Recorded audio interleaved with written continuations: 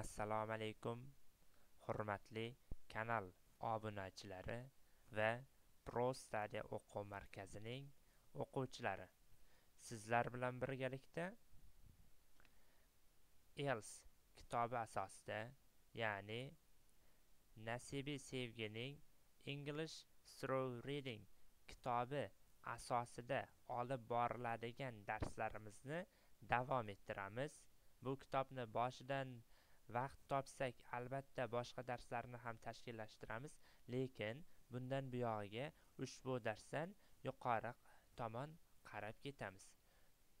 The chain of hope o'n to'qqizinchi mavzu bu kitob asosida biz avvalo darsimizni boshlashdan avval ushbu matnning audiosini eshitib olishimiz kerak va talaffuzini yaxshilab o'rganishimiz kerak. Unday bo'lsa boshladik birinchi audiodan keyin esa matndagi yangi so'zlar va umumiy tarjima bilan birgalikda tanishib chiqamiz Chain of Hope The children who are cared for by the Chain of Hope come from countries which are stricken by poverty or torn by conflict. They are children who have been injured by a mine or an exploding shell, who have been born with deformities, who have caught diseases or who suffer from the after effects of injuries. A very simple operation can often save them but there is usually no prospect of such surgery in their own countries, owing to the lack of specialized expertise and technical resources. Faced with this terrible fact, says Professor Alain Deluche, a heart surgeon, a simple idea took root to bring these children to France, to provide them with operations, and then send them home, cured, to their families.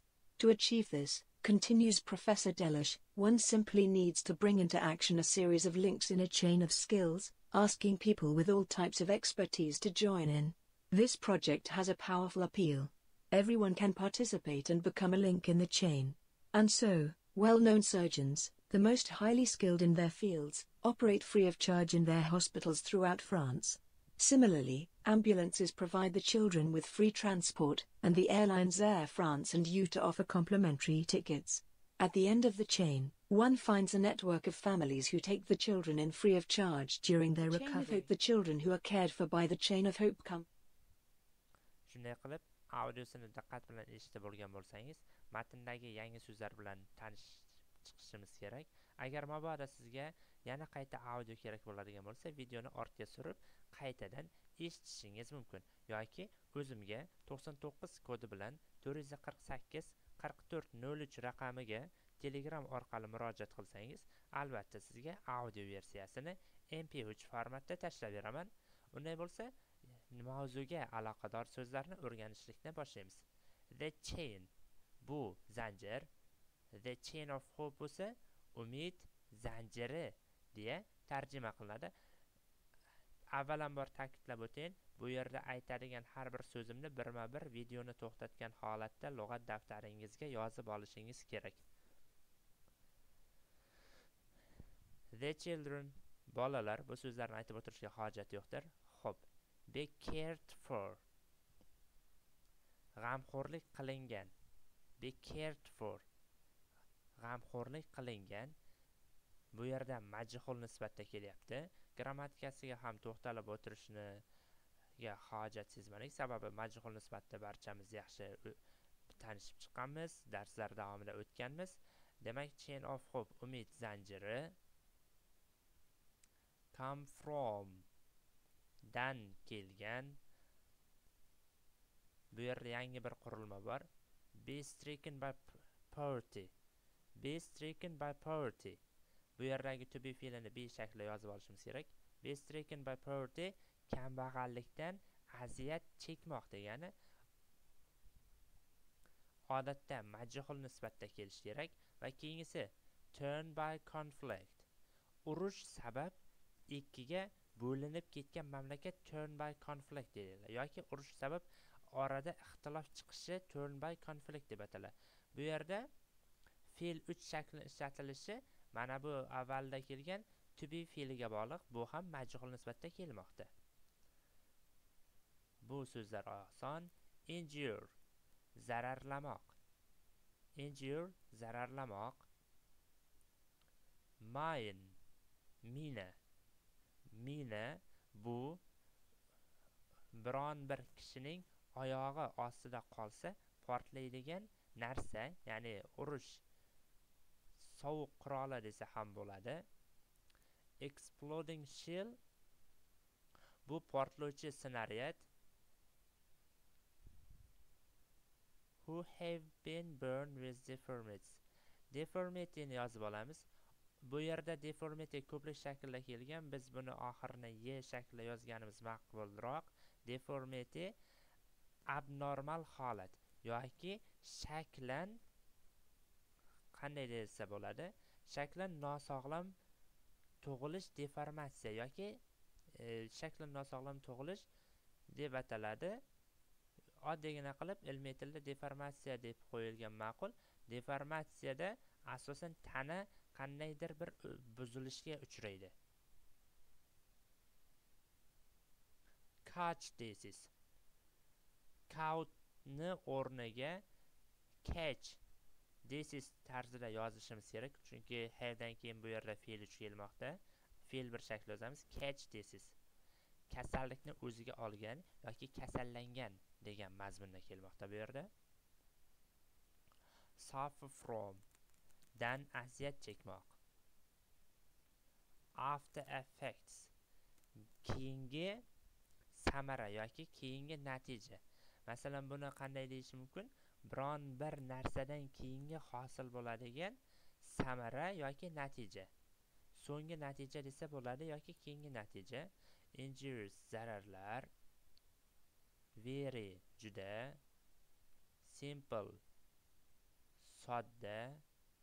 Operation operatsiya. Bu so'zlar tanish ho'p prospect umid. Surgery jarrohlik. In their own countries o'z mamlakatlarida owing to sababli lack yetishmaslik specialized expertise maxsus mutaxassis yoki o'z sohasining mutaxassisi technical resources tek texnik manbalar yoki texnik resurslar. Facewiz bu yerda dsi dsiz yozamiz. Facewiz ga duchor bo'lmoq yoki ga duch kelmoq ga yo'liqmoq ma'nosida keladi. Asosan terrible dahshatli. Heart surgeon kardiolog ya'ni yurakni davolovchi jarroh. Yoki ehtimol kardiolog desak to'g'riroq bo'ladi. Yana ham bilmadik tibbiyotdan uncha xabarimiz yo'q. Ho'p take root. Ildiz otmoq degani take root. Tomir yozmoq yoki ildiz otmoq deb tarjima qilinadi bu yerda. Provide. Provide taqdim qilmoq. Cured davolangan holda. Yoki tuzalgan holda. Matn asosida qanday ma'no bersa xuddi ushbu xuddi shu tarjimani aytishga harakat qilyapmiz. Balkim lug'atdan qidirsangiz tarjimasi boshqacha chiqishi mumkin. Har qalay matnning mazmunini ochib bersa bo'lgani unday bo'lsa davom etamiz.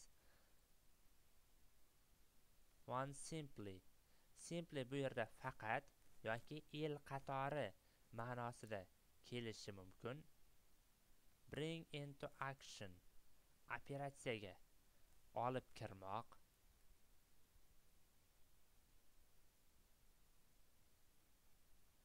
Joining qo'shilmoq. Powerful appeal kuchli xitob. Participate qatnashmoq. Joiningning sinonimi become a link a'zo bo'lmoq.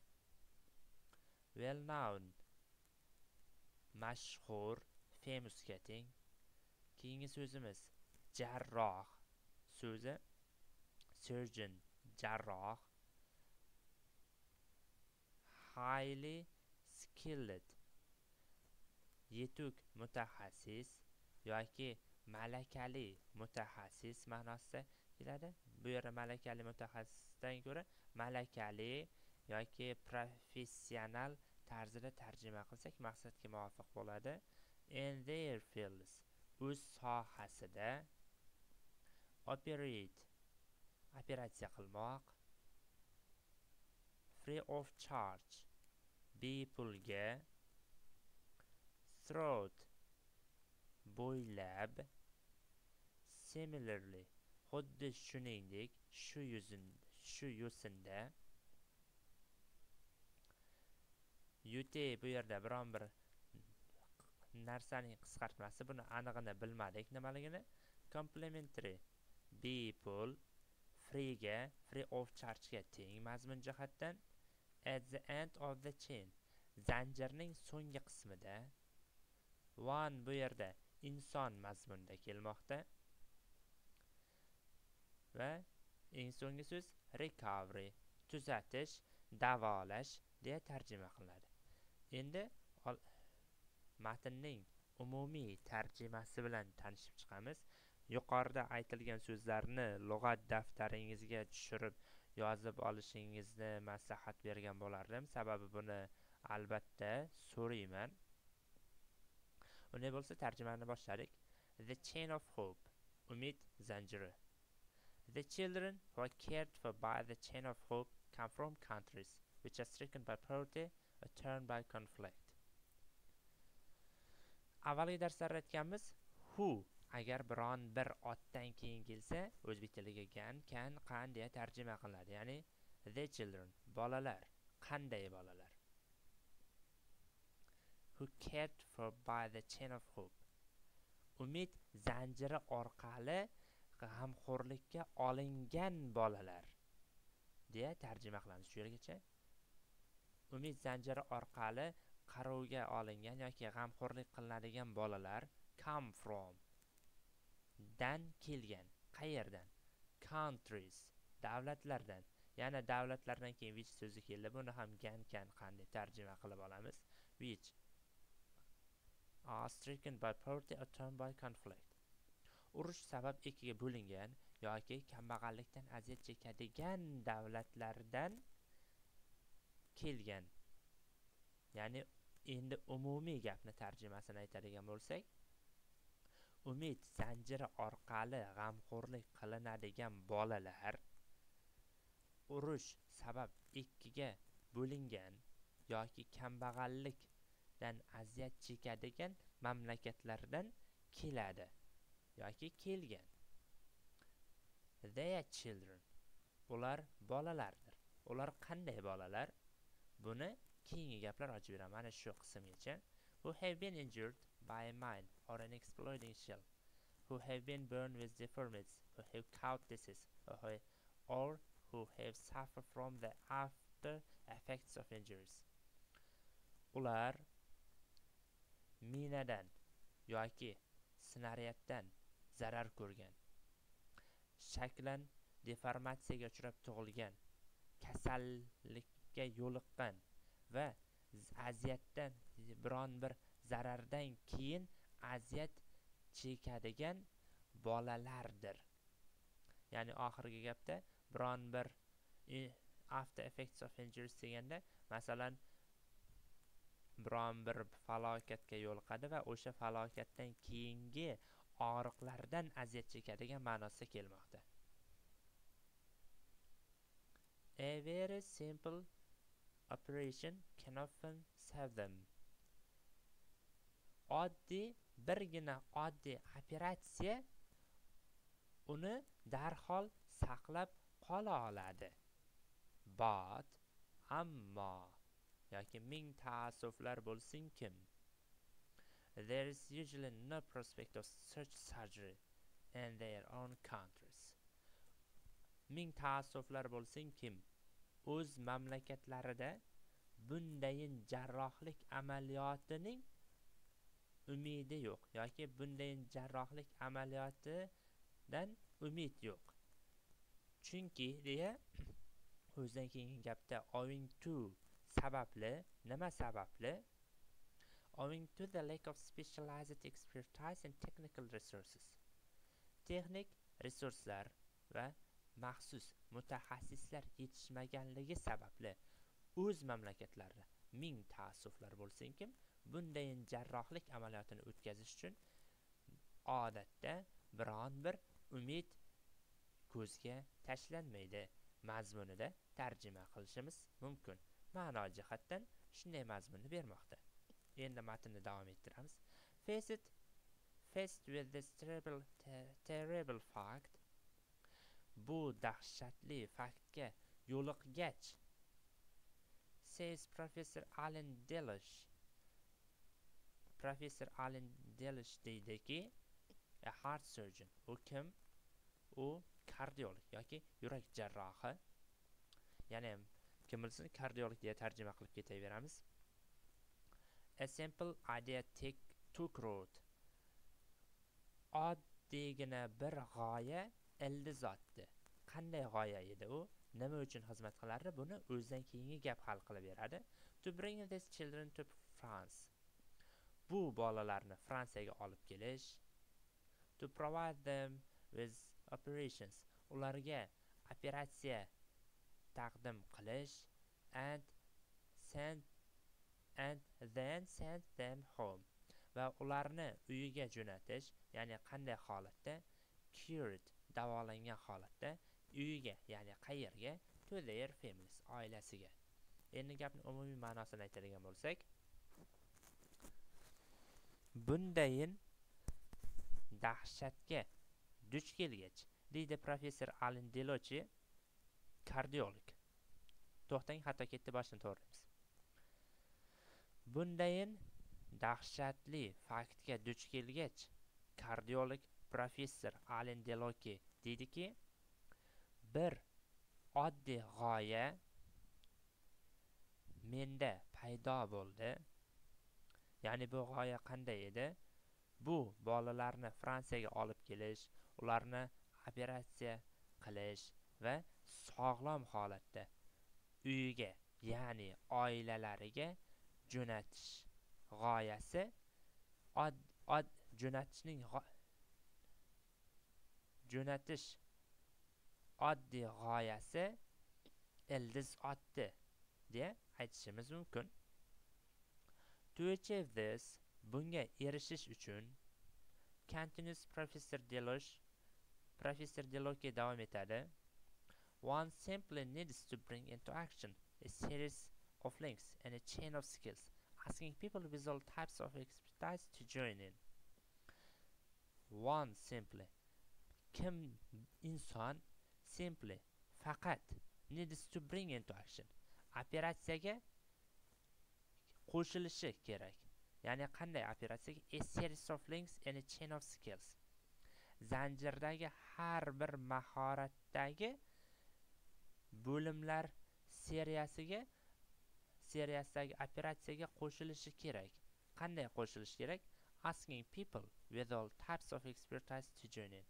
Barcha sohaning mutaxassislari qo'shilish uchun insonlardan so'rab ya'ni qo'shilish uchun barcha sohadagi insonlardan so'ragan holatda ushbu umid zanjiri operatsiyasiga inson faqat qo'shilishi kerak.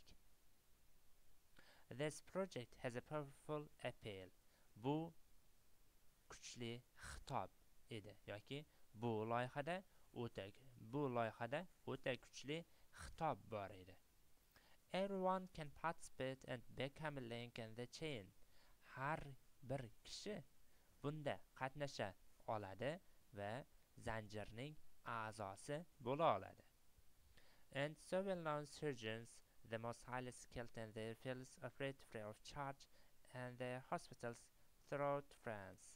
Va shuning uchun well-known surgeons mashhur jarrohlar the most highly skilled in their fields o'z sohasining malakali mashhur jarrohlari operate free of charge in their hospitals throughout France Fransiya bo'ylab o'z shifoxonalarida tekinga davolaydi yoki tekinga davoladi. Similarly xuddi shuningdek ambulances provide the children with free transport. Ya'ni tez yordam mashinalari bolalarga tekin transportni taqdim etadi. And the airlines Air France and UTA offer complimentary tickets. Fransuz havo yo'llari agentligi bepul biletlarni taklif etadi and the end of the chain. Ya'ni zanjirning so'nggi qismida one finds a network of families who take the children and free of charge during their recovery. Inson davolash asnosida tekinga g'amxo'rlik qilinadi bolalarga g'amxo'rlik qiladigan oilalarning bir tizimini topadi. Matnning umumiy tarjimasi xuddi shunday. Endi boshidan hech qanday bo'lmasdan tarjima qilib keladigan bo'lsak agar mabodo xato va kamchiliklarga yo'l qo'ysak aybga buyurmaysiz. Umid zanjiri. Boshidan oxirigacha umumiy bitta tarjima beramiz. Umid zanjiri. Umid zanjiri orqali g'amxo'rlik qilinadigan bolalar urush sabab bo'lingan kambag'allikdan aziyat chekadigan mamlakatlardan kelgandir. Bu bolalar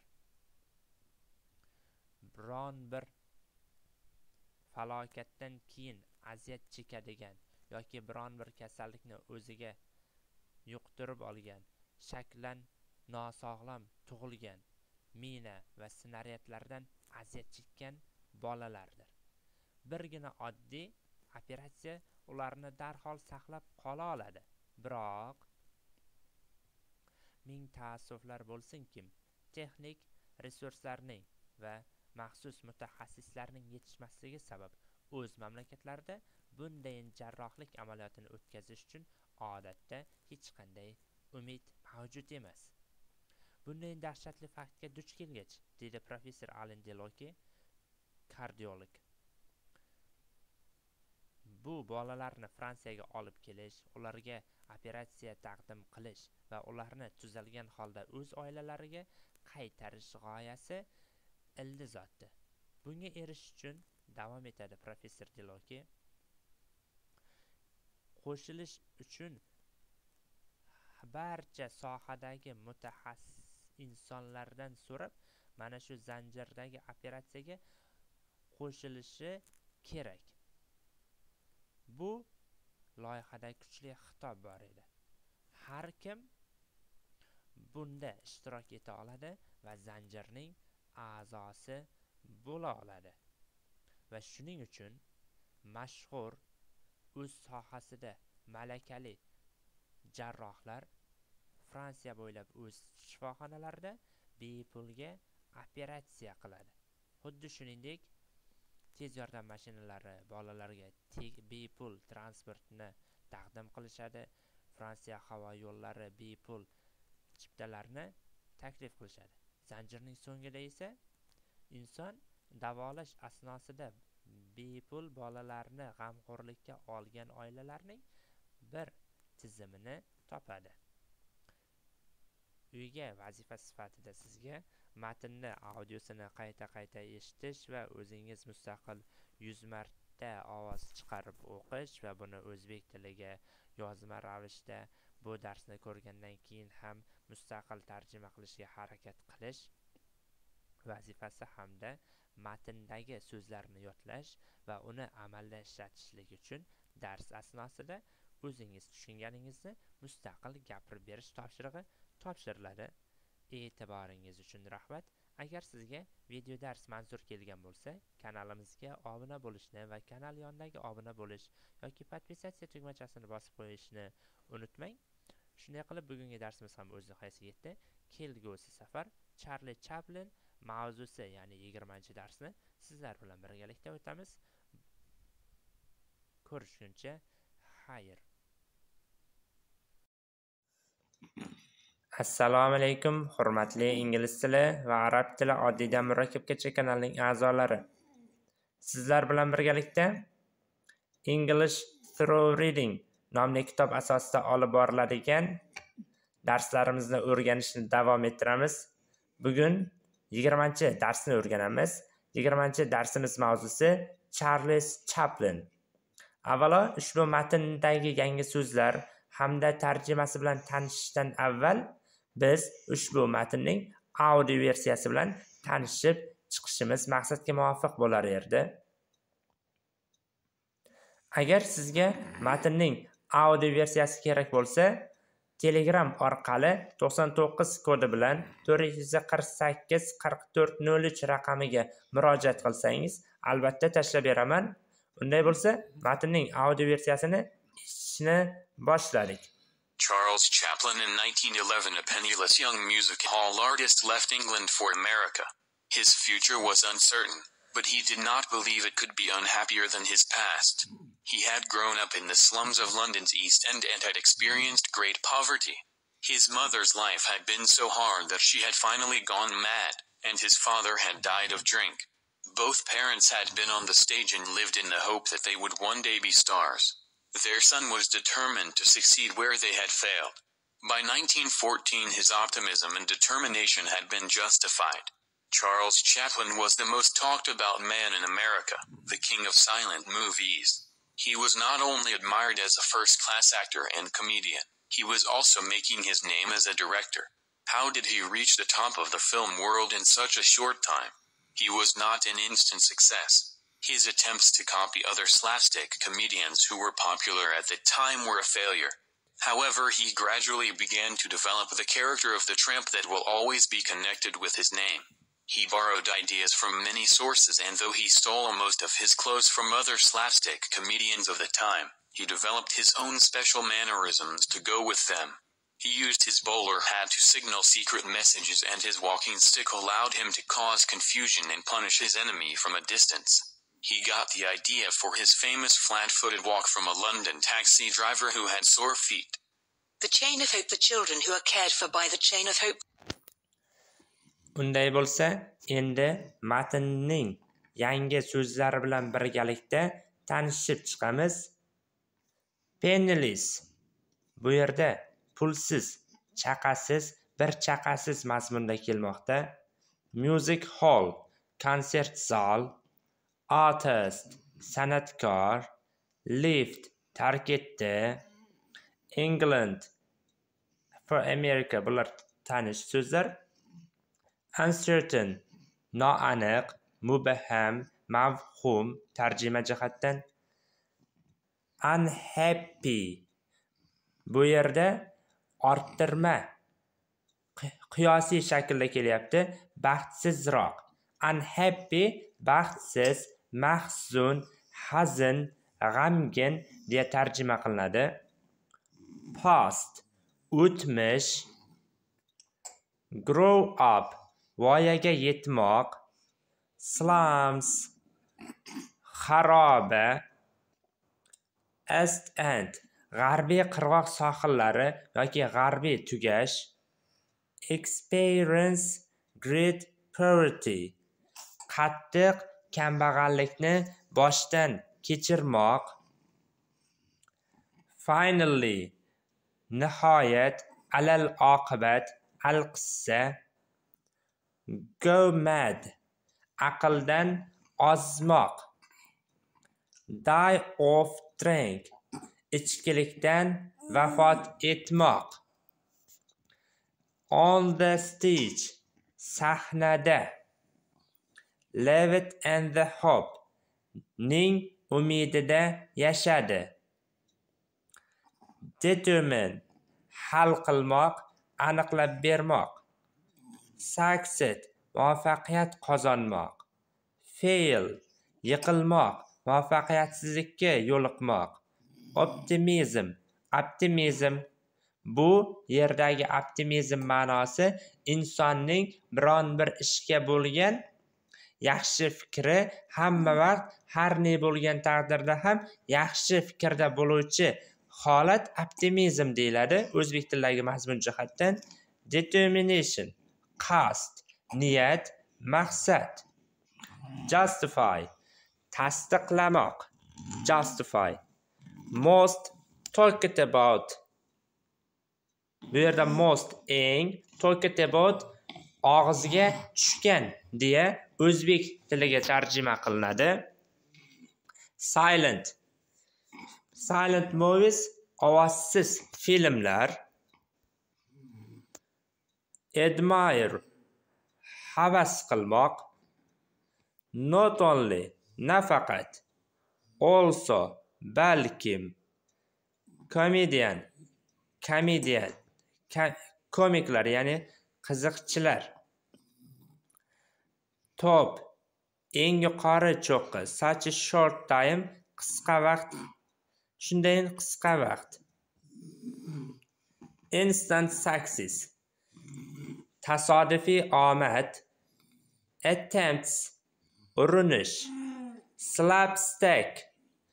Slapstick comedians bu yerda hassa ko'tarib olgan qiziqchi masxarabozlar nazarda tutilmoqda.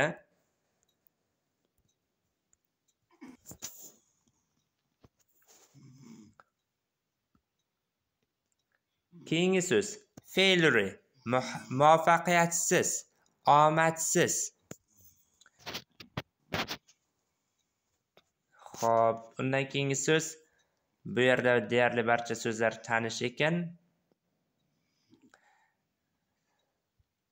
Special maxsus. Mannerism o'z meni ya'ni o'ziga xos bo'lgan xislat ma'nosida agar adabiyotga doir asarlarni yoki taqrizlarni tanqidlarni o'qisangiz o'z meni degan birikma ishlatiladi. Xuddi shu o'rinda manerizm ushbu ma'noda kelmoqda. Go with ga mos kelmoq degani. Bowler hat o'sha davrda britaniyaliklar kiyib yuradigan shlyapa bowler hatni o'zbek tilida qanday bersak ekan shunchaki shlyapa deb qo'ya qolamiz. Agar charli chaplinni ishtirok etgan filmlarni tomosha qilsangiz o'sha boshidagi shlyapa bowler hat deb ataladi. Kaos sabab bo'lmoq confusion chalkashlik punish jazolamoq from a distance olisdan flat footed yassi oyoq va surfet oyog'i og'ri oyog'ida oyoq og'rig'i surfet yangi so'zlar bilan tanishib chiqqan bo'lsak endi matnning tarjimasi bilan birgalikda tanishib chiqamiz. Unday bo'lsa boshladik in 1911 a penniless young music hall artist left england for america. 1911 yil bir chaqasiz bir chaqa ham puli yo'q bo'lgan yosh musiqa zali san'atkori ya'ni artisti angliyani tark etib amerika tomon amerika tomon yo'naldi.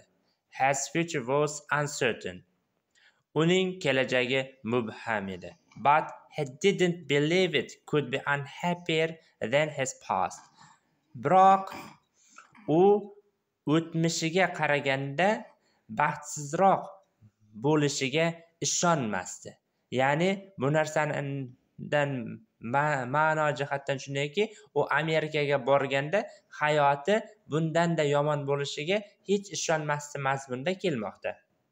He had grown up in the slums of london's east end and had experienced great poverty. U londonning sharqiy qirg'oq bo'yidagi xarobalarda voyaga yetgan va o'z navbatida qattiq kambag'allikni boshdan kechirgan edi. His mother's life had been so hard that she had finally gone mad. Uning onasining hayoti shunchalar qiyin kechgandiki u alal oqibat aqldan ozadi. And his father had died of drink. Va padar buzrukori ichkilikdan vafot etadi.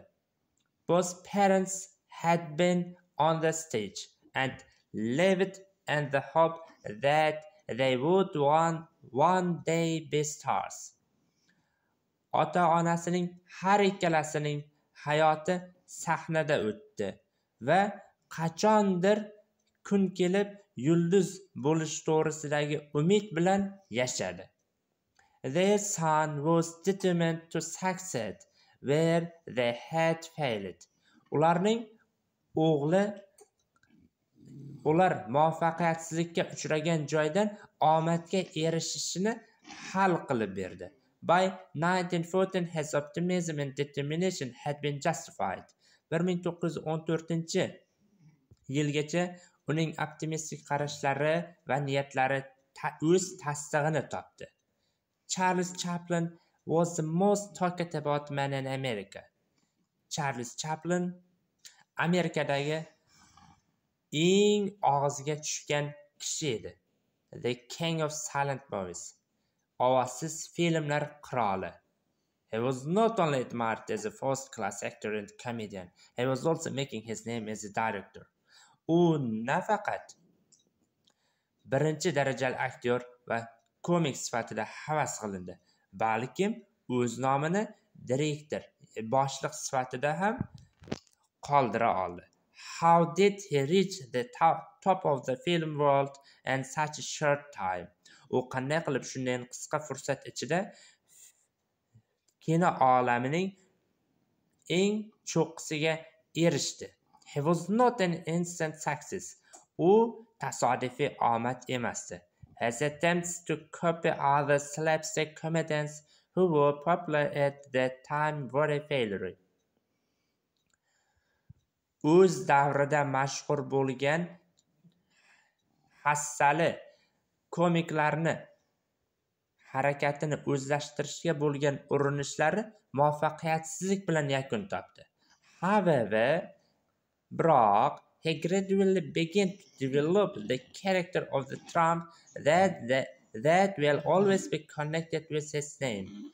O'z ismiga bog'liq bo'lgan o'zining darbadar xarakterini rivojlantira oldi. He borrowed ideas from many sources and though he stole most of his clothes from other slapstick comedians of the time, had developed his own special mannerism to go with them.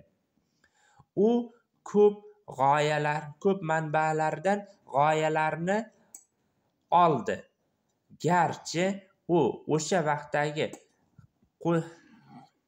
o'sha vaqtdagi hassali komiklarning kiyimini o'g'irlab olsa-da, ularga mos bo'lgan o'z shaxsiyatidagi xususiyatni rivojlantira oldi. He used his bowler hat to signal secret messages. U sirli maktublariga signal berish uchun o'z shlyapasini ishlatdi. And his walking stick allowed him to cause confusion and punish his enemy from a distance. Va uning o'zi bilan olib yuradigan tayog'i o'zgalar hassasi o'zgalarni chalkashtirishga sabab bo'ldi. E, sabab bo'lishiga unga imkon hosil qilib berdi va dushmanlarini olisdan jazolash ilojisini jazolash imkoniyatini taqdim qildi. He got the idea for his famous flat-footed walk from a London taxi driver who had sore feet. U o'zining yassi oyoq bo'lib yurish harakati g'oyasini londonlik oyog'ida og'riq bor bo'lgan taksi haydovchisidan oldi. Matnning umumiy mazmuni xuddi shuningdek edi. Endi darsimiz an'anasiga muvofiq boshidan oxirigacha o'zbek tilida to'xtamagan holatda tarjima qilamiz. Bir ming to'qqiz yuz o'n birinchi yil yonida bir chaqa ham bo'lmagan yosh konsert zali san'atkori angliyani tark etib amerika tomon yo'naldi. Uning kelajagi mubham edi. Biroq u o'tmishiga qaraganda galdagi hayoti baxtsizroq bo'lishiga ishonmasdi. U londonning sharqiy qirg'oq xarobalarida voyaga yetdi. Qattiq kambag'allikni boshidan kechirdi. Onasi shunday qattiq hayotga onasining hayoti shunchalik qattiq bo'ldiki alal oqibat u aqldan ozdi. Otasi ichkilikdan vafot etdi. Har ikki ota onasining har ikkalasining hayoti sahnada o'tdi va qachondir yulduz bo'lishi haqidagi umid bilan yashadi ularning o'g'li ular yiqilgan joydan omadga erishishni hal qildi. bir ming to'qqiz yuz o'n to'rtinchi yilgacha uning optimistik qarashlari niyatlari o'z tasdig'ini topdi. Charli chaplin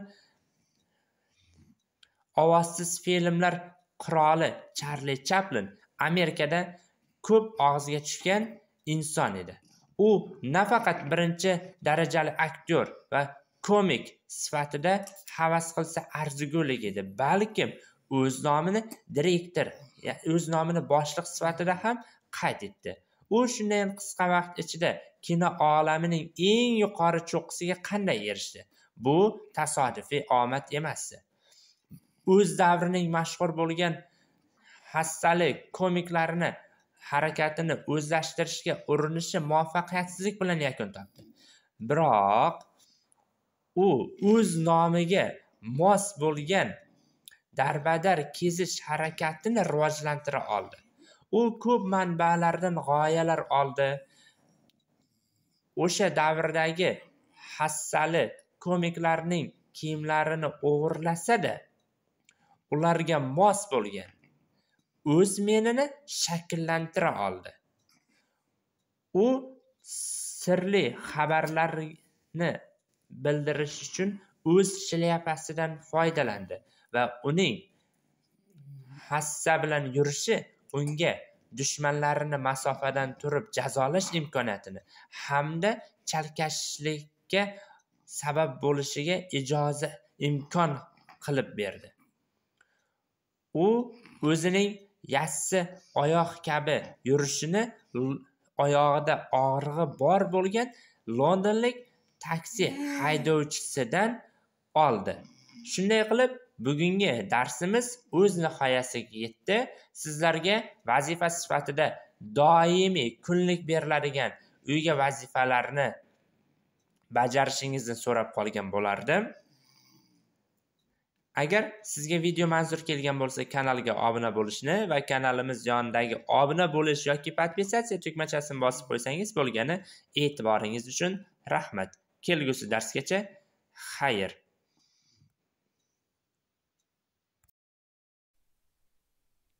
Assalomu alaykum hurmatli kanal obunachilari va prostadi o'quv markazining o'quvchilari. Biz bu galgi darsimiz davomida english through reading kitobining yigirma birinchi mavzusi to cure the cruelty of children mavzusini birgalikda o'rganamiz. Shu o'rinda bir narsani aytib o'tayin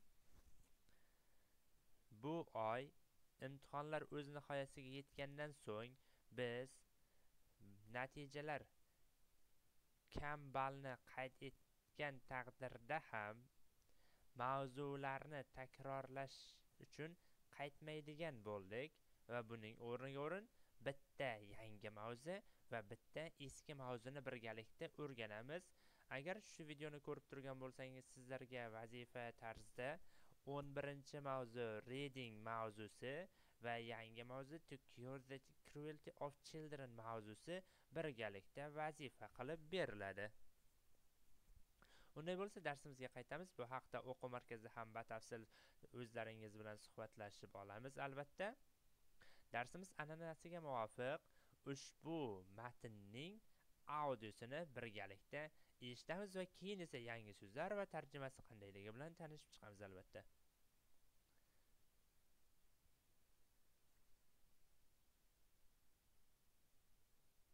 cure the cruelty of children Psychologists believe that the combative and aggressive instinct is permanent in all human beings, but it is probable that, with a correct understanding of children, the instinct for aggression need not survive childhood. It's certain that to repress the aggressiveness of a child will make him later more aggressive and antisocial. He will later on revenge himself for his sufferings by criminality or by acts of cruelty. The desire to hurt living things generally appears in the child who has been given a strong hatred of authority. This problem of cruelty is very difficult to handle. It requires the parents to use good temper and good sense, trying to find out where the child's real interests lie and guiding its energy to these channels. Except in the worst cases, sympathetic treatment by parents and teachers will gradually suffice to cure, for it will give back self-confidence, self-love, and a belief in life, and it is the absence of these which is the cause of the cruelty of children. Psychologists believe that audio o'z nihoyasiga yetdi endi matndagi yangi so'zlar va ushbu matnning tarjimasi bilan birgalikda tanishib chiqamiz. Boshlanish qismiga qaraymiz. To cure davolash uchun degani bu yerdagi boshida kelgan tuning ma'nosi qanday ekanligini grammatik mavzularimiz asosida o'tganmiz bu yerga to'xtalib o'tirishning hojati yo'q. The cruelty of children bo'lsa cruelty zolimlik yo yoki zo'ravonlik. Bolaning zo'ravonligini davolash uchun yoki bolaning zo'ravonligini davolash. Bu yerda yanglishga yetibmiz to maqsadni bildirish uchun emas aksincha infinitiv mazmunda kelmoqda bolaning zolimligini davolash deya o'zbek tiliga sarlavhasini tarjima qilsak bo'ladi albatta. Psychologists believe that the combative and aggressive instinct is permanent in all human beings. Psychologists psixologlar believe ishonmoq. Agar aytganmiz fe'llardan keyin kelgan z bog'lovchisi ki deb o'zbek tiliga tarjima qilinadi. Xuddi o'zbek tilidagi kesim ergash gaplar singari. Believe z ishonadiki tarzda tarjima qilinadi. Combative urushishga tayyor jangovar degani agressiv agressiv o'zbek tilida shuni to'g'ridan to'g'ri o'zgartiramiz. Bu transliteratsiya orqali tarjima qilinadi. Bu haqda ham albatta ma'lumot e, egasiz. Har qalay videoni yangi tomosha qilayotganlar diqqatiga aytib o'tadigan bo'lsak transliteratsiya e, begona tildagi so'zni tovush jihatdan harf jihatdan hech qanday tarjimasiz keltirib o'tish. Masalan ingliz tilida futbol so'zini oladigan bo'lsak f double o l b a double l tarzida yozilsa shu narsani o'zbek tiliga futbol tarzida yozilishi bu transliteratsiya bo'ladi ya'ni buni oyoq to'pi deya tarjima qilishga hojat sezilmaydi. Ushbu holatdagi tarjimalar transliteratsiya deb ataladi. Instinkt bu ham instinkt o'zbek tiliga shunday to'g'ridan to'g'ri transliteratsiya orqali tarjima qilinadi permanent doimiy o'zgarmas. All human all barcha human beings degani bashariyat yoki insoniyat ma'nosida kelmoqda Psychologists believe that the combative and aggressive instinct is permanent in all human beings. Jamiki insoniyatda e, boshidan aytamiz psixologlar ishonadiki jangovorlik va agressiv instinkt barcha insonlarda o'zgarmasdir ya'ni buning mazmuni doimiy shu instinkt insonlarning barchasiga xosdir va mavjuddir deya tushunishimiz mumkin. But it's probable that with a correct understanding of children the instinct for aggression needn't survive childhood. But lekin probable ehtimol correct to'g'ri understanding xayrixohlik instinct instinct aggression agressiya bu yerda ot shaklida kelmoqda. Need not kerak emas survive yashamoq childhood bolalik. Endi tarjimasiga qaraydigan bo'lsak biroq it's probable that shu narsa mumkinki to'g'ri bolaga xayrixohlik bilan agressiya instinkti bolalikdan yashamasligi kerak. Ya'ni bundan shu ma'no tushuniladiki bolani to'g'ri tushunish orqali bolalikdanoq mana shu agressiyaga bo'lgan instinktni yo'q qilib yuborish mumkin deya tushuniladi. Bu yuqoridagi gap bilan birlashtirganimizda mazmun jihatdan albatta to'g'ri keladi. Va agar bu yerda tushunmovchilik bo'lsa yakuniy qismda umumiy tarjima berilishida albatta tushunib olishingiz mumkin. It's certain that to repress the aggressiveness of a child will make him later more aggressive and antisocial. It's certain certain shubhasiz repress tiymoq oldini olmoq tutib turmoq degani agressivnis agressiyalik ya'ni buni qanday deyish mumkin? Jahldorlik yoki o'zbekchasida biron bir narsaga nisbatan tezda agressiv munosabat salbiy munosabat bildirish agressivnis deyiladi. Aynan muqobil tarjimasi yodga kelmadi hozirda. Make qilmoq him later keyinroq agressiv agressiv antisocial jamiyatga qarshi. Buni agar adabiyot darslarida o'qigan bo'lsangiz aksi inqilobiy kabi so'zlar bor antisocialni ham xuddi shu kabi bersak bo'ladi. Bu yerda jamiyatga qarshi degani antisocial.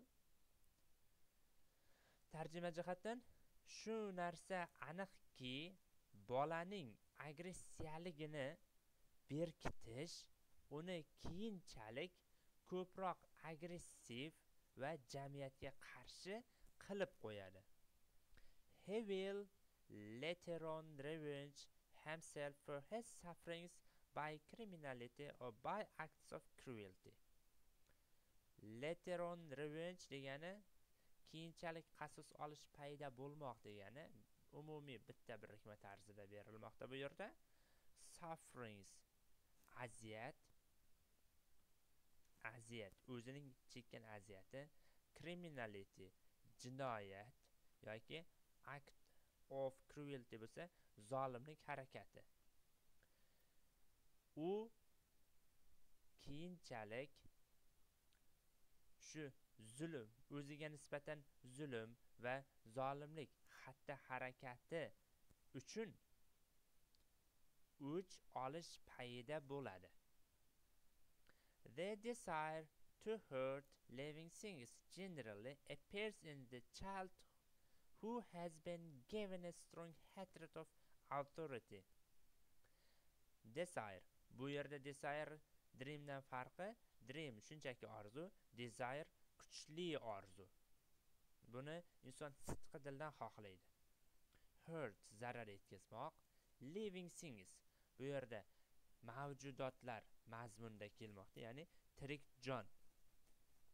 Generally odatda. Appears paydo bo'lmoq. In the child bolada. Bu yerda who bolani izohlovchi so'z va o'zbek tiliga gan can qan tarzidagi tarjimali qo'shimchalarga to'g'ri keladi. Has been given. Present perfect zamonning passiv shakli. Buni qoidalarida o'tganmiz. Strong kuchli hatred e, nafrat of authority bo'lsa bu yerda hukumat ma'nosiga kelmoqda. Endi tarjima qiladigan bo'lsak odatda tirik jonni azoblash uchun zarar yetkazishga bo'lgan kuchli istak hukumatga bo'lgan kuchli nafrat bo'lgan bolalarda paydo bo'ladi. Yoki kattalardan nafrat ko'rgan yoki kattalardan aziyat chekkan bolalarda paydo bo'ladi. Ya'ni bu yerda gv hatred bo'lsa ularga nisbatan nafrat belgisi berilgan deya tarjima qilinadi. Umumiy oladigan bo'lsak qanday bolalarda paydo bo'ladi bunaqa his? Odatda o'ziga nisbatan mensimaslikni nafratni va yana nima desa bo'ladi? Zulmni his qilgan bolalarda paydo bo'ladi mazmunda kelmoqda. This problem of cruelty is very difficult to handle. Problem muammo cruelty zolimlik difficult qiyin handle tutmoq zolimlikning bu muammosi yoki bu zolimlik muammosi tutib turish uchun juda mushkul yoki juda qiyin it requires the parents to use good temper and good sense trying to find out where the child's real interests lie and guiding its energy to these channels. Require talab qilmoq parents ota onalar use ishlatmoq good temper yaxshi xulq atvor good sense yaxshi tuyg'u try to ga harakat qilmoq find out fosh etmoq e, ochmoq where qayerdagi child bola real haqiqiy interest qiziqish lie yotmoq guide yo'naltirmoq energy energiya channel kanal. Endi umumiy tarjimasini oladigan bo'lsak bir bor eslatib o'tayin yuqorida aytib o'tayotgan har bir so'zimni videoni to'xtatib qo'yib lug'at daftaringizga yozib olishingiz mumkin. Har qalay sekin aytishga bizda yetarli vaqt mavjud emas. Bu narsa ota onalardan yaxshi munosabatda bo'lish va yaxshi o'z tuyg'ularini ishlata bilish talab qilinadi. Ya'ni qanday? Bolani haqiqiy qiziqishi qayerda yotganligini aniqlab va uni mana shu qiziqishga bor energiyasini yo'naltirib yaxshi xulq atvor va yaxshi his tuyg'uni ishlatish ota onalardan talab qilinadi tarzida tarjima qilamiz. Except in the worst cases sympathetic treatment by parents and teachers will gradually suffice to cure. Except dan tashqari in the worst cases degani eng yomon holatlar umumiy birga tarjima qilamiz. Sympathetic hamdard treatment muolaja gradually sicknessda asta suffice yetarli enoughning sinonimi to cure davolash uchun. Yomon eng yomon holatlarni hisobga olmaganda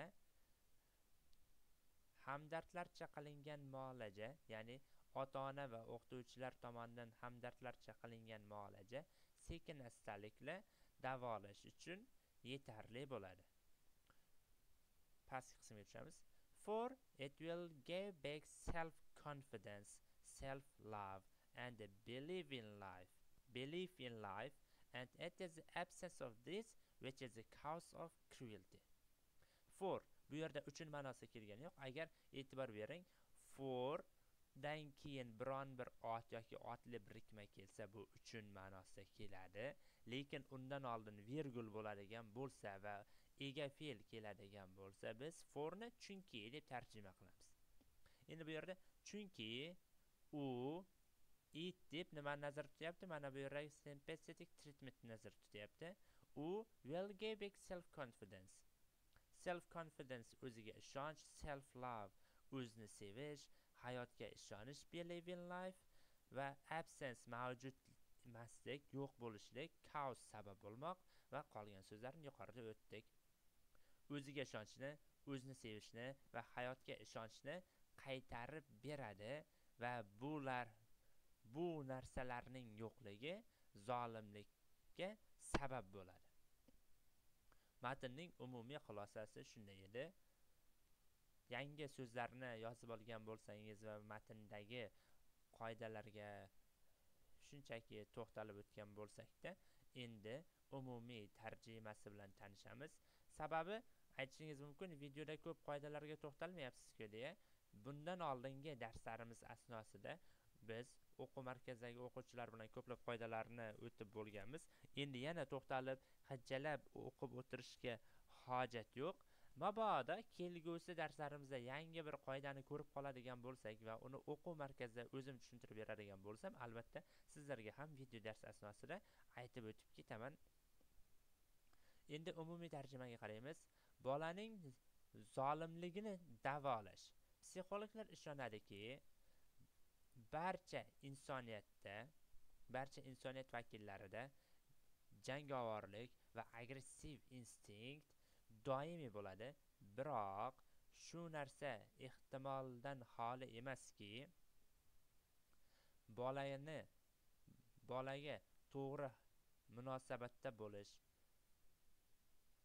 bolaga to'g'ri xayrixohlik bildirish agressiv instinktni bolalikdanoq yashatmasligi mumkin.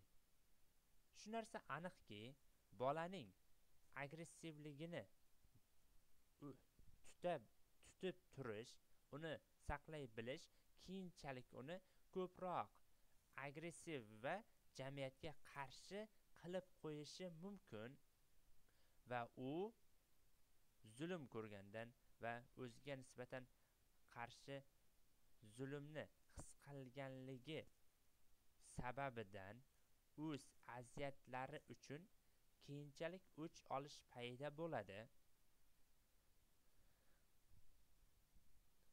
Kattalar tomonidan nafratni his qilgan bolalarda odatda tirik jonni azoblash his tuyg'usi paydo bo'ladi. Zolimlik muammosi tutish tutib turish zolimlik muammosini tutib turish mushkul. U yo'q u emas.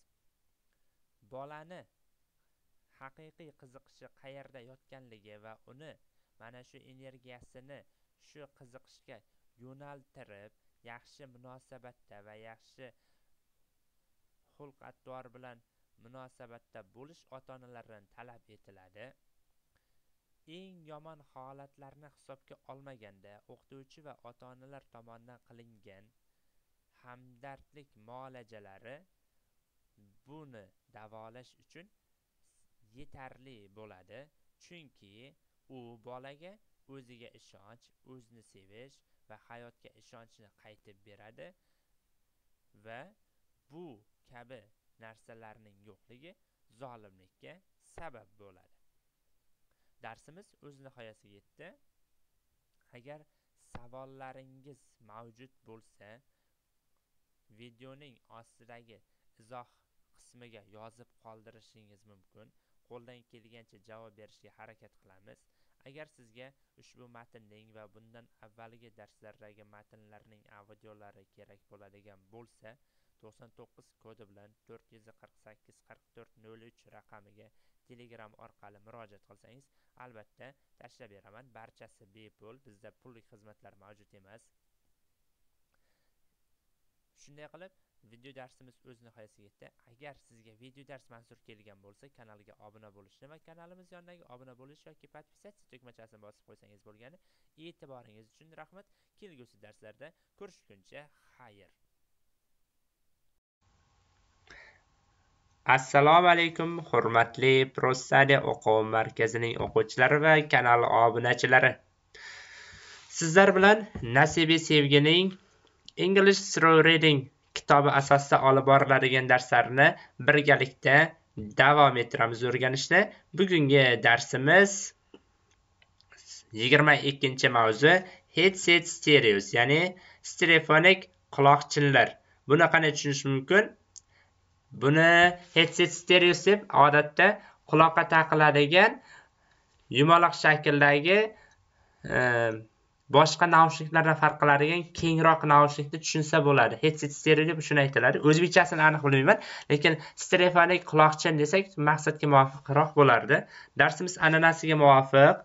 Birinchi biz ushbu matnning audio versiyasini tinglashimiz va keyinchalik esa mana shu mavzuga taalluqli bo'lgan yangi so'zlar va birikmalarni o'rganib uni birgalikda tarjima qilamiz unda birinchi audiosini eshitib olamiz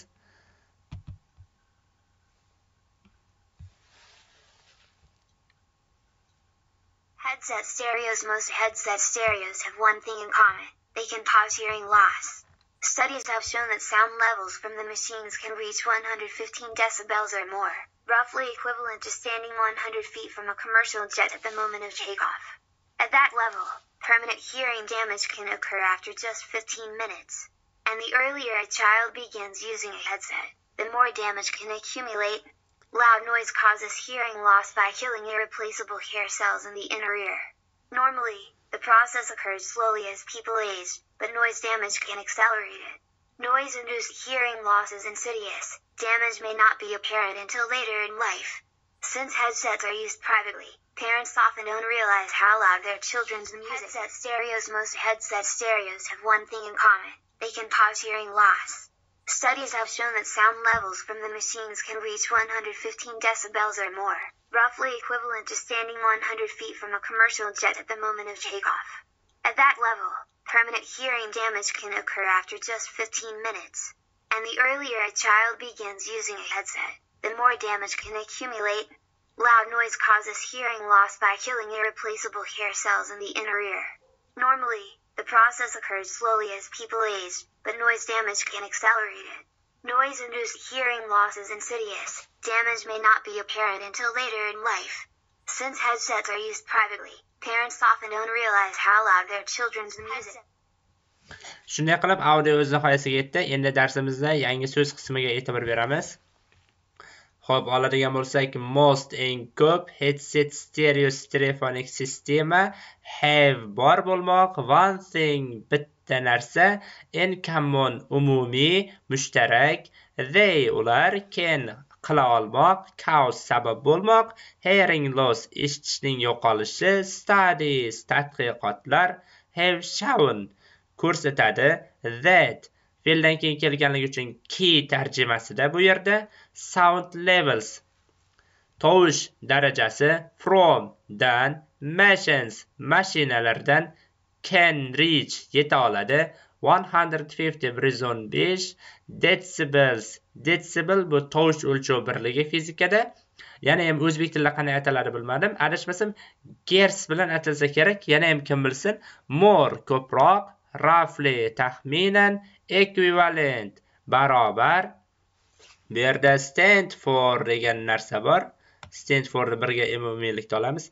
Da turmoq fit footning ko'plik shakli foot o'lchov birligi bor bilsangiz britaniyada commercial jet tijoriy reaktiv samolyot at the moment of ning vaqtida take off parvoz. Level bosqich permanent doimiy hearing hearing damage eshitishni zararlanishi occurs sodir bo'lmoq. Bu so'zlar oson ho'p earlier ertaroq.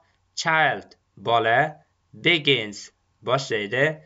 Using ishlatish headset boyagi quloqchin more ko'proq damage zarar accumulate yig'moq. Loud noise baland tovush cause sabab bo'lmoq hearing loss eshitishni yo'qolishi kill o'ldirmoq irreplaceable qayta tiklanmas hair cells soch to'qimalari inner ear quloq ichki qismi. Normally odatda process jarayon occur sodir bo'lmoq slowly sekin is people age.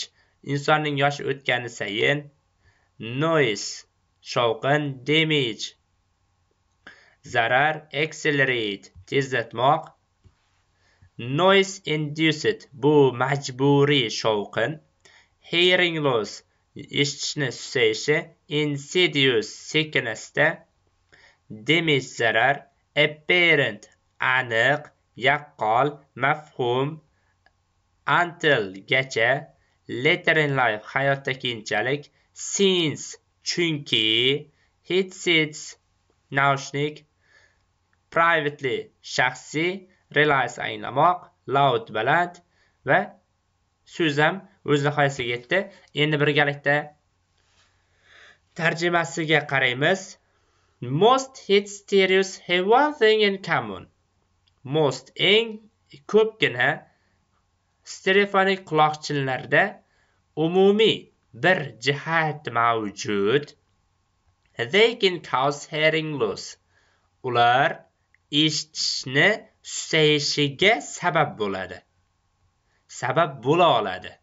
Studies tadqiqotlar have shown that shuni ko'rsatadiki sound levels from the machines mashinalardan chiqadigan tovush darajasi can reach 150 decibels or more. Mashinalardan chiqadigan tovush darajasi 115 detsibel yoki undan ko'proqga yetishi mumkin yeta oladi. Roughly taxminan equivalent to standing 100 feet from a commercial jet at the moment of takeoff ya'ni tijoriy reaktiv samolyotning parvoz vaqtida undan 100 metr uzoqda e, 100 metr debmiz 100 fut uzoqda turgan bilan taxminan barobar. Ya'ni nima barobar?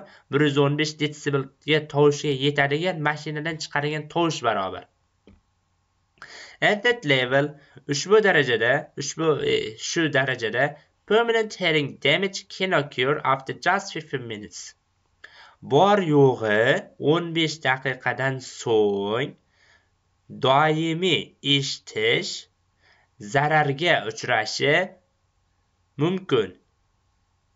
Zararga uchray oladi. Bu yerda zararga uchray oladi desak o'zbek tilida stilistik g'alizlik yuzaga keladi. Uchrashi mumkin deya tarjima qilamiz. And the earlier a child begins using a headset the more damage can accumulate. Buni hozir qoidasini quyida tushuntirib o'taman. Birinchi tarjimasi bilan tanishib olaylik. Bola qanchalik qancha erta naushnikdan foydalanishni boshlasa shuncha ko'proq o'ziga zararni chaqirib oladi. Loud noise causes hearing loss.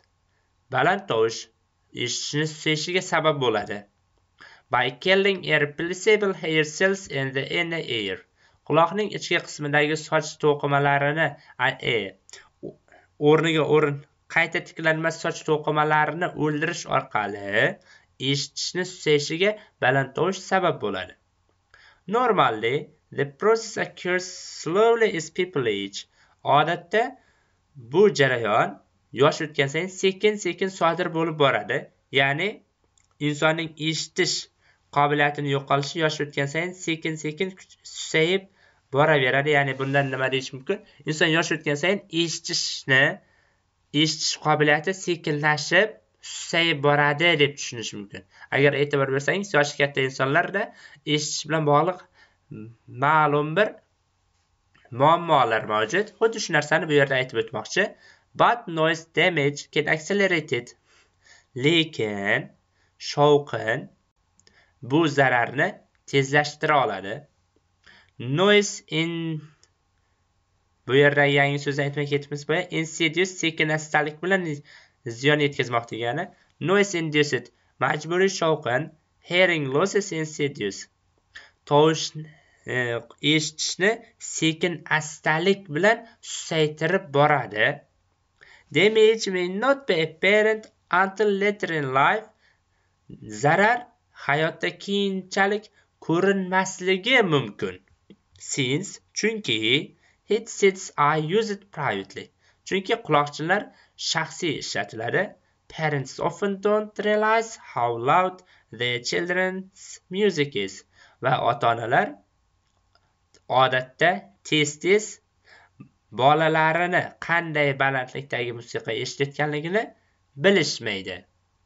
Shunday qilib bugungi mavzuga bugungi yigirma ikkinchi darsning matnining tarjimasi yangi so'zlari va uning talaffuzi qismi tugadi. Endi qoida qismiga qaraymiz. Sizlar uchun yangi qoida chiqdi. Ya'ni bu yerda the earlier the more ya'ni the qiyosiy the qiyosiy ma'nosi nima? Bundan avvalgi darslarimizda sifatning qiyosiy daraja shaklini birgalikda o'tganmiz. Bu er qo'shimchasini bilan masalan big katta.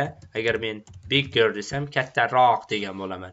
Agar shu narsa ko'p bo'g'in bo'ladigan bo'lsa masalan cleverni oladigan bo'lsak videoni ko'rayotganlarga diqqatiga e'tiroz bildirmasligingizni so'rardim. Clever ham er bilan ham mor bilan yasalar. Biz shunchaki morga misol keltirish uchun oldik.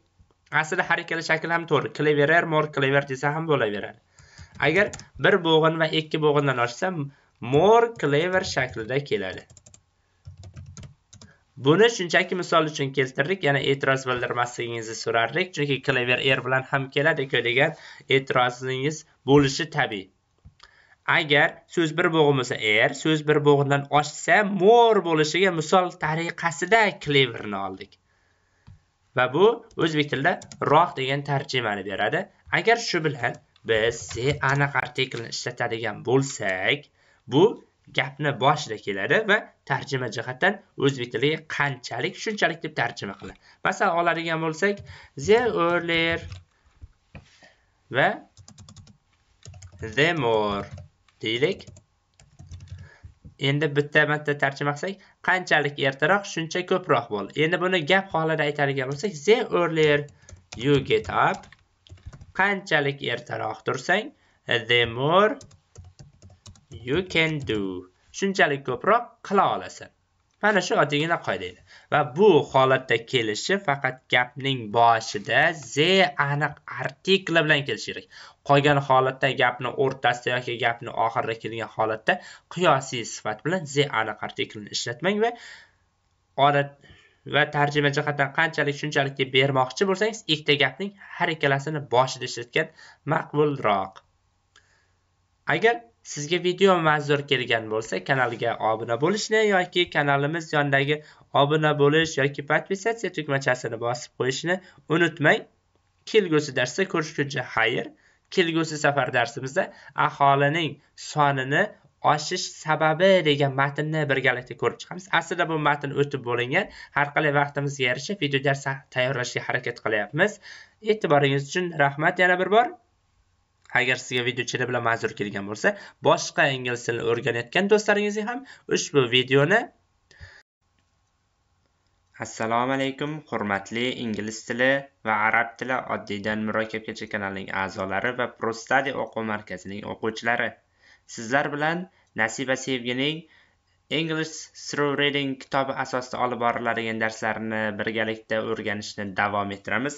Bu galgi darsimiz Mm, kitobdagi yigirma uchinchi mavzu the reasons for rapid population growth ya'ni aholi sonining jadal sur'atlarda oshish sabablari mavzusi biz avvalo ushbu matnning audiosini tinglab olishimiz kerak.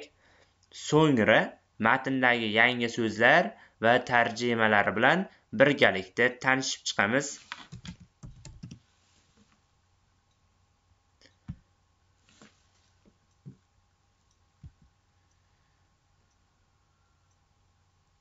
Reasons for rapid population growth.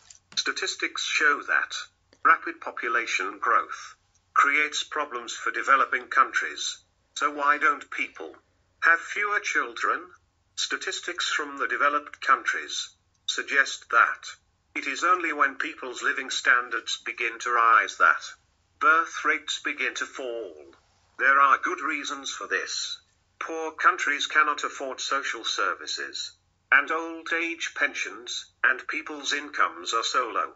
They have nothing to spare for savings. As a result, people look to their children to provide them with security in their old age. Having a large family can be a form of insurance.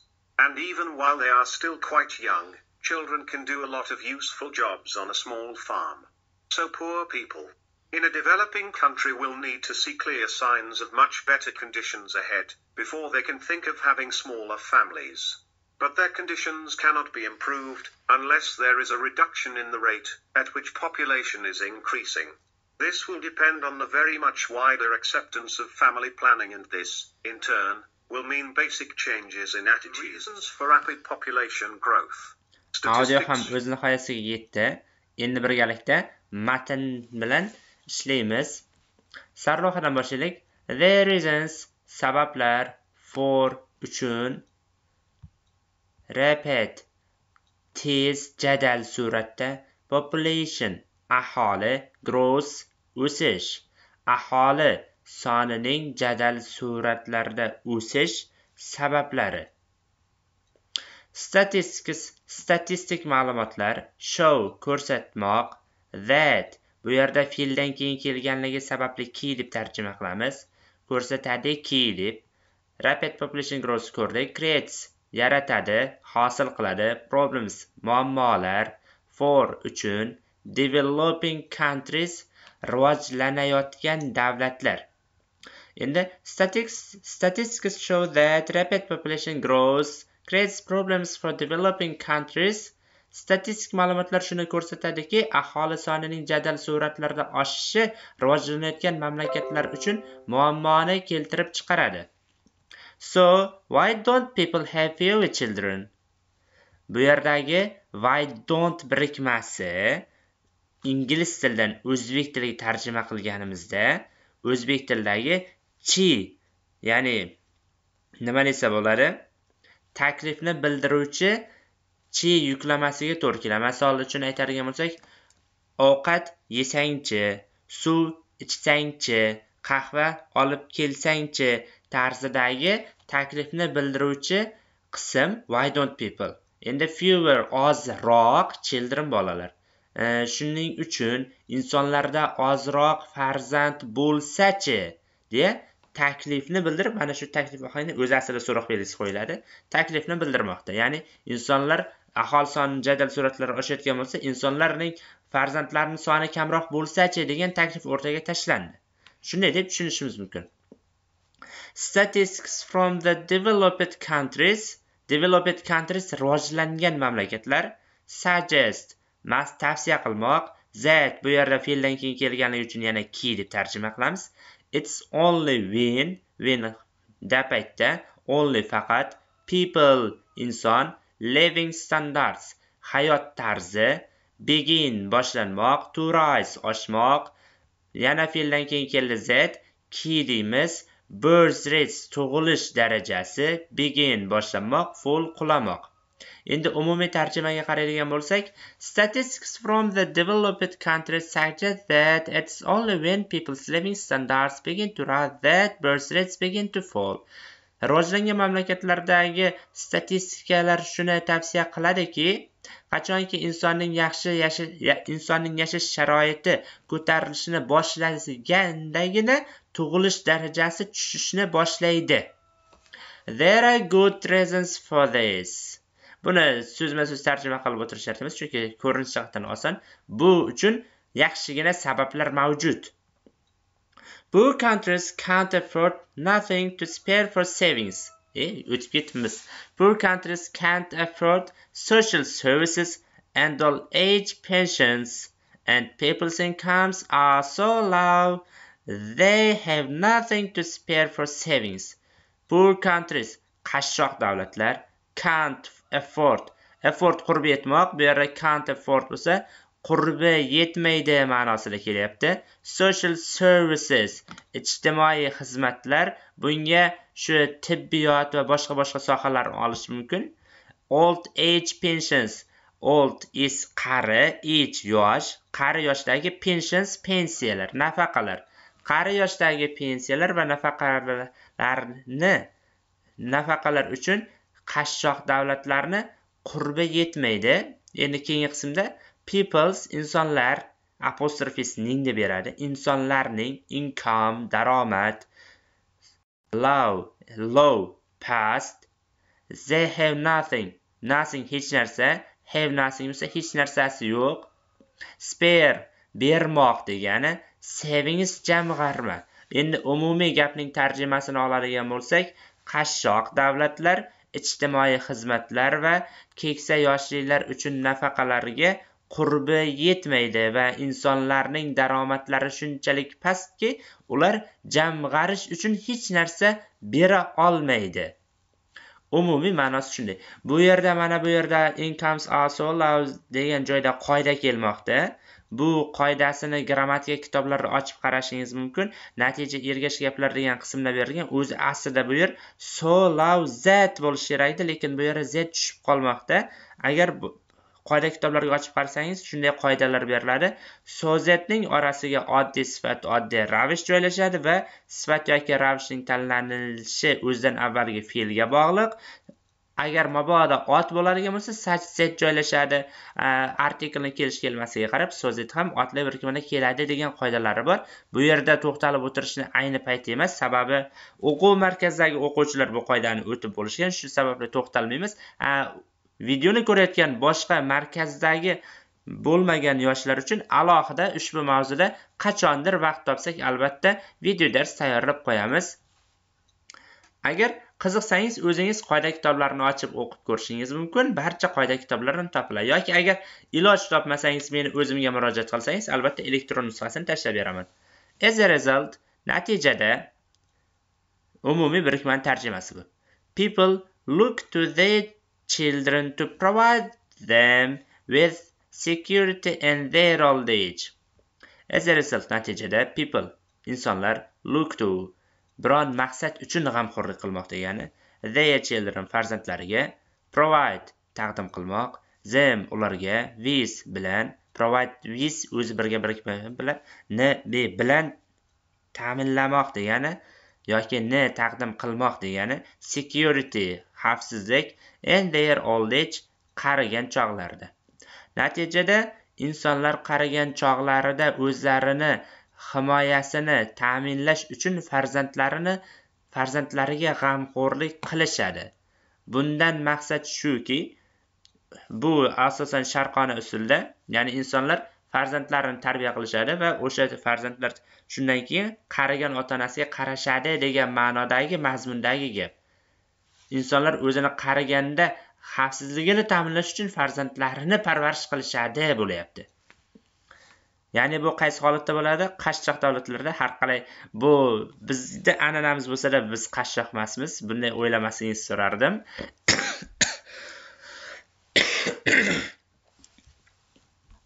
Having a large family can be a form of insurance. Having gapni boshida kelsa fe'l bilan boshlansa bo'lish degani a large family katta oila. Umumiy esa having a large family katta oilani bo'lishi can be bo'lishi mumkin. A form shakl of insurance. Sug'urta ya'ni katta oilaning bo'lishi sug'urtaning bir shakli bo'lishi mumkin and even while they are still quite young Children can do a lot of useful jobs on a small farm. And va even hattoki while'da paytda they ular still uh, hamon quite juda young yosh bolalar can qila oladi. Do bajarmoq a lot of e, ko'p useful foydali jobs ishlar on a small farm kichkina bir fermada. Hattoki ular yoshlik chog'laridanoq farzandlar kichkina fermada ko'plab foydali ishlarni qila oladi. Ya'ni z deb bolalarini nazarda tutmoqda bolalar juda yoshlik paytlaridanoq kichik fermadagi ko'plab foydali ishlarni qila oladi so poor people in a developing country will need to see clear signs of much better conditions ahead before they can think of having smaller families. So shuning uchun poor people kambag'al insonlar developing country rivojlanayotgan mamlakatda need to kerak buni ham alohida qoidalari bor. See ko'rmoq clear signs of aniq belgi much better conditions yaxshiroq sharoit ahead oldindan before oldin. They can uh, bular shart emas think of ni o'ylamoq having yuqorida aytib o'tdik bo'lish having smaller families kichkina oilam bo'lishi. Umumiy tarjimasiga oladigan bo'lsak ular kichikroq oilasi bo'lishini o'ylashidan avval oldindan yaxshi sharoitni hozirlashlik keraklik belgisini aniq ko'radi. Ya'ni kim kambag'al insonlar rivojlanayotgan davlatdagi. Boshidan aytadigan bo'lsak rivojlanayotgan mamlakatdagi kambag'al insonlar kichikroq oilasi bo'lishini o'ylashdan avval oldindan yaxshiroq sharoitning belgisini aniq ko'rishi kerak bo'ladi. Ya'ni bu yerda vil bilan berilyapti kelasi zamon ma'nosida. Ya'ni hozir emas kelajakda mana shuni sharoitini ko'rib qo'yish kerak degan mazmundagi gap. But their conditions can't be improved unless there is a reduction in the rate at which population is increasing. But biroq their conditions ularning holati improve yuksalmoq unless agarmasa reduction pasayish in the rate darajada it which bu yerda injured gapda o'rin holi vazifasida kelganligi sababli va predlog borligi uchun ver nisbiy olmoshining o'rniga joyiga nisbatan it which ishlatilmoqda. Agar mana shu yerdagi it so'zini olib tashlasak o'rniga o'rin verni qo'ysak ham bo'laveradi. Bu xatolikni yuzaga keltirib chiqarmaydi albatta.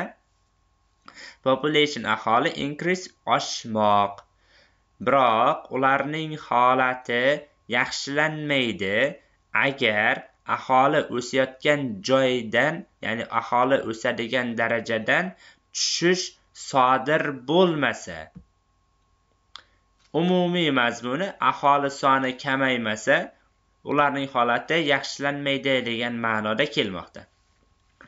This will depend depend on a very much wider acceptance of family planning and this in turn will mean basic changes in attitudes.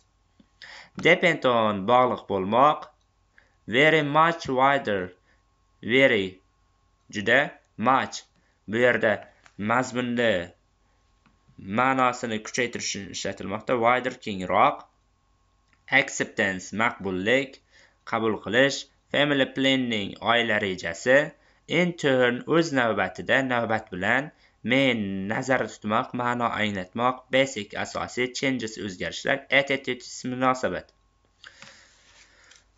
Bu oilani rejalashtirishni maqbulligining kengroq to'xtang yanglishdik bu oila rejalashtirishni kengroq maqbulligiga bog'liq va bu o'z navbatida munosabatlardagi asosiy o'zgarishlarni nazarda tutadi.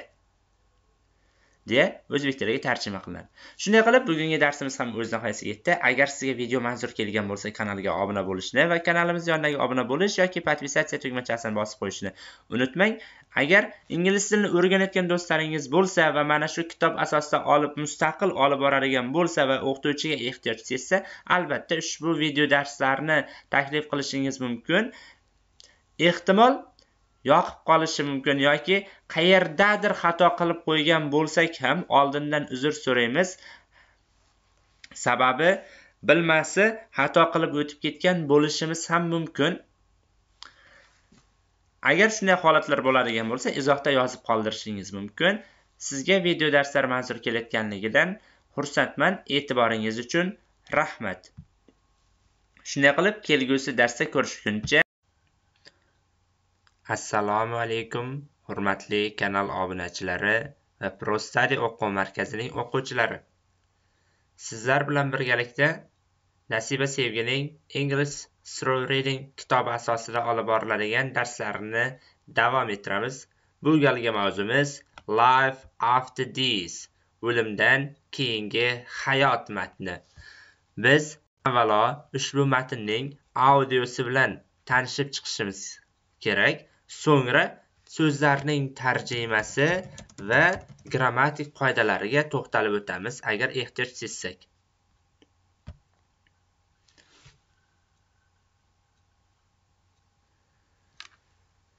Life after death.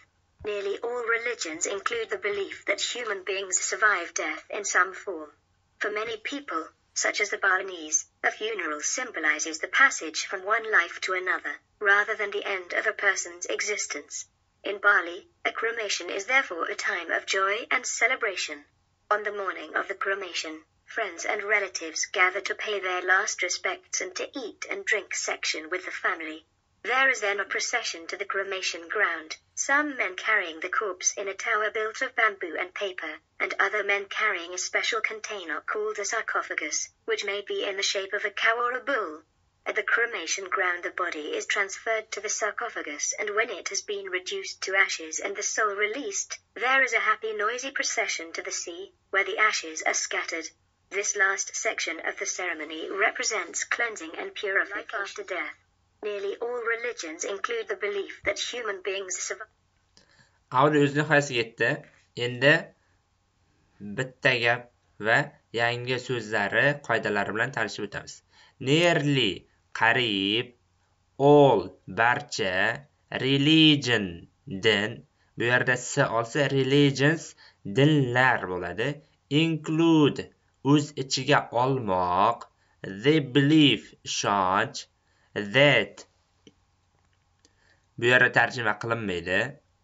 Human beings insoniyat buni avvalgi matnlarda ham o'rganganmiz. Survive tirik qolmoq this o'lim in ichida some ba'zi form shakl. Nearly all religions include the belief that human beings survive death in some form. Qariyb barcha dinlar ba'zi bir shakllarda o'lim insonning o'limda tirik qolishiga bo'lgan ishonchni o'z ichiga qamrab oladi ya'ni bundan maqsad inson o'lgandan keyin yashaydi degan tushuncha barcha dinlarni barcha dinlarda mavjud demakdir keyingi gap For many people, such as the Belinese, funeral symbolizes the passage from one life to another rather than the end of a person's existence. For uchun many ko'p people insonlar such as masalan the Belinese bu yerda millat nomi kelmoqda. Funeral dafn marosimi symbolize ramzi bo'lmoq. The passage safar from dan one bir life hayot to ga another boshqa. Rather than ga qaraganda the end of a per the end of ning yakuni a person inson apostrophe bo'lsa ning deb tarjima qilamiz.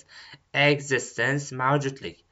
Insonning mavjudligi o'rniga bir hayotdan ikkinchi hayotga o'tish ramzi sanaladi. Dafn marosimi. Ko'plab insonlar uchun masalan baliliklar.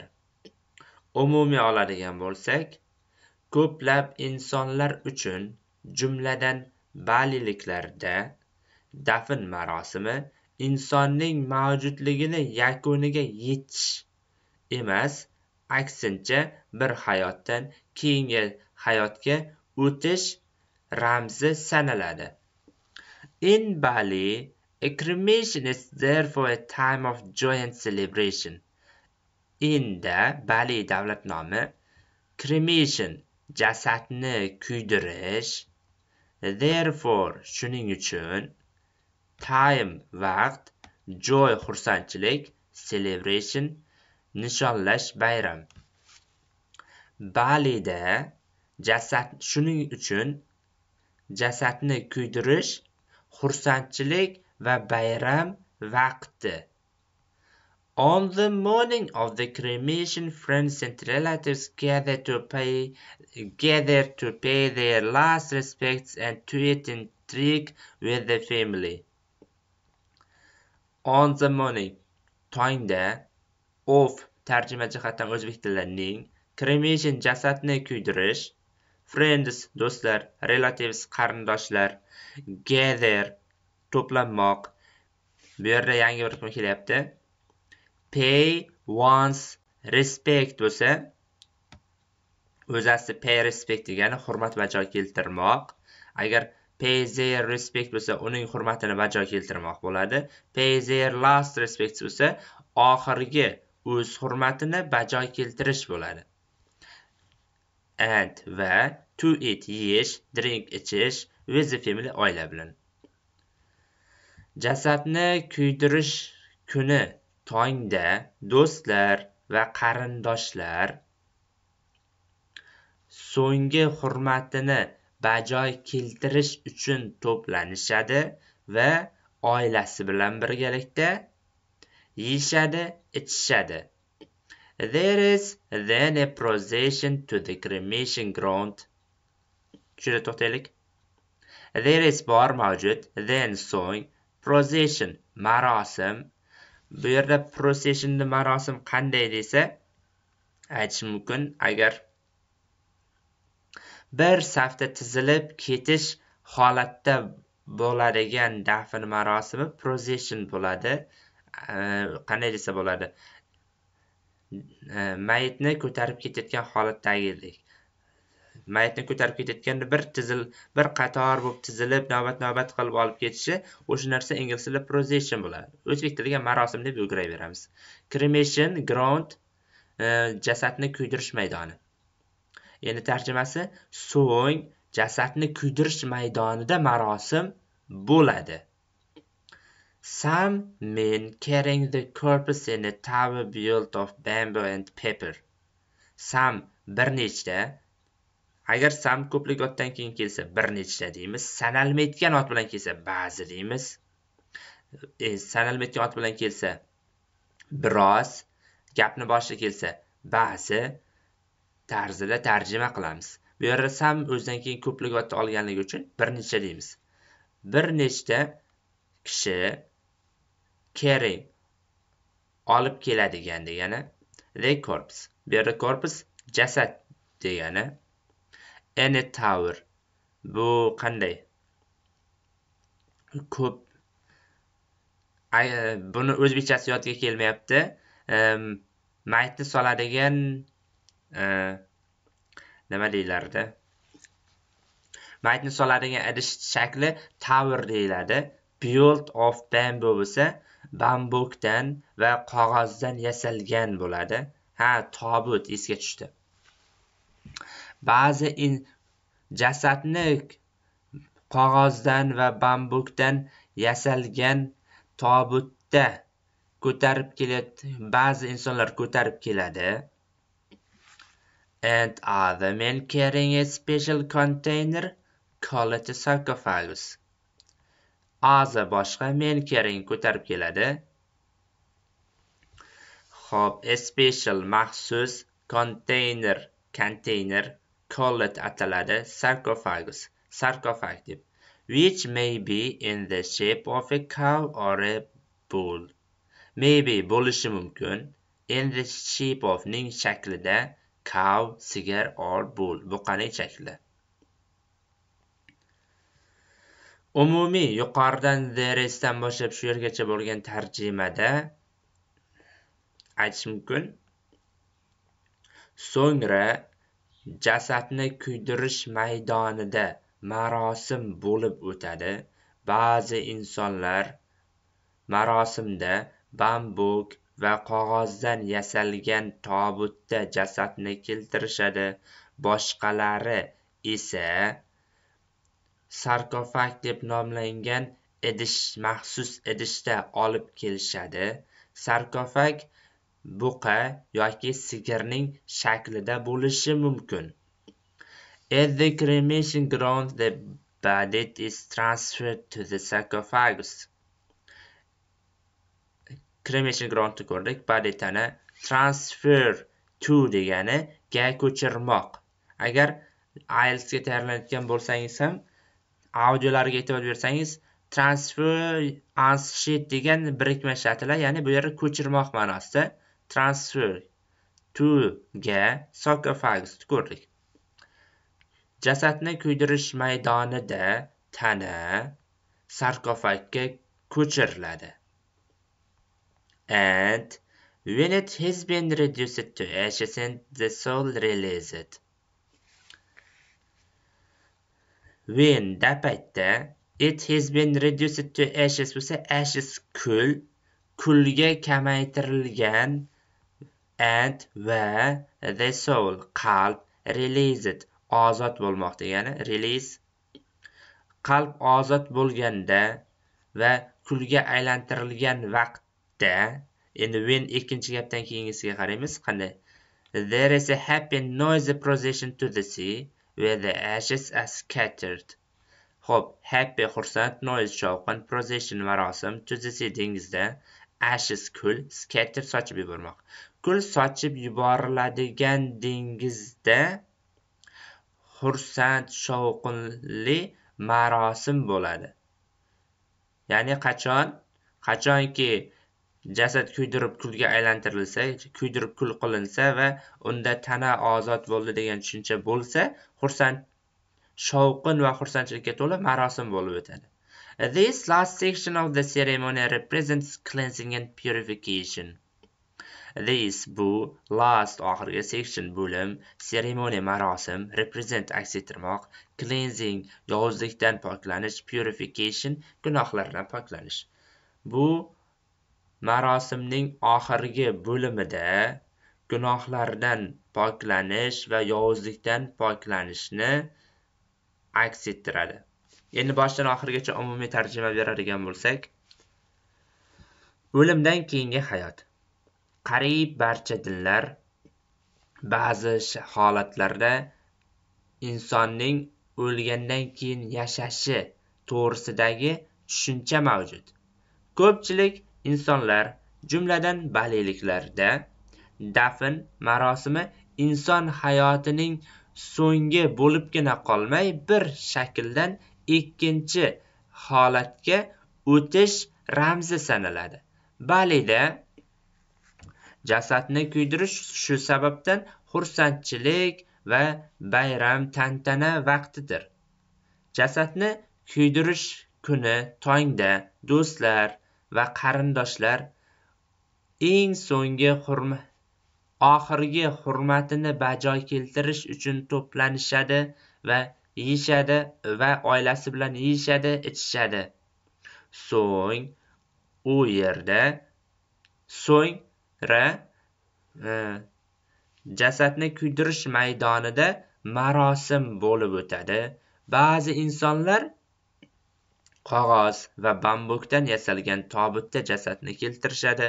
Boshqa insonlar esa sigir yoki buqa shaklida bo'lishi mumkin bo'lgan sarkofag deb atalmish idish maxsus idishda keltirishadi. Jasadni kuydirish maydonida tana sarkofagga ko'chiriladi va jasad kulga aylantiriladi va qalb ozod bo'lgach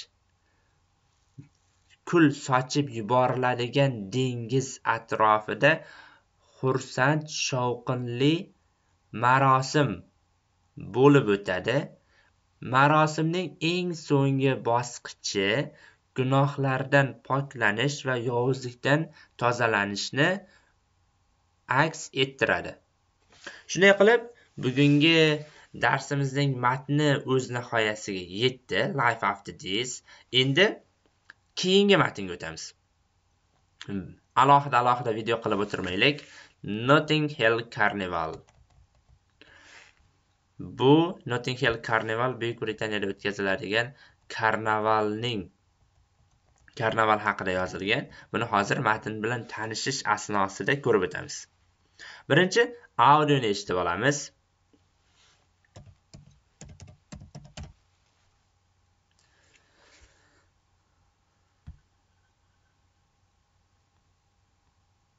Notting Hill Carnival. Notting Hill Carnival is held in London each August bank holiday, and is the largest and most colourful street event in Britain. The festival celebrates the traditions of the British black community, who emigrated to Great Britain from the West Indies in the 1950s. They brought with them the Caribbean idea of the carnival, with processions, colourful costumes, steel bands and street dancing. Preparations for the carnival begin many months beforehand. Costumes have to be made, and floats built, ready for the street procession. Steel bands practice traditional Caribbean music on instruments made from old oil drums. Shortly before the festival, the streets are decorated with red, green and yellow streamers, and amplifiers are set in place, to carry the rhythmic sounds over the roar of the London traffic. The carnival lasts for three days, and is full of music and colour. Processions of floats, steel and brass bands, and dancers in exotic costumes make their way through the narrow London streets, watched by thousands of people. The streets are lined with stalls selling tropical fruits, such as fresh pineapple, watermelons, and mangoes. Everybody dances, black and white, young and old, and even the policemen on duty take part in the fun. For these three days in August, a little Caribbean magic touches the streets of Hill Carnival. Endi matnning tarjimasiga qaraymiz notting hill carnival tarjima qilinmaydi. Shunchaki bu bayram nomi. Navruz navruzigacha yoki bo'lmasam boshqa holatdagi bayramlar o'z holicha qoldiriladi. O'z aslida karnavalni adashmasam o'zbekchasi mavjud emas. Notting hill carnival is held in london each august bank holiday and is the largest and most colorful street event in Britain. Notting Hill Carnival bu tarjimasini bildik. Be held nishonlanmoq degani in ichida London London ich har degani ich avgust bo'lsa har yili avgustda bank holiday bank bu sohil holiday bayram is the largest the largest eng katta most colorful most eng colorful rang barang street event ko'cha tomoshasi in britain britaniyada. Notting hill carnival har yili avgustda nishonlanadi. Bank holiday qism qolib ketibdi. Qirg'oq har yili avgustda qirg'oq bayrami arafasida londonda nishonlanadi va eng katta va eng ranglarga boy ko'cha britaniyadagi ko'cha tomoshasidir The festival celebrated the traditions of the British black community who immigrated to Great Britain from the West Indies in the 1950s. Celebrate nishonlamoq, tradition an'ana, black community qora jamoa, who qaysiki bu insonga nisbatan emigrate to ga ko'chib kelmoq, Great Britain Buyuk Britaniya. From dan West India e, g'arbiy Hindiston. Bu yerda West Indies G'arbiy hindular 1950 West Indesda endi geografik jihatdan qayerdaligini bilmadim. G'arbiy Hindiston yoki G'arbiy nima deydilar? Indislar bo'lishi kerak. Hindiston deb ketaveramiz. Agar mabodo shu yerda xato qilgan bo'lsak, aybga buyurmaysiz. Bu e, festival buyuk E, yuz 1950 yil g'arbiy hindistondan buyuk britaniyaga ko'chib kelgan qora jamoa brit qora jamoaning ya'ni britaniyalik qora jamoaning an'anaviy an'anasini nishonlaydi. Tradition an'ana marosim e, marosim emas tradition an'anasini. Ya'ni festivalda shu britaniyalik qora tanli insonlarning an'anaviy bayrami bo'lib nishonlanadi ma'nosida kelmoqda They brought with them the Caribbean idea of the carnival with procession, colorful costumes, steel bands and street dancing.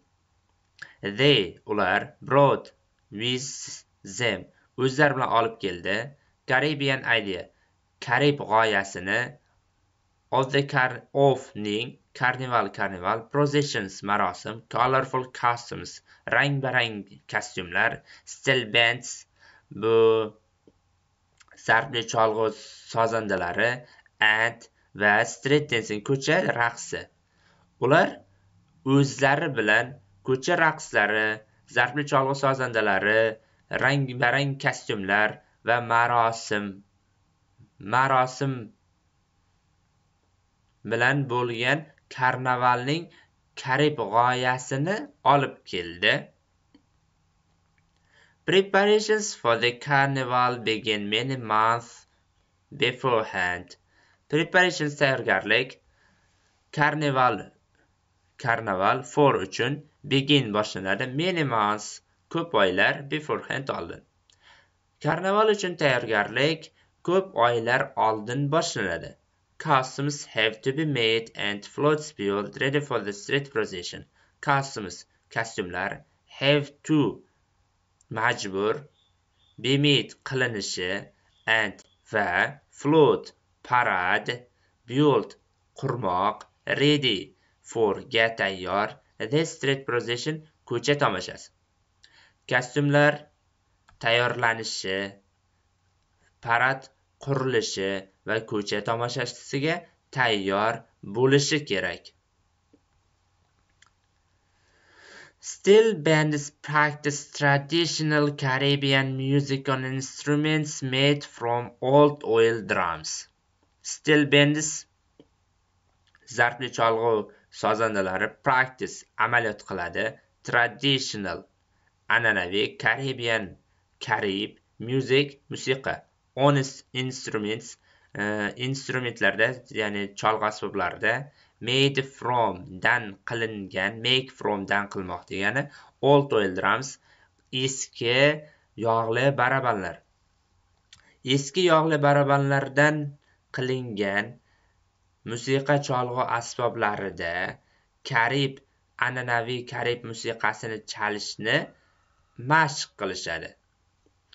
Ya'ni still bands zarfli cholg'u sozandalari Shortly before the festival, the streets are decorated with red, green, and yellow streamers and amplifiers set in place.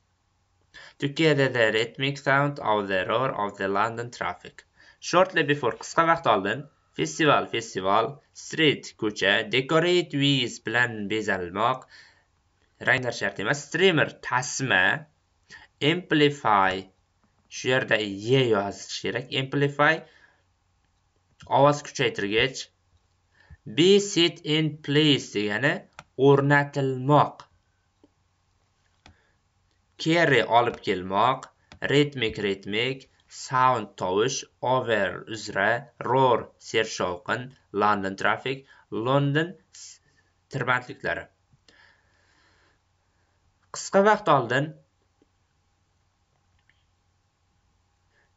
sariq yashil qizil tasmalar bilan ko'chalar bezatiladi va londonning london tirbandliklarini sershovqini uzra ovozni ritmik ovozni keltirish uchun ovoz kuchaytirgichlar o'rnatiladi. Ya'ni ritmik sershovqin ko'chalardagi ovozni bostirib ketishlik maqsadida ovoz kuchaytirgichlar o'rnatiladi. The carnival lasts for three days. Last davom for davomida.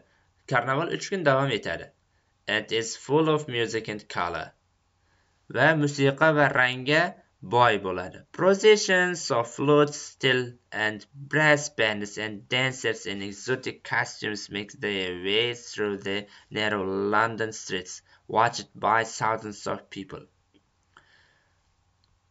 Stilent Brass Bandis bu zarbli va duxoviy cholg'u orkestri, dancers raqqoslar, exotic ekzotika kostyum kostyum make qilmoq their way yo'llarini through bo'ylab the narrow London Street narrow tor London Street London ko'chalari.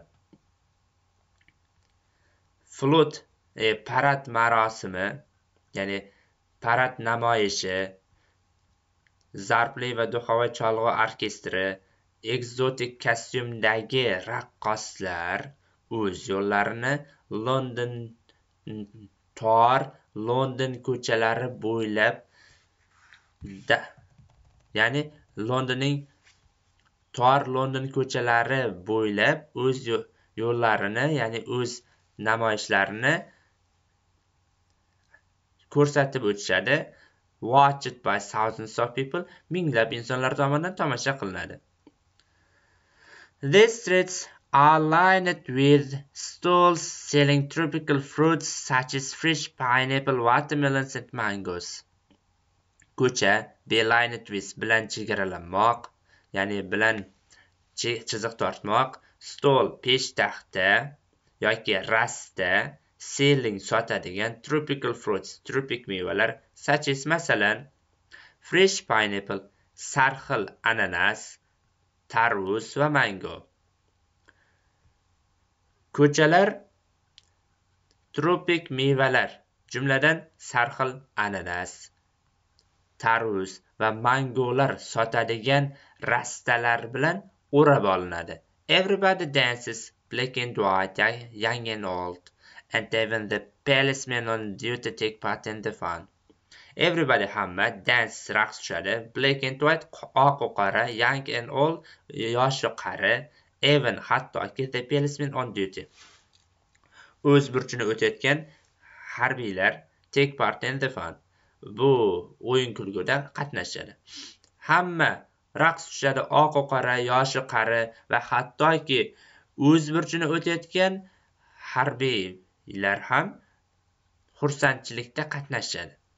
For these three days in august a little caribbean magic touches the street of london.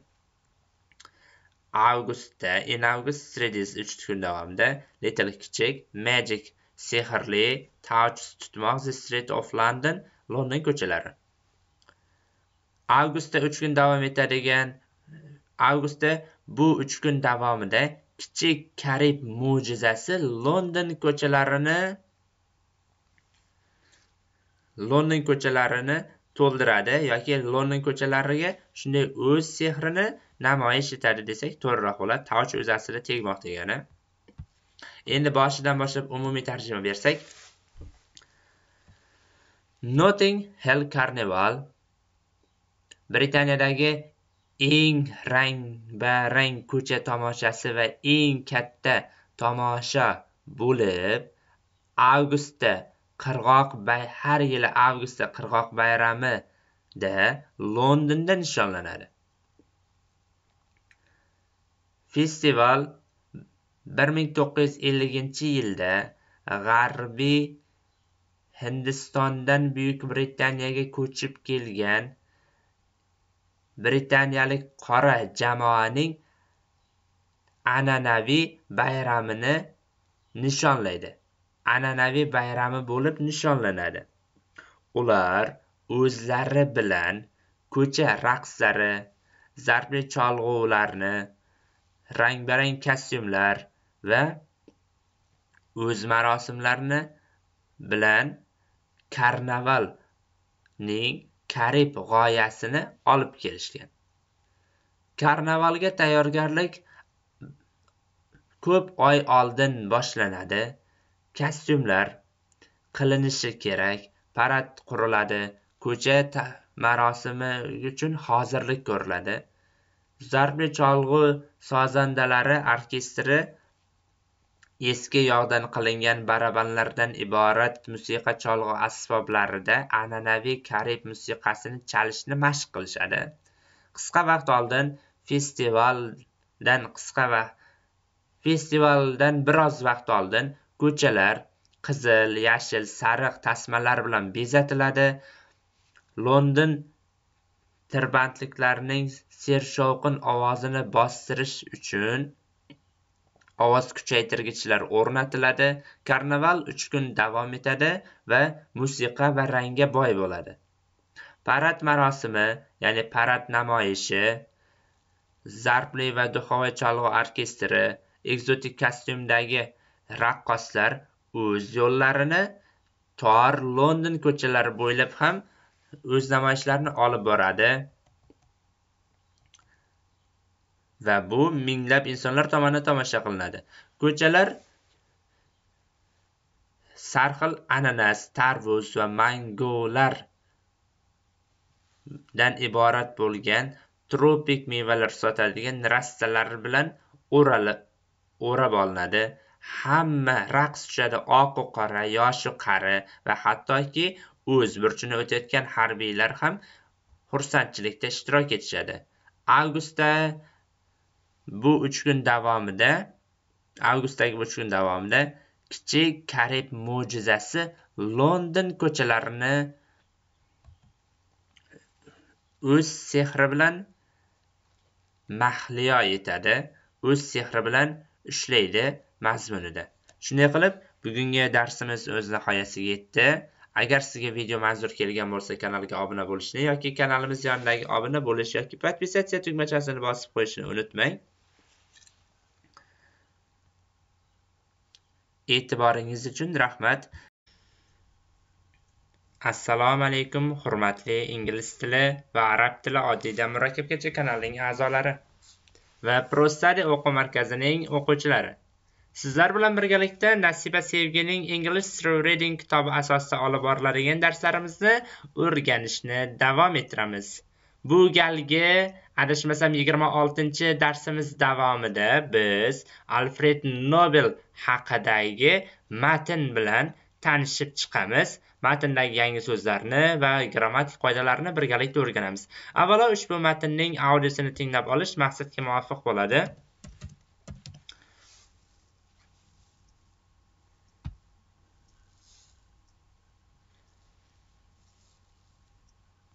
Alfred Nobel, a man of contrasts Alfred Nobel, the great Swedish inventor and industrialist, was a man of many contrasts.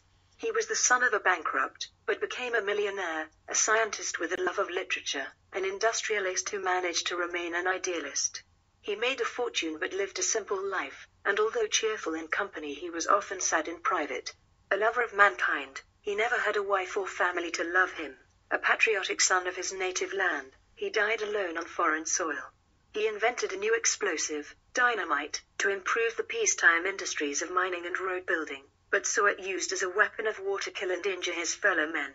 During his useful life he often felt he was useless. Alfred Nobel, he once wrote of himself, ought to have been put to death by a kind doctor as soon as, with a cry, he entered life. World famous for his work, he was never personally well known, for throughout his life he avoided publicity. I do not see, he once said, that I have deserved any fame and I have no taste for it. Since his death, however, his name has brought fame and glory to others. His famous will, in which he left money to provide prizes for outstanding work in physics, chemistry, physiology, medicine, literature, and peace, is a memorial to his interests and ideals. And so, the man who felt he should have died at birth is remembered and respected long after his death. Nobel, a man of contrasts, Alfred Nobel. Endi matnning umumiy ma'nosi va tarjimasi va yangi so'zlari hamda qoidalariga e'tibor beradigan bo'lsak, Alfred Nobel, a man of contrasts. A man of contrasts bu bitta birikma, ya'ni o'zgalardan farq qiluvchi kishi degani. Alfred Nobel, o'zgalardan farq qiluvchi inson. Sarlavha quyidagi shu tartibda tarjima qilinadi. Alfred nobel the great swedish inventor and industrialist was the man of many many contrasts. Ushbu o'rinda biz bir qoida bilan tanishib chiqishimiz kerak. Ho'p agar ona tili darsligini o'qiyotgan bo'lsangiz adashmasam sakkizinchi yo to'qqizinchi sinf bo'lsangiz ushbu darslikdagi ona tili darsligida quyidagicha aniqlovchi haqida mavzu berilgan ya'ni aniqlovchilar uchga bo'linadi. Sifatlovchi aniqlovchi qaratqichli aniqlovchi hamda izohlovchi aniqlovchi tarzida.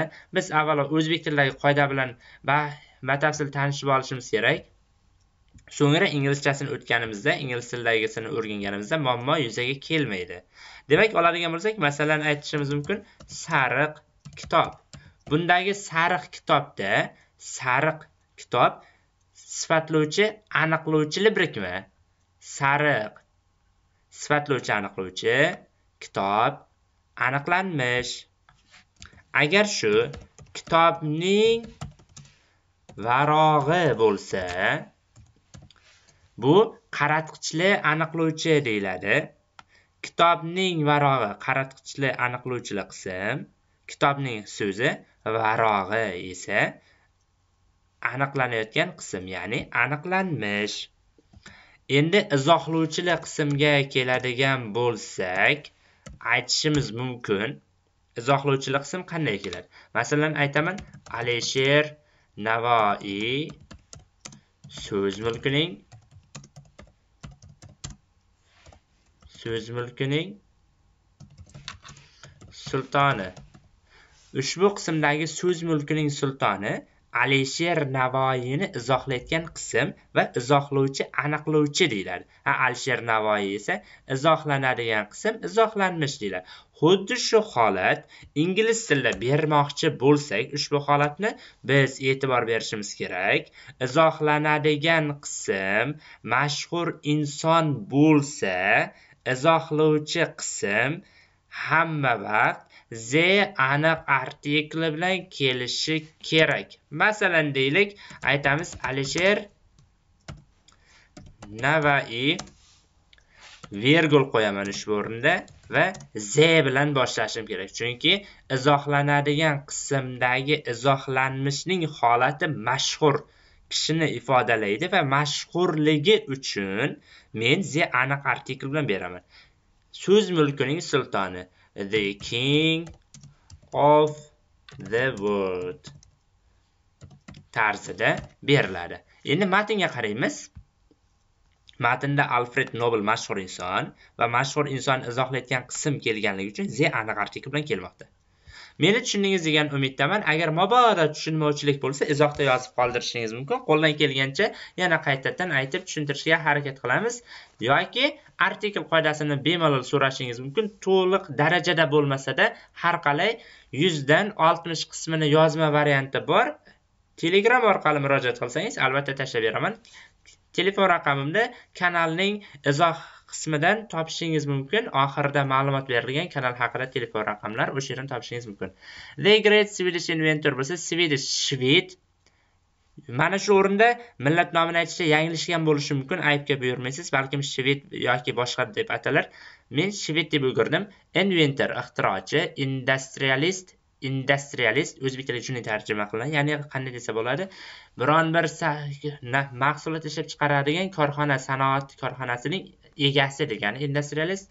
Was a man of many contrasts ko'plab jihatlardan insonlardan farq qiluvchi kishi.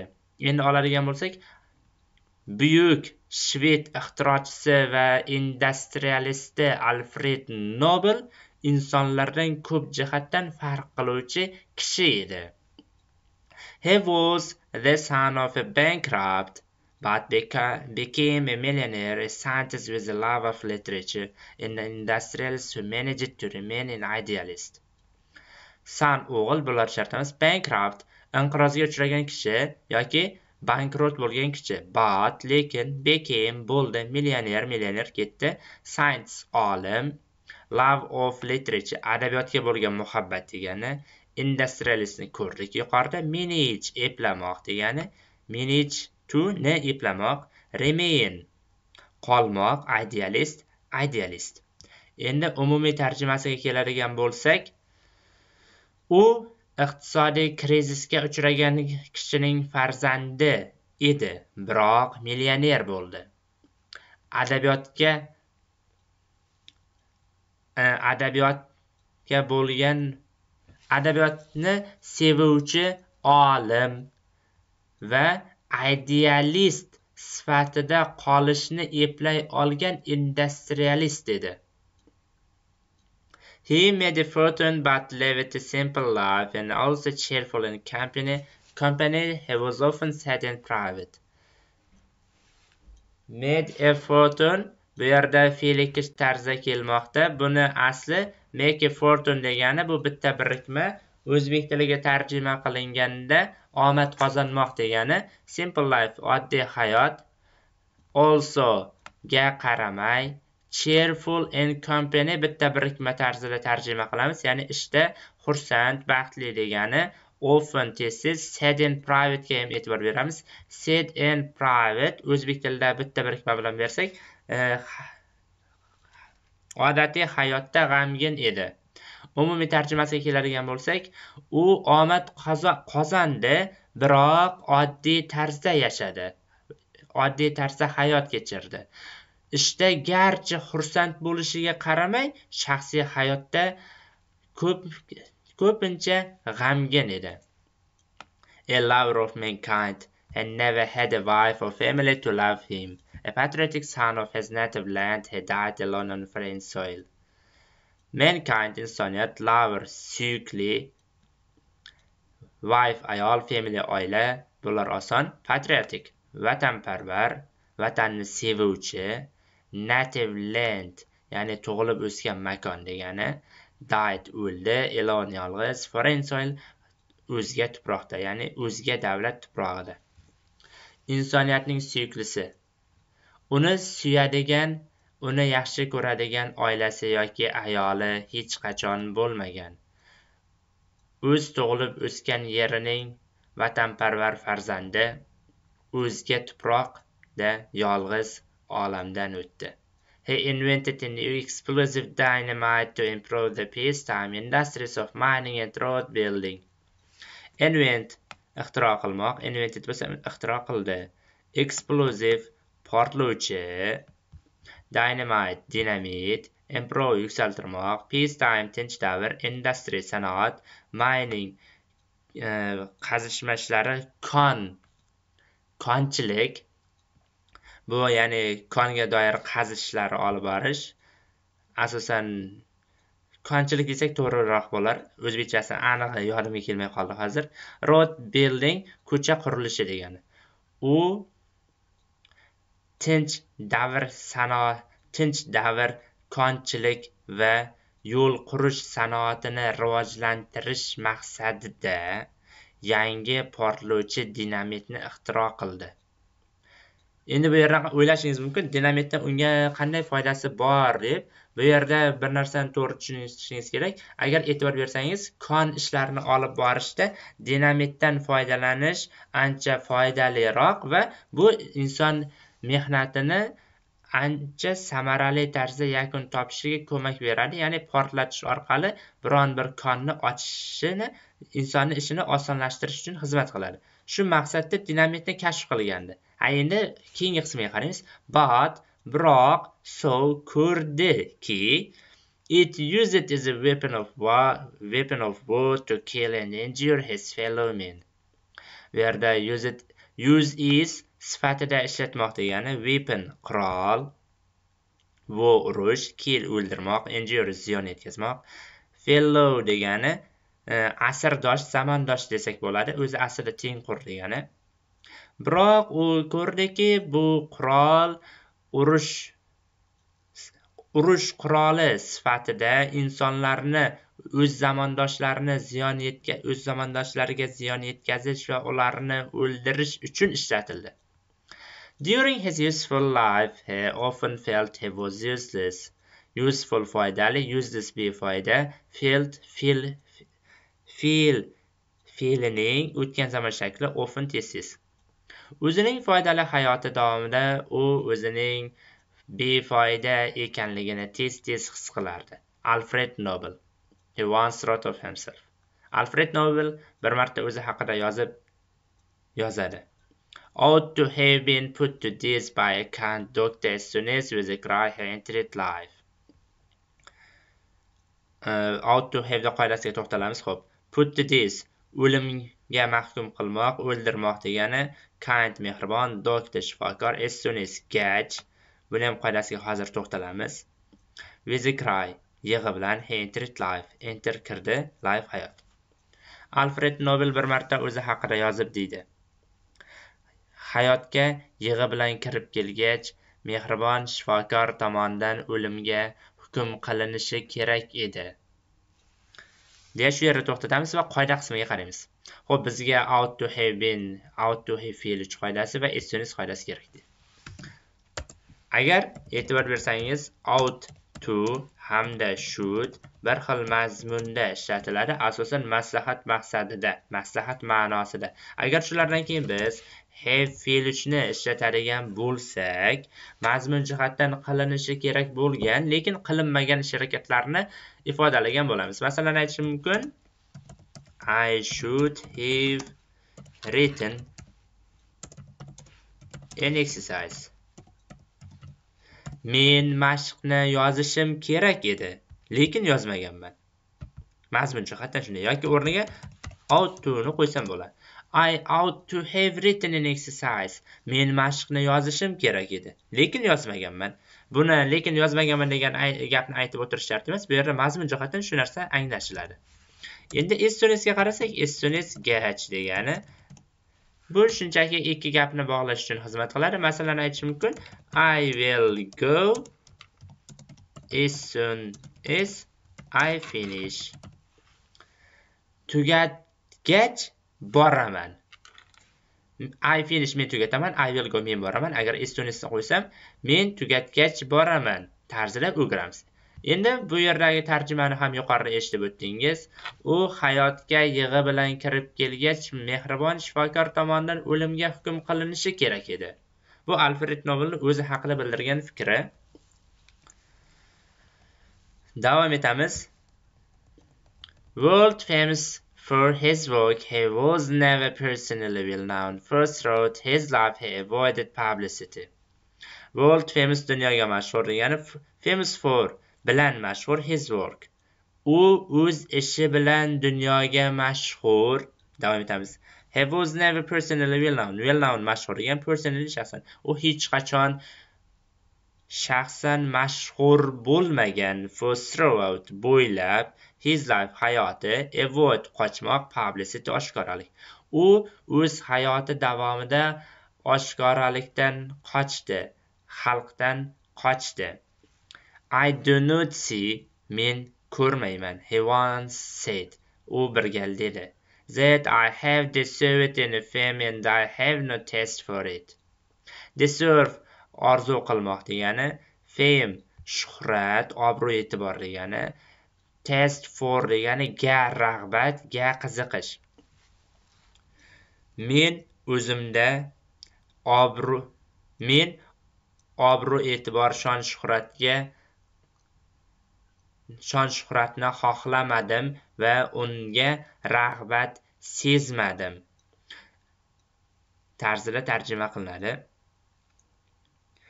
Agar e'tibor berayotgan bo'lsangiz mana bu yerdagi zdan keyingi i have deserved orzu qildi ma'nosida keladi. Lekin undan avvalgi qismda e'tibor beraylik.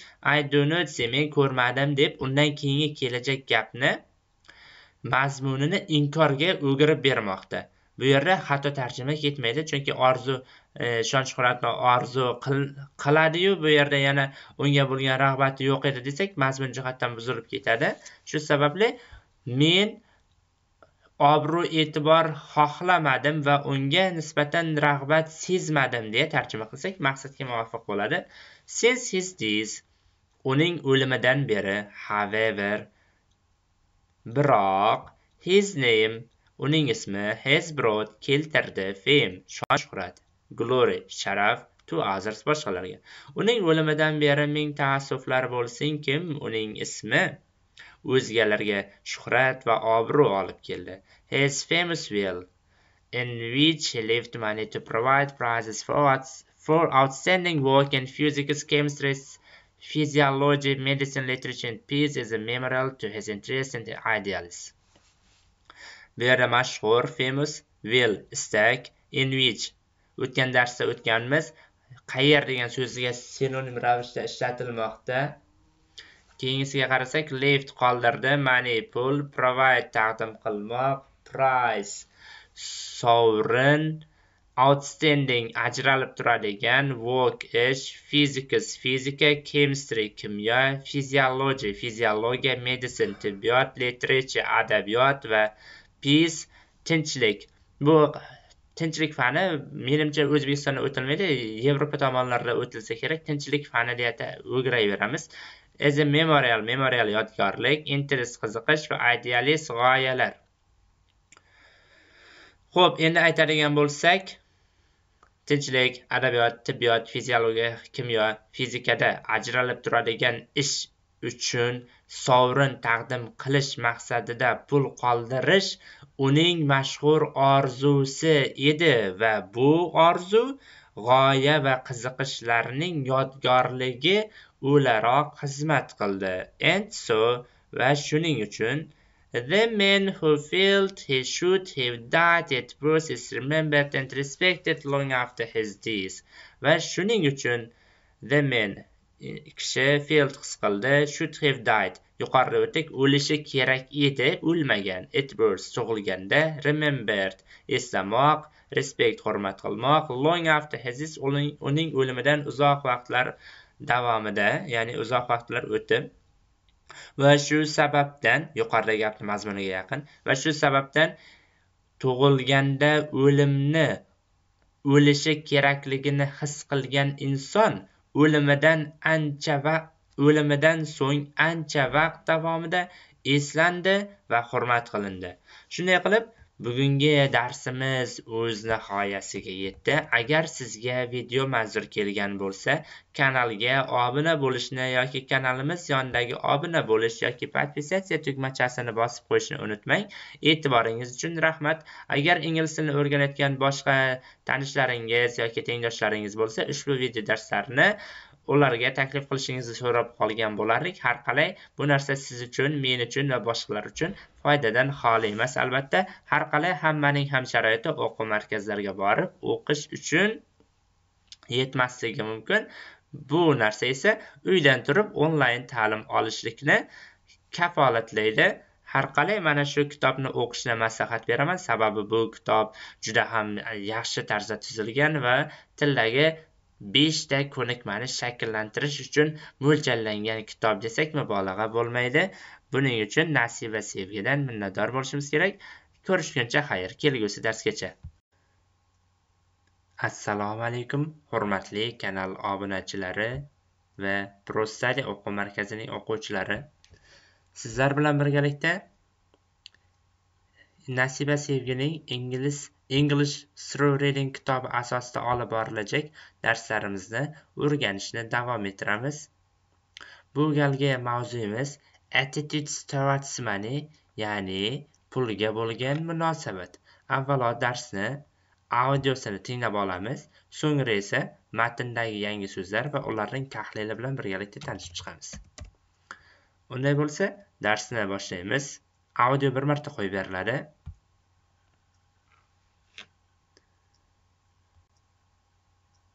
Attitudes towards money. Generally, people are classified into three categories according to their attitudes towards money misers, spenders, and economizers. Misers seem almost obsessed with the idea of saving, so they accumulate money in banks if their income is large, or in the house, stuffed in mattresses or under the living room rug, if they are low income people. They deprive themselves of many things and spend money just on the most essential things. Spenders are people who have a tendency to spend too much on too many unnecessary things. They are often too generous, making elaborate gifts to friends and family. Credit cards in some spenders' hands are often dangerous weapons. They become addicted to using them, only to regret it later when the bills come in and they are unable to pay. Economizers are practical people who spend wisely, usually making use of a budget. They can enjoy more and various material things and activities due to their careful utilization of funds. They spend in moderation and save in moderation for their future retirement or the education of their children. Of these three types of people, economizers are what most of us are having to be in our age. The acute problems of inflation, shortages, and low salaries are forcing us to become economizers. It is the only way to be if we are to survive in the future. Hopefully, the misers and big spenders will modify their extreme attitudes towards money in these circumstances and convert into economizers. To... Darsning audio qismi o'z nihoyasiga yetdi. Endi biz ushbu mavzuga aloqador bo'lgan yangi so'zlarni va grammatik qoidalarni birgalikda o'rganamiz. Demak, so'zni yodlashni boshladik. Attitude munosabat towards ga money pul attitude towards money pulga bo'lgan munosabat. Generally umuman olganda people odamlar be classified into ga bo'linmoq three uch categories. Kategoriya according to ga ko'ra their attitudes towards money. Misers ziqnalar spenders e, sarflovchilar and va economize, economizers tejamkorlar. Odatda insonlar pulga bo'lgan munosabatga ko'ra uch guruhga bo'linadi. Ziqnalar sarflovchilar va tejamkorlar. Miser seems almost obsessed with the idea of saving. Seem bo'lib ko'rinmoq, almost deyarli obsess with ga egalik qilmoq degani obsess with idea g'oya saving jamg'arish ziqnalar qariyb jamg'arish g'oyasiga ega bo'lgandek ko'rinishadi. So shuning uchun they ular accumulate yig'moq money pul and banks bankda if agar. Their ularning income daromad is large large katta. Agar ularning daromadi katta bo'lsa ular pullarini bankda yig'ishadi. Or in the house yoki uyda. Stuff it in mattresses or under the living room rug if they are low income people. Stuff in stuff in degan birikma bu ga qo'ymoq ga taxlab qo'ymoq degani ya'ni masalan gilamdagi berkitib qo'ymoq matrasni ichiga solib qo'ymoq ma'nosida keladi. Asosan matras matras. Shunchaki o'zbek tilida matras degan so'z bor. Qanday desa bo'ladi? Yopinchiq ko'rpa to'shakni qoplog'ich narsa matras deyilsa kerak. O'zbekchada ham xuddi shuni matrasni o'zi ishlatiladi. Andi ostida living room mehmonxona rak gilam. Love income degani kam daromadli. Boyagi e, yuqorida ko'rganimiz zero income is largeni aksi o'laroq kelmoqda. Love income kam daromadli degani. Agar ular kam daromadli inson bo'lishsa mehmonxona gilamini ostida yoki matrasga berkitgan holda pullarini yig'ishadi ya'ni kim haqida gap ketdi misers ziqnalar haqida gap ketdi They deprive themselves of many things and spend money just on the most essential things. Deprive ga keyin of ga e'tibor qaratamiz. Deprive of ikkalasi bitta birikma dan mahrum bo'lmoq degani.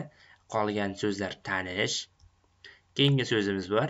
Birikma holatida kelgan spend on ga sarflamoq degani essential muhim singiz narsalar endi umumiy tarjimasiga keladigan bo'lsak they deprive them uh, they deprive themselves of many things and spend money just on the most essential things. Ular o'zlarini ko'p narsalardan mahrum qilgan va shu bilan birga eng muhim narsalar uchungina pul sarflashadi. Bu yerda justni ma'nosi o'zbek tilidagi gina degan qo'shimchaga to'g'ri kelmoqda. Agar ma'nosiga e'tibor bersangiz xuddi shu tarzda keladi. Spenders are people who have a tendency to spend too much on too many unnecessary things. Spenders sarflovchilar bu qolgan so'zlar tanish have a tendency to ga moyilligi bor bo'lmoq degani bu bitta birikma. Have a tendency to spend sarflamoq too much on too many unnecessary things. Unnecessary keraksiz ya'ni. Sarflovchilar ko'plab juda ko'p keraksiz narsalarga pul sarflashga moyil bo'lgan kishilardir. Endi shu yerda qoidaga e'tibor beradigan bo'lsak aslida much hamda many so'zlari ishlatilish jihatdan inkor va so'roq gaplarda kelishi kerak lekin darak gapda ham kelishi mumkin. Qachonki ulardan oldin to so'zi kelsa qolgan holatda mach va meni darak gapda ishlatilmaydi. Qachonki ishlatilishi mumkin gap avvalida bo'lsa. Masalan misol oladigan bo'lsak many people come to the school ko'p. Odam maktabga keldi. Agar gap o'rtasida bo'ladigan bo'lsa u odatda inkor hamda so'roq gaplarda ishlatiladi. Darakkabda gap o'rtasida kelishi mumkin qachonki to so'zi bo'lsa. Menimcha tushundingiz degan umiddaman. Keyingi gap. They are often too, too generous making elaborate gifts. To friends and family.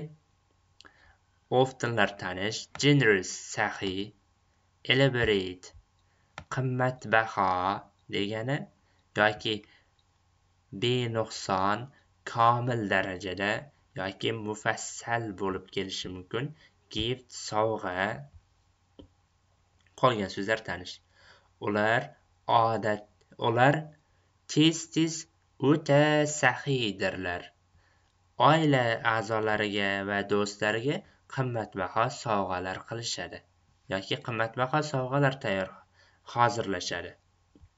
Credit cards in some spenders hands are often dangerous weapons. Credit cards plastik kartochka hand qo'l spender sarflovchi dangerous xavfli weapon qurol. Ba'zi sarflovchilarning qo'lidagi plastik kartalari tez tez xavfli quroldirlar. They become addicted to using them. Addict to. Bu bitta birikma.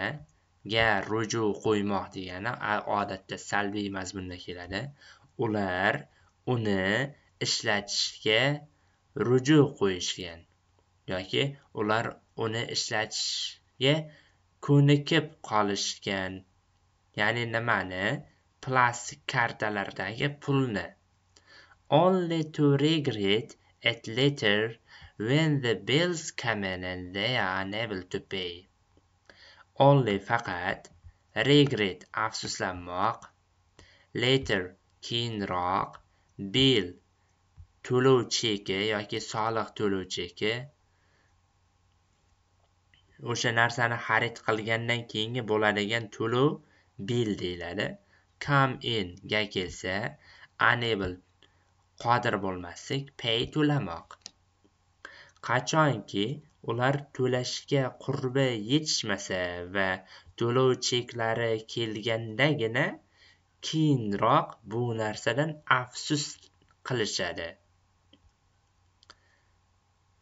Tushundingiz degan umiddaman. Sarflovchilar boshqa narsalarga ko'proq sarflab yuborishadi o'sha to'lov cheklari kelgandagina afsus qilishadi degan mazmundagi gap. Economizers are practical people who spend wisely usually making use of a budget. Economizers tejamkorlar practical people eh, ishbilarmon odamlar yoki ish ko'zdan eh, nima desa bo'lardi ish ko'zini biladigan odamlar. Wisely o'ylab aqlni ishlatib make use of degan birikmamiz bor bu yerda. Make use of degani dan foydalanmoq. Budget budjetdan. Ho'p endi oladigan bo'lsak tejamkorlar odatda budjetidan foyda aqlni ishlatgan holda sarflash. To'xtang xato ketdi. Tejamkorlar byudjetini aqlni ishlatgan holda sarflaydigan ishbilarmon odamlardir. Endi shu yerda savol berishingiz mumkin. Making nima uchun ing qo'shimchasini oldi va buning sababi nima deb so'rashingiz tabiiy? Shu o'rinda bir narsani inobatga olishingiz kerak. Spend fe'li agar vaqt yoki pulga nisbatan sarflamoq ma'nosida kelsa undan keyin kelajak so'z albatta ing qo'shimchasini olib kelishi shart bo'ladi. Bu yerda spend pulni sarflamoq ma'nosida kelganligi sababli make ing olib kelmoqda. Davom etamiz. They can enjoy more and various material things and activities due to their careful utilization of funds. Enjoy rohatlanmoq more ko'proq various turli xil material material things narsalar activity faoliyat due to sababli careful ehtiyotkor utilization ishlatish tasarruf etish funds o'z mablag'lari mablag' degani. Ular o'z mablag'larini ehtiyotkorona ishlatganligi sababli faoliyatlar va turli xil materialistik narsalar va va boshqa ko'proq narsalardan rohat ola bilishadi. They spend in moderation and save in moderation for the future retirement or the education of their children. Spend sarflamoq in moderation tejab o'rtacha miqdorda ya'ni save saqlamoq in moderation o'rtacha for uchun their ularning future retirement kelajak nafaqasi the education degani ta'lim their children farzandlari ular o'rtacha sarflashadi va bolalarining ta'limi yoki kelajak nafaqasi uchun o'rtacha pul tejashadi.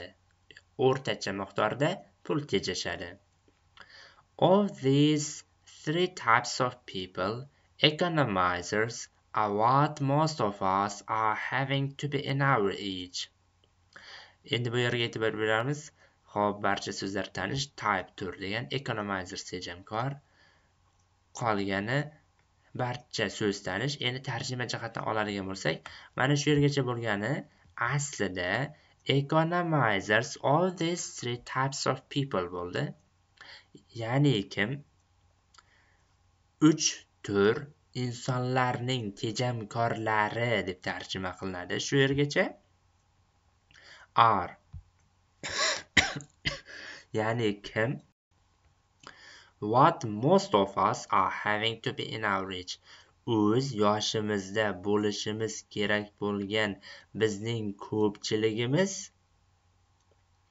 bo'ldi. Mana what dan in our age endi umumiy tarjima beradigan bo'lsak ushbu gapga. Biz o'z yoshimizda bizning ko'pchiligimiz bo'lishimiz kerak bo'lgan inson uch toifa insonning tejamkorlaridir. Ya'ni bizning ko'pchiligimiz mana shu uch toifadan birini tanlashga kelganda tejamkor bo'lishimiz kerak mazmunidagi gap. The acute problems of inflation shortages and low salaries are forcing us to become economizers.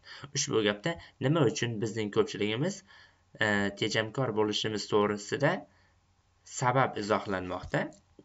Acute qattiq acute problem qattiq muammo. Inflation inflyatsiya davlatda pulning qadrsizlanishi, shortage yetishmaslik, kamchilik, qusurlar, low salary kam oylik, kam daromad, force undamoq. Buni oxiri e bilan yoziladi. Force undamoq. Us bizni economizers. Xo'p, kam daromad yetishmovchilik inflyatsiyaning qattiq muammolari yoki qattiq inflyatsion muammolar bizni tejamkor bo'lishga undaydi. It is the only way to be if we are to survive in the future. Shu yerda qoida kelmoqda. Only so'ziga e'tibor bering. Agar only so'zidan so'ng biron bir so'z keladigan bo'lsa biz faqat deb tarjima qilib kelar edik. Lekin ushbu only so'zidan keyin nima so'rog'iga javob bo'luvchi biron bir so'z kelsa va undan oldin aniq artikl z ishlatilsa biz onlini yakka yagona deb ishlatamiz. Tarjimasiga keladigan bo'lsak survive yashamoq r2 ga qaraymiz. R2 b2 modalning hozirgi zamon shakli kerak deb tarjima qilinadi va be to modal fe'li kerak mazmunida asosan vaqti bor bo'lmish vaqti ayon bo'lgan gaplardagina ishlatiladi va zaruratni ifodalaydi. Agar biz kelajakda yashab qolishimiz kerak bo'lsa ya'ni yashab qolishimiz uchun bo'ladigan birgina yo'l shudir. Ya'ni birgina yo'l qaysi? Ekonomayzer bo'lish tejamkor inson bo'lish yashab qolish uchun birgina yo'l. Chunki bu yerda the only way tarzi kelmoqda.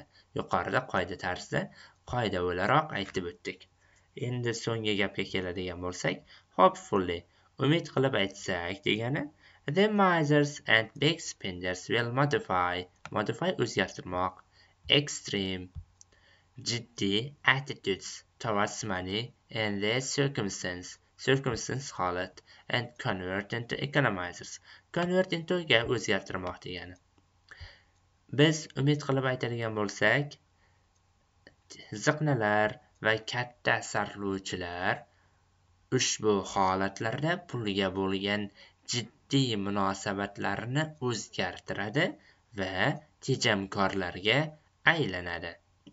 Shunday qilib bugungi videomiz video darsimiz o'z nihoyasiga yetdi. Agar sizga video manzur kelgan bo'lsa kanalga obuna bo'lishni yoki kanalimiz yonidagi obuna bo'lish yoki podpisatsiya tugmachasini bosib qo'yishni unutmang. E'tiboringiz uchun rahmat. Agar sizga ushbu kitobdagi matnlarning audiosi kerak bo'ladigan bo'lsa telegram orqali murojaat qilishingiz mumkin. Telegram raqamim 99 kodi bilan 448 4403 agar sizga video darslar manzur kelayotgan bo'lsa ingliz tilini o'rganayotgan do'stlaringizga ham ushbu video darslarni taklif qilishingizni so'rab qolgan bo'lar edik. E'tiboringiz uchun rahmat. Kelgusi darsda ko'rishguncha xayr. Assalomu alaykum hurmatli ingliz tili va arab tili oddiydan murakkabgacha kanalining a'zolari va prostadi o'quv markazining o'quvchilari sizlar bilan nasiba sevgining english Through Reading kitobi asosida olib borilajak darslarimizni o'rganishni birgalikda davom ettiramiz. Bu galgi 28 mavzumiz davomida biz spiders, ya'ni o'rgimchaklar to'g'risida tanishamiz va u haqda ilmiy ma'lumotlarga ega bo'lamiz. Yangi so'zlar va grammatik qoidalarni birgalikda o'rgangan holda ingliz tilidagi bilim salohiyatimizni sekin-astalikla oshirib boramiz. avvalo darsni boshlashdan avval ushbu matnning audiosi bilan tanishib chiqishimiz kerak birinchi audioni tinglaymiz so'ngra uning grammatik tahlili va tarjima qilinish usullari bilan tanishib chiqamiz Spiders. If you look around the area where you live, You may notice many different kinds of spiders. The world has anywhere from 40,000 to 120,000 different species of spider, spiders. If you look around the area where you live, you may notice many different kinds of spiders. The world has anywhere from 40,000 to 120,000 different species of spiders. In any ordinary field, two million spiders may be hard at work. They thrive in the hottest jungles and the coldest polar regions. They have been found even at the height of 22,000 feet, 6,700 meters, on Mount Everest. The spider's incredible silk spinning organs are on its abdomen. The silk thread begins as a liquid that hardens on contact with the air. A spider can make many different kinds of silk thread. Each kind has its own special purpose. By using certain tubes, or by combining the threads in different ways, a spider can make a very delicate thread or a thick, broad band of silk. Some sizes are used to line their nests or retreats. Others are used for egg cocoons, or for tying up victims, or for weaving webs. Spider silk is stronger than silkworm silk. If twisted into a rope. It can lift more weight than a rope of the same size made of iron wire. In his book Sociobiology, E.O. Wilson quotes an old Ethiopian proverb When spider webs unite, they can halt a lion. Although lions have never been seen in spider webs, there does seem to be some truth in this. Scientists believe that cooperative prey capturing in spiders has probably evolved because it improves efficiency.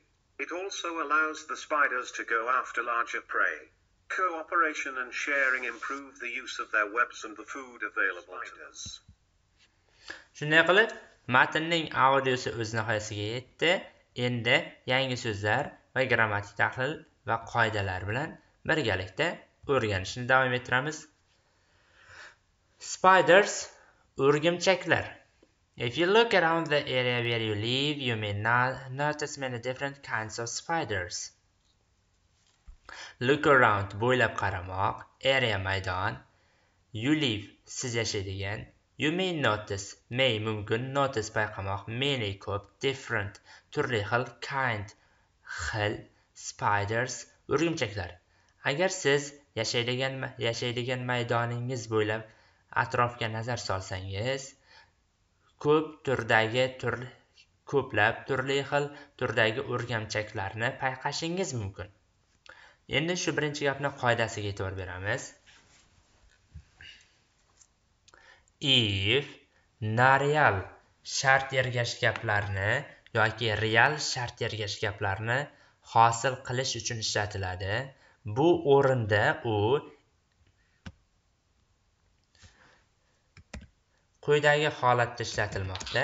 Ifdan keyin aslida ifning bilasiz to'rt turi bor. Biz hozir ifning birinchi turi bilan tanishib chiqamiz. If 1 if type 1 qanday edi? If type 1 dan so'ng hamma vaqt present simple zamoni keladi. Ya'ni masalan deylik if i do. Tarjima jihatdan men bajarsam. E'tibor beramiz. Aslida agar men bajarsam edi men bu yerda ayga teng bo'lmoqda. Ostiga chizib olamiz. Do bajarmoq fe'li bajar tagiga chizamiz. Do ketdi. Demak m shaxsga ishora ya'ni kimligini bildirib kelmoqda. Bajarsam desam aynan men tushunaman. Bajarsang desam sen tushunasan. Sen tushunilasan xuddi shunday bajar men bajaraman so'zida faqatgina sa qoldi. Ayrilib biz sani ayirib olamiz. Qayirib mana shu sa degan qo'shimchani o'zbek tilidagi sa qo'shimchasini ingliz tilida if beradi. If i do men bajarsam yoki if i read men o'qisam tarzida. Xuddi shu tartibda kelgan gaplardan so'ng ega will shall kelishi kerak ya'ni i will go. Deylik if i do i will go bo'lsa agar men bajarsam boraman yoki ketaman. Ifdan keyin present simple va will shall future simple ning kelishi ifli gaplarning birinchi turini hosil qiladi. Bunda bir ish harakat amalga oshsa ikkinchi bir ish harakat amalga oshadi agar birinchi ish harakat bajarilmasa ikkinchi bir ish harakat bajarilmaydi. Agar men bajarmasam men bormayman. If i do agar men bajarsam men boraman. Xuddi shunday willning o'rniga may kabi modal fe'llar almashinib kelishi mumkin. Endi matnga qaraymiz. Ho'p bu boshqa matn ekan. If you look around the area agar sen hududga qarasang agar qarasanggina sezasan you may notice. Agar qaramasang sezmaysan. Xuddi shu mazmunda kelmoqda bu, bu va bu type birni hosil qilmoqda. Endi area so'ziga qaraymiz. Area maydon degani joy ma'nosi o'laroq ishlatilmoqda. Xuddi shu holatda joyiga nisbatlab kelganda undan keyingi gapga bog'lamoqchi bo'lsak biz joyiga ishlatiladigan nisbiy olmosh verni ishlatamiz va bu o'zbek tilida gan deb tarjima qilinadi. Ya'ni olamiz area ver you bo'ldi. O'zbekchasi sen yashaydigan joy bo'ladi. Endi qaraymiz. Sen yu ostiga chizib olamiz. Birma bir. Yashamoq degani yashaydi bo'lsin. Shu yergacha bitta chizamiz. Livga teng. O'z aslida sen yashaysan lekin bu yerda o'zbek tiliga tarjima qilingan shakl jihatdan qo'shimchalar jihatdan almashadi. Joyga kelsak bu areaga teng. Ho'p bizda nima qoldi? Bizda gan degan shunchaki bir qo'shimcha qoldi. Mana shu gan qo'shimchasini beradigan narsa ingliz tilida where yoki which yoki sit yoki who bo'lishi mumkin ishlatilish holatiga qarab area maydon va joyni bildirganligi uchun gapda o'rin vazifasi kelganligi uchun ver so'zi ishlatilmoqda va verni o'zbek tiliga tarjima qilsak gan degan sifatdoshni hosil qiluvchi qo'shimcha sifatida beramiz. Sen yashaydigan maydon bo'ladi. Ya'ni buni tarjima qilishda maydonki maydonga qarasangiz ko'rasiz qayerdaki siz yashaydigan deb tarjima qilsak tarjima jihatdan buziladi. To'g'ri bunaqa shakl bo'lgan faqat bundan yuz yil ikki yuz yil burun. Lekin hozirgi zamonaviy o'zbek tilida bu narsalar sifatdoshli birikmalarga o'zgarib ketgan. Shu sababdan biz bu yerni tarjimada gan degan qo'shimchaga to'g'ri keladi desak mubolag'a bo'lmaydi albatta. Yana bir umumiy tarjima takrorlab o'taman. Agar sen yashaydigan maydoning bo'ylab qarasang o'rgimchaklarning ko'plab turini payqaysan. Ho'p biz shu yergacha tahlil qilib keldik. Endi meniga e'tibor beramiz. Meni bu yerda different kinds bitta holatda kelmoqda uchalasi. Meni va different sifat different sifat many sifat. Menidan keyin ko'plikdagi ot kelishi kerak. Shu sababdan kinds ko'plik sonda turibdi. Va bu asosan ko'plikni ifodalash uchun keladi. Kind of birikmasidan keyin ham keladigan so'z ko'plikda bo'lishi kerak. Shu boisdan spider ko'plikda ishlatilmoqda. O'rgimchaklarning ko'plab turfa xil turlari tarzida ikkinchi gap The world has anywhere from 40,000 to 120,000 different species of spiders. Dunyoda 40 mingdan 12 mingga yaqin turli xil turdagi o'rgimchaklarni istalgan yerda, dunyoning istalgan yerda mavjud. Endi qoidasiga e'tibor beramiz. World so'zi dunyo, olam ma'nosida olam yer yuzida bitta bo'lganligi sababidan the aniq artikli ishlatilmoqda va the world so'zi birlikdaligi bois birlik sondaligi bois bor bo'lmoq ma'nosida has birlikka ishora sifatida kelmoqda anywhere'ga e'tibor beramiz asli any bilan kelgan birikmalar va any bilan birga keladigan so'zlar odatda inkor va so'roq gaplarda ishlatiladi lekin ular darakkabda ishlatilganda biz tarjima jihatdan oladigan bo'lsak istalgan bir degan ma'nodagi tarjimani beradi va bu yerdagi anywhere inkor gapda kelsa hech qayer so'roq gapda kelsa qayergadir va darak gapda kelsa istalgan yer deb tarjima qilinadi. Aytadigan gaplarimni agar tushunmay qolsangiz videoni qayta qayta ko'rib sekinlashtirgan holatda ko'rib yoki diqqat bilan eshitgan holatda qoida daftariga yozib olishingiz mumkin. Sababi sekin gapirib o'tirishlikka vaqtimiz tig'iz va agar shunday qolsak videomiz soati bir soatgacha cho'zilib ketish ehtimolidan xoli emas albatta. Endi keyingi qismga qaraymiz. Species so'zi nima sababdan ko'plikda keldi? Sababi 120 ming va 40 ming so'zlari, sonlari bor.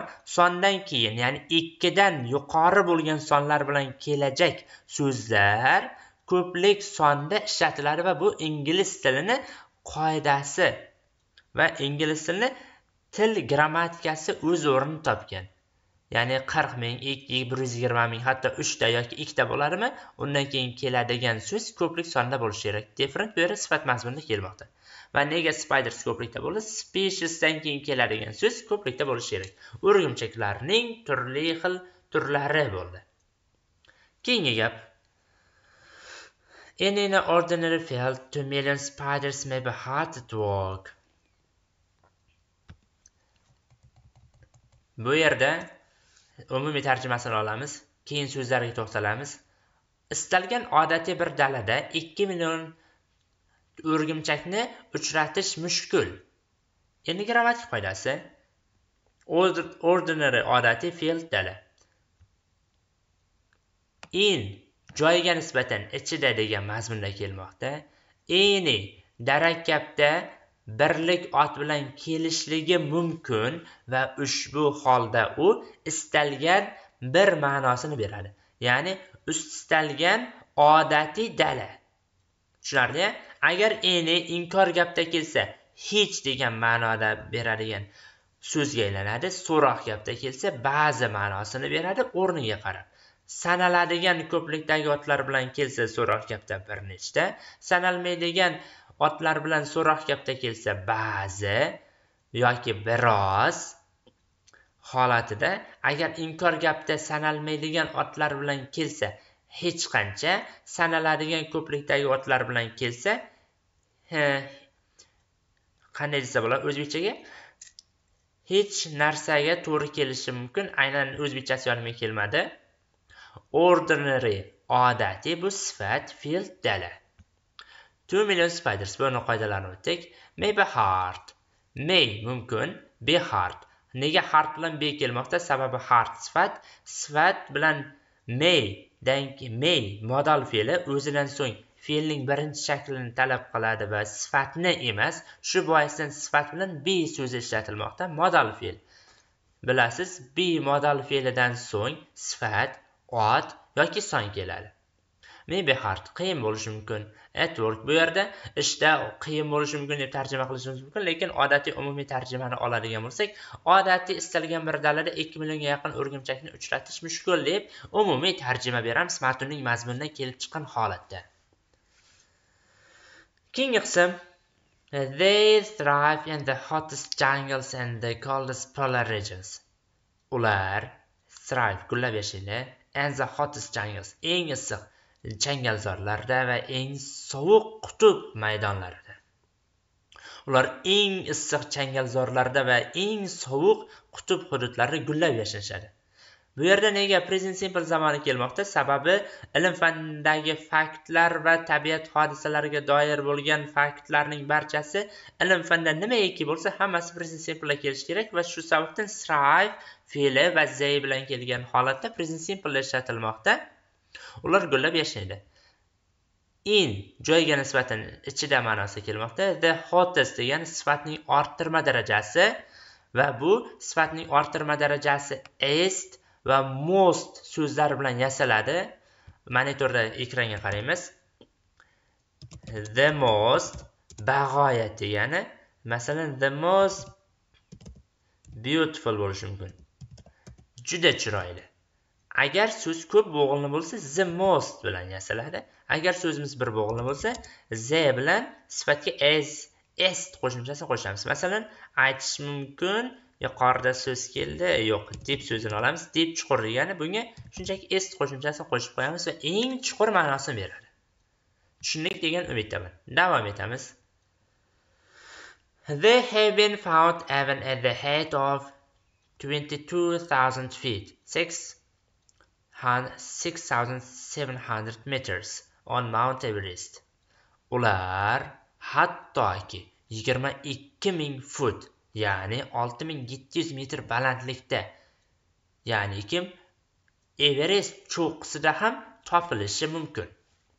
Have foundga e'tibor beramiz. Have been found present perfect passive.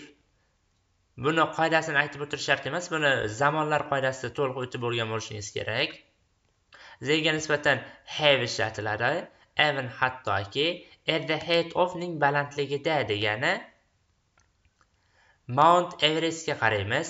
Everest cho'qqisi tog' cho'qqilari Mount so'zi bilan kelsa biz artikl ishlatmaymiz. agarda tog' tizmalari bo'lsa masalan ural tog' tizmalari alp tog' tizmalari yoki tianshan tog' tizmalari ma'nosida kelgandagina si aniq artikl bilan ishlatiladi. Lekin bu yerda cho'qqi ifodalanganligi uchun yakka cho'qqi nomlari hech qachon aniq artikl bilan ishlatilmaydi. Shu shu sababdan on mount everest tarzida artiklsiz kelmoqda. The spider's incredible silk spinning organs are on its abdomen. O'rgimchaklarning Э, bag'oyat incredibly ajoyib ipak to'qiydigan organi ularning qornidadir the spider e'tibor beramiz. Nima sababdan spider bilan the aniq artikli keldi? Agar g'opporov ingliz tili grammatikasini ochib qarasangiz sahifasi yodimda yo'q. Artikl mavzusini o'ng qo'l tarafida yuqoridan pastga tushganda yuqori yuqoriga yaqin joyda joylashgan qoida berilgan. Birlik otlar bilan ze aniq artikli kelishi mumkin va ushbu holatda u jamiki butun turni ifodalaydi z spider deb dunyodagi jamiki o'rgimchaklar nazarda tutilmoqda. Ya'ni o'rgimchak turiga mansub bo'lgan jamiki jonzotlar. Incredible sifat silk spinning ipak to'qiydigan organ bu yerda ot. Ho'p biz qoidaga binoan apostrof esdan keyin keladigan so'zga qarab fe'l tanlashimiz kerak va arning kelish sababi organ so'ziga bog'liq. Organdan oldingi so'zlar spider aniqlovchi incredible silk spinning bu ham aniqlovchi ma'nosiga kelmoqda. Spiders bu qaratqichlar aniqlovchi. Agar o'zbek tili grammatikasini o'qisangiz bilasiz. Incredible silk spinning sifatlovchi aniqlovchi organ esa gapning egasi va ko'plik shaklda bo'lganligi sababli tubening ko'plik shakli r ishlatilmoqda. On abdomen o'n ustida ya'ni qornining ustki qismida uning ipakda o'qiydigan organ. The silk Street begins as a liquid that hardens on contact with the air. Silk ipak street tola begin boshlamoq as a liquid suyuqlik sifatida harden mustahkamlamoq qotmoq on contact with degan bilan aloqada air havo Xo'p, silk nima sababdan z aniq artiklni oldi sababi o'zidan avvalgi qismda silk birinchi marta ishlatildi va bu pastga tushganda the silk ikkinchi marta ishlatilganligi sababidan ze aniq artikl bilan kelmoqda va bu ipak o'rgimchakning ipagi nazarda tutilmoqda. Street tola begins boshlanadi. Yana present simple chunki ilm fandagi fakt izohlanmoqda va bu street birlik sonda bo'lganligi uchun begin fe'liga s qo'shimchasi qo'shilmoqda qoidaga binoan. As liquid suyuqlik sifatida boshlanadi. Ya'ni qanday suyuqlik u? Mana bu zaytni qoidasi verniki bilan bir xil gan ma'nosini beradi. Havoda aloqaga kirishib mustahkamlanadigan suyuqlik sifatida ipak tola boshlanadi. Ya'ni ipak tolaning ajralib chiqishi birinchi suyuqlik bo'lib keyin u havoga havo bilan ta'sir natijasi mustahkam tusga kiradi degan mazmundagi gap.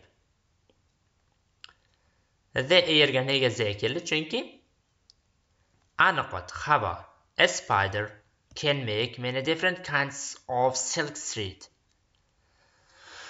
A spider agar bilsangiz noaniq artikl e birlik otlar bilan kelib har qanday bir degan ma'noni beradi bu yerda a spider har qanday o'rgamchak degani yoki istalgan o'rgamchak can make many different kinds of silk thread bo'lsa ipak tolasining turfa xil turlarini hosil qila oladi menini qoidalari bilan tanishlik bu yerda shart emas each kind has its own special purpose. Eachdan keyin keladigan so'z birlik sonda bo'lishi kerak va shu sababdan kind birlikda keldi. Kind birlikdaligi sababli his birlikda ishlatildi va kind birlik bo'lganligi uchun its their tarzda kelmasdan its birlikda ishlatildi. Its own degani aniqlovchi olmoshlardan keyin own so'zi kelsa biron bir narsaning aynan o'ziga tegishliligini izohlash uchun keladi. Ya'ni har bir turning o'zining maxsus maqsadi bor. By using certain tubes or by combining the threads in different ways a spider can make a very delicate thread of the thick broad band of silk. Using ishlatish by orqali certain aniq tube. Ya'ni bu nima deyish mumkin? O'rgimchakning tanasidan e, ipak chiqadigan tuynukcha tyub deyiladi. O'zbekchasini bilmam buni zallogiya o'qituvchilarini yoki zoologlardan so'rab olishingiz mumkin. Aniq atamani bilmayman. By orqali combine aralashtirmoq degani the streets tola in different ways turli xil yo'lda. Spider can make delicate nozik thread tola thick quyuq qalin degan broad keng band. E, qanday bo'lsa. Tola toala deb beramiz o'zbekchasi aniqlikda kelma ha umumiy tarjimada aytib o'tamiz muayyan quvurcha deymiz quvurcha deb turaylik o'sha quvurcha degan vaqtim ya'ni o'rgimchakning tanasining ipak chiqadigan qismini tushunib turaylik aniq atamani bilmayman muayyan quvurchani ishlatish orqali yoki tolalarni qorishtirish turli xil usullarda qorishtirish orqali o'rgimchak juda nozik tola yoki qalin keng ipak tolasini tayyorlay oladi. Endi qoidasiga qaraymiz. Bu yerda qoida yo'q deyarli. Ho'p different ways. Deyarli grammatik qoida mavjud emas ekan chunki bu oson qoidalar. Buni yuqorida va undan avvalgi darslarda birgalikda o'tganmiz. Endi bundan buyog'iga shunday tarjimasi bilan davom ettirib ketaveramiz. Asta sekin nima desa bo'ladi har bir video darsda yarim qismini grammatik tahlilini to'liq qilamiz. Qolgan yarmini grammatik tahlil qilish esa o'zingizga havola bo'ladi. Endilikda biz mana shu sam sizes degan qismdan boshlab to'liq tarjimasini va so'zlarni tarjimasini aytamiz. Umumiy tarjimani aytamiz xolos. Qolgan grammatik tahlilni o'zingiz qoida kitoblardan izlagan holatda mustaqil amalga oshirishingiz mumkin. E, shoyatki buning natijasida grammatik bilimingiz matn o'qish orqali mustahkam bo'lsa har qalay oddiy qoidani yodlagandan ko'ra uni amalda ishlata bilishlik ham har tomonlama avlaroq sababi deylik masalan mashina haydashni o'rganmoqchi bo'lgan odam uni amalda haydabgina o'rganadi nazariya qismiga keladigan bo'lsak yo'l harakati qoidalarini shunchaki o'qib qo'yish kerak. Xuddi shunday ovqat pishirishni ham to'liq nazariyani o'rganib chiqqaningiz bilan ovqat tayyorlay olmasangiz uning bir tiyinlik qiymati yo'q. Shu sababli grammatikani so'zni va uning tarjimasini so'zlarning ishlatilishini va boshqa boshqa holatlarni matn asosida birgalikda o'rgansak maqsadga muvofiq bo'ladi.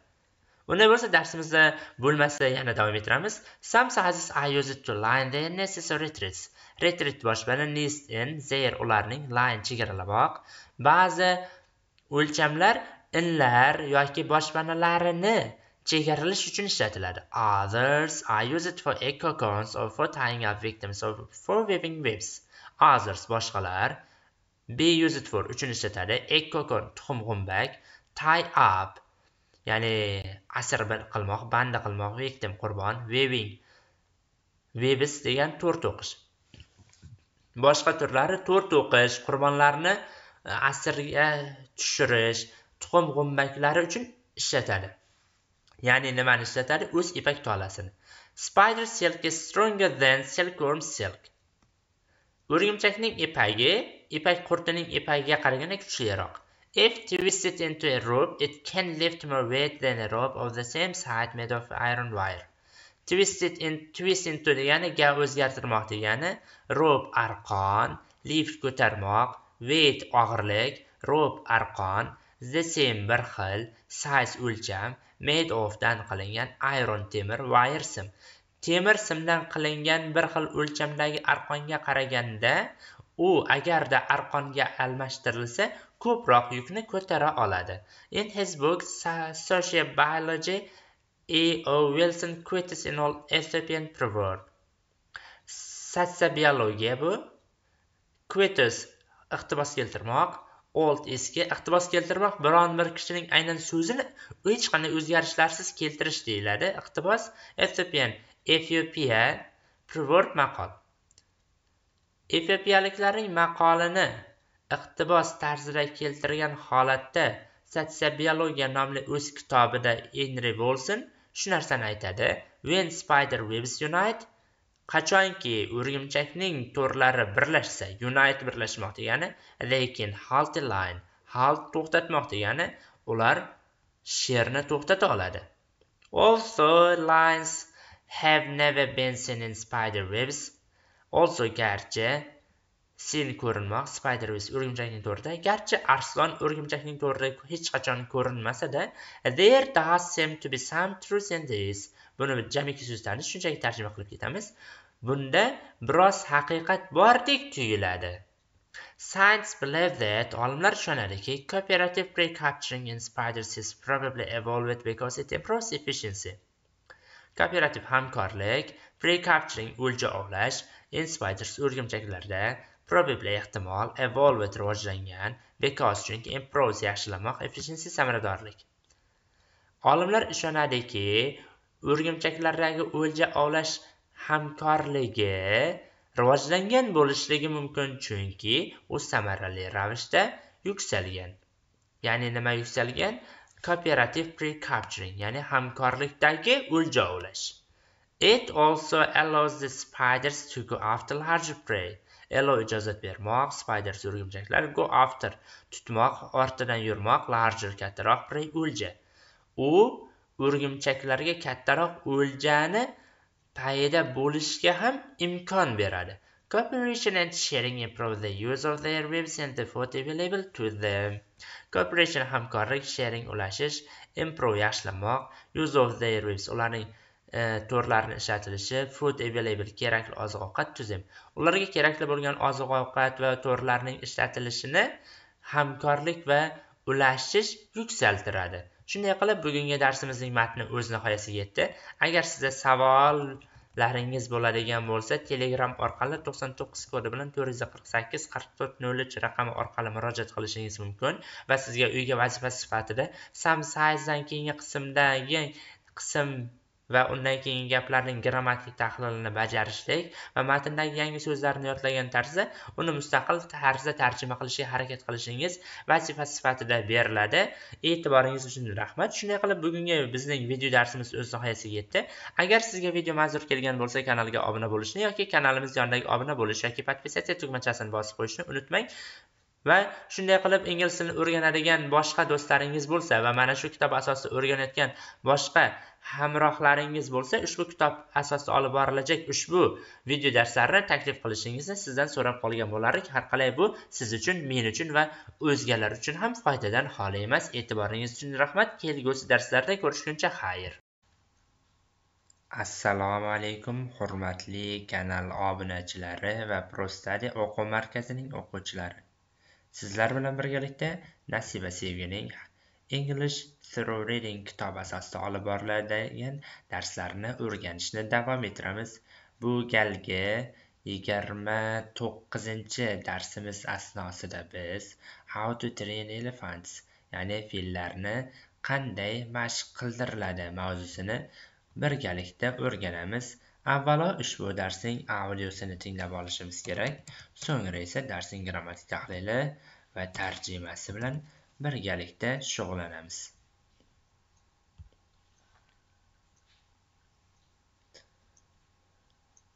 How to train elephants. Two main techniques have been used for training elephants, which we may call respectively the tough and the gentle. The former method simply consists of setting an elephant to work and beating him until he does what is expected of him. Apart from any moral considerations, this is a stupid method of training, for it produces a resentful animal who at a later stage may well turn into a man killer. The gentle method requires more patience in the early stages, but produces a cheerful, good tempered elephant who will give many years of loyal service.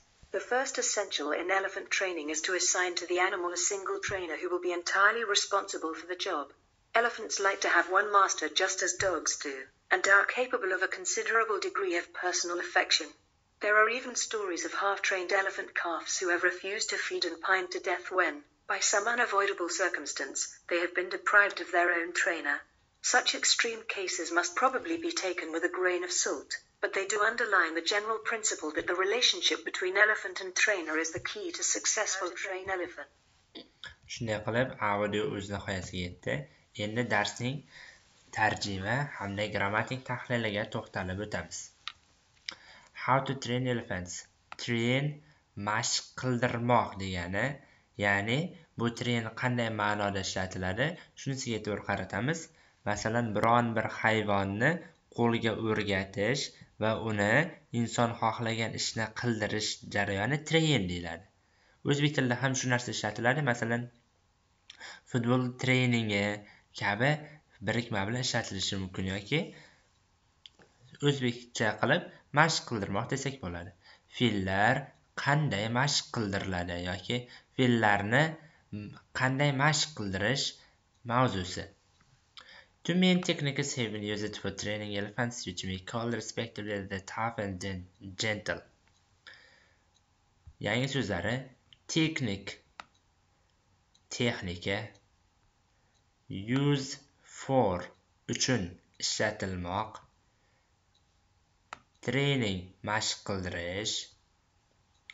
Bu yerda e'tibor beramiz, kitobda imloviy xato ketib qolgan. Bu aslida call C A double L tarzida yozilishi kerak.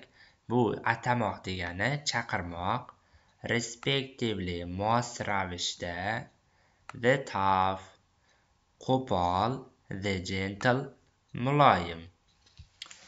Ya'ni oladigan bo'lsak umumiy tarjimasi fe'llarni mashq qildirish uchun ikki asosiy texnika ishlatiladi va biz bularni mos ravishda qo'pol va muloyim usul deb ataymiz. Endi grammatik tahliliga to'xtaladigan bo'lsak to son sondan keyin kelajak ot hamma vaqt s qo'shimchasini olib ko'plik sonda turishi kerak bu yerda teknik so'ziga s qo'shimchasi qo'shilmoqda. Mainga to'xtaladigan bo'lsak bu texnik so'zining sifati va texnikning qandayligini e, izohlab kelmoqda. To main teknik bo'lsa ikki asosiy texnika. Have ni ishlatilishiga sabab technics ko'plik sonda turibdi va ko'plik qo'shimchasini olgan. Agar birlikda bo'lgan deydi bu yerda have emas has ishlatilardi. Endi zamoniga e'tibor beradigan bo'lsak have been used have fe'li bu present perfect passiv zamon ya'ni hozirgi tugallangan majhul nisbat zamoni. Sababi to mean techniques nima so'rog'iga javob bo'ladi va jonsiz predmetni izohlab kelganligi sababidan biz ish harakatni nisbatini aniq nisbatda berolmaymiz va bu majhul nisbatda bo'lishi kerak va present perfectning majhul nisbat shakli have been fe'l tarzida yasaladi. Use so'zining predlogi for bilan ya'ni ifodalanadi. Use hamma vaqt for bilan kelishi kerak. Biron bir maqsadda uchun ishlatilmoq ma'nosida for predlog bo'lganligi uchun train fe'l fe'ldan keyin ing qo'shimchasi qo'shilmoqda. Sababi fe'l predloglardan keyin keladigan fe'llar ing qo'shimchasini olishi kerak va buni ingliz tilining grammatik qoidalari taqozo etadi. Elephant so'ziga to'xtalamiz. Fe'llar ko'plik sonda yozilgan ya'ni bu hamma fe'lga ishora so'z tariqasida ishlatilmoqda. Whichga keladigan bo'lsak which qaysiki deb tarjima qilinadi va bu texnicsning izohlovchi qismi ya'ni qanday texnikalarligini undan keyingi gapda izohlash munosabati borligi uchun va ikki gapni bir biriga moslashtirish maqsadida which so'zi ishlatilmoqda va bu which qaysi so'zga tegishli desa biz to'g'ridan to'g'ri hech qanday mubolag'alarsiz technics so'ziga tegishli deb ayta olamiz. Sababi gap texnika haqida bormoqda. Har qalay fe'llarning yumshoq va qattiq turlari bo'lmasa kerak. Va endi keyingi gapda may deyapti. Bu may modal fe'li ehtimollilikni ifodalash uchun ishlatiladi va mumkin deb tarjima qilinadi ish harakatning bajarilish ehtimoli borligini bildiradi. Hamma vaqt ham emas chunki kuchli jihatdan may ancha boshqa modal fe'llarga qaraganda kuchsiz modal fe'l va asosan ehtimolni ifodalash uchun ishlatiladi. Respectively nima sababdan respectively ly qo'shimchasini olib keldi. Sababi u call fe'lidan keyin kelmoqda. Fe'ldan keyin kelajak so'zlar ravish bo'ladi va ravishlar ingliz tilida odatda asosan hmm, ra ya'ni bilasiz ravishlar o'ziga ma'nosiga ko'ra uchga bo'linib ketadi. Payt ravishlari o'rin ravishlari va holat ravishlari.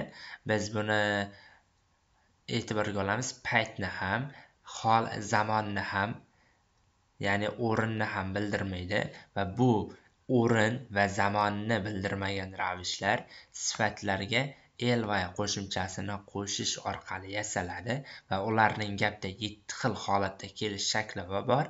Buni yetti xil holatda kelishini grammatika darslaridagi grammatika o'qituvchilaringizdan so'rab bilib olishingiz mumkin. Biz bittasini o'rganamiz. Fe'ldan keyin ravish keladi. Fe'l plyus ravish birinchi holat va fe'ldan keyin ravishligi inobatidan bunga ly qo'shimchasi qo'shilmoqda. Keyingi qismda esa we may call respectively the tough bu ot har ikkalasi va nega z aniq artiklni olib kelmoqda? Chunki texnika aniq bo'lib bo'ldi bizga allaqachon. Shu sababdan z aniq artiklni olib kelmoqda. Chunki qandaydir bir qo'pol va qandaydir bir muloyim tarzida ifodalash mumkin emas va yana bir narsani inobatga olish kerak. Taf qo'pol sifat gentle muloyim sifat sifat qachon z olishi mumkin desa bir narsa yodda tutmasin. Sifat bilan aniq artikl kelish holati faqat bir o'rinda mavjud. Ya'ni o'sha so'z bilan kelgan e, artikl sifatning otlashganini bildiradi. Masalan deylik o'zbek tilida yaxshi insonlar hamma vaqt omad qozonadi. Bu shunchaki sifat plyus ot shakli. Endi yaxshilar omad qozonadi desam bu otlashgan sifat shakli va bu narsani ingliz tilida ifodalash uchun men the aniq artiklni ishlataman. Tushundik degan umiddaman keyingi qismga o'tamiz the formal method simply consists of setting an elephant to work and petting him until he does what's expected of him. Former ilk method. Metodika simple oddiy el qatori consist of dan iborat sit o'rnatmoq o'tkazmoq degani bit urmoq until gacha expect of dan umid qilmoq degani gapning umumiy tarjimasi ilk metodika ya'ni ilk metodika deb nimani nazarda tutilyapti bu yerda birinchi takrorlangan taf nazarda tutilmoqda ilk metodika ya'ni qo'pol usul fe'lni ishlash uchun o'tkazish hamda undan kutgan ishingizni qilgunicha uni urishdan iborat.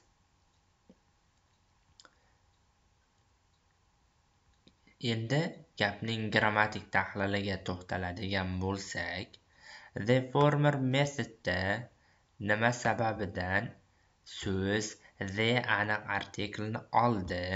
Chunki undan avvalgi taf metodika ya'ni qo'pol usul bizga tanish bo'ldi va endi unda hech qanday notanishlik holati mavjud emas va shu sababdan the keldi. Former degan so'z reading matnlarida e'tibor er beramiz. Former ya'ni ro'yxat bo'yicha kelgan otlarning avvalini ifodalaydi. Ya'ni bu yerda taf bilan gentle birga yonma yon keldi va birinchi kelayotgani taf bo'lganligi uchun former tafga ishora tariqasida kelmoqda. Method oddiy metodika. Simply bu yerda simple so'zini bilasiz. Sifat. Agar sifat shaklida kelsa shu narsa simple e. Harfini olgan tarzda yoziladi va bu oddiy degani endi bu yerga simple e tarzida nega bo'lyapti desa agar sifatlarning oxiri e bilan tugasa uni ravishga o'zgartirishda shunchaki ani ni ga almashtirib qo'ysak bo'lgani. Bu yerda nima sababdan ravish bo'ldi desa bir narsa yoddan chiqmasin. Biz yuqorida o'rgandik e, ravishning gapda yetti xil o'rinda kelish holati bor va biz birinchisini o'rgandik fe'ldan keyin ravish keladi va ikkinchi usul fe'ldan oldin ravish keladi. Shunday qilib consistis fe'l bo'lganligi uchun simply ravish o'laroq kelmoqda. Consistning predlogi of of predlog bo'lganligi uchun ofdan keyin keladigan fe'l ing qo'shimchasini olib kelishi kerak va qoidaga mos tariqa setting tarzida ing qo'shimchasini olib kelmoqda va yana bir narsa yodda tursin. Agar so'z fe'l uch harfdan iborat bo'lsa va ikki undoshning orasiga bir o'nlik joylashgan bo'lsa biz oxirgi harfni idg'om qilamiz.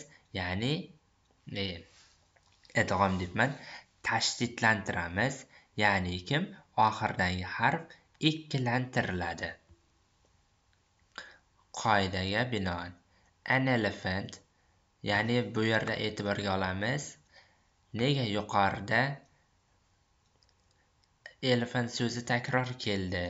Endi pastki qismda the elephant bo'lmadi desa shunday javob berish kerak.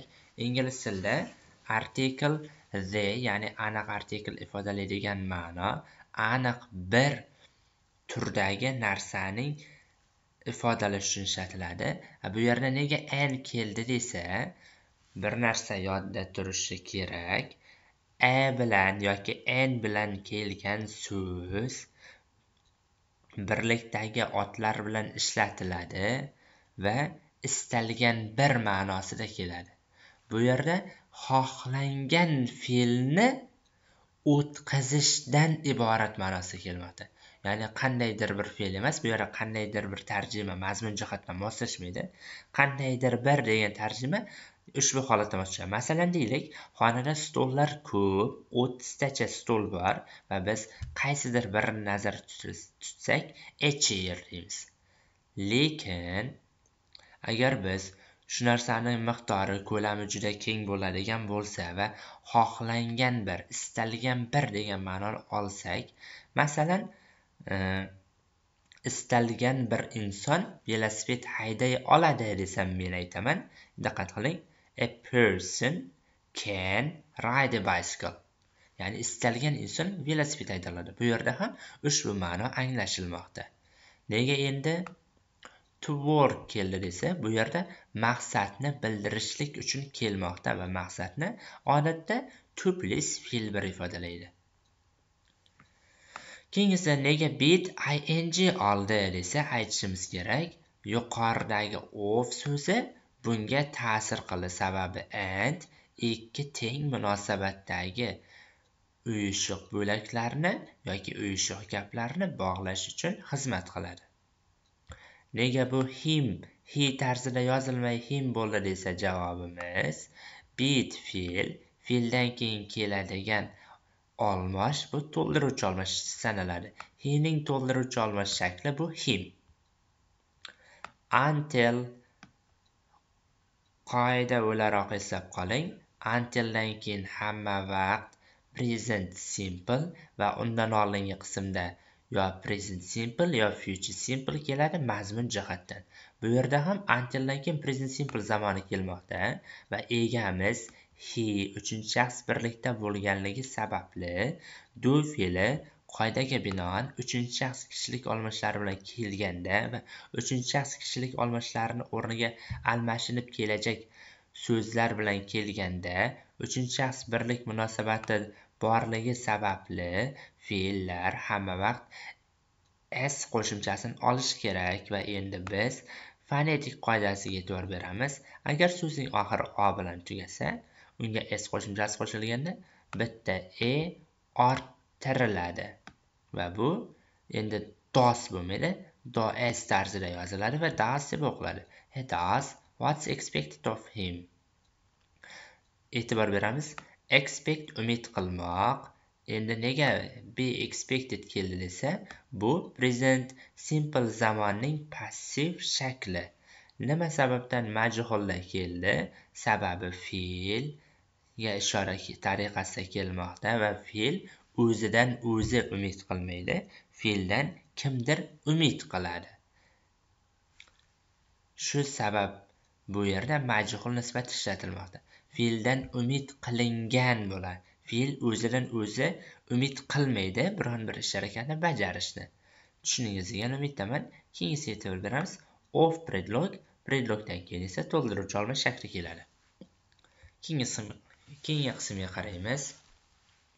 Apart from any moral consideration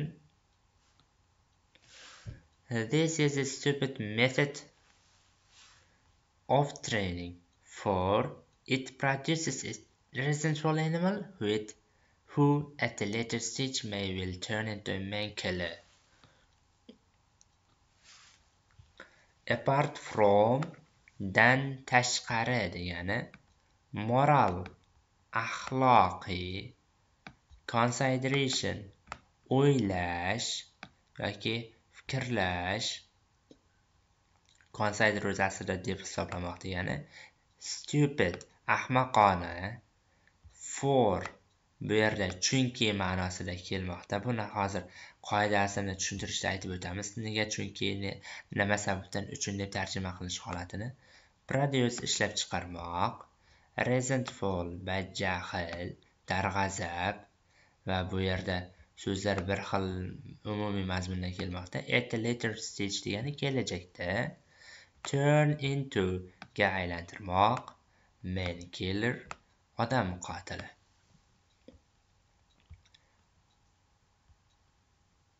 E, istalgan bir axloqiy qarashlarni hisobga olmaganda bu ahmoqona usul sababi yoki chunki inson qotili kelajakda inson qotiliga aylanadigan darg'azab jonzotni ishlab chiqaradi. Ya'ni nima ishlab chiqaradi? Taf method qo'pol uslub keyinchalik fe'llarni odam qotiliga aylantirib qo'yishiga va ularni darg'azab bo'lishiga sababchi bo'lib qolishi mumkin mazmunidagi gap. Apart from dan tashqari deb tarjima qilinadi va o'zi bilan kelgan bo'lakdan ayro bo'lgan qismni tasvirlash uchun ishlatiladi. Masalan deylik buni qanday tushunish mumkin? Darsga hamma keldi umiddan tashqari. Ya'ni hamma kelgan faqat umid kelmagan degan ma'noni tushunamiz. Endi bu yerda apart from any moral consideration deganda istalgan bir axloqiy qarashlardan tashqari ya'ni istalgan bir axloqiy qarashlarni hisobga olmaganda degan mazmunda kelmoqda. Any moral consideration. Bu yerga e'tibor qaratmaymiz. Anydan keyin o'zi aslida otning ko'plik shakli keladi yoki sanalmayotgan ot shakli keladi. Moralga kelsak u considerationning sifati qandayligini ifodalab kelmoqda. Method birlik ot. Va birlik ot bilan artikl ishlatilishi kerak. Lekin bu yerda stupid so'zi sifat bo'lganligi uchun biz artiklni sifatga muvofiq ya'ni artikldan keyin keladigan sifat undosh bilan boshlansa e unli bilan boshlansa n qo'yamiz. Nega this is bo'ldi? Sababi this is bilan bog'liq bo'lgan gapning egasi bo'lmish method birlikda va bu birlikda bo'lganligi uchun fe'l birlikda keladi.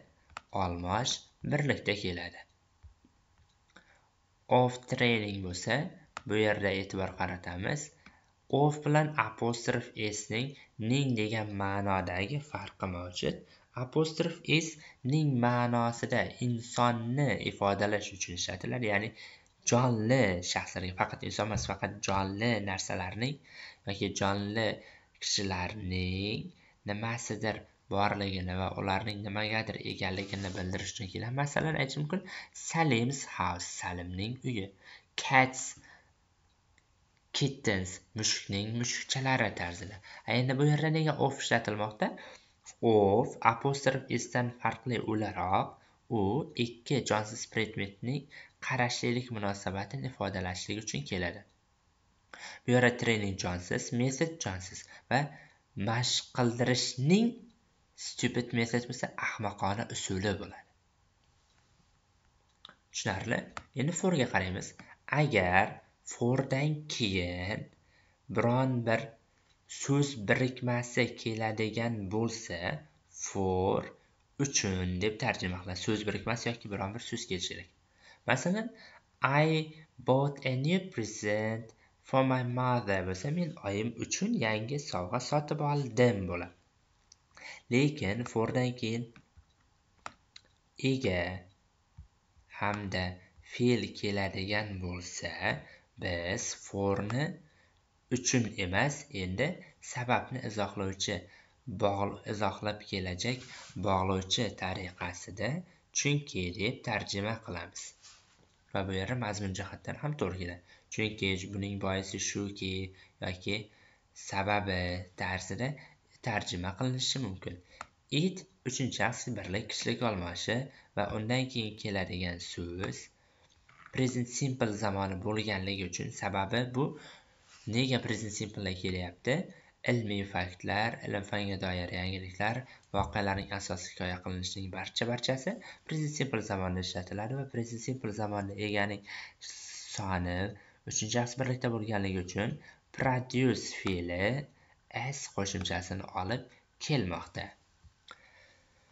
Animal sanaladigan birlikdagi ot va u artikl bilan keladi lekin animaldan oldin resentful sifati borligi sababli biz resentfulga qarab artikl tanlaymiz.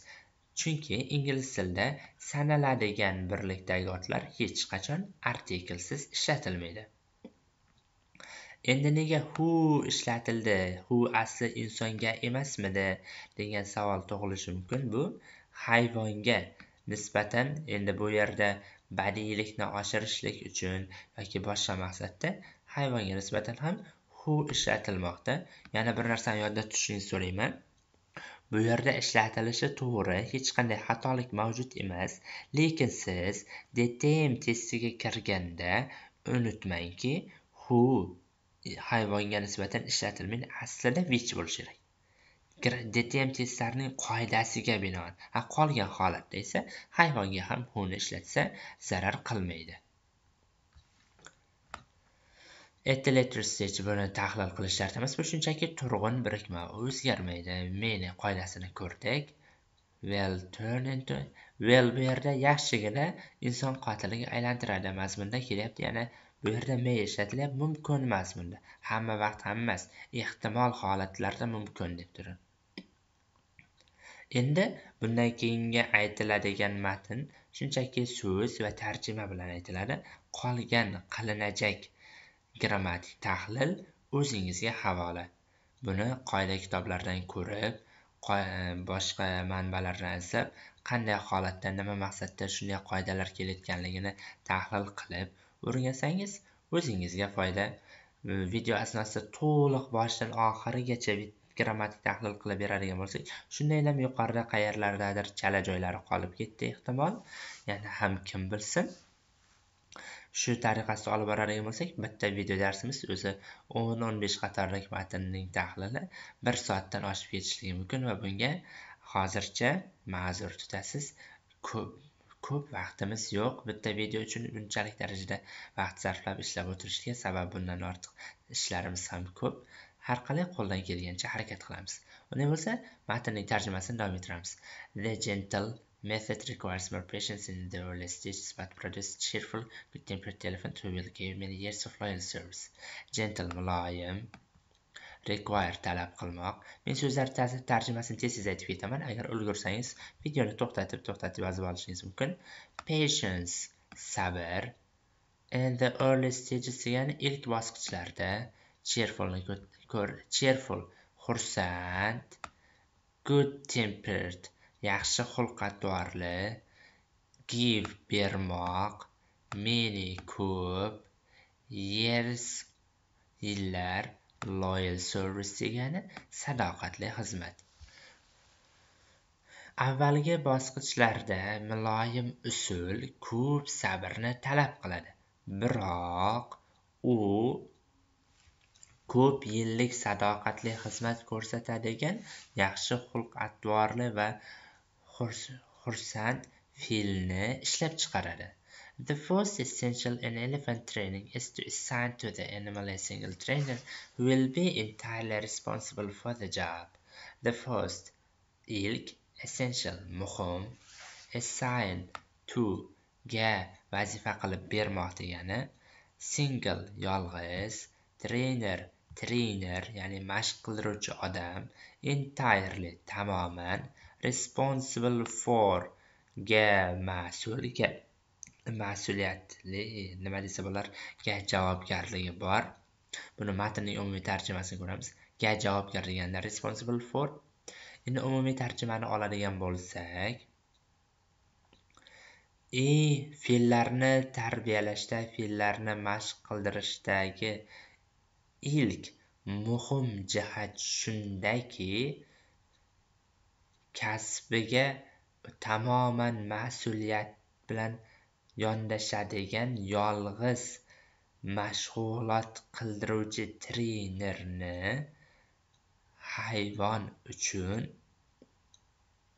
ya'ni trenerga hayvonni vazifa qilib yuklashdir. Yana bir marta takrorlaymiz.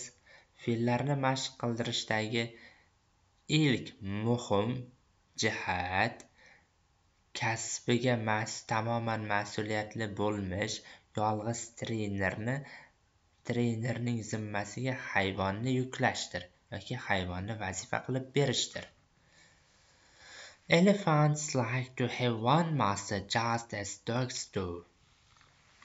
Bu yerda hech qanday yangi so'z yo'q. Master xo'jayin degan. Fe'llar kuchuklar singari, ya'ni itlar singari birgina xizmat e, birgina xo'jayini bor bo'lishni yoqtiradi. And are capable of considerable degree of personal affection. Affection muhabbat. Qolgani tanish so'zlar. Va ular insoniy muhabbatning sezilarli darajasini his qilishga qodirlar. There are even stories of whole trained elephants calves who have refused to fit in quantities when by some unavoidable circumstance they have been deprived of their own trainer. Even hattoki half trained yarim tarbiyalangan elephant fillar calf fil bolasi refuse rad etmoq to feed ovqatlanmoq feed pine to tease Fet o'zi boqmoq degani to this o'lishni xohlamoq unavoidable ilojsiz circumstance vaziyat deprive of dan mahrum bo'lmoq degani. Endi umumiy tarjimasiga qaraydigan bo'lsak o'z xo'jayinlaridan mahrum bo'lgan vaqtda ba'zi bir ilojsiz vaziyatlar tufayli yarim tarbiyalangan fil bolalari o'lishni va ovqat o'lishni xohlashadi va ovqatlanishdan bosh tortganligi haqida hattoki hikoyalar mavjud. Such extreme cases must probably be taken with a grain of salt. Such shundayin extreme keskin cases holat must kerak probably ehtimol be taken with a grain of salt degani jiddiy olmaslik kerak degani. Shunday keskin holatlarni ehtimol jiddiy olmaslik kerak. But biroq they do underline the general principle that the relationship between elephant and train is the key to successful training ular shuni ta'kidlashadiki so'zlarni aytmay ketamiz to'xtang. Principal prinsip relationship munosabat between and ning o'rtasida ning oralig'ida elephant elephant trainer trainer successful muvaffaqiyatli training training key kalit. Biroq ular ta'kidlashadiki ya'ni umumiy prinsipni ta'kidlashadiki fe'l va trener o'rtasidagi munosabat muvaffaqiyatli trening uchun kalitdir. Shunday qilib bugungi darsimiz ham o'z nihoyasiga yetdi. Sizlarga uyga vazifa tariqasida matnning qolgan qismini grammatik tahlil qilish va shundan so'ng o'zingiz mustaqil ravishda ushbu matnni tarjima qilish va qolgan boshqa qilinajak ishlarga tayyorgarlik ko'rishdan iborat. Agar sizga video manzur kelgan bo'lsa kanalga obuna bo'lishni yoki kanalimiz yonidagi obuna bo'lish yoki podpisatsiya tugmachasini bosib qo'yishni unutmang. E'tiboringiz uchun rahmat. Assalomu alaykum hurmatli kanal obunachilari va Prostali o'quv markazining o'quvchilari. Sizlar bilan birgalikda nasiba sevgining english through reading kitobi asosida olib boriladigan darslarni davom ettiramiz. Bu galgi darsimiz o'ttizinchi mavzu ya'ni teenage entrepreneurs o'smir biznes boshlaganlar mavzusi bo'lib biz avval ushbu mavzuning audiosini tinglab olishimiz kerak so'ngra esa matnning grammatik tahlili va tarjimasi bilan tanishib chiqamiz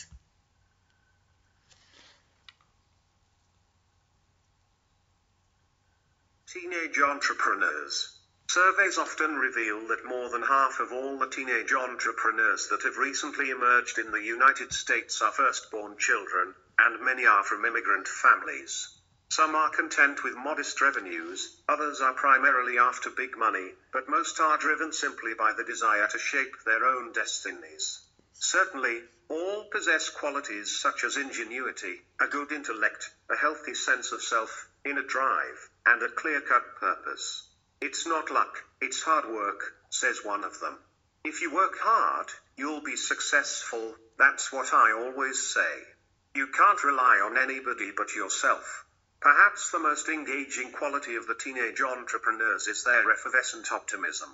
Reared in an era of unprecedented exposure to news of disaster, terrorism, famine, and the threat of nuclear mayhem, they nevertheless developed into positive thinking achievers.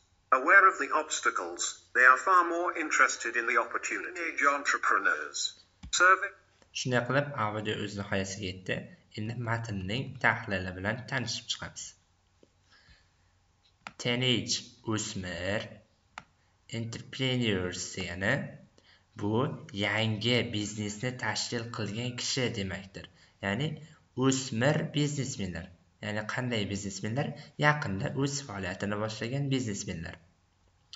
Service tadqiqotlar often tez tez revel fosh qilmoq that bu yerda fe'ldan keyin kelganligi uchun key deb tarjima qilamiz. More ko'proq than ga qaraganda half yarim of all barchasining the teenage o'smir that. Endi bu yerga e'tibor qilamiz.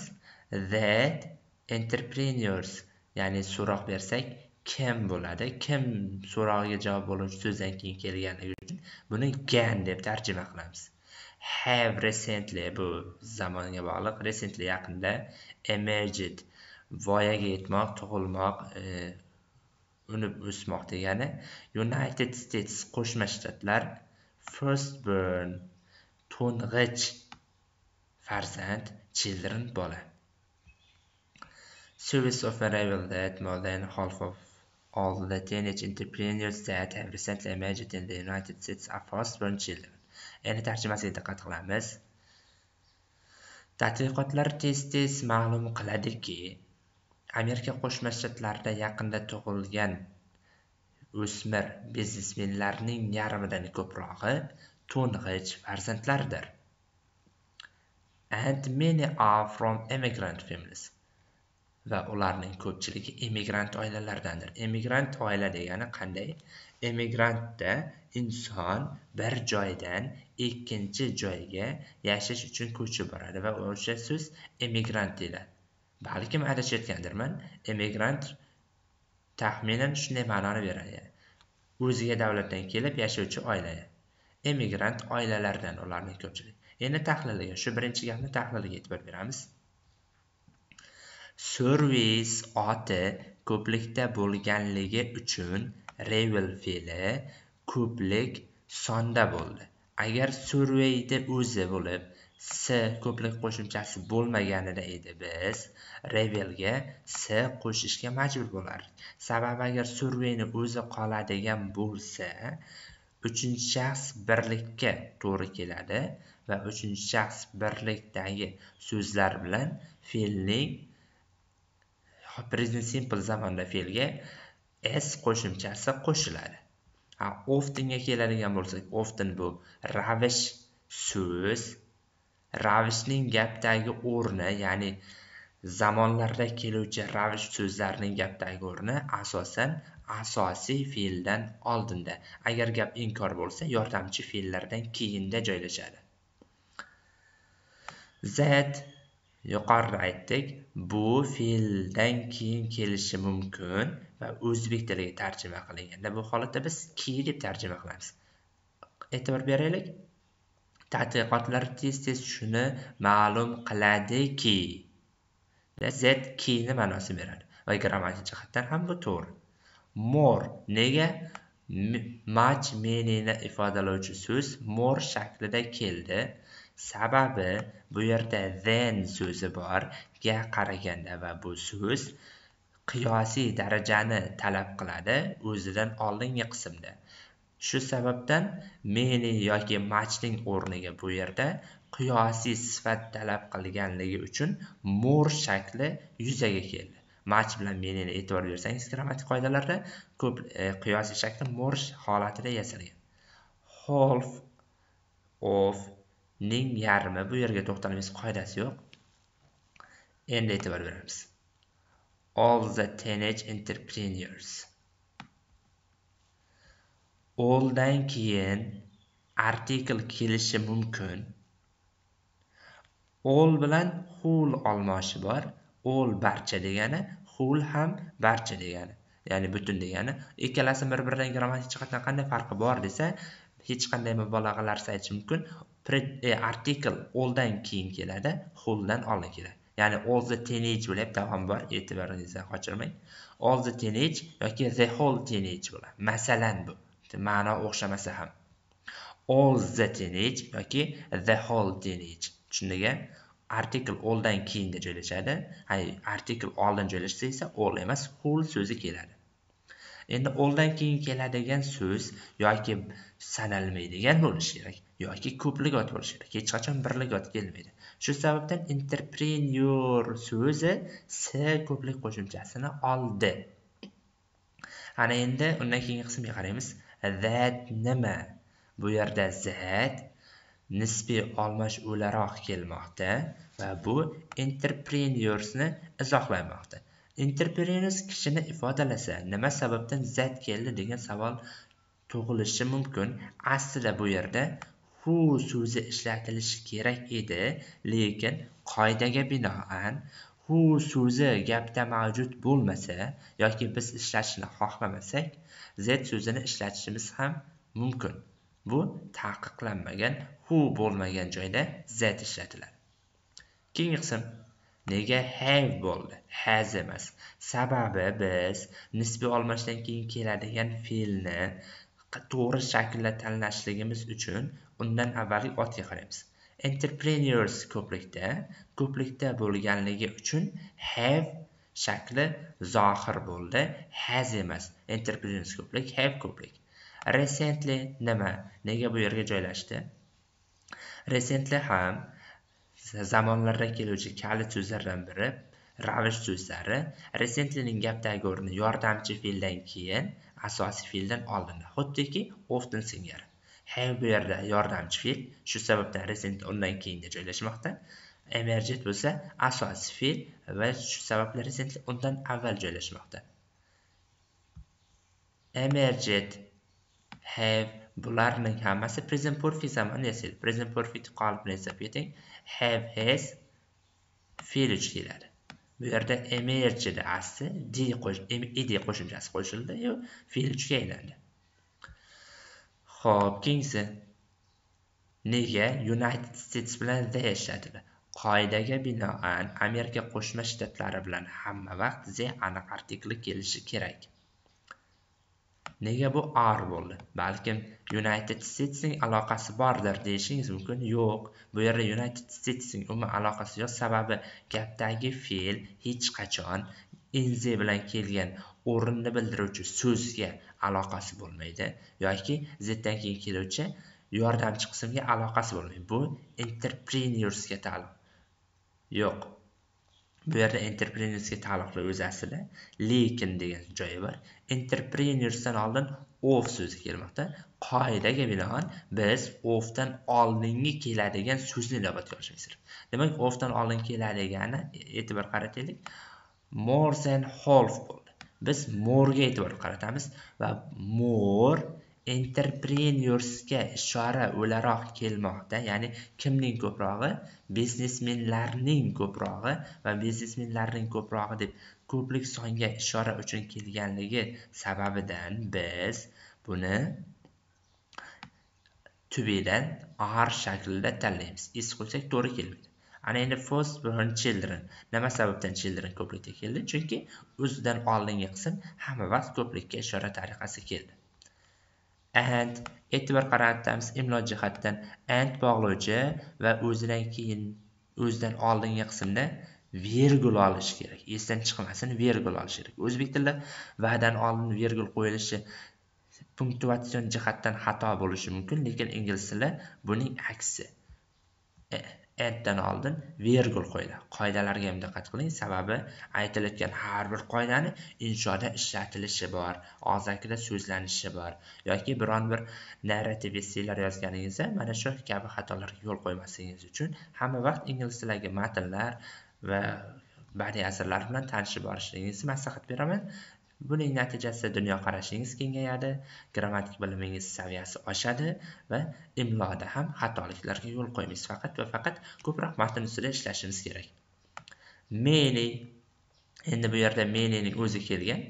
Qiyosiy sifatga hojat yo'q va yuqorida aytdik morga nisbatan endi biz arni ishlatdik chunki morni ko'prikda deb tasavvur qildik entrepreneursga ishora qilganligi uchun va bu yerda ham many deb yana o'sha entrepreneurs nazarda tutilganligi uchun bu yerda tubini ar shakli ishlatilmoqda. Emigrant families emigrant sifat families ot va oilalardan chunki o'zidan oldingi qismda many bo'lib ko'prikda keldi.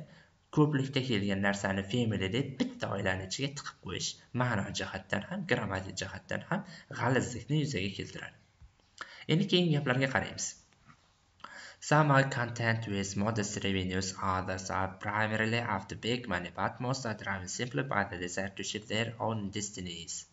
Some ba'zi content with bilan mamnun, modest kamtar revenue daromad, others boshqalar primarily xususan, xossatan keyin bunisiga e'tibor beramiz be after degani bor. Be after e'tibor bering. Ning paydo bo'lmoq degani. Big money katta summa. Driven harakatga kelmoq degani. Drive harakatga kelmoq. Simply el qatori. Desire orzu shape shakllantirmoq. Destiny sulola tarjimasiga keladigan bo'lsak ba'zilar kamtarona daromaddan ham mamnun. Boshqalari esa katta summa xossatan boshqalari katta summa payda bo'lishadi. Biroq ularning ko'pchiligi o'z sulolalarini shakllantirish orzusi ila harakat qiladi. Endi grammatik tahliliga qaraymiz.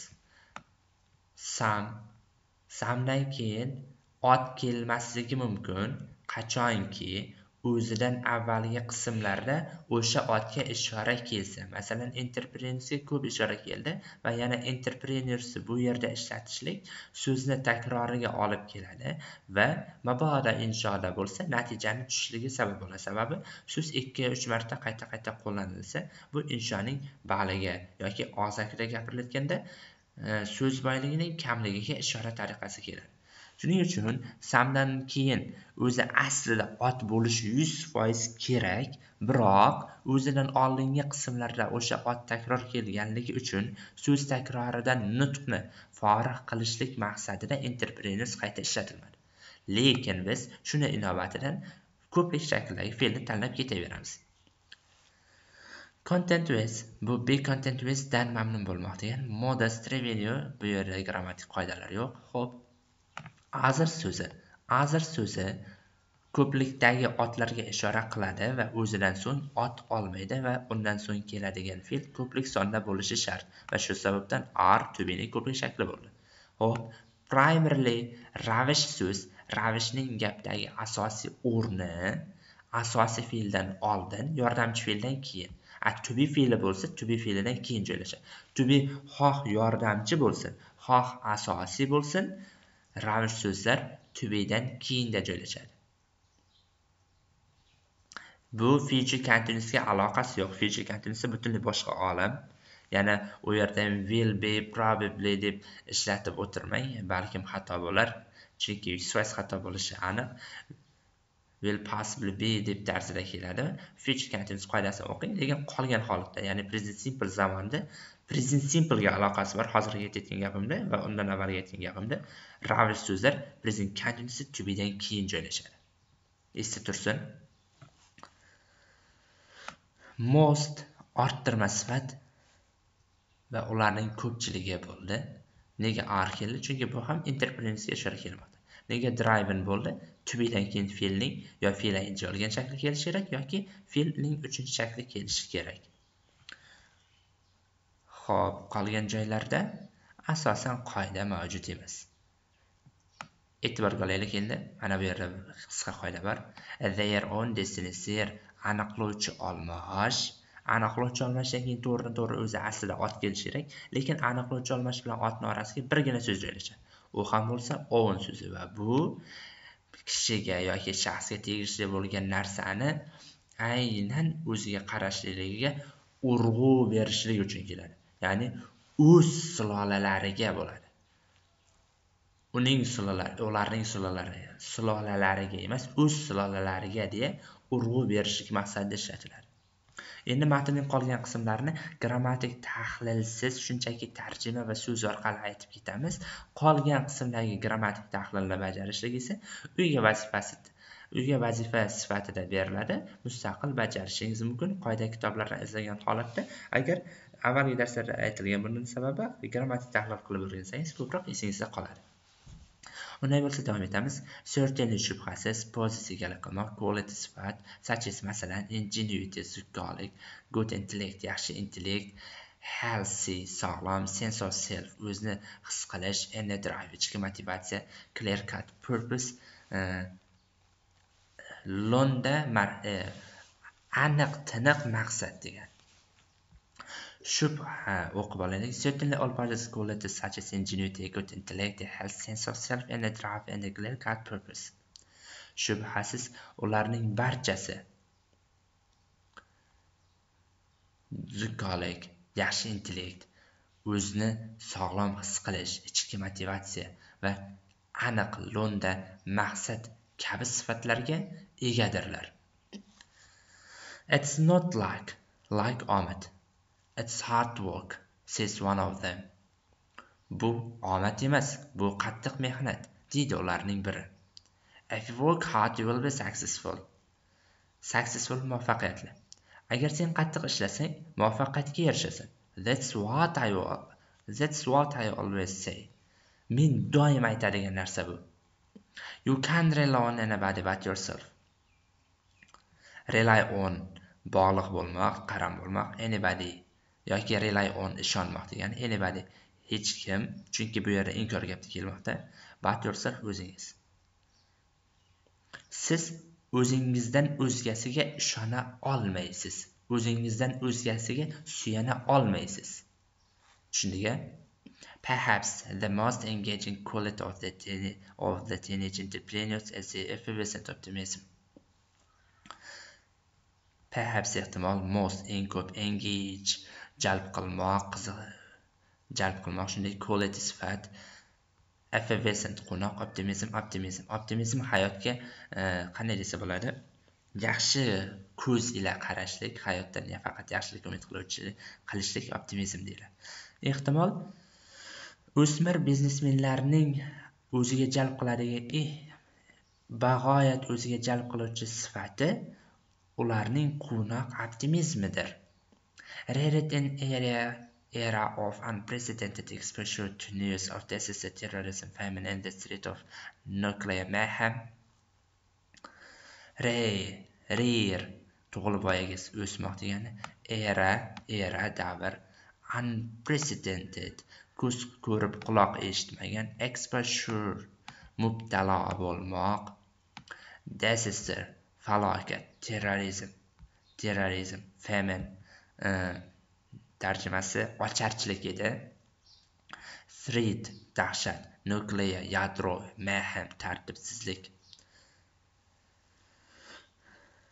yadroviy tartibsizlik xavfi ocharchilik terrorizm falokat yangiliklariga ko'z ko'rib quloq eshitmagan mubtalo bo'lishlik davrida voyaga yetgan davomi chunki virgul keyin kelmoqda they nevertheless developed into positive thinking achievements voyaga yetgandirlar. Ya'ni kim?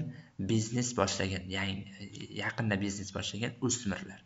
They ular biroq ijodiy fikrlash ya'ni ijobiy fikrlash darajasiga yetgan ya'ni ijobiy fikrlashni ijobiy fikrlashni shakllantira olishlik darajasigacha o'zini rivojlantirgan. Nevezilis ya'ni aytilyapti ular shunday e, falokatlarga mubtalo bo'lmish joylarda tug'ilganligiga qaramay o'zlarida ijobiy fikrlash darajasiga yetkazishlik uchun rivojlanganlar ma'nosida kelmoqda. Ya'ni umumiy shu yergacha bitta tarjima qilib oladigan bo'lsak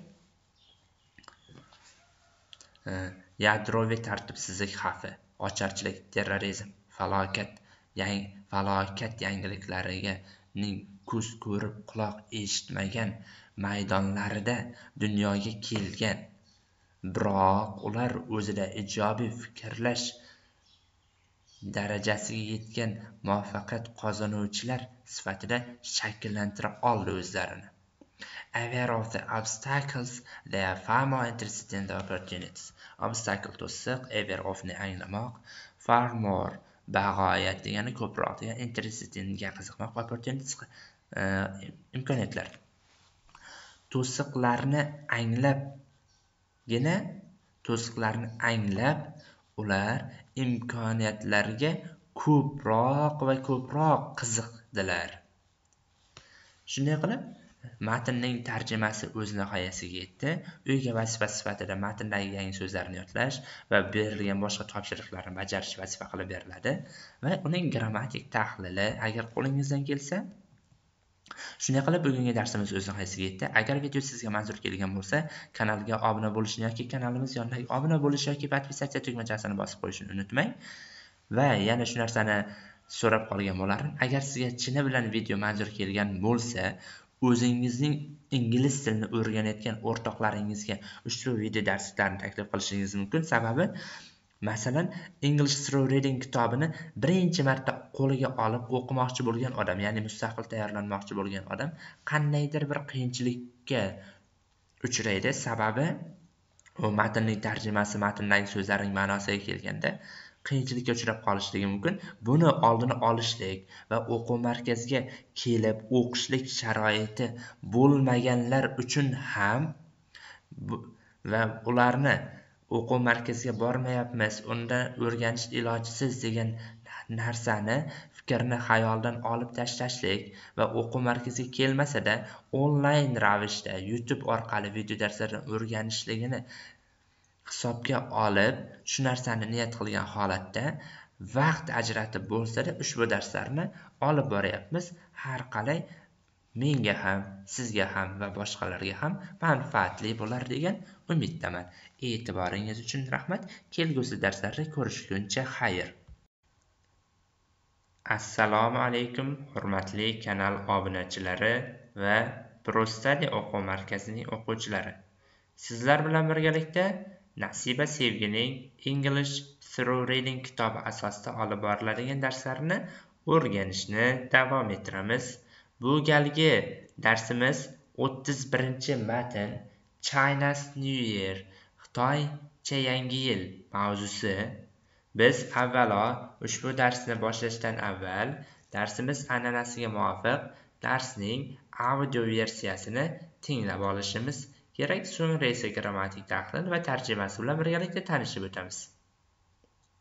Chinese New Year The most important holiday in China is the Lunar New Year. Since it is based on the lunar calendar, it comes about a month later than the Western New Year. The Chinese New Year season traditionally lasts about a month, however, so that working life will not be interrupted for too long, the period has now been reduced to a week or less. There are some parallels with the Western New Year. Houses are cleaned thoroughly, for instance, and families all get together for the festivities. All debts must be paid off so that the new year can start with a fresh beginning. Feasts are enjoyed with family and friends, and there are lively dragon and lion dances in the streets. Everywhere there is the sound of firecracker explosions. Children receive gifts of little red envelopes with money inside them. Many superstitions are related to the celebration of the Chinese New Year. No sweeping should be done in case the family's good fortune is swept out of the door with the trash. One should be especially careful not to break any dishes, for such an accident is believed to bring about serious problems between members of the family throughout the coming year. shunday qilib matnning audiosi o'z nihoyasiga yetdi endi sizlar bilan birgalikda matnning grammatik tahlili va tarjimasi bilan tanishib o'tamiz. Chinese new year xitoycha yangi yil the most important holiday in china is the lunar new year. The most eng important muhim holiday bayram in china xitoydagi lunar oy new year yangi yil. Xitoydagi eng muhim bayram oy yangi yilidir. Endi grammatik tahliliga keladigan bo'lsak nega the aniq artikl ishlatildi? Sababi bu yerda most so'zi kelmoqda important bilan birgalikda bu orttirma nisbatni hosil qiladi va ingliz tilida orttirma nisbat hech qachon the artiklisiz kelmaydi. Nega orttirma nisbatni belgisi o'laroq most ishlatildi? Sababi keltiradigan sifatimiz important ikki bo'g'indan oshiq bo'lganligi uchun ingliz tili grammatika qoidasiga binoan ikki bo'g'indan ortiq sifatlarni orttirma nisbat orttirma sifat shaklini bildirishlik uchun the most so'zi qo'shiladi. The most birikmasi qo'shiladi. Shunday qilib the most important eng muhim bo'ldi. Holiday bu yerda ot. Endi o'quv markaz o'quvchilariga aytadigan bo'lsak bu the most important premodifikator holiday esa gapning asosiy qismi. In china xitoyda. Bu gapda o'rinni bildiruvchi o'rin holi bo'lib kelmoqda. Va bu yerda holiday atrofida birlashgan xitoydagi eng muhim bayram bo'lsa bayram holiday so'zidan keyin keladigan qism in china bu post modifikator. Shunday qilib post modifikator va pre modifikatordan iborat bo'lgan murakkab otli birikma tashkil topdi va otli birikmaning asosi o'zagi bu holiday so'zi va u birlikda bo'lganligi uchun biz to bening is shaklini ishlatdik chunki gap post modifikatorga ham premodifikatorga ham qaralmaydi aksincha gap egaga qarab beriladi. Yana hurmatli kanal obunachilari hayron bo'lmang qanaqa holatda tushuntirilyapti deb bu narsa haqida vaqt kelsa alohida video dars qilamiz. Sababi o'quv markaz o'quvchilari bilan birgalikda biz yangi bir qo'llanmani boshlaganmiz. Unda odatiy tartibdan ko'ra biroz farq qiladi. Ya'ni biz bu yerga kelayotgan narsalar sifat yoki aniqlovchi demaymiz. Birato'la premodifikator deya qo'yamiz in china o'rin holi va bu otli birikmani tashkil qilayotganligi uchun post modifikator o'laroq ishlatiladi. Post modifikator deb amalda qo'llaniladi. Tushunmasangiz agar mabodo tushunmovchilik kuzatilsa hech ham xafa bo'lib o'tirmang chunki bu mavzular sizga hali o'tilmagan. Lunar oy new yangi new year yangi yil. Endi nega z keldi desa bu bayram ma'nosi va xitoydagi bitta bitta bayram haqida gap ketmoqda oy yangi yili haqida. Endi bu yerga kelib the lunar new ga keladigan bo'lsak bular hammasi birgalikda premodifikatorlar. Ya'ni aniqlovchilar the ko'rsatkich so'z lunar sifat so'z new sifat so'z. Bu yer atrofida birlashmoqda. Bu the lunar new year bo'lsa bu nima desa bu otli birikma deymiz. Davom etamiz. Since so'zi. Agar since so'zidan so'ng past simple va undan avvalgi qismda present perfect zamoni keladigan bo'lsa yoki since so'zi present perfect zamoni ichida ishlatiladigan bo'lsa va ular undan so'ng vaqt iborasi keladigan bo'lsa since dan beri deb tarjima qiladi. Lekin since ushbu holatlarda ishlatilmasdan aksincha gapning avvalida keladigan bo'lsa since bu yerda chunki deb tarjima qiladi. Endi aytamiz since it's based on the lunar calendar. Chunki u oy kalendariga asoslanadi. Endi base onga e'tibor beramiz. Base on ga asoslanmoq degani nega based bo'ldi fe'l ingda keldi? Sababi to bedan keyin fe'lning yo ing olgan shakli keladi yoki fe'lning uchinchi shakli kelishi kerak va boz ustiga it bilan ifodalanadigan narsa majhul nisbatda u o'zini o'zi asoslamaydi u asoslanadi. Ya'ni oy kalendariga asoslanadi. Davom etamiz. It comes about a month later than the western new year. Come about come kelmoq about taxminan month bir oy later keyinroq thenga qaraganda western g'arbiy new year yangi yil. G'arb g'arbcha yangi yilga qaraganda u taxminan bir oy ilgariroq keladi. Kamsniga esolib present simpleda gapning egasi it bilan berilib uchinchi shaxs birlik bilan kelgan so'zlardan keyin keladigan fe'llar s qo'shimchasini olib kelishi kerak. About bu yerda taxminan ma'nosida ishlatilmoqda. Emas qandaydir bir oyni anglatmoqda. Bu yerda aniqlik yo'q zemas desak to'g'ri kelmay qoladi. Later nega later bo'lib r qo'shimchasini oldi? Sababi qiyosiy sifatni talab qiluvchi zen so'zi bor. Zen so'zini oldin keladigan so'zlar ingliz tilida qiyosiy daraja shaklida turishi kerak va bu r qo'shimchasi bilan yasaladi. The western new year yuqoridagi the lunar new yearning qoidasi bilan bir xil. The Chinese New Year season traditionally lasts about a month. However, shu yerda to'xtalsin. About a month ko'rdik, lasts shart emas. Traditionally nega traditionally bu yerga keldi? Bu traditionally ravish, ingliz tilida ravishning gapdagi o'rni fe'ldan oldinda yoki fe'ldan keyinda bo'lishi kerak. Bu yerda last davom etmoq fe'li fe'l bo'lganligi sababli traditionally ravish so'zi fe'ldan oldinda joylashmoqda. Tarjimasiga kelsak e, xitoycha yangi yil fasli traditional an'anaviy ravishda last davom etmoqda. About taxminan ho'p xitoycha yangi yil yangi yil fasli taxminan an'anaga muvofiq bir oylarcha davom etadi. However lekin so'zet natijada Working life will not be interrupted for too long. The period has now been reduced to, to a week or less.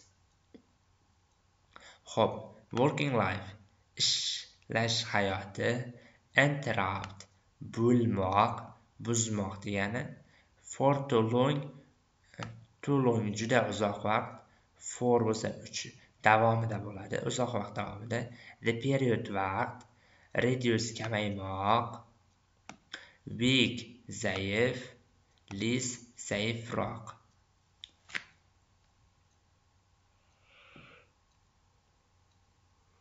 tarjimasiga kelsak xitoycha yangi yil an'anaga muvofiq taxminan bir oylarcha davom etadi biroq ish hayoti uzoq vaqt davomida uzilib qolmaydi. Hozirgi kunda vaqt bir hafta yoki undan kamroqga qisqartirilgan. Tarjimasi shunday shu tartibda however so'ziga e'tibor beramiz. However lekin ma'nosida ishlatiladi. Battan farqli jihati howeverdan keyin vergul qo'yilishi kerak va undan oldingi qismda yo nuqta yoki nuqtali vergul kelishi kerak. Bu yerda nuqtali vergul izohlash mazmunida kelyapti ya'ni gapning davomi sifatida to'xtab qoladi va buni keyingi gapda yana izohlash munosabati bilan kelmoqda. Working life will not nega will not be kelasi zamon ishlatildi? Chunki kelasi zamonga ishora tariqasida kelmoqda. Ish harakat doimiylikda emas ya'ni shu bayram boshlangandan keyingi ish harakat nazarda tutilganligi uchun kelasi zamon ishlatilmoqda. Uzilib qolmaydi nega interrupted bo'ldi? Bu yerda be borligi uchun nega be interrupted majhul nisbatda keldi? Ya'ni future simple passivda keldi. Sababi working life gapning egasi jonsiz jonsizlar jonsiz obyektni bildirgan e, jonsiz egalari bilan asosan fe'lning majhul nisbat shakli ishlatiladi. Shu sababdan will be interrupted ishlatildi. The period birlikda bu birlikdagi so'z birlikda bo'lganligi uchun has birlik shaklda keldi. Now ravish so'z yo gapning oxirida yo gapning boshida yoki gapning o'rtasida esa yordamchi fe'ldan keyin asosiy fe'ldan oldinda joylashadi. Nega bend reduced yana majhul bo'ldi? Sababi period vaqt. Vaqt o'zini o'zi qisqartirmaydi boshqalar tomonidan qisqartiriladi. Nega avek bo'ldi? Sababi week sanaladigan ot va hafta degan. Nega less bo'ldi? Kamroq ya'ni bir haftadan kamroq muddatga. Va bu yerda qiyosiy munosabat bo'lganligi uchun list bo'ldi. Lekin savol tug'ilishi mumkin. Nega endi bu yerda qiyos ishlatildi? Aslida qiyosiy ishlatilishi uchun ikki omil bo'lishi kerakku. Ya'ni ikki taqqoslanadigan narsa bo'lishi kerakku degan savol bo'lishi mumkin. Bu yerda hafta va haftadan kamroq qism nazarda tutilganligi uchun ikki narsa mazmunida keldi va shu sababdan qiyosiy daraja shaklida kelmoqda. There are some parallels with the Western New Year. G'arbcha yangi yil bilan bir qancha o'xshashliklar mavjud. endi e'tibor beramiz zeradagi yo er yoki yo ar yoki is bo'lishligi o'zidan keyingi otga bog'liq parallels ko'plikda bo'lganligi uchun zer a yoki zeris birikmasidan biz zerani tanlab olamiz sababi yuqorida aytildi parallel ko'plikda. Agar shu yer parallelni o'zi bo'lganda edi bu paral zeris sam tarzida ishlatilar sam ko'plik otlar bilan kelsa bir nechta deb tarjima qiladi. Shuning uchun sam samparalis bir nechta o'xshash tomonlar yoki bir nechta o'xshashliklar deb tarjima qilinmoqda. Qolgani shart emas chunki ko'rib o'tdik yuqorida. Houses are cleaned thoroughly houses uylar. Uylar ko'plikda bo'lgani sababli to bening ko'plik shakli ishlatilmoqda ardan keyin fe'lning uchinchi shakli kelib majhul nisbatda turganining sababi houses so'zi jonsiz jonsiz egalardan keyin keladigan zamon majhul nisbat zamoni bo'lishi kerak. So roughly bu yerda ravish o'zbek tiliga to'liq deb tarjima qilinadi. Va cleaned fe'l bo'lganligi uchun fe'ldan keyin ravish kelishi to'g'ri. Uylar to'liq tozalanadi. For instance masalan and families all get together for the festivities festivity bayram get together jamuljam bo'lmoq all barcha families oila. Uylar tamoman tozalanadi. Masalan bu yerda masalan deb o'rtasiga qo'yib qo'ysak yarashmas ekan yuqorini tarjima qilib kelaylikda shu yergacha bitta tarjima qilamiz. G'arb yangi yili bilan bir qancha o'xshashliklar mavjud. Jumladan uylar tamom to'liq tozalanadi. Oila a'zolari bayram uchun jamuljam bo'lishadi. Endi e'tibor beramiz. Families butun oila oilani umumiy hammasi nazarda tutilganligi uchun all so'zi kelmoqda. Lekin savol bo'lishi mumkin all ko'plik otga ishora qilsa allning asl gapdagi o'rni otdan oldin emasmi degan savol bo'lishi tabiiy. All aslida familydan oldin kelishi ya'ni all families bo'lishi kerak edi. Lekin ingliz tilida egadan keyin ham olmoshni ishlatsak bo'ladi va bu xatolikka olib kelmaydi. Har ikkala holat ham to'g'ri. Yo all of the family members bo'lishi kerak yoki all families bo'lishi kerak yoki families all tarzida ishlatilaversa ham bo'laveradi. Families ko'plikda bo'lganligi sababli get togetherda get s olmadi va ko'plik sonda turibdi. Endi bundan keyingi keladigan qismda shunchaki tarjima va so'z asosida olib boramiz. Qolgan qismni grammatik tahlil qilish o'zingizga havola. Davom etamiz. All debits must be paid off so that the new year can start with a fresh beginning. All barcha debits qarz pay off to'lanmoq so that natijada new year yangi yil start boshlanmoq fresh toza beginning boshlanish. Barcha qarzlar to'lanishi kerak natijada yangi yil yangi boshlanishlar boshlanadi. Feasts are enjoyed with family and friends. Feasts bazmlar rohatlanmoq enjoy oila va do'st. Oila va oila a'zolari va do'stlar bazmdan rohatlanishadi. And there are lively dragon and lion dances in the streets. Lively jolly dragon ajdarho lion sher dance raqs tushmoq and street ko'chada. Ko'chada raqs tushadigan sher va jonli ajdarholar bo'ladi. Everywhere there is a sound of firecracker explosions. Firecracker explosion degani salyut otish. Salyutlarning tovushi hamma yerni tutib ketadi. Children receive gifts of little red envelopes with money inside them. Bolalar children receive qabul qilmoq gift sovg'a little kichik red qizil envelope konvert with bilan money insight inside ichida sem ularni bolalar ichida puli bor bo'lgan kichik qizil konvertlardan sovg'alar qabul qilib olishadi. Many superstitions are related to the celebration of the chinese new year. Many ko'p superstition bid'at relate to ga bog'liq bo'lmoq celebration nishonlash chinese new year xitoycha yangi yil xitoycha yangi yilni nishonlash bilan bog'liq ko'pgina bid'atlar mavjud. Bid'at nima? Bu bid'at degani dinda yoki shariatda yo'q narsani dindan shariatdan deb bilib unga amal qilishlik bid'at deyiladi. Tushuningizligini umiddaman. No sweeping should be done in kiss the family's good fortune and sweep out of the door with the trash.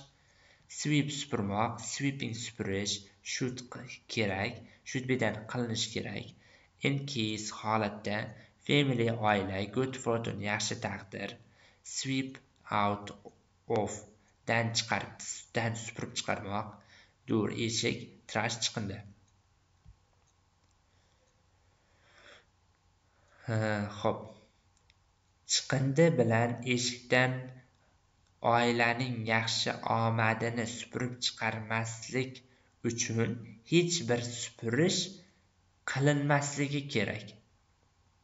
Mazmun jihatdan shunday. One should be especially careful not to break any dishes. For such an accident is believed to bring about serious problems between members of the family throughout the coming year. One kishi should be careful. Ehtiyotkor bo'lishi kerak especially ayniqsa not to maslik break sindirmoq. Not to break bo'lsa sindirmaslik any dishes hech bir idish for. Chunki such an accident shu kabi halokat is believed to bring about ni keltirishiga serious jiddiy problem muammo between o'rtasida member a'zo member of the family bo'lsa oila a'zosi throughout yil e, bo'ylab the coming year kelgusi yil. E, inson hech bir idishni sindirmaslik uchun eh, ayniqsa ehtiyotkor bo'lishi kerak.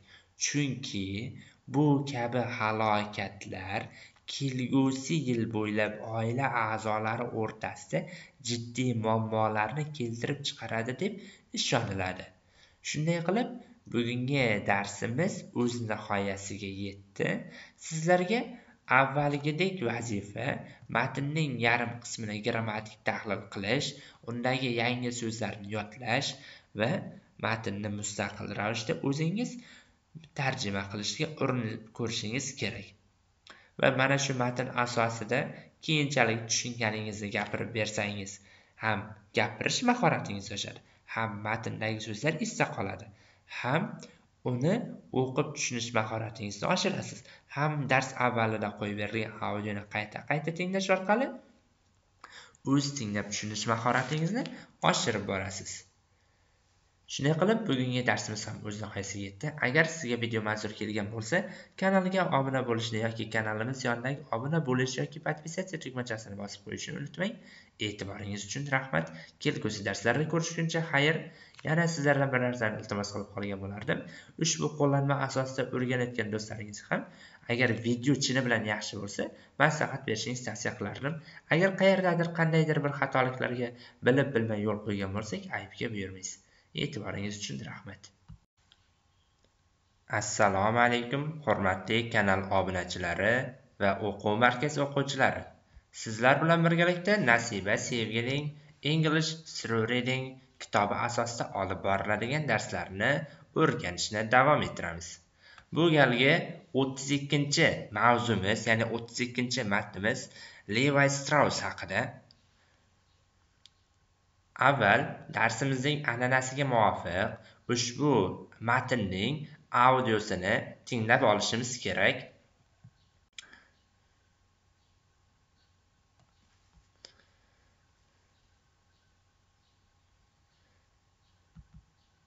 Va shundan so'ng matnga aloqador bo'lgan yangi so'z grammatik qoidalar hamda uning tarjimasi bilan birgalikda tanishib chiqamiz. Unday bo'lsa boshladik. Audioni eshitamiz Levi Strauss. In 1850, during the gold rush, a 20 year old immigrant from Bavaria named Levi Strauss stepped off the boat in San Francisco. He had with him a special cloth called serge denim, which would later be called denim in America. Levi Strauss hoped to sell the denim as material to make tents and covers for wagons to the men who were going to the gold fields to look for gold. You should have brought pants to sell. In the gold fields, we need strong pants that don't wear out, one young miner advised Strauss. So Levi Strauss took some of his denim to the nearest tailor and had him make the miner a pair of pants. The miner was so pleased with his pants that he told other miners about the wonderful new Levi's pants or Levi's, and soon Levi Strauss had to open a shop to manufacture enough trousers for the miners.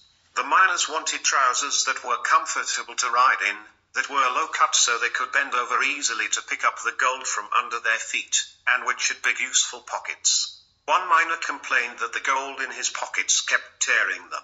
So Levi put metal corners in the pockets to make them stronger. Very soon, miners and cowboys from all over came to get fitted up with Levi's pants. Today, more than a hundred years later, Levi's pants walk the world as Levi's blue jeans. shunday qilib audio o'z nihoyasiga yetdi. Endi matnning grammatik tahlili hamda uning tarjimasi bilan birgalikda tanishamiz. Sarlavha levi Strauss bu bir shaxsning ismi. Endi asosiy qismga o'tsak in 1850 During the gold rush, a 20-year-old immigrant from Bavaria named Levi, Levi Strauss stepped off the boat in San Francisco. So'zlari during davomida gold rush oltin izlash ya'ni Yevropada shunday holat bo'lgan, ya'ni oltinni qidirish uchun guruh-guruh bo'lib konchilar shaxtachilar birgalikda borishgan davr gold rush deyiladi. Ya'ni buni o'zbek tiliga o'girsak oltinni izlash davri deya qolsak to'g'riroq bo'ladi. A 20 year old yigirma yoshli emigrant muhojir from dan bavariya bavariya named atalgan levi strauss ism step off step off degani transport vositasini tark etmoq ma'nosida keladi. Asosan transportni tark etmoq ma'nosida. Step off. The boat. Qayiq. In san francisco. Bu yer shart san fransisko shahar nomi. bir ming sakkiz yuz elliginchi yilda ya'ni oltin izlash davrida yigirma yoshli bavariyalik levi strauss deb nomlangan muhojir san fransiskoda qayiqni tark etdi. Endi tahliliga kelsak in 1850 1850 yil bilan kelgan n predlogi nega boshida ishlatildi. Ingliz tilida vaqtni bildiruvchi so'zlar hamma vaqt yoki gapning boshida yoki gapning oxirida keladi. Shu sababdan in 1850 gap avvalda ishlatildi buni gap oxirida ishlatsa ham xato bo'lmasdi. Endi shundan keyingi vergul qo'yilganligi bu 1850 yil nimaligini izohlab keladi ya'ni qanaqa davrligini. Bu oltin izlash davri edi. Nega during ishlatildi? Sababi biz ifodalarda biz ko'rgan gapimiz step ga e'tibor bering. Past simple zamonda past simple zamonda ishlatiladigan davomida ma'nosini beruvchi so'z bu during. A bu duringni ma'nosini ya'ni davomida degan ma'noni for ham beradiku for ham past simple ishlatilishi mumkinku deyishingiz mumkin. Lekin degan tomoni bor duringdan keyin ot va otli birikmalar keladi. A forda esa vaqtni bildiruvchi so'zlar kelishi kerak. Nega gold rush bilan z ishlatildi? Gold rush bu ma'lum bir davr va mana shu davr bilan z aniq artikli ishlatiladi va bu aniqligi sababidan. Gold rushga ta'rif berib o'tdik. Ho'p endi keyingi qismga o'tamiz. 20 year old 20 yoshli. Agar biz o'zbek tilida 20 yoshli 15 yoshli deb aytmoqchi bo'lsak shu narsani ingliz tilida quyidagi tartib beramiz. Birinchi artikl qo'yamiz. Artikldan keyin sonni o'zini keltiramiz. 15 20 12 farqi yo'q. Undan keyin chiziqcha qo'yamiz. Yozuvda og'zakida bu aks etmaydi. Yozuvda chiziq qo'yib undan keyin keladigan so'zni birlikda yozamiz. O'zi asli 20 years bo'lishi kerak edi. Lekin agar 20 years bo'lsa 20 yillar bo'lib qoladi va ma'no buziladi. Shu sababli bu yerda chiziqcha va yerning o'zini qo'llagan holatda ishlash kerak 20 year old bo'lsa 20 yoshlik bo'ladi. O'zi asli aytilishi men 20 yoshman desa aytardik i am 20 years old. Years old. Mana shu yerda s bo'lishi kerak. Lekin men agar men 20 yoshli yigitman desam i am a 20 year old guy deb aytaman. Tushundik davom etamiz. Emigrant muhojir. Muhojir so'ziga o'zbek tilida ta'rif berib o'tsak o'zga bir elga yashash uchun borgan kishi muhojir deyiladi musofirga kelsak o'zga elga ishlash yoki o'qish uchun borgan kishi yoki yurtini tashlab tijorat uchun borgan kishi musofir bo'ladi. Emigrant from bu yerda bavariya bavariyalik muhojir bo'ldi. Bu yerda from dan ma'nosidagi desangiz to'g'ri lekin tarjima jihatdan oladigan bo'lsak bavariyalik tarzida tarjima qiladi nemit atalgan bu nima sababdan fe'licha keldi deyishingiz mumkin. Buning asosiy sababi bu otdan oldin kelib sifatdosh shaklda turganligi uchun. Ingliz tilida sifatdoshning ikki xil shakli bor. Hozirgi zamon sifatdoshi va o'tgan zamon sifatdoshi biz bu narsani ingliz tilida past participle va present participle nomi ostida bilamiz. Bilasiz present perfect zamonlarini yoki xullas jamiki perfect zamonlarni past participle ya'ni o'tgan zamon sifatdoshi sifatdoshi yasaydi. Bu o'tgan zamon sifatdoshi fe'lning uchinchi shakli bilan yasaladi. To'g'ri fe'llarga ed qo'shiladi noto'g'ri fe'llarga uchinchi shakl tanlanadi. Name to'g'ri fe'l va unga ed qo'shimchasi qo'shilgan va bu o'tgan zamon sifatdoshi o'zbek tilida o'tgan zamon sifatdoshining tarjima jihatdan kelishi gan kan qan qo'shimchalariga to'g'ri keladi. Name atamoq o'tgan zamon sifatdoshi shakliga kiritsak o'zbek tilida atalgan bo'ladi. Levis levi straus deb atalgan tarzida tarjima qilinadi. Va bu o'tgan zamon sifatdoshi. Ana endi ona tilidan o'qigan bo'lsangiz sifatdosh nimaligini yaxshi bilasiz. Fe'lning sifatga xoslangan shakli va sifat qanaqa grammatik xususiyatlarni bajarsa sifatdosh ham xuddi shunday grammatik xususiyatlarni bajaradi. Bu yerda xuddi shu kabi otdan ilgari keldi va uning aniqlovchisi o'laroq ishlatilmoqda. Step off tark etdi. Past simple chunki 1850 yil degan qism o'tgan zamonga ishora qilyapti. Shu sababdan beri past simple qolib ishlatildi. Nega step offda p ikkilantirildi? Qoidaga binoan ikki undash hamma vaqt ham to'g'ri kelavermaydi ba'zi hollarda qoidaga binoan ikki undash orasida kelgan unli harf bo'lsa oxirgi harf ikkilantiriladi. Masalan bo'lishi mumkin run running tarzida yoki travelda ham xuddi shu holat bor. Travel traveling ikkita l yoziladi. The boat. Boat qayiq bo'lsa san fransiskoda qayiqlar ko'p bo'lsa nega e ishlatilmadi? Chunki qayiq qayerda tark etilganligi aniqligi sababidan the boat tarzida ishlatilmoqda. Chunki o'zidan keyingi qismda qayerdaligi berib qo'yilgan? San fransiskoda san fransiskoda qayiqni tark etdi. Tarzida kelganligi uchun bot the aniq artiklni oldi. Davom etamiz. He had with him a special clothes called serge denims which would later be called denim in America. U Serge Denims deb nomlangan maxsus matoni o'zi bilan olib keldi va bu keyinchalik Amerikada denim deb nomlandi.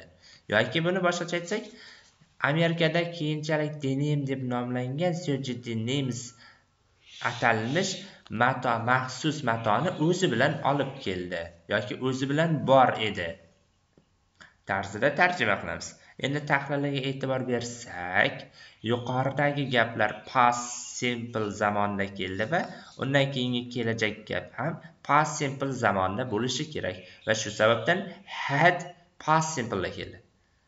With predlog predlogdan keyin keladigan olmash to'ldiruvchi olmash shaklida turishi kerak va he so'ziga monand to'ldiruvchi olmash bu him. Hening to'ldiruvchi olmash shakli him. Sababi him predlogdan keyin kelmoqda. A special clause bu yerda a noaniq artikl va bu clause'ga ishora qilmoqda. Demak close sanaladigan ot special esa uning sifati ya'ni premodifikatori va biz artiklni tanlashga kelganda sifatning holatiga qarab artikl tanlaymiz. Agar sifat unli harf bilan unli tovush bilan boshlanganda edi bu yerda n ishlatilgan bo'lardi it xuddi yuqorida nemitni qanday aytgan bo'lsak kolletning ham qoidasi xuddi shuningdek bir xil. Bu sifatdosh shakli. Sujudi names bu ingliz tiliga aloqasi bo'lmagan qandaydir bir so'z. Mana shu sujudi names degan so'z keyinchalik denemga almashibdi. Bu denamda tarjimasi yo'q chunki. Xuddiki al xorazmiyni yevropada algoritm nomi bilan bilganidek va mana shunday talaffuzda o'zgarishi sabab yangi bir so'z hosil qilib oladigandek tuyuladi masalan deylik agar samarqandga tashrif buyursangiz xo'ja doniyor maqbarasi bor. O'zi don asli doniyor so'zi e, doniyor ismi arab o'lkasida daniel nomi bilan ma'lum. A bizning tilga kelib esa doniyor atamasi doniyor so'ziga o'zgargan.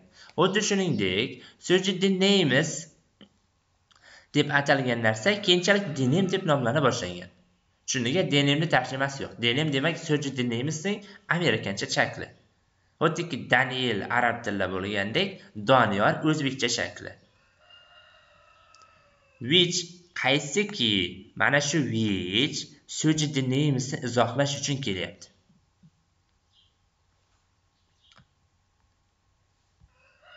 Endi keyingi qism would later be called. Keyinchalik bu yerda qoidalar yo'q. Be called ataldi. Nega majhul nisbatda keldi? Sababi so'jidi nemis egasi jonsiz. Jonsiz egalar bilan keladigan nisbat bu majhul nisbat. Chunki so'jidi nemis jonsiz bo'la turib o'ziga o'zi denim deb nom bermaydi. Insonlar tomonidan shu nom beriladi. In America. keyingi gap Levi Strauss hoped to sell the denim material to make tents and cars for wagons to the men who were going to the gold fields to look for gold. Levi Strauss vagonlarni o'rash, chodirlarni tayyorlash, tayyorlash materiali sifatida denimni sotishni umid qildi. endi boshidan yana bir kelamiz levi strauss vagonlarni o'rash chodirlarni tayyorlash materiali sifatida denimni oltin dalalarida oltin qidirish oltin qidirish uchun oltin dalalariga borgan kishilarga sotishni umid qildi levi strauss ism hopet nega past simple'da keldi? O'zidan oldingi gaplarda past simple shakli bor. Hope'dan keyin to fe'l bir keladi. Shunga ma'no shu qoidaga muvofiq hope so'zidan keyin to sel to fe'l bir ya'ni to infinitiv shakli kelmoqda. Buni yodlab olish kerak. Ma'lum bir fe'llar bor. O'zidan keyin to plus fe'l bir shaklini talab qiladigan va yana bir ma'lum bir fe'llar borki o'zidan keyin fe'l ing talab qiladi. The denim nega bu yerda denim endi? The aniq artiklini oldi. Sababi denim gapning avvalida ishlatildi va ikkinchi bor takror kelganda biz uni the aniq artikl bilan ishlatishga majburmiz bu tilning grammatik qoidasi. Ya'ni kim? Bir ot birinchi marta birinchi marta ishlatilganda u noaniq artikl bilan ishlatiladi va keyinchalik qayta ishlatilganda u the aniq artiklni olishi kerak. Chunki u aniq narsa sifatida ma'lum bo'ldi. As bu qiyoslash maqsadida kelyapti material sifatida. To make tents bu yerdagi to maqsad uchun kelmoqda ya'ni chodir tayyorlash maqsadida yoki chodir tayyorlash uchun tarzida to maqsadni bildirib kelmoqda. Ya'ni kim? To plus fe'l bir. Maqsadni bildirish uchun ham keladi va gapda maqsad holi vazifasini bajaradi va o'zbek tilida gani kani qani uchun ning sababida e, ning maqsadida deb tarjima qilinadi. Ya'ni chodir tikkani yoki chodir tayyorlash uchun yoki chodir tayyorlash maqsadida deb xohlagan usulda maqsadni ifodalash ma'nosida berishimiz mumkin. And add cows. Xuddi shuningdek bu qism ham davom etmoqda. Covers for wagons vagonlarni o'rab olish uchun. Tuzumen erkaklarga va mendan keyin keladigan who so'zi o'zidan oldingi keladigan men erkaklar so'zini izohlab kelmoqda va ularning qanday kishi ekanligi urg'u berib ta'kidlamoqda. Endi were qaraymiz. Nega to bening o'tgan zamon shaklini ko'plik holati ishlatildi. Were ning ishlatilganligi sabab o'zidan avvalgi kelgan men ko'plikda va ko'plikda bo'lganligi uchun nisbiy almashuvdan keyin keladigan qism ham ko'plikdagi fe'l bilan ifodalanishi kerak. We going to bu moqchi bo'lmoq ya'ni be going to'ning o'tgan zamon shakli goldfelds oltin dalalari to look for gold degan qism ham maqsad uchun kelmoqda. Ya'ni oltinni qidirish maqsadida deya tarjima qilinadi ushbu qismda. Keyingi qismga o'tamiz. You should have brought pants to sell. Sen sotish uchun pants o'zi aslida ishton degani shim deb keta qolaylik. Ishton desak xunuk ko'rinib qoladi. Talaffuz e, tarjimada ham xunuk eshitiladi. Sen sotish uchun shim keltirsang keltirishing kerak edi. O'zbek tilida shu ohangda aytilgan gapga e'tibor bersangiz keltirishing kerak edi lekin keltirmagan qilmagan bo'ladi. Xuddi shuningdek should have feeluj qilinishi kerak bo'lganu lekin qilinmagan ish harakatni bildiradi. Demak san fransiskoda qayiqni tark etgan levi straus serji Denems degan matoni olib kelgan va u Amerikada Denim nomi bilan tanilgan va u chodirlar tayyorlash va vagonlarni o'rash uchun ishlatilgan. Lekin u o'zi bilan shim olib kelmagan. Shu sababli unga ma'lumot qilinmoqda, sen sotish uchun shim keltirishing kerak edi, lekin qilinmagan. Pants bu yerda ishton ma'nosi shimga shim deya qolaylik yoki hozirgi kundagidek ho'p nima desak bo'ladi triko deb aytib qo'ysak ham to'g'ri kelar balkim lekin shu kiyiladigan kiyim yoki shim yoki ishton yoki trikoga to'g'ri kelishi mumkin In the goldfields we need strong pants that don't wear out. Oltin dalalarida bizga yirtilib, yamoq holatga kelmaydigan kuchli shimlar kerak. In the goldfields oltin dalalarda o'rin holi o'rin holining gapdagi o'rni yo gapni boshida yoki gapni oxirida bo'lishi kerak. We need need zarurat uchun keladi. Modal fe'l yordamchi fe'l ham modal fe'l ham asosiy fe'l ham modal fe'l ham bo'lib kelishi mumkin. Buni endi gapning mazmunidan kelib chiqishidan holatidan bilib olishingiz mumkin. Lekin har qanday holatda ham need zarur deb tarjima qilinadi. Strong kuchli va bu strong pantsning sifati va pantsdan keyin keladigan z ham pantsning izohlanadigan qismi. Esda tursin pants degan so'z hamma vaqt ko'plikda keladi. Chunki u juft ot ingliz tilida bilasiz juft otlar hamma vaqt ko'plik sonda turishi kerak. Va zdan keyingi qismdagi don't nima sababdan don't bo'lgani bu pantsga aloqasi bor. Sababi pants ko'plikda ko'plik sonda bo'lganligi uchun fe'lning ham ko'plik son shakli tanlanadi. Wear out degani e, qanday bo'lsa yaroqsiz holga kelib qolmay qolmoq ma'nosida ishlatiladi. Don't wear out yaroqsiz holga kelmaydigan pants ishtonlar va nega e'tibor beramiz? Har safar takrorlaymiz har darsda aytamiz pants ot otdan keyin keladigan z o'zbek tiliga gan deb tarjima qiladi. Endi bundan keyingi qismga bog'lasak yirtilib yamoq holga kelmaydigan ishtonlar. Endi kuchlini ham qo'shib keyingi gapga olib ketamiz. Davom etamiz.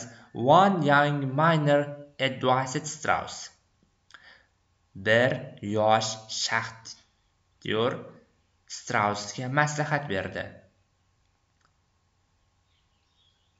Agar so'zni qo'llashga bog'liq xatolik qilgan bo'lsam oldindan uzr. Shaxtyor deb ishlatgan so'zim adashmasam shu konda qazishlarni yoki shu konchilikka doir ishlar bilan mashg'ul bo'lgan kishi shaxtyor deyilsa kerak mayner ya'ni konda ish olib boradigan kishi.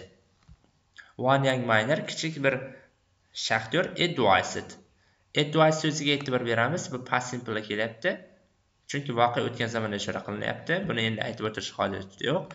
E, Advice'da agar mana shu narsa c harfi bilan yozilsa maslahat bermoq ma'no maslahat bermoq ma'nosi emas aksincha maslahat ma'nosi keladi. Ya'ni c bilan yozilgan advice bu maslahat.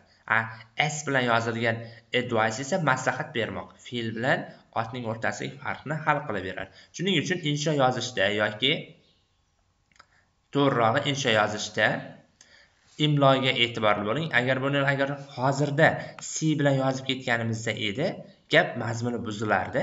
Gapdan mazmun ham chiqarib bo'lmas. Siz katta grammatik xatoga yo'l qo'ygan bo'laringiz sababi ot eti qo'shimchasini olmaydi. Bundan keyingi gaplarni tahlilini o'zingiz qilib olasiz va biz endi bundan keyingi kelajak gaplarni shunchaki tarjimasi va yangi so'zlar bilan birgalikda aytib o'tib ketamiz. So Levi Strauss took some of his denim to the nearest tailor and had make had him make the miner a pair, pair of pants. So shuning uchun Levi Strauss, Levi ism took oldi some ba'zi denimni ko'rdik nearest eng yaqin tailor tikuvchi had him make. Bu yerda orttirma nisbat ma'nosida kelmoqda had make degani have make qildirtirish uchun qildirtirish degani o'zbek tilida tarjima qilsak miner shaxt shaxtyor ya'ni shaxt konda ishlayotgan kishi a pair of pants bir juft shim shuning uchun levi strauss o'z denimini ba'zilarini olib eng yaqin tikuvchiga bordi va shaxtyorga bir juft ishton qildirdi. Tikuvchiga shu ishtonni tayyorlatkizgan. The miner was pleased with his pants that he told other miners about the wonderful new Levi's pants. To Le Levi's, and soon Levi Strauss had to open a shop to manufacture enough trousers for the miners. The miner shaxtyor pleased mamnun, pleased withdan mamnun, told aytdi Azi boshqa miners shaxtyorlar ibodat haqida wonderful ajoyib soon tezda had to had to majbur bo'ldi open ochmoq shop do'kon manufacture ishlab chiqarmoq enough yetarli trouser shim qolgani tanish. Shaxtyor shun o'z shimidan shunchalik xursand bo'ldiki levining shimi yoki le yangi yangi ajoyib levi shimini yoki levis haqida boshqa shaxtyorlarga aytdi va tezda shaxtyorlar uchun yetarlicha shimlar ishlab chiqarish maqsadida levi strauss do'kon ochishga majbur bo'ldi. The miners wanted trousers that were comfortable to ride in. That were low cut so they could bend over easily to pick up the gold from under their feet and which had big useful pockets. The miners shaxtyor wanted want xohlamoq trouser shim comfortable qulay right minmoq bu edi low cut e, qisqa kesilgan so shuning uchun they ular could qila olardi bend egilmoq our uzra easily oson pick up termoq gold oltin anda tagida there ularning fit oyoq which qaysiki had bor edi big katta useful foydali pocket cho'ntak The miners wanted trousers that were comfortable to ride in. Qisqa kesilgan, minishga qulay bo'lgan shimlarni shaxtyorlar xohladi. Shuning uchun ular oyog'ini ostida oyog'ini ostidan oltinni terishda oson egilar edi va ularning foydali cho'ntagi bor edi One miner complained that the gold in his pockets kept telling them. Complain shikoyat qilmoq gold oltin pocket cho'ntak kiyib saqlamoq ter yirtmoq zim ularni. Bir shaxtyor cho'ntagidagi oltinlar ularni yirtib yuborayotganligidan nolidi yoki shikoyat qildi. So Levi put metal corners in the pockets to make them stronger. Put qo'ymoq metal metal corner burchak pocket cho'ntak make qilmoq them ularni stronger kuchliroq.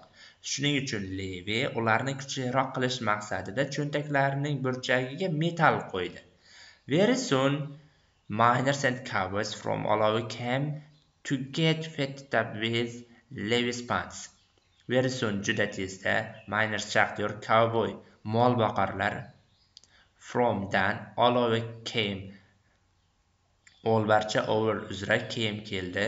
Get fitted up bilan ta'minlanmoqda. Get tabriz bilan ta'minlanmoq degani juda tezda yer yuzidagi shaxtyorlar va kovboylar levining ishtonlari bilan ta'minlandi. Today bugun more than a hundred years later levi's pants worked the world worked the world as levi's blue jeans. More ko'proq thanga qaraganda hundred yuz years yil later keyinroq walk sayr qilmoq. The world dunyo blue jeans ko'k jinsi bugungi kunda yuz yillarga qaraganda ko'proq vaqt o'tib levining ishtonlari dunyoni levining ko'k jinsi sifatida kezmoqda. Shunday qilib bugungi darsimiz ham o'z nihoyasiga yetdi. Sizlarga uyga vazifa tariqasida matnning qolgan qismini mustaqil grammatik tahlil qilish va buning natijasida grammatik hamda vokabulary mahoratingizni oshirish vazifasi yuklatiladi va yangi so'zlarni yodlang ushbu matnning audiosini qayta qayta eshiting. Agar telegram orqali murojaat qilsangiz har bir darsni audiosini tashlab beraman. Telegram raqamim to'qson to'qqiz kodi bilan to'rt yuz qirq sakkiz qirq to'rt nol uch. Shu raqamga murojaat qilsangiz har bir darsni audiosini tashlab beraman. Hech qanday ortiqcha xarajatlarsiz. Bizda hammasi bepul. Agar sizga video manzur kelgan bo'lsa kanalga obuna bo'lishni yoki kanalimiz yonidagi obuna bo'lish yoki podpisatsiya tugmachasini bosib qo'yishni unutmang. E'tiboringiz uchun rahmat. Agar sizga video manzur kelgan bo'lsa boshqa mana shu kitob asosida dars dars qiladigan do'stlaringizga ham ushbu video darsliklarni taklif qilishingizni so'rab qolgan bo'lardik. Har qalay bu siz uchun men uchun va hammamiz uchun foydadan xoli emas. Ko'rishguncha xayr. Assalomu alaykum hurmatli kanal obunachilari va o'quv markazi o'quvchilari. Sizlar bilan birgalikda nasiba sevgining english through reading kitobi asosidagi olib borilajak darslarimizni birgalikda o'rganishni davom ettiramiz. Bu galgi mavzumiz astrology matni adashmasam o'ttiz uch yo o'ttiz ikkinchi mavzuga to'g'ri keladi. Astrology o'zbek tiliga ilmun nujum deya tarjima qilinadi. Ya'ni yulduzlar ilmi. Yoki astrologiya deb o'zini ishlatsak ham bo'laveradi. Avvalo darsni audiosini tinglab olishimiz kerak. So'ngra mavzuning grammatik tahlili hamda tarjimasi bilan birgalikda tanishib chiqamiz. Astrology. All around the world, it seems to be true that people prefer mysterious explanations to simple explanations. If someone is killed in a car crash, for example, many people say it was caused by fate, rather than by poor driving or bad road conditions. In many countries, a profitable business has developed around the subject of astrology. Astrologers want us to believe that our characters are formed as soon as we are born, according to the particular zodiac sign we are born under. Many people prefer to believe this than to read the scientific explanations of the development of human character and personality put forward by psychologists and doctors. Hence, in many popular magazines and women's journals, we find a column such as You and Your Stars. And in some countries, you can even ask an astrology expert questions about your future. Shunday qilib, audio o'z nihoyasiga yetdi. Endi biz matnning grammatik tahlili bilan tanishib. Ko'ringandek qisqa va sodda tushunarli matn bo'lib ko'ringan bo'lishi mumkin, lekin ushbu matnning ichida juda ko'plab grammatik qoidalarni uchratamiz. Har qalay, o'rganib qo'yish foydadan xoli emas. Bunday bo'lsa, darsni boshladik. astrologiya ilmun nujum, yulduzlar ilmi. All around the world, it seems to be true that people prefer mysterious explanations to simple explanations. Ushbu o'rinda biz avvalo monitordan yangi ekran hosil qilib olishimiz kerak va bir grammatik qoida mavjud. Shuni o'rganishimiz shart. Agar siz ko'rgan bo'lsangiz yoki uchratgan bo'lsangiz, preferning bir qancha o'rinlarda kelish holatida grammatik xususiyatlar mavjud ya'ni otlarni bog'lashi fe'llarni bog'lashiga ko'ra ikki xil turlari va fe'lning mazmunidan kelib chiqqan holatda o'tgan zamonda va o'tgan tugallangan zamonlarda hozirgi zamonda ma'nolari o'zgacha ma'no kasb etadi. Buni vaqt kelsa o'tamiz. Hozir mavzuga aloqador bo'lgan qism bilan tanishib chiqishimiz kerak. Demak prefer plus ot plus to plus ot formulasi. Bunda prefer afzal ko'rmoq, to esa tarjimada ga qaraganda ma'nosini beradi. ga qaraganda. Demak, to ning tarjimasi bu yerda ga qaraganda ekan. Endi bu ot otga kelsak, ikki otdan misol keltiramiz. Deylik, men aytaman, I prefer an apple to a banana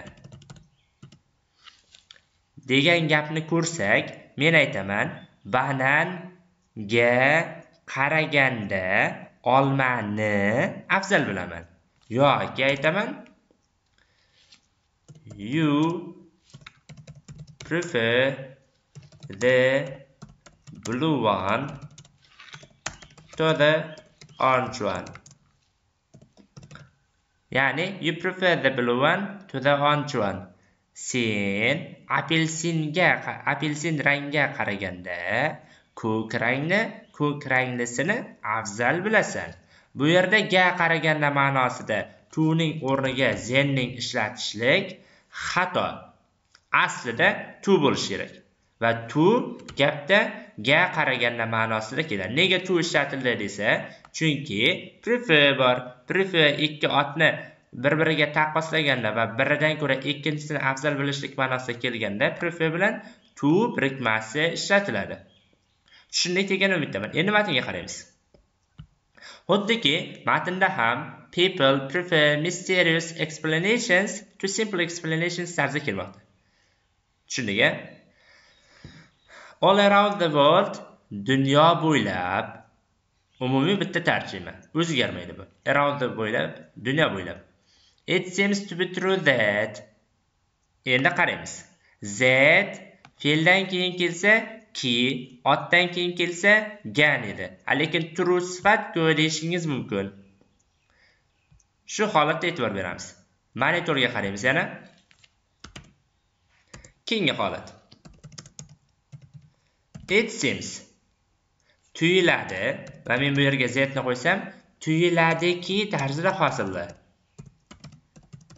tuyuladiki gapi hosil bo'ladi lekin endi agar e'tibor bersangiz sem fe'lidan keyin tu fe'l bir shakli kelmoqda. True sifat bo'lganligi uchun tu bilan ya'ni tudan keyin bilasiz fe'l bir shakli ishlatiladi. Chunki to yuklamasi o'zidan so'ng fe'l bir shaklini talab qiladi. A true sifat sifat bo'lsa to'dan keyin kelishi xato buning oldini olish uchun ingliz tilida be fe'li ishlatiladi.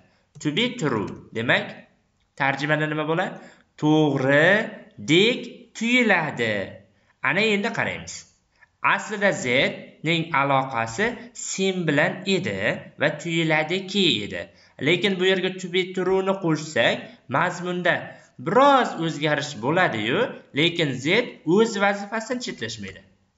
Demak, z hamon semsga bog'liq. ostiga chizib olamiz. Sims bilan z ning aloqasi bog'liq.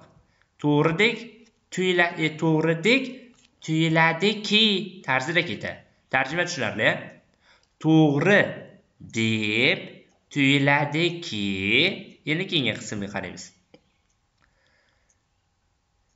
Insonlar oddiy izohlarga qaraganda sirli izohlarni afzal biladi. Qoidaga binoan sim fe'lidan keyin to fe'l bir shakli kelishi kerak.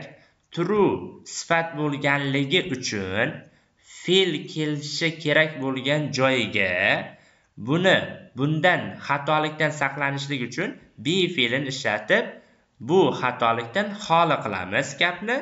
It seems to be true bo'ldi. Z negaki deb tarjima qilindi desa z hamon seemsga aloqasi bor va bu to'g'ri deb tuyuladiki tarzida tarjima qilinadi. People insonlar. Insonlar ko'plik sonda. Ko'plik sonda bo'lganligi uchun prefer ko'plik sonda keldi. Fe'lning birlik shakli s bilan yasaladi. Mysterious nima bu? Sirli degani. Sirli explanations izoh. Explanation ot mysterious esa sirli uning sifati. To nega keldi desa prefer borligi sabab va prefer ikki otni birini afzal bilishlik ma'nosida kelmoqda.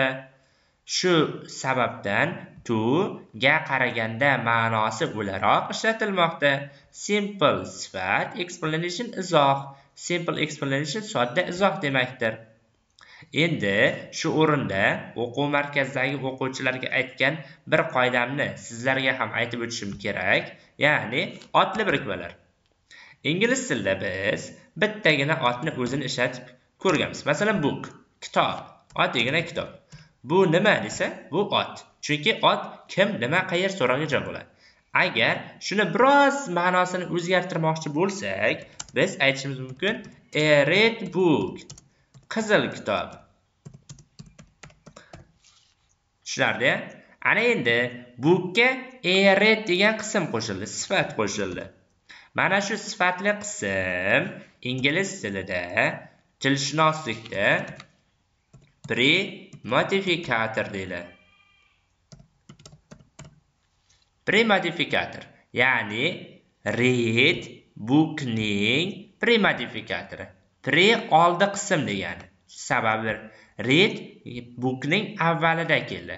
Agar darajalanishga e'tibor bersangiz ham intermediate bor pre intermediate bor. Pre intermediate intermediate bosqichdan avvalgi bosqich. Bookdan avvalgi qism read bo'lganligi uchun bu premodifikator deyiladi. Ana endi read bookdan keyingi qismni yozmoqchi bo'lsam masalan in the room deyishi mumkin. Xonadagi qizil kitob bo'lsa in the room bookning post modifikatori. Atama jihatdan. Post modifikator.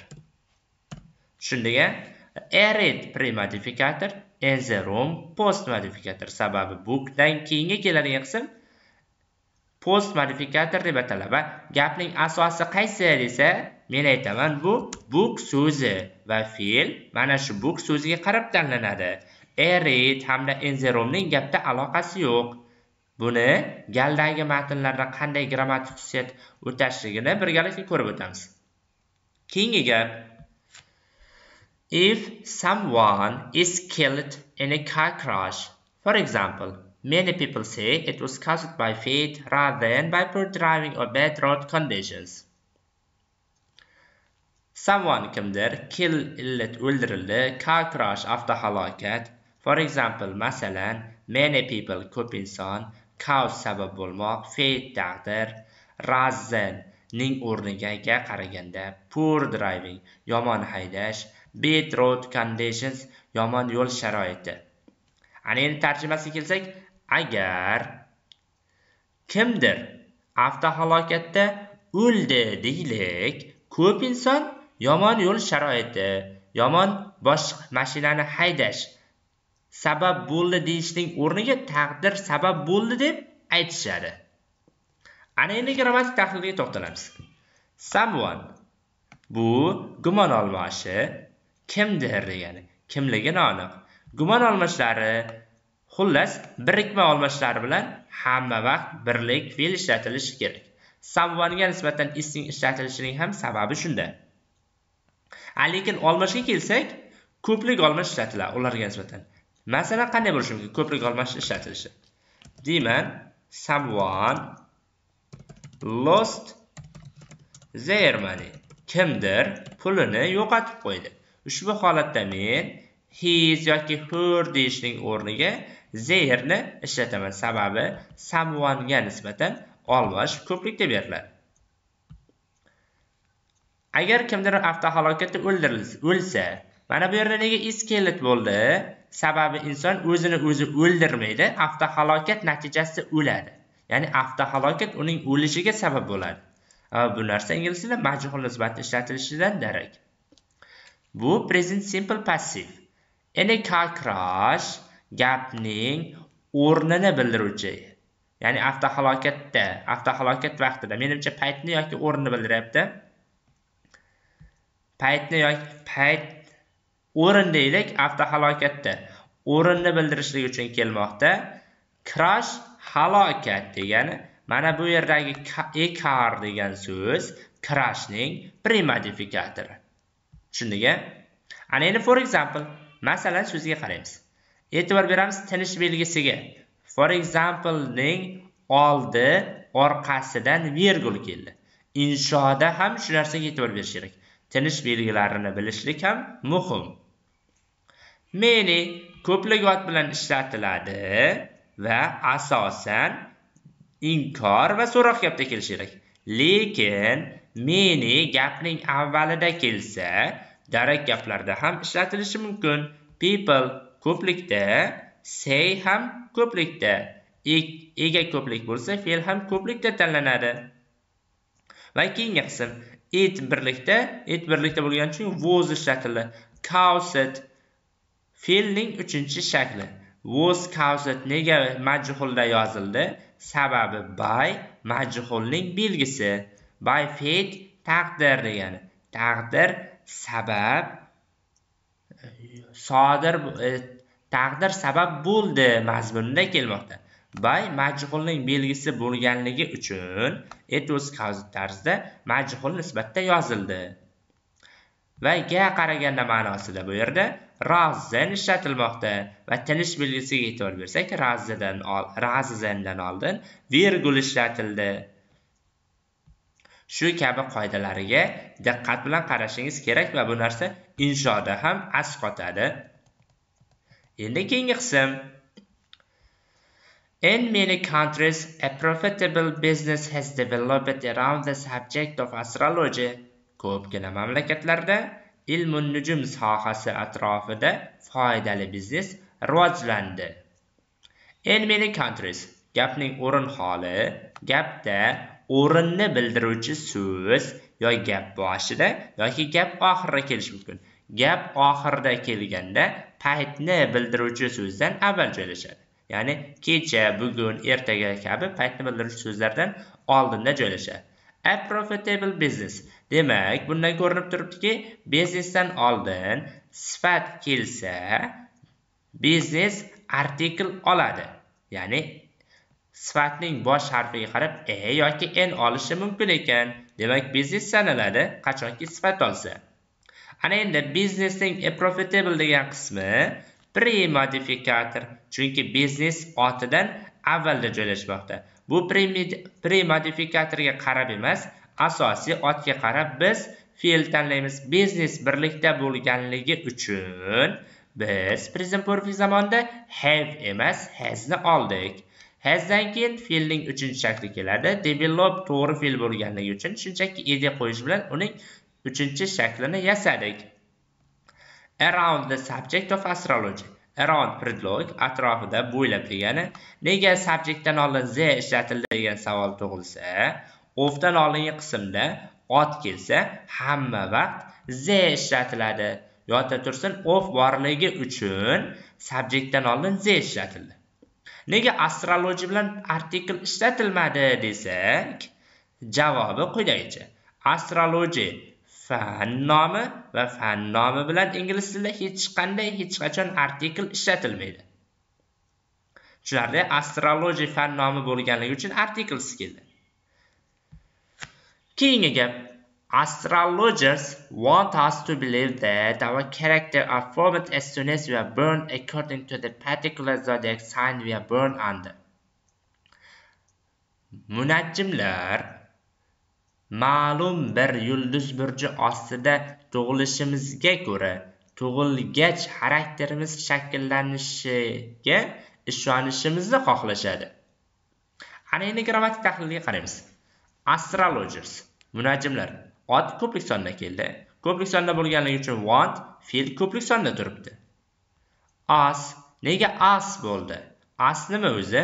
As bu to'ldiruvchi olmosh nega to'ldiruvchi keldi desa ingliz tilida fe'ldan keyin olmoshning faqat va faqat to'ldiruvchi olmosh shakli ishlatiladi.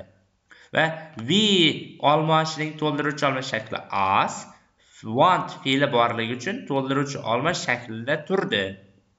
To believe nimaga kerak desa want xohlamoq fe'li o'zidan so'ng to fe'l birni talab qiladi. Monitorga qaraymiz. Masalan aytaman i want to drive. Men haydashni xohlayman. Bunda men o'zimni haydashimni xohlayman degan ma'no anglashiladi lekin men boshqa insonni haydashini xohlasam men aytaman i want ho'p jasur to drive. Men jasurni haydashini xohlayman. Ana endi bunda yuqoridagi gapda i want to drive da men o'zim haydashni xohlayman. I want jasur to drive bo'lsa men jasurni haydashini xohlayman. Bu yerda ham ushbu ma'no anglashilmoqda. Munajjimlar bizni ishonishimizni xohlaydi. Tushundik want bo'lganligi uchun to fe'l bir keldi. Ana endi z ga qaraymiz. Fe'ldan keyin kelganligi uchun bu ke deb tarjima qiladi munajjimlar bizni ishonishimizni xohlashadiki ya'ni nimaga? Davomini keyinchalik yuqorida aytib o'tdik. Our aniqlovchi olmosh aniqlovchi olmoshning gapdagi o'rni hamma vaqt otdan oldinda karakter ot otdan oldin kelganligi uchun our aniqlovchi olmosh shaklida turdi. Karakter ko'plikda bo'lganligi sababidan are ko'plikda keldi. Ardan keyin fe'lning qaysi shakli keladi desa gapning egasi characters ya'ni xarakterlar jonsiz bo'lganligi uchun bu yerda to be fe'lidan so'ng fe'lning uchinchi shakli bo'lishi shart va bu majhul nisbatdan darak. Sababi gapning egasi jonsiz bo'lsa majhul nisbatda ishlatiladi. As soon as nima bu desak as soon as ikkita present simple zamon yoki bitta present simple future simple zamonni bog'lovchi vosita bog'lovchi so'z we are born nega bu yerda ega jonli bo'lsada majhulda keldi desangiz aytish mumkin inson o'zini o'zi tug'maydi tug'iladi. Shu mazmunda bo'lganligi uchun bu majhulda keldi. Ana endi keyingi qoida. According to so'zidan oldin virgul alomati ishlatiladi. Virgul belgisi e'tibor qilamiz according todan keyin ot va otli birikma keladi. Aslida bu gap quyidagicha edi. Hozir yana bir monitorga qaraymiz. According to the particular zodiac sign qanday hosil bo'ldi degan gapga quyidagicha javob beramiz. O'zi aslida gap quyidagicha edi. Ya'ni gap we are born on the particular zodiac sign tarzida edi. Va ushbu holda biz ga ko'ra degan so'zni kiritmoqchi bo'lsak gapni asliga qaraylik we are born under the particular zodiac sign. Biz ma'lum bir yulduz burchi ostida tug'ilganmiz. Tug'ilamiz. Va biz mana shunga ga ko'ra degan so'zni kiritmoqchi bo'lsak according to ni grammatik xususiyatiga e'tibor beramiz. According to'dan keyin ot va otli birikma kelishi kerak. Shuning uchun gapdagi ot va otli birikmani izlaymiz endi. We gapning egasi. Abon gapning fe'li under gapdagi predlog. Ana endi the particular zodiac sign degani the particular zodiac qism signning premodifikatori va premodifikator bilan ot birlashgan holda otli birikmani hosil qiladi. Shunga ko'ra otli birikmani olamiz gap tarkibidan va uni according to'dan keyinga qo'yamiz. Gapning qolgan qismini esa according to'dan keyingisiga ko'chirib qo'ysak bo'lgani. Shunda gapning ma'nosi buzilmaydi va bunga ga ko'ra degan so'z qo'shiladi xolos. Ya'ni biz ma'lum bir yulduz burchi ostida tug'ilishimizga ko'ra tug'ilishimizga ko'ra tarzida tarjima qilinib ketilaveradi. Keyin gaplarni grammatik holatlari bor. Buni mustaqil tarzda o'zingiz bajarishingizni tavsiya qilgan bo'lardim. Bu yog'ini endi shunchaki tarjima va so'z tarzida aytib ketamiz. Many people prefer to believe this than to read the scientific explanations of the development of human character in personality put forward by psychologists and doctors. Prefer afzal bilmoq, believe ishonmoq, read o'qimoq, scientific ilmiy explanation izoh, development rivojlanish, human inson, character xarakter, personality shaxsiyat, put forward birga bu taklif qilmoq degani psychologist psixologlar, doktor shifokorlar. Ko'p insonlar shifokorlar va psixologlar tomonidan taqdim qilingan inson xarakteri va shaxsiyatini rivojlanishining ilmiy izohini o'qishdan ko'ra yuqoridagi narsalarga ishonishni afzal ko'rishadi Hence, in many popular magazines and women's journals, we find a column such as You and You Stars.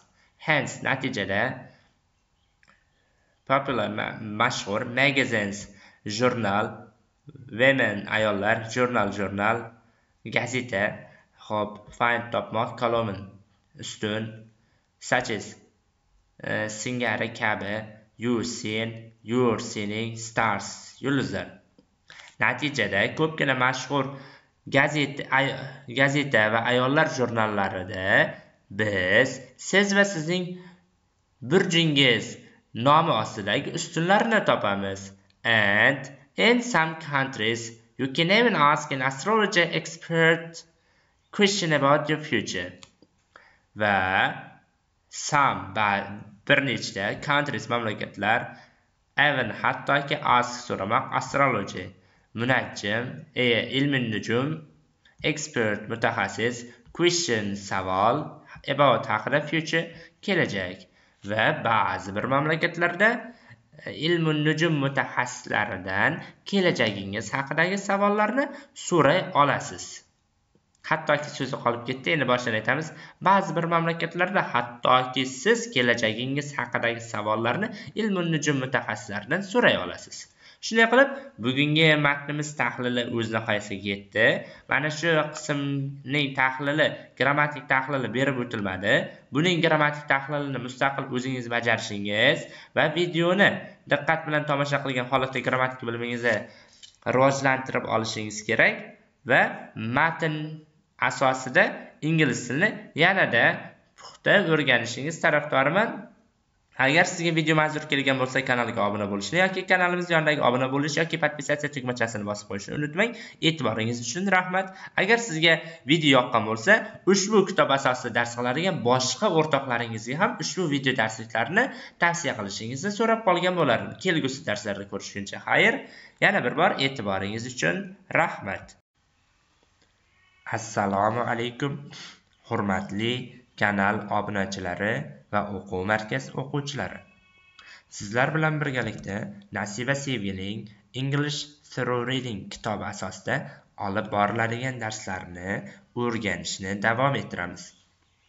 Bu galgi mavzumiz astrology matnidan keyin keluvchi the importance of dreams ya'ni tushlarning ahamiyati mavzusi.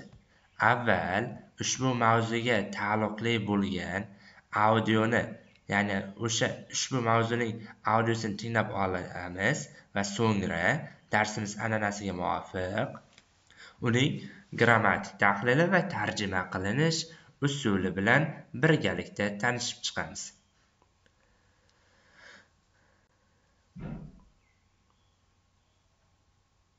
Darsning audiosini eshitamiz avval. The importance of dreams In 1960, an American psychiatrist named William Dement published experiments dealing with the recording of eye movements during sleep. He showed that the average individual's sleep cycle is punctuated with peculiar bursts of eye movement, some drifting and slow, others jerky and rapid. People woken during these periods of eye movement generally reported that they had been dreaming. When woken at other times, they reported no dreams. If one group of people were disturbed from their eye movement sleep for several nights on end, and another group were disturbed for an equal period of time but when they were not exhibiting eye movements, the first group began to show some personality disorders, while the others seemed more or less unaffected. The implications of all this were that it was not the disturbance of sleep that mattered but the disturbance of dreaming. shunday qilib audio o'z nihoyasiga yetdi endi darsning grammatik tahliliga o'tamiz va tarjima qilish usuli. The importance of dreams. Tushlarning ahamiyati. Importance ahamiyat nega the oldi?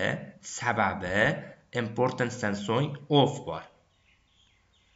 Of ikki otni qismini bog'lab kelganda birinchi ot hamma vaqt the olishi kerak. Keyingisi In 1960, an American psychiatrist named William Dement published experiments dealing with the recording of eye movements during sleep. American amerikalik psychiatrist psixiatr named atalgan publish nashr qilmoq experiment tajriba deal with bilan shug'ullanmoq record yozib olish eye movement ko'z harakati during davomida sleep uyqu 1960 yil William Dement deb William Dement ismli amerikalik psixiatr uyqu davomidagi ko'z harakatlarini yozib olish bilan shug'ullanadigan tajribani nashr ettirdi. In 1960 gapda payt holi vazifasida kelmoqda. Bilasiz, ingliz tilida paytni bildiruvchi so'z yo gap boshida yo oxirida kelishi kerak. Demak tinish belgisiga e'tibor beramiz. Gap boshida kelsa undan keyin vergul qo'yildi. An american psychiatristga to'xtalamiz. Psychiatrist asosiy ot. An american qismi psychiatristning premodifikatori an psychiatristga qarab emas aksincha american unli tovush bilan boshlanganligi uchun n noaniq artikli qo'yildi. Amerikan bosh harfda yozilyapti e'tibor beramiz. Demak shundan xulosa qilish mumkinki kel insonning kelib chiqishini bildiruvchi so'zlar bosh harfda yoziladi ingliz tilida. An american psychiatrist. Name it atalgan. Buni qoidasiga hozir bir biroz muddatga to'xtalamiz. Avvalgi darslarda aytganmanmi yoki yo'q bilmadim. Bu narsa o'quv markazidagi o'quvchilarga aytganim aniq. Sizlarga ham aytib ketayin foydadan xoli emas albatta. Bilasiz ingliz tilida ham o'zbek tilida ham sifatdosh mavzusi bor. Sifatdosh nima desa fe'lning sifatga xoslangan shakli deymiz. Ana o'sha sifatdosh ingliz tilida qanday hosil bo'ladi? Buni hozir quyida ko'rib o'tamiz.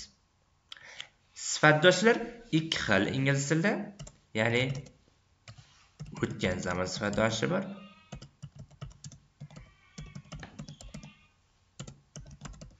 Hozirgi zamon sifatdoshi bor.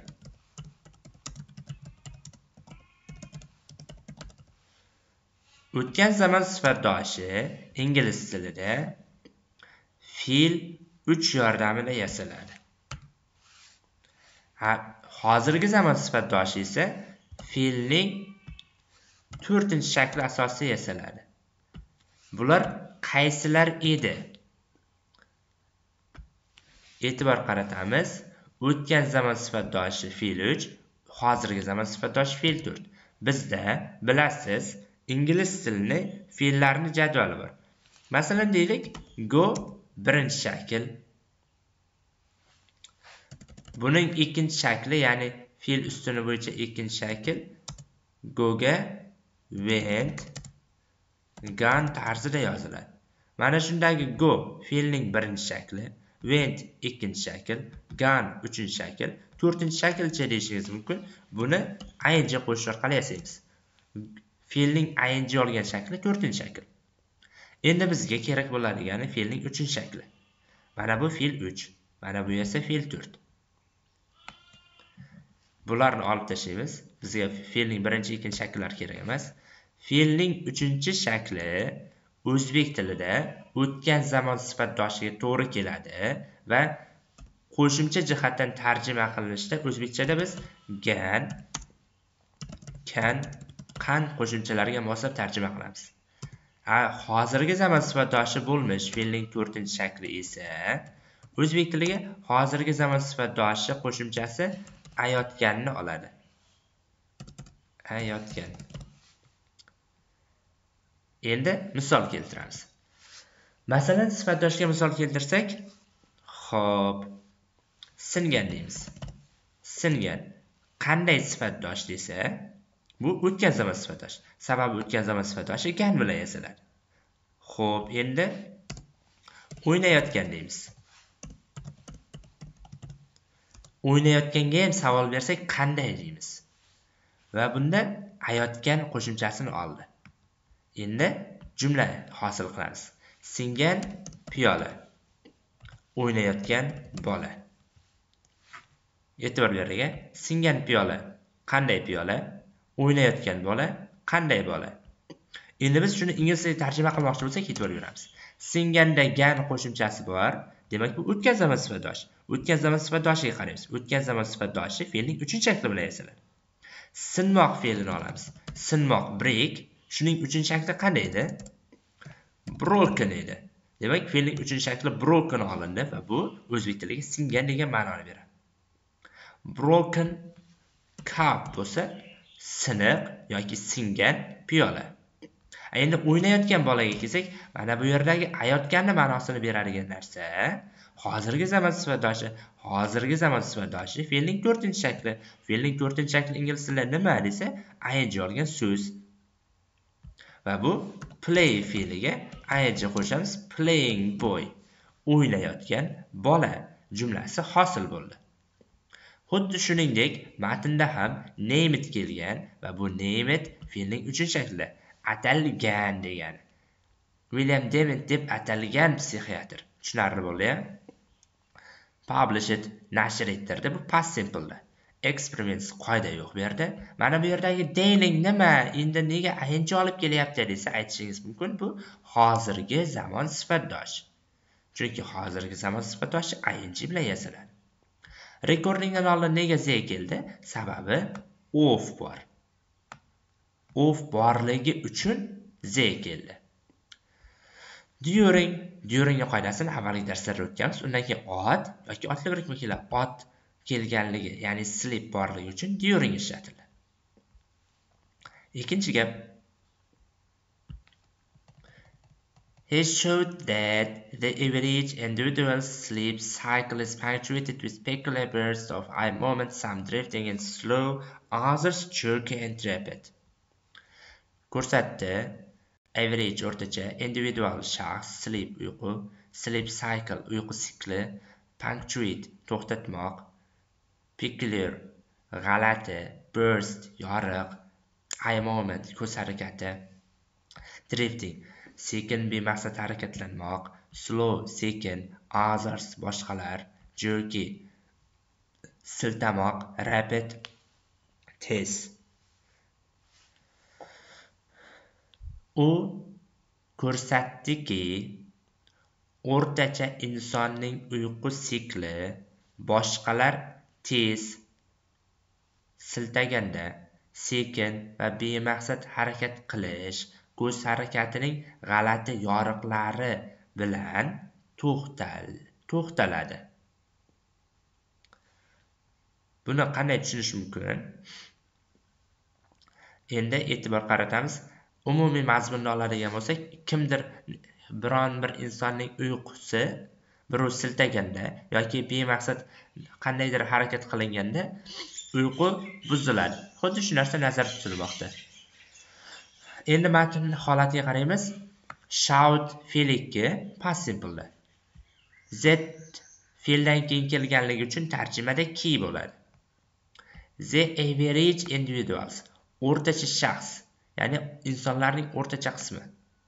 Hammasi emas o'rtacha insonlar. Son jihatdan o'rtachalikni bildiradi average o'rtacha. Individuals apostrof esda kelgan biz apostrof esdan keyin keladigan otni inobatga olamiz demak apostrof esdan keyin sleep cycle keldi. Chunki apostrof esdan oldingi qism hech qachon gapning egasi bo'lmaydi. Sleep cycleda qaysi biri asosiy qism desak cycle asosiy qism. Sleep esa cyclening premodifikatori is birlik shakli sababi cycle birlikda keldi.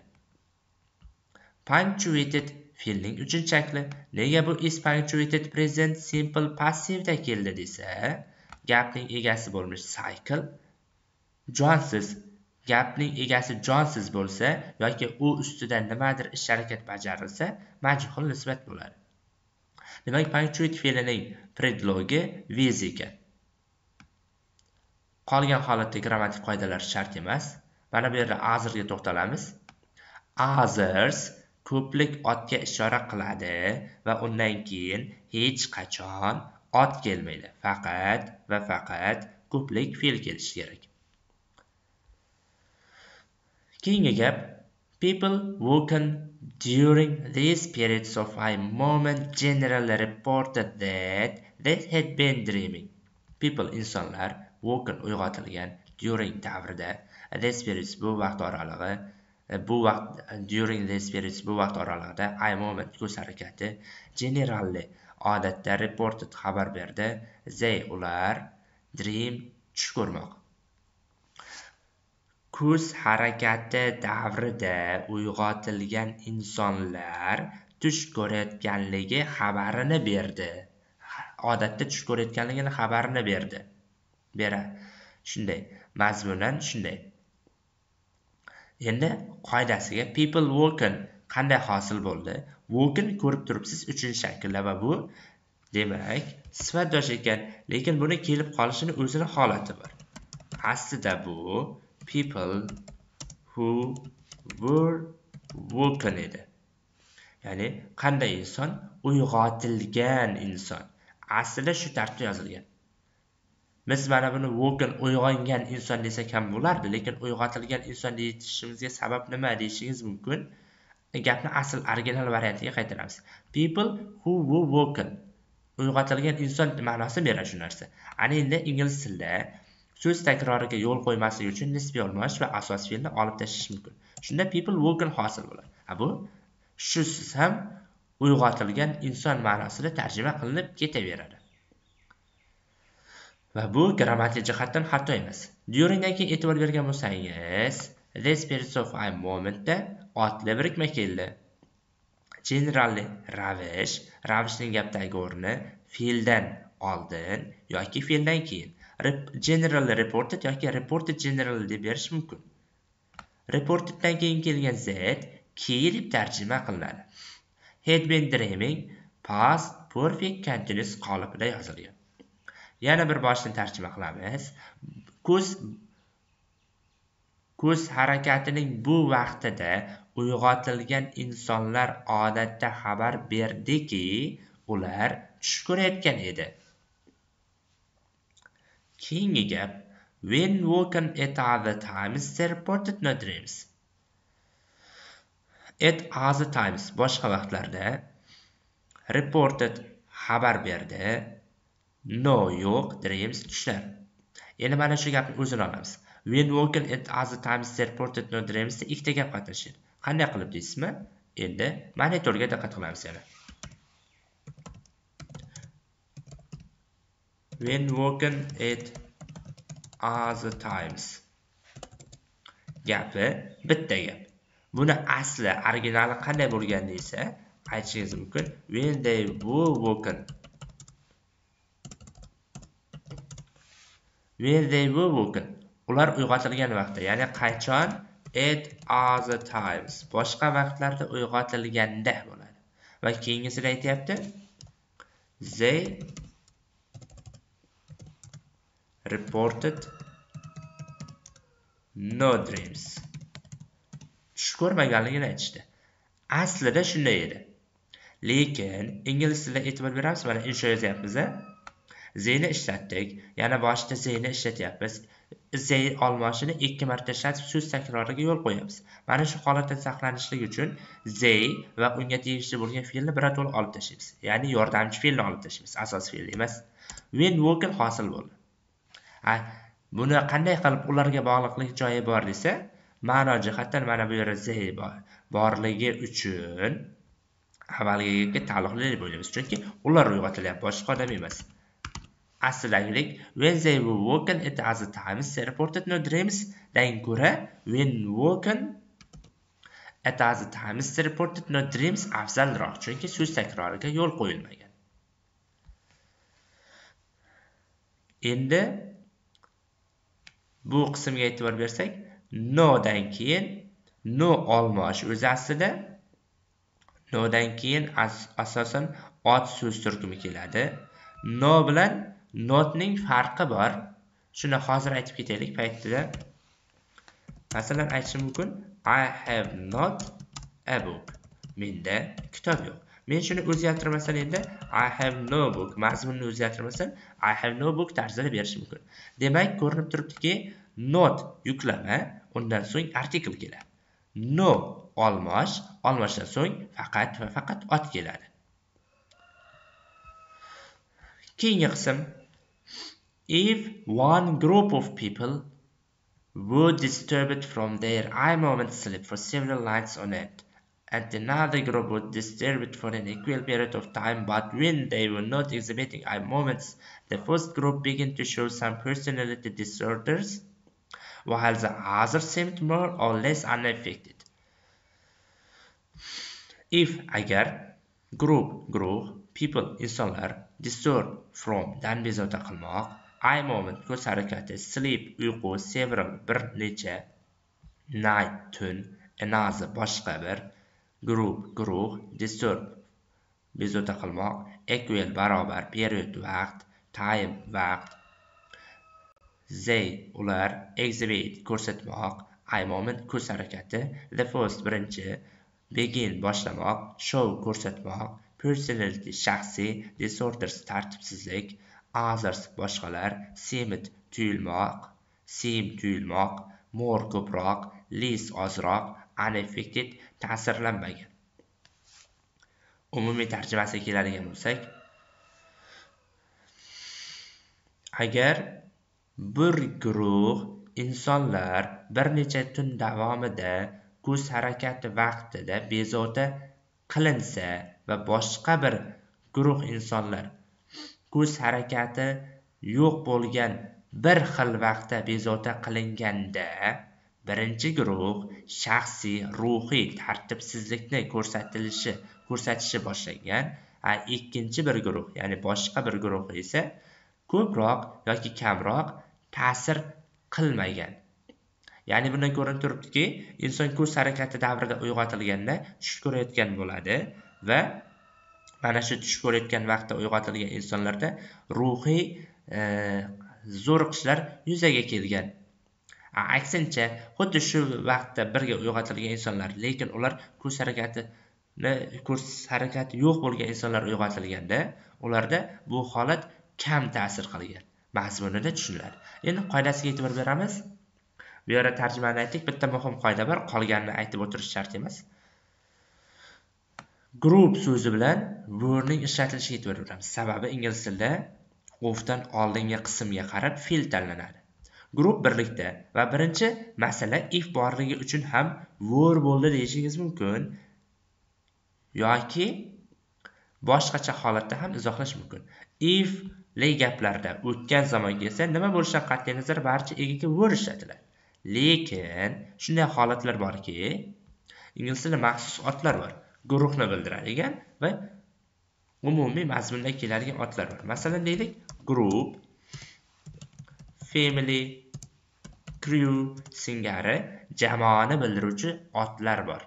Ushbu otlar ham birlik fe'l ham ko'plik fe'l olishi mumkin. Qaysi holatda? Ya'ni bular birlik fe'l olishligi uchun o'sha so'zni o'z ma'nosida ishlatish kerak. Masalan deylik yozamiz my family is big mening oilam katta bunda oilani o'zi nazarda tutildi.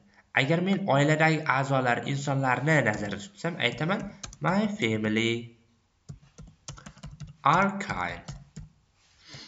mening oilam mehribon bunda family degan narsa holatda men oila so'zini o'zini emas aksincha oiladagi mening oila a'zolarimni nazarda tutganligim uchun my family archive dedim. Bu yerda ham xuddi shuningdek mana bu holatda kelyapti another group were bo'ldi. Nega were bo'ldi?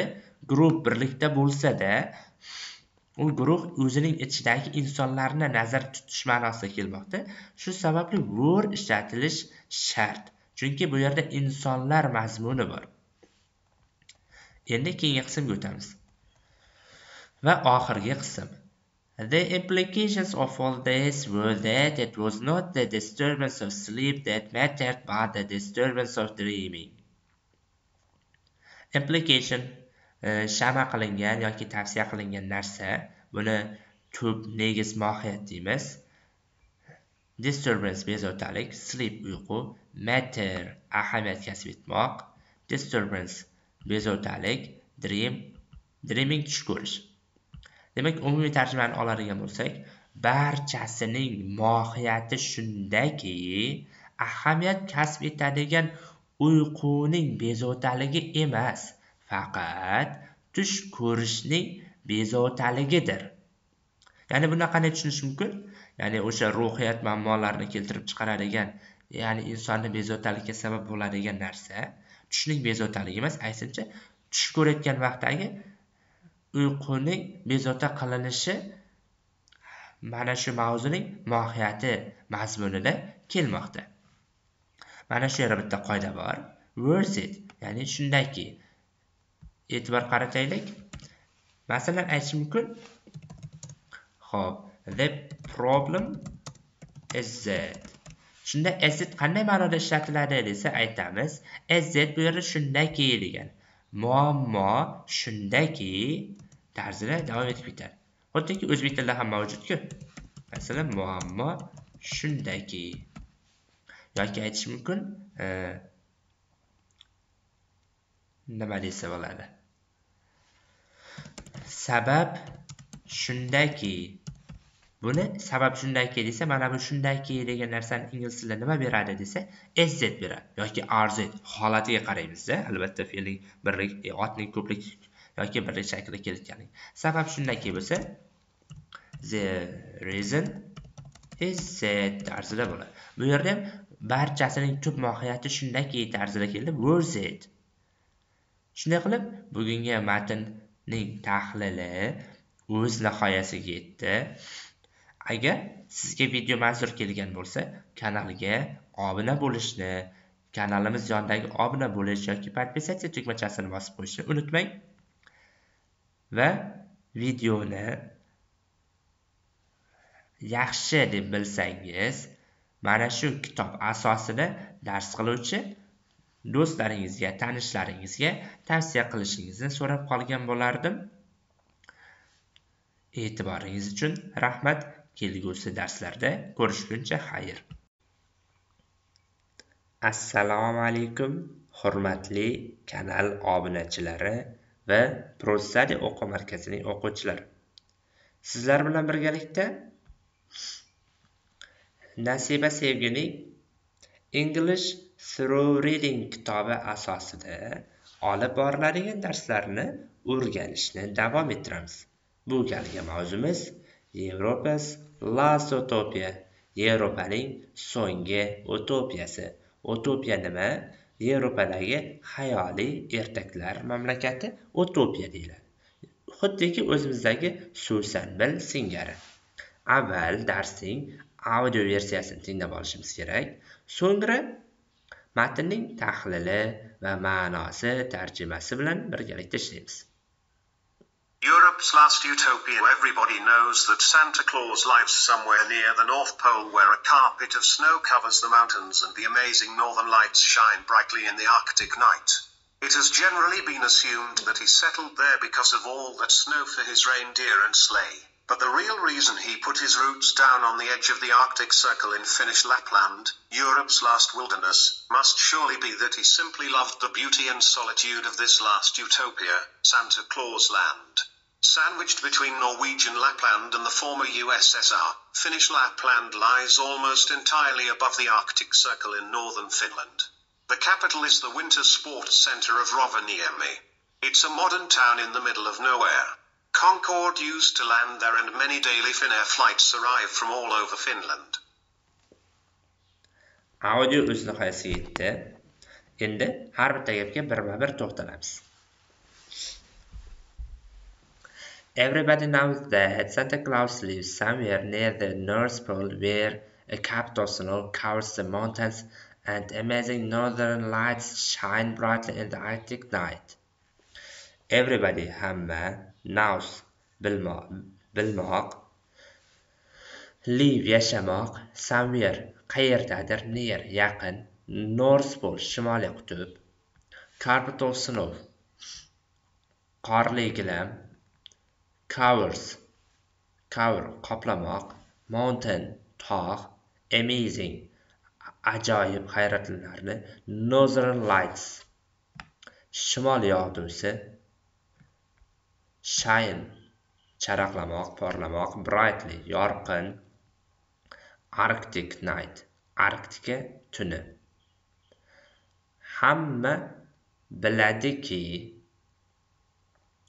arktika tunida yorqin charaqlagan ajoyib shimol yog'dusi va qorlarni o'rab olgan qorli ko'rpalar bor bo'lgan shimoliy qutb yaqinidagi qayerdadir santa klaus yashaydi. Ana endi ushbu qismning tahliliga o'tamiz. Everybody birikma olmoshi birikma olmoshlaridan keyin masalan everybody someone somebody anyone no one kabi birikma olmoshlar bor. Mana shu birikma olmoshlaridan keyin keladigan fe'l birlik sonda bo'lishi kerak. Shunga monand now fe'li s qo'shimchasini oladi chunki ingliz tilida fe'l birlik sonda bo'lsa s qo'shimchasini oladi. Everybody knows. Fe'ldan keyin kelgan z nisbiy olmash deyiladi va bu fe'ldan keyin kelganligi uchun ki deb tarjima qilinadi. Hamma biladiki. Gap endi davom etadi. Santa claus birlikda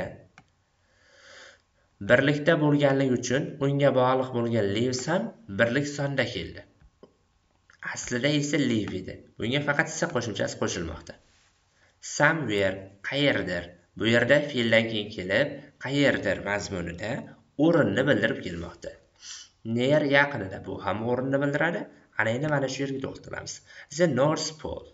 Nega? The artiklini oldi. E'tibor qaratamiz.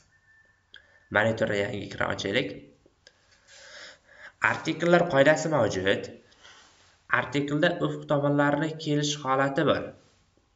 Shu holatda ya'ni ufq tomonlar bor yo'g'i to'rtta shimol janub g'arb sharq ya'ni south north east and west. Xuddi shu ufq tomonlari bilan artiklni kelish qoidasi bor. Aslida ufq tomonlari bilan z aniq artikli ishlatilishi kerak. Ya'ni shimol janub demoqchi bo'lsak hamma vaqt zni ishlatamiz. Ekranni biroz monitordagi yozuvni kattalashtirib olamiz qaraymiz. O'zasi the north shimol. The south janub. The east g'arb. The west the east sharq the west g'arb. Tarzida aytiladi ufq tomonlari bilan the aniq artikli kelishi shart. Biroq ufq tomonlari ham birikma holatida kelishi mumkin. Masalan janubiy amerika yoki janubiy afrika deyishimiz mumkin yoki shimoliy hindiston. Shunday aytamiz. North india. Shimoliy hindiston. Ushbu holatda northdan keyin india atoqli ot kelganligi uchun nor'dan oldin the aniq artiklini ishlatishlik xato. Yoki xuddi shuningdek janubiy amerika desak ham the south america deb aytsak ham bunda zeni ishlatishlik xato. Negaki amerika atoqli ot. Lekin shu holatda qo'shma otlar kelsa e qo'shma debman turdosh otlar kelsa zani aniq artikl masalan the north pole shimoliy qutb pol qutb turdosh ot. Atoqli otga aloqasi yo'q. Shu sababdan shu sababdan bu yerda zena kelishligi to'g'ri. Matnda ham xuddi shu narsa aks etgan. Qaraymiz. The north pole shimoliy qutb. Nega ver keldi desa shimoliy qutb manzilni bildiryapti joyni bildiryapti o'rin holi vazifasi kelyapti shu sababli unga monand nisba olmish ver bo'ladi a capital snow. Biz biz fe'lni ofdan oldingi otga qarab belgilaymiz demak ofdan oldin carpet turibdi. Carpet birlikda bo'lganligi uchun covers birlikda keldi. Tushunarli? Ana endi keyingi qismga qaraymiz. Northern lights shimoliy yog'dusi ko'plik sonda bo'lganligi uchun shine ham ko'plik sonda keldi. Brightly ravish ravishning gapdagi o'rni fe'ldan oldin yoki fe'ldan keyin. Bu yerda shine fe'l bor fe'ldan keyin joylashmoqda. Keyingi gap It has generally been assumed that he settled there because of all that snow for his reindeer and sleigh But the real reason he put his roots down on the edge of the Arctic Circle in Finnish Lapland. Europe's last wilderness must surely be that he simply loved the beauty and solitude of this last utopia Santa Claus land. Generally odatda Ben assume taxmin qilinadi.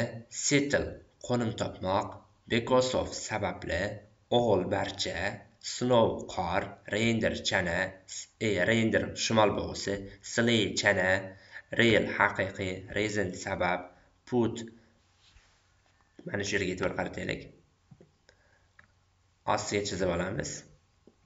Put roots down bu yerda ildiz otmoq qo'nim topmoq ma'nosida kelmoqda. Age chekka chegara arctic circle arktika doirasi finish fin fin ya'ni fincha bu mamlakat nomi ya'ni o'zbekcha inglizcha deganday fincha lapland laplandiya e, wilderness ovloq joy kimsasiz joy surely shubhasiz simply el qatori loud siymoq beauty chiroy solitude yagonalik utopia susanbil ertaklar mamlakati santa claus land santa claus yeri. Umumiy tarjimasiga keladigan bo'lsak umuman olganda taxmin qilishlaricha u oq shimol bug'usi va chanalari uchun zarur barcha qor sababli u yerda qo'nim topgan. Lekin haqiqiy sabab shundaki u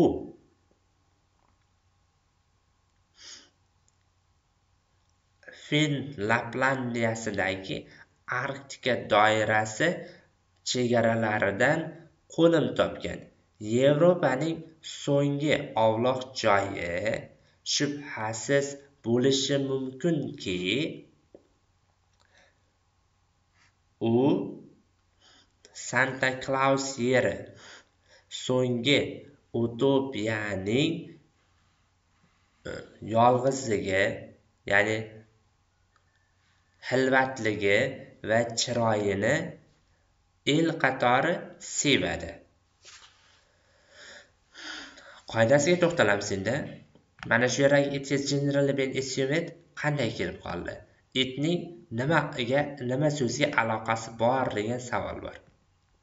Aslida qorboboga e, qorbobo deymiz santa klausga nisbatan he ishlatildi va his ishlatildi. Bu yerda it nimaga ishora kelyapti degan savol tug'ilishi tabiiy. Endi e'tibor qaratamiz monitorga it has been assumed qaydan kelib qoldi? Genderli shartimiz uchun ravish so'z. Ingliz tilida bitta formula bor. It is said that degan. Bu aytishlaricha degan. Aytishlaricha formulasi. Yoki buni boshqa so'zlar bilan ham keltirish mumkin. It so that. O'ylashlaricha.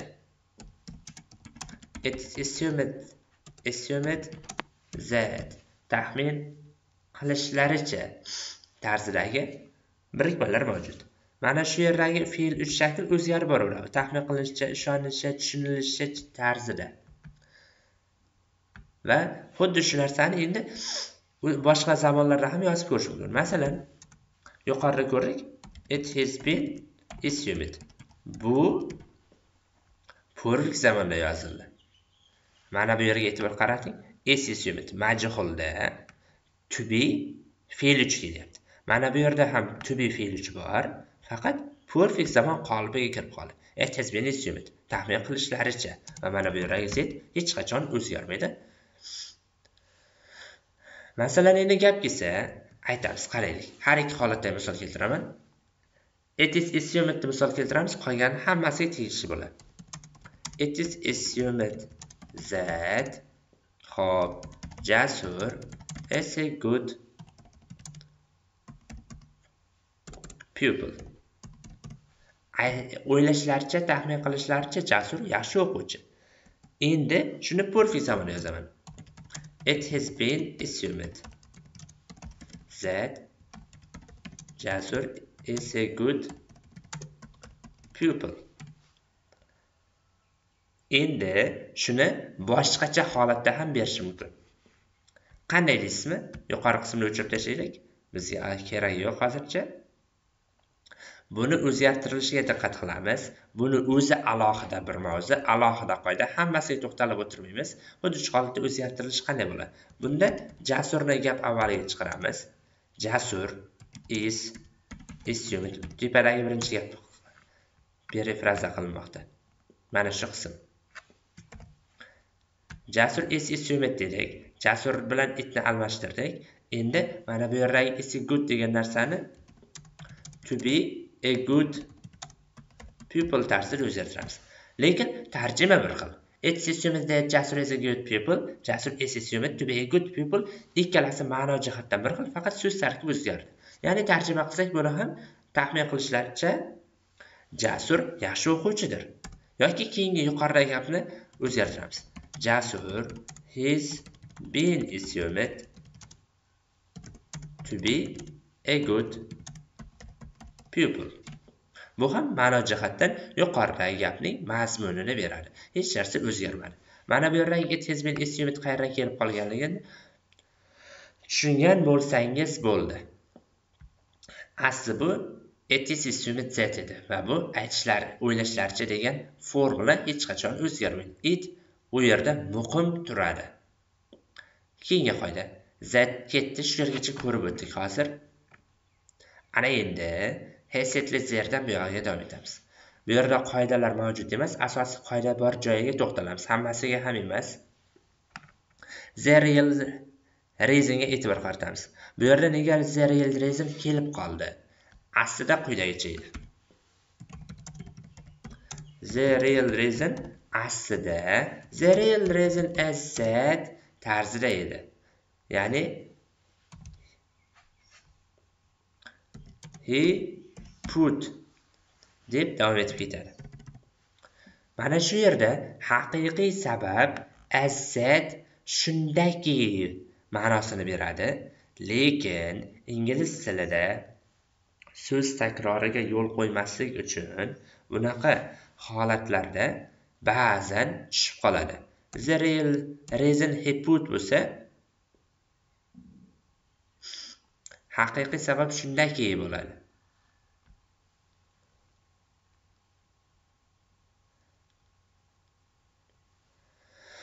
Lekin o'ylashingiz mumkin. Ba'zida bunaqa bu tarzdagi gaplar ham bo'lishi mumkinki deb pastga tushib olaylikda. Masalan the book i like. Kitob shundayki men yoqtiraman tarzida bo'lmaydiku. Ya'ni the book is that i like degan narsa xatoku. Nega bu yerda is that put degan narsa to'g'ri bo'lyapti deyishingiz mumkin? Bu boshqa the book which I like bu asli. Men yoqtirgan kitob bu. Lekin bu yerda u qo'nim topgan haqiqiy sabab desak, matnga qaraylikda. U qo'nim topgan haqiqiy sabab desak, mana shu yerdagi put his roots downdan keyin ham virgul bo'lib, yana qandaydir fe'lli gap bo'lishi kerak. Xuddiki siz aytayotgan narsa, masalan, aytdik the book I like. Is interesting deylik interesting. Mana endi qaraylik. I likedan keyin ham mana bu is keldi. Mana shu book borligi uchun. Lekin bu yerda real reasondan keyin he put bor lekin undan keyin hech qanday fe'l keltirilmagan. Demak o'ylaymizki bu tarjimada gan degan mazmunda berilmaydi. Bu aksincha asset mazmunida beriladi. Haqiqiy sabab shundaki shu bilan gap tugaydi. Yoki boshqacha aytish mumkin. The problem is that muammo shundaki you are young. Sen yoshsan. Yoki mana shuni olib tashlasang bo'ladi the problem you are young. Muammo shundaki sen yoshsan. Baribir ham ma'no berilaveradi. Faqat tarjima qilishda yanglishmaslik kerak. Endi davom etamiz. Qayerga kelib qoldik? Ho'p qolgan joylari kerak emas. Sandwiched between Norwegian Lapland and the former USSR Finnish Lapland lies almost entirely above the Arctic Circle in the northern Finland. So'zlari tarjimasi, hop, sandwiched birlashtir, birlashtirmoq degani between o'rtasida Norwegian Norvegiya Lapland Laplandiya Laplandiya shu ertaklar mamlakati bo'lyapti former ilk USSR SSR Finnish Lapland lie yotmoq entirely tamoman. Keyingi so'z above yuqorida. Arctic Circle Arktika doirasi Northern Finland Finlandiya. Tarjimasiga keladigan bo'lsak u Norvegiya Laplandiyasi va ilk sssrni birlashtir birlashtirib Fin Laplandiyasi Shimoliy Finlandiyaning Arktika doirasining yuqorisidagi to'liq hududda yotadi. Ya'ni to'liq o'sha yuqoridagi qismda batamom joylashgan mazmunida kelmoqda. Endi qoida jihatdan to'xtab turamiz. Biz mana shu holatni tushunib olishimiz kerak. Ya'ni norvegiya va fin laplandiyasi qanday bog'layapti? Shunisiga e'tibor qaratamiz. Hozir monitorda xaritani yoqib olamiz.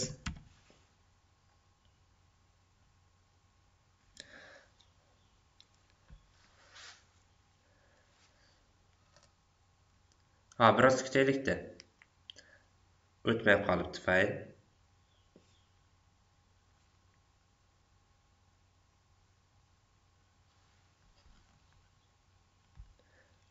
Agar xarita bo'yicha tasavvur qilsangiz finlandiya norvegiya va rossiyaning sssr oldingi sssr hududlari qanday holatda joylashganligini ko'rishingiz mumkin. Tasavvurda hosil qilamiz hozir.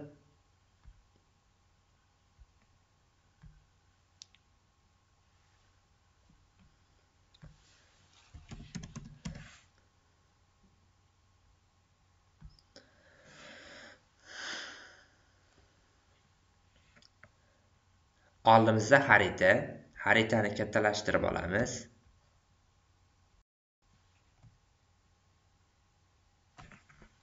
Ana endi norvegiya va finlandiyani qidiramiz.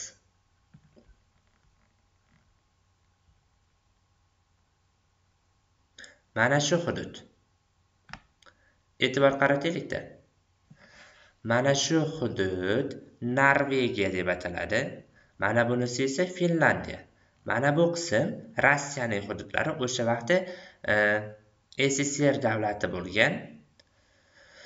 Mana shu hudud finlandiya e'tibor qaratsak sssr va norvegiyani birlashtirib turuvchi hudud va finlandiyaning yuqori qismi shimoliy doiraning yuqori qismida fin laplandiyasi joylashgan. Demak finlandiyaning laplandiyasi mana shu sichqoncha aylanadigan tarafda va mana shu birlashtiriladigan hudud norvegiya va sssrni birlashtiradigan hududda fin laplandiyasi joylashgan ekan.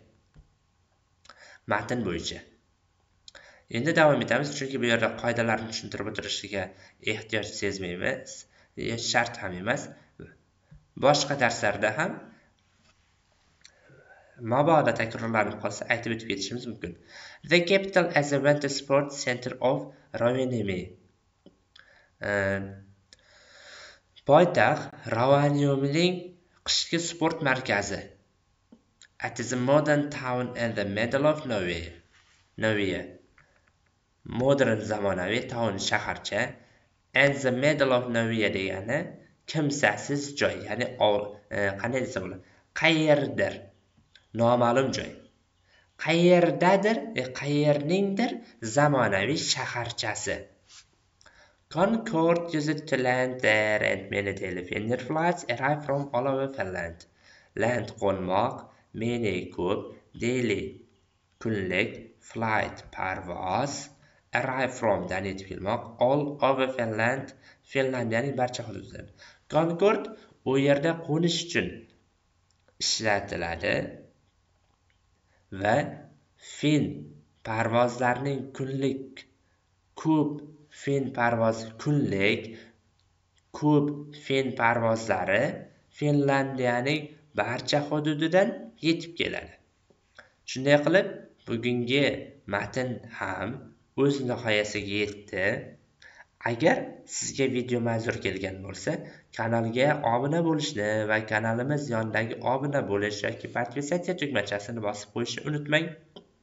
Va ushbu kitob asosida dars qilayotgan tanishlaringiz birodarlaringiz yaqinlaringiz bo'lsa ushbu video darsliklar o'zingizga ma'qul deb bilsangiz ularga ham tavsiya qilishingizni so'rab qolgan bo'lardik. Kelgusi darslarda ko'rishguncha xayr e'tiboringiz uchun rahmat. Assalomu alaykum hurmatli kanal obunachilari va prostadi o'quv markazining o'quvchilari sizlar bilan birgalikda Nasiba Sevgining English Through Reading kitobi asosida olib boriladigan darslarini o'rganishni davom ettiramiz. Bu galgi mavzumiz The Gorilla's Chest Beating. Gorillaning o'z ko'kragiga urishi mavzusi. Avval darsni boshlashdan avval an'anaga muvofiq darsning audio versiyasini eshitishimiz kerak so'ngra esa darsning grammatik hamda tarjima tahlili bilan tanishib chiqamiz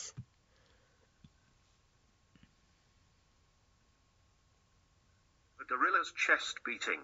Why does a gorilla beat its chest? It depends on the gorilla and on the situation. In some instances, the flamboyant and intimidating gesture may be just what it seems a warning to keep away. When truly aroused, the leader of the gorilla troop rises and drums his chest rapidly, palms open and slightly cupped. Then he explodes into a charge which may or may not be a bluff. Scientists who have been charged at by gorillas report that the animals almost always stop short of violence, unless the human intruder responds in a hostile manner. Sometimes chest beating is only an expression of relief after the danger has passed, a means of keeping in touch with other guerrillas in the troop, or a way of warning other troops away from the feeding area. Some gorillas, especially the young ones, often beat their chests as expressions of high spirits. One thing the gorilla does not do is stage a victory celebration by drumming furiously on his chest after he has just cracked an opponent's spine. That sort of thing happens only in the movie Gorilla's chest beating. Why does a gorilla beat its chest? It depends on the gorilla and on the situation. In some instances, the flamboyant and intimidating gesture may be just what it seems. shunday qilib audio o'z nihoyasiga yetdi endi ning grammatik tahlili va tarjimasi bilan tanishamiz. The gorillas chest beating. Gorilla gorilla chest beating ko'krakka urish ya'ni gorilla o'z ko'krak qafasiga qo'li bilan urishi mavzusi. Why does a gorilla beat its chest? Nega? Ha to'xtang. Why? Nima uchun? Gorilla gorilla beat urmoq chest ko'ksi. Nima uchun gorilla o'z ko'ksiga uradi? Bu yerda dasga e'tibor beramiz. Gorilla birlikda bo'lganligi uchun fe'l birlik shaklda dasta keldi va so'roq gap bo'lganligi sababli do yordamchi fe'li egadan avvalga chiqarildi. Gorilla hayvonni bildiradi. Ya'ni insondan boshqa narsani bildirganligi sababli gorillaga muvofiq keluvchi aniqlovchi olmosh ham unga mos ravishda turibdi it shaklida. Bit gorilla birlikda bo'lsada nega s olmadi? Sababi du ning s olganligi yetadi. It depends on the gorilla and on the situation. Depend on ga bog'liq bo'lmoq. Situation holat. U gorillaga uning holatiga bog'liq. Ushbu o'rinda e'tibor beraylik. Nega chiziqcha qo'yilgan shu yerga? Buni qanday ma'nosi bor? Bundan maqsad nima? degan savol tug'ilishi mumkin. Avvalo avvalo it dependensga e'tibor qaratamiz.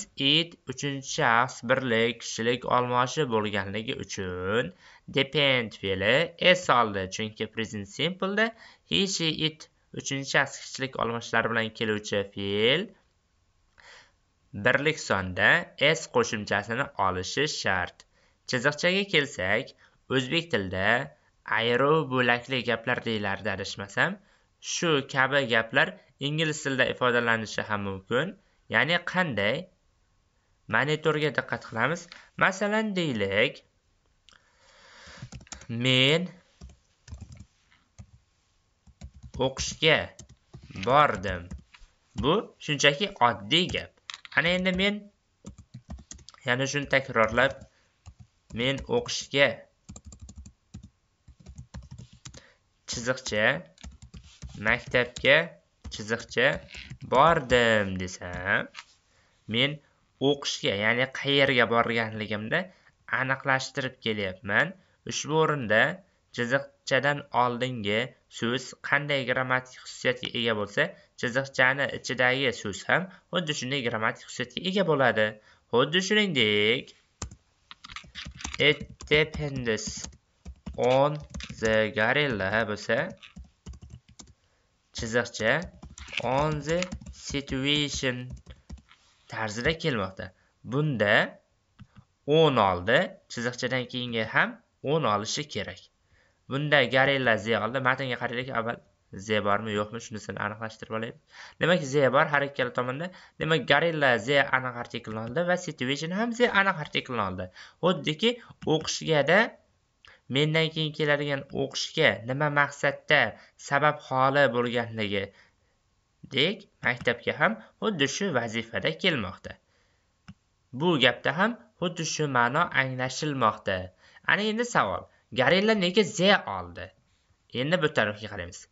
Agar bir ot ingliz tilida birinchi marta ishlatilsa u qayta takror ishlatilganda z aniq artikl bilan keladi. Birinchi bor ishlatilganda esa e noaniq artikl bilan kelishi kerak. Ikkinchi bor takrorlanganligi uchun z aniq artiklini oldi.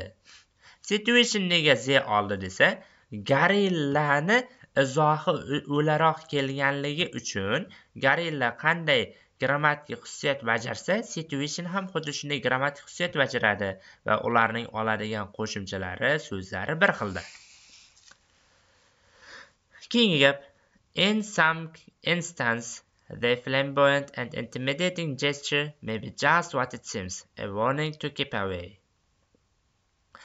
Some bir necha instance misol namuna flamboyant o'ziga tortadigan yaqqol jalb qiluvchi intimidating yurakka qo'rquv soladigan gesture imo ishora just shunchaki what narsa seem bo'lib ko'rinmoq warn ogohlantirmoq keep away uzoqda turmoq. Ba'zi bir misollarda o'ziga jalb qiluvchi va yurakka qo'rquv soluvchi imo ishora uzoqda turish belgisi sifatida qanday ko'ringan bo'lsa shunday bo'lishi mumkin. Endi qoidasiga e'tibor qaratamiz. In some instance some'ga e'tibor qarataylik some gap o'rtasida kelib o'zidan keyin ko'plik ot kelsa bir nechta deb tarjima qilinadi. Some gap o'rtasida kelib o'zidan keyin sanalmaydigan ot kelsa biroz deb tarjima qilinadi. Sam har qanday gapda kelib gap avvalida ishlatilsa ba'zi deb tarjima qilinadi bu yerda in some instances bir nechta misollarda bo'ladi. Sababi u sam gap o'rtasi keldi. Agar some instances bo'lganda edi ba'zi misollar bo'lardi. Flamboyant intimidating. E'tibor qaratamiz intimidate fe'li aslida fe'l bu.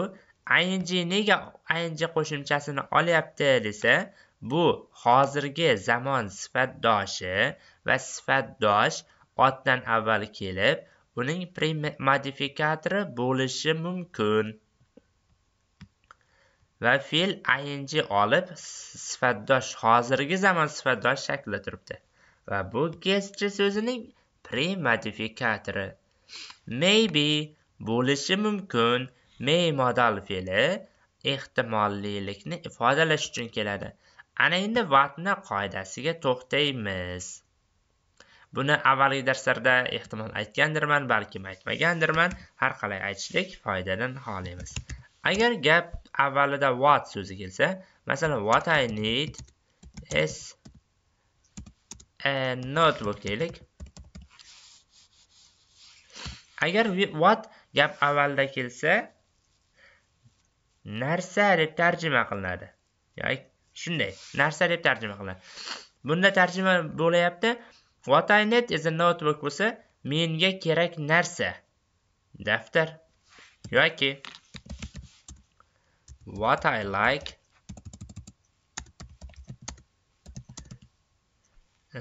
Nima deyish mumkin? What i like is an ice cream deymiz. Menga yoqadigan narsa muzqaymoq. Agar what gapning o'rtasida kelsa nima deb tarjima qiladi? Masalan aytish mumkin. I don't know what what to do. Men nima qilishni bilmayman yoki i don't know what i say. Men nima deyishni bilmayman bo'ldi. Tushunarli gap o'rtasida what kelishi nima debsa nima deb e, tarjima qilinishiga sabab bo'lsa what gapni avvalda kelishi bilan narsa deb tarjima qilinadi. Bu yerda nima sifatida ko'rinsa shu bo'lishi mumkin. Ya'ni qanday bo'lishi mumkin? O'zidan dushmanni uzoq bo'lishini ogohlantirishi ogohlantirish uchun ishlatilishi mumkin yoki yurakka qo'rquv soladigan belgi o'laroq keladi. Davom etamiz. Ha yana xuddi shu o'rinda bir narsa yodga keldi. Warningga e'tibor qarataylik. Warning ing oldi intimidating ing oldi. Ikkalasining bir biridan farqi nimada? Masalan deylik. Playing. Buni ikki xil tarjima qilish mumkin. Agar playing sifatdosh shaklda kelsa o'ynayotgan bo'ladi o'zbek tiliga tarjimada albatta. O'ynayotgan. Agar playing fe'l olishi gerontda ham bor. Geront bilan kelsa bu o'ynash bo'ladi. O'yin o'ynash shaxmat o'ynash shunga o'xshash narsalar. O'ynayotgan va o'ynash tarzida tarjima qilib ayirib olish qanday amalga oshiriladi desangiz aytaman sifatdosh otdan oldin kelib otning sifatini bildirish uchun uni aniqlashtirib keladi. Masalan playing boy. Playingga savol beramiz. O'ynayotgan bola deylik. Aybga bermaysiz o'zbekchada sal sekinroq yozaman o'ynayotgan bola. Demak playing bo'yning sifati ya'ni premodifikatori bu qanday so'roqga javob bo'ladi? Playingga kelsak playing gapning boshida kelib gapda ega bo'lishi mumkin yoki gap oxirida kelib ot kesim bo'lishi mumkin. Hech qachon biron bir otning sifati bo'lmaydi geront vazifasida kelsa buni qanday ayirib olish mumkin. Masalan aytamiz playing chess can help you nima deyish mumkin? Can help you to be clever deymiz shaxmat o'ynash senga aqlli bo'lishga yordam beradi.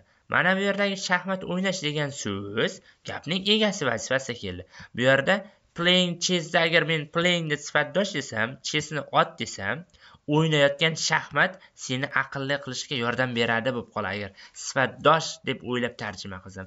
Aslida esa bu geront shaxmatni o'ynash tarzida tarjima qilinadi. Bu yerda ham xuddi shuningdek warning geront uzoq turishni ogohlantirish uzoq turishdan ogohlantirish. Intimidatingga kelsak bu sifatdosh. Yurakka qo'rquv soladigan imo ishora tushunarli birida ish birida gan deb tarjima qilindi. Davom etamiz. Wind truly aroused, the leader of the gorilla through prices and drums his chest rapidly, palms open and slightly, slightly covered. Truly to'g'ri, aroused, paydo bo'lmoq, tug'ilmoq, leader, rahbar, troop, qo'shin, rise, ko'tarilmoq, drum, chalmoq, chest, ko'krak, rapidly, tez, palms kaft open ochiq ochmoq slightly sekin cup hovuchlamoq. Qachonki qo'shin to'g'ri shakllanganda gorilla qo'shin rahbari ko'tariladi va ko'kragini kaftini ochib biroz hovuchlagan holda tez uradi. Ana endi grammatik qoidasiga to'xtalamiz. Ventruli erozit qaydan kelib qoldi? Aslida qanday edi? Buni bilishligingiz uchun bundan avvalgi darslarda tahlil qilingan grammatik qoidaga diqqat qilishingizni so'rab qolaman. Chunki ana o'sha qismda vendan keyin nima sababdan fe'lning ide olgan shakli ya'ni fe'l shakli kelishligi ifoda etib berilgan. Bu yerda yana bir takrorlab o'tirishlikka ehtiyoj sezilmayapti. Demak davom ettiramiz. Ofdan oldin leder bo'lganligi uchun z ishlatildi bu narsalar ko'p bor aytildi. Raisning s olishining sababi ofdan oldingi ot gapning egasi bo'ladi. Z leader birlikda kelganligi uchun rises bo'ldi. Drums ham xuddi shunga muvofiq ravishda s olib kelmoqda. His degan narsa ya'ni gorilla qo'shinining rahbariga qaratildi. Repetler ravish va bu ravish gapning oxirida kelib fe'lning holatini bildirib kelmoqda qanday chalishligini va undan keyin keladigan so'z gapni izohlab kelmoqda slaydli ravish kapit fe'lidan oldin kelmoqda xuddi shu kabi qoidalar. Bu kabi qoidalarni avvalgi darslarda to'xtovsiz qayta va qayta takrorladik. Endilikda aytilmagan qoidalarni birgalikda o'tishga harakat qilamiz. Shunchaki bu yerda yuzaki aytib o'tib ketish mumkin. Chunki avvalgi darslarda takrorlangan. Yana faqat o'quv markazi o'quvchilariga aytarkan bizga aytmayapti degan o'y bo'lmasin albatta. Ularga nima aytsam sizlarga ham aytishga harakat qilaman balkim ularga aytgan narsam yodimdan ko'tarib qolishi mumkin. And then he explodes into a charge which may or may not be a bluff. Hop then so'ng explode into o'z hissiyotlarini tezda namoyon qilmoq charge may mumkin bluff yolg'on. So'ng yolg'on bo'lishi mumkin yoki mumkin bo'lmagan hamlaga o'z hissiyotini tezda namoyon etadi. Bu yerda ham deyarli qoida yo'q. Mana bu yolg'on so'ziga e'tibor qarataylik. Demak bu sanalarga noaniq artikl olib kelmoqda. Shu narsaga diqqat qiling. Qaysi ot artikl bilan keladi qaysi ot artikl bilan kelmaydi shunisiga diqqat qilish kerak. Sababi yolg'on degan so'z o'zbek tilida sanalmaydi. Ingliz tilida mana bu bluff bilan keladigan bluff bilan ifodalanadigan yolg'on so'zi sanalar ekan demak e noaniq artikl oladi hamla so'zi o'zbek tilida sanalmaydi. A e charge bo'lyapti. Ingliz tilida demak sanalar ekan xuddi shu narsalarni inobatga olib qo'yishlik kerak. Balkim inshoda foydalanib qolarsiz. Yoki og'zaki gapirishda ham xato qilmasdan bexato ravishda gapirishingiz mumkin Scientists who have been charged by gorillas report that the animals almost always stop short of violence unless the human intruder responds in a hostile manner. Agar aybga buyurmaysiz talaffuzim sal g'alati eshitilayotgan bo'lsa, tabiiy jihatdan odatda shunday gapiraman. Science olimlar charge charge endi bu yerda hamla qilmoq ma'nosida kelmoqda. Report hop nima edi? Report xabar bermoq. Almost deyarli always doim stop to'xtatmoq. Short of violence zarracha zulm. Unless agarmasa human inson intruder xirapashsha odam response javob qaytarmoq. Ana hostile manner bitta birikma adovatli yo'sinda Garilla tomonidan hamlaga duchor bo'lgan olimlar xabar berishadiki, agar xira pashsha odam adovatli yo'sinda javob bermasa, hayvonlar odatda deyarli zarracha zulmni ham to'xtatadi. Endi grammatik qoidasiga kelsak science ko'prikda bo'ldi. Whodan keyin keladigan have science ko'prikda bo'lganligi uchun have shakli ko'prik sonida turdi chunki nisbiy almashishdan oldin keladigan egaga undan nisbiy almashishdan keyin keladigan fe'l bog'liq. Nega charged have been charged present perfect passive bo'ldi? Sababi olimlar hamla qilmaydi hamla qilinadi garilla tomonidan va bu majhul nisbati ishlatilishiga bay sabab bo'ldi. Report nega fe'l ko'plik shaklida keldi? Sababi science ko'plikda kelmoqda. Chunki gapning asosiy oti ham albatta science. Hudan boshlab gorillasgacha bo'lgan qism post modifikator o'laroq kelmoqda. Animals hayvonlar bu yerda always present simple zamoniga ishora tariqasida kelmoqda. Stop ko'plik shaklida sababi animals ko'plik sonida keldi.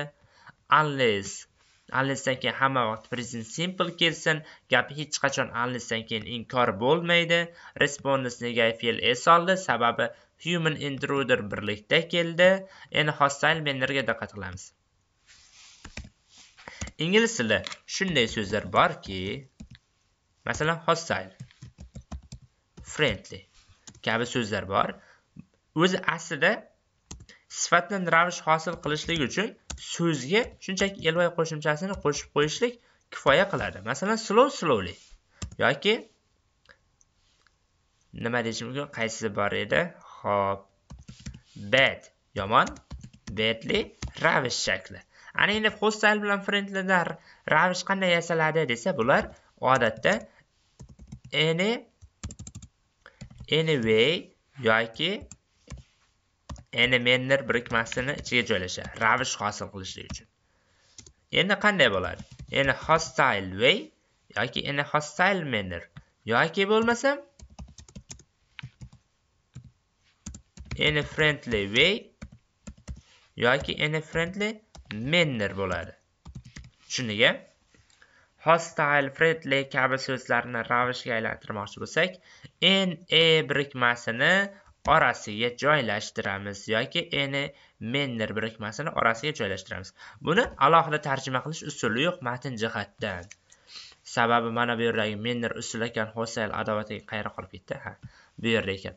Menner usul ekan hosayl adovat ekan endi hosayl menner nima ekan deb o'tirmang. Hosayl sifat bo'lsa nega noaniq artikl olyapti degan savollar tug'ilmasin. Bu shunchaki ravishni yasalish qolipi ana endi bundan buyog'iga grammatik tahlilsiz shunchaki tarjima qilish orqali davom etib ketamiz.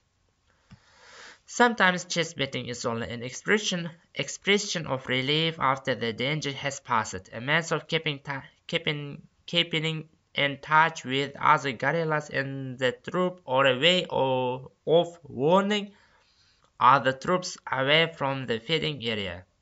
Sometimes ba'zan chess betting ko'krakka urish expression ifoda relief xoli bo'lish danger xavf pass o'tmoq means of ning vositasi keep in touch with bilan aloqada bo'lmoq azi boshqa gorilla gorilla troop qo'shin warning ogohlantirish away from dan uzoqda feeding area ovqatlanadigan maydon. Ba'zida ko'krakka urish xavf o'tib ketgandan keyingi yengillik hissi boshqa E, qo'shindagi boshqa gorillalar bilan aloqaga kirishish vositasi ovqatlanadigan maydondan boshqa gorilla qo'shinlarini chiqarib yuborishdan ogohlanish belgisi bo'lishi mumkin. Belgisi xolos yoki.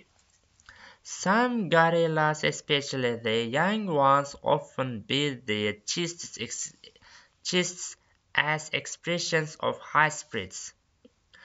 especially xossatan xususan ayniqsa young yosh young ones bu yerda onesdan murod gorilladir beat urmoq chest ko'krak expressions ifoda high spirit ko'tarinki ruh ba'zi gorillalar xossatan yoshlari o'z ko'kraklarini ko'tarinki ruh ifodasi o'laroq tez tez urishadi One thing the gorilla does not do is stage a victory celebration by drumming furiously on his chest after he has just cracked an opponent's spine.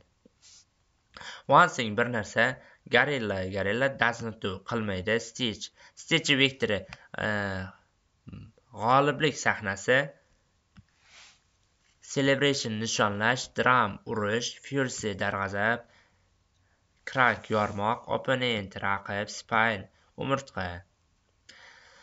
Gorillalar qilmaydigan bir ish raqibining umurtqasini yorgan sindirib yuborgandan keyin ko'kragini darg'azab urib g'alabasini nishonlash sahnasidir. Tushunmadi. Agar e'tibor tushunmagan bo'lsak boshini takrorlayman gorillalar qilmaydigan ish yoki bunday deyishimiz mumkin. Raqibini umurtqasini yorgandan keyin ko'kragini darg'azab ravishda urish orqali g'alabasini nishonlash gorilla qilmaydigan ishdir. That sort of things happens only in the movies.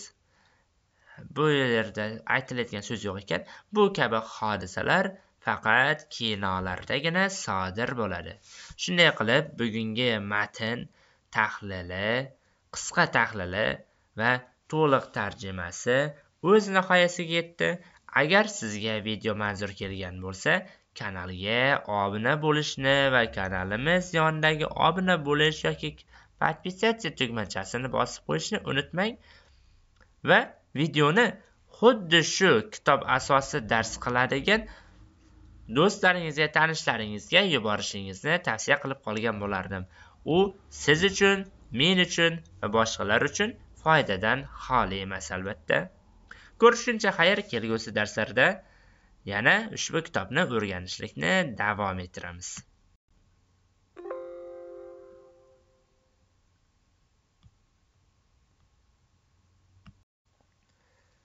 Assalomu alaykum hurmatli ingliz tili va arab tili oddiydan murakkabgacha kanalining a'zolari va prostadiya o'quv markazining o'quvchilari. Sizlar bilan birgalikda nasiba sevgining english through reading kitobi asosida olib boriladigan darslarini o'rganishni davom ettiramiz. Bugungi darsimiz love matni ya'ni muhabbat mavzusi. Yana yomon xayolga bormang bu yerda boshqacha muhabbat haqida gap ketgan masalan vatanga bo'lgan muhabbat onaga bo'lgan muhabbat kabi tushunchalar yoritib o'tilgan avvalo darsni boshlashdan avval darsning audiosini tinglab olishimiz kerak. So'ngra grammatik tahlil hamda tarjimasi bilan birgalikda tanishib chiqamiz Love. For most of us, love is the most absorbing subject in existence. There is an enormous range of meanings in this one little word motherly love and self love, fatherly love and children's love, FC their parents. There is brotherly love and there is the love of one's home and one's country. There is love of money and there is love of power. Love clearly includes all of these, but the love in which one can be oneself is the preeminent love for most of us. Love at its fullest can include an enormous range of emotions and sentiments. It can combine humility with pride, passion with peace, self assertion with self surrender. It can reconcile violence of feeling with tenderness. Being in love is love at its most intense, and is personally focused in a very special way. Our common speech reflects this fact, as we talk of falling in love as if it was something into which we are precipitated against our will, like falling into a pond. From shunday qilib darsning audiosi o'z nihoyasiga yetdi. Endi tarjimasi bilan birgalikda ishlaymiz. Bu yerda deyarli yangi bir grammatik qoidalar mavjud emas faqat yangi so'zlar mavjud bo'lishligi mumkin. Bu safar ko'p joyini grammatik tahlil qilmaymiz chunki oson qoidalar asosida tuzilgan matn. For most of us love as the most observing subject in existence. Most eng ko'p us bizni love sevgi most eng absorbing diqqatni tortadigan subject mavzu an existence borliqdagi. Bizlarning ko'pchiligimiz uchun sevgi borliqdagi eng diqqatni qaratadigan eng diqqatni tortadigan mavzudir most of usga e'tibor beramiz bizning ko'pchiligimiz uchun. Mana bu yerdagi as aslida nima? Bu as aslida to'ldiruvchi olmosh ya'ni to'ldiruvchi olmoshlar ingliz tilida. Me you him her it as hamda them bularni o'zbek tilida qanday bo'ladi desa aytamiz. Me o'zbek tilida men meni menga menda mendanga to'g'ri keladi. Va qolganlari ham xuddi shunday you sen seni senga senda sendan. Him u uni unga unda undan. Us biz bizni bizga bizda bizdan. Tarzidagi tarjimalar to'g'ri keladi. Endi bittadan misol keltiramiz. Masalan qaraylik. You are with me. Sen men bilansan. Bu yerda menga to'g'ri keldi. Aslida to'ldiruvchi olmishlarni gapdagi o'rni predlog hamda fe'ldan keyin bo'lishi kerak. Ana endi meni bo'lsa. You saw me. Sen meni ko'rding. Menga bo'lsa. You gave to me. Yo'q to'xtang to'xtang. You gave me. Sen menga berding. E'tibor beriga menga berding. Ana endi menda bo'lsa qanday bo'ladi? Xo'p, buni qanday qilish mumkin? Bunga misol hozircha hayol kelmadi. O'zi aslida mana bu fromdan olsak fromni o'zida dan da degan ma'nosi bor deyishingiz mumkin. Endi e'tibor qarataylik. With predlog so fill. Demak to'ldiruvchi almashning gapdagi o'rni predlog va fe'ldan keyin. Xuddi shuningdek most of asda ham of predlog predlogdan keyin as to'ldiruvchi almash keldi. The most absorbing nega aniq artikl olib orttirma nisbatda turdi desa in existence orttirma sifatni ishlatilishiga dalolat qiluvchi birlik mavjudligi uchun shunday bo'ldi the most nega most bo'ldi absorbing ikki bo'g'indan ortiq sifat va ikki bo'g'indan ortiq sifatlarni orttirma daraja shaklini hosil qilishlik uchun most ishlatiladi There is an enormous range of meanings in this one little word. Motherly love and self-love, fatherly love and children's love for their parents. There is brotherly love and there is the love of one's home and one's country. There is love of money and there is love of power. An enormous range of meanings. Olam olam ma'no one birgina little bu yerda gina degan so'zga to'g'ri kelyapti bir kichik so'z bo'ladi lekin one little word bo'lsa birgina so'zda deya tarjima qilamiz. Motherly love ona sevgisi self love o'zini sevish fatherly love ota sevgisi children love children's love for their parents ota onasiga bo'lgan bolaning sevgisi brotherly love akaning sevgisi love of one's home uyni sevish love of one's country mamlakatni sevish. Love of money pulni sevish. Love of power kuchni sevish. Shu birgina kichik so'zda olam olam ma'no bor. Ona sevgisi o'zini sevish ota sevgisi bolaning ota onaga bo'lgan sevgisi. Aka sevgisi uyni sevish mamlakatni sevish pulga bo'lgan muhabbat kuch qudratga bo'lgan muhabbat ham bor. Bu yerda yana qoidalarni faqat mana shu ma'zirlilarga diqqat qilaylik. O'zi asli ma'zi ona degani ona vazifa jihatdan ot.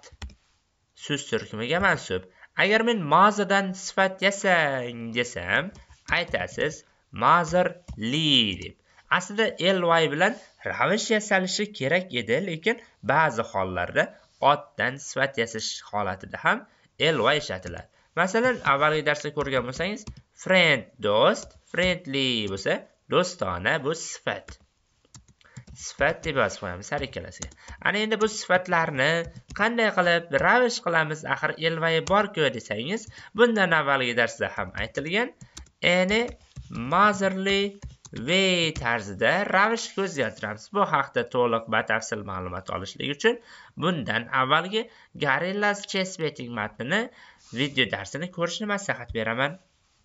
Xuddi shuningdek brotherly love va boshqalari fatherly lovelar yasalmoqda. Keyingi gap. Love clearly includes all of these, but the love in which one can be oneself as a preeminent love for most of us.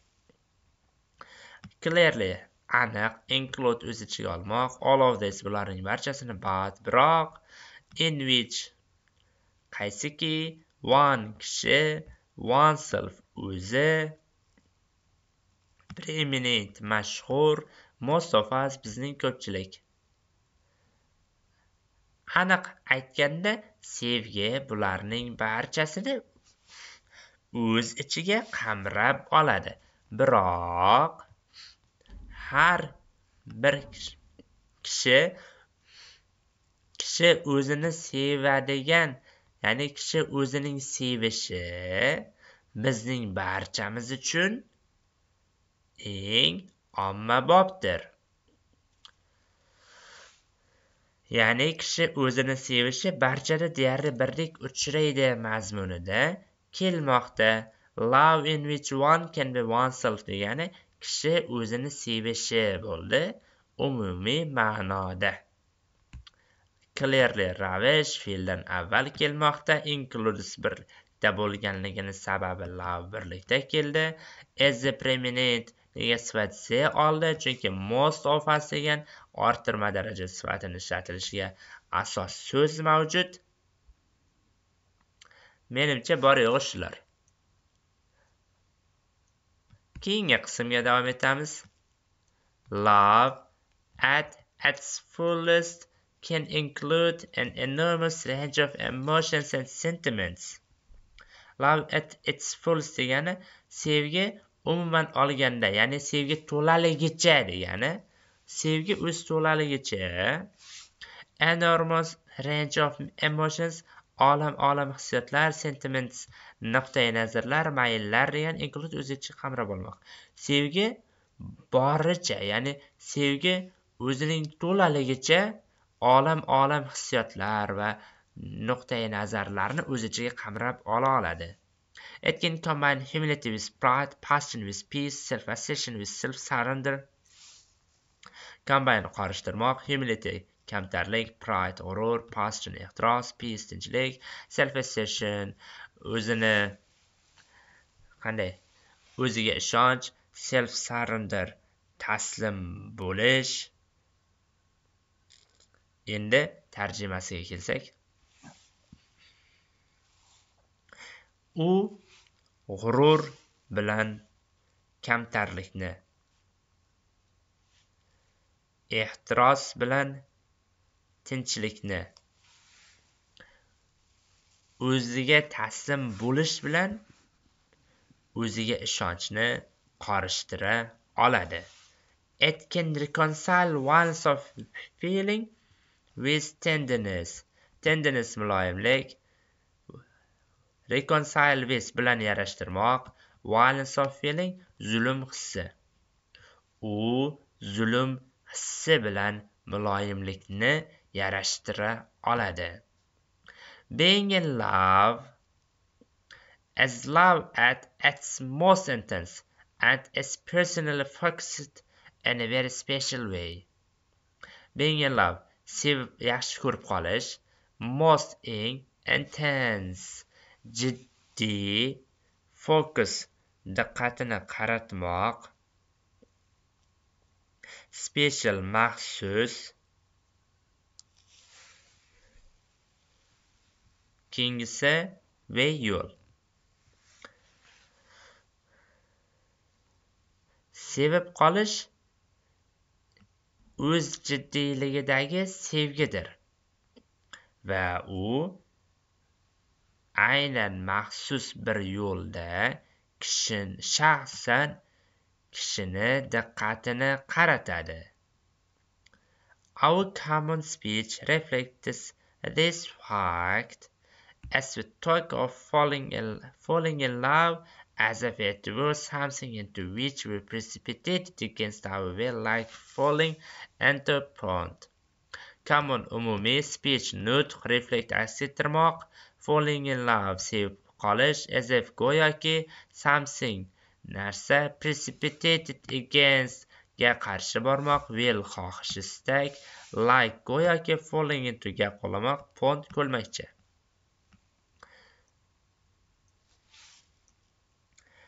Go'yoki ko'lmakchaga qulayotgani singari o'z xohish istaklarimizga qarshi borib kirgan narsadek sevib qolish haqida gapirgan vaqtimiz bizning ommabop doimiy nutqimiz bu faktni aks ettiradi. deya tarjima qilinadi. Menimcha ko'pchilik tushunmagan bo'lishi mumkin. Ya'ni endi umumiy sodda tilda aytadigan bo'lsak biron kim singlisini akasini qarindoshini yaxshi ko'rib qolishi shaxsan kishini maxsus yo'l orqali shu yaxshi ko'radigan insoniga bo'lgan diqqatini qaratadi va mana shu narsa kundalik nutqda yaxshi ko'rib qolish ifodasi bilan nomi bilan aks etib insonning o'z xohish istagi qarshi borib orqali sodir bo'ladi. Menimcha endi tushundingiz degan umiddaman. Shunday qilib bugungi mavzumiz ham o'z nihoyasiga yetdi. Agar sizga video manzur kelgan bo'lsa kanalga obuna bo'lishni kanalimiz yonidagi obuna bo'lish yoki подписаться tugmachasini bosib qo'yishni unutmang. E'tiboringiz uchun rahmat. Kelgusi darslarda ko'rishguncha xayr. Assalomu alaykum.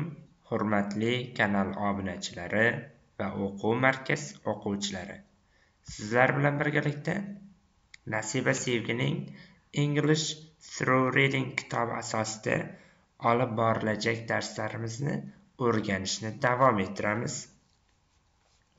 Avval darsimiz an'anasiga muvofiq ushbu ekranda namoyon bo'lgan matnning audiosini tinglab olishimiz kerak so'ngra matnning grammatik tahlili va tarjima tahlili bilan birgalikda tanishib chiqamiz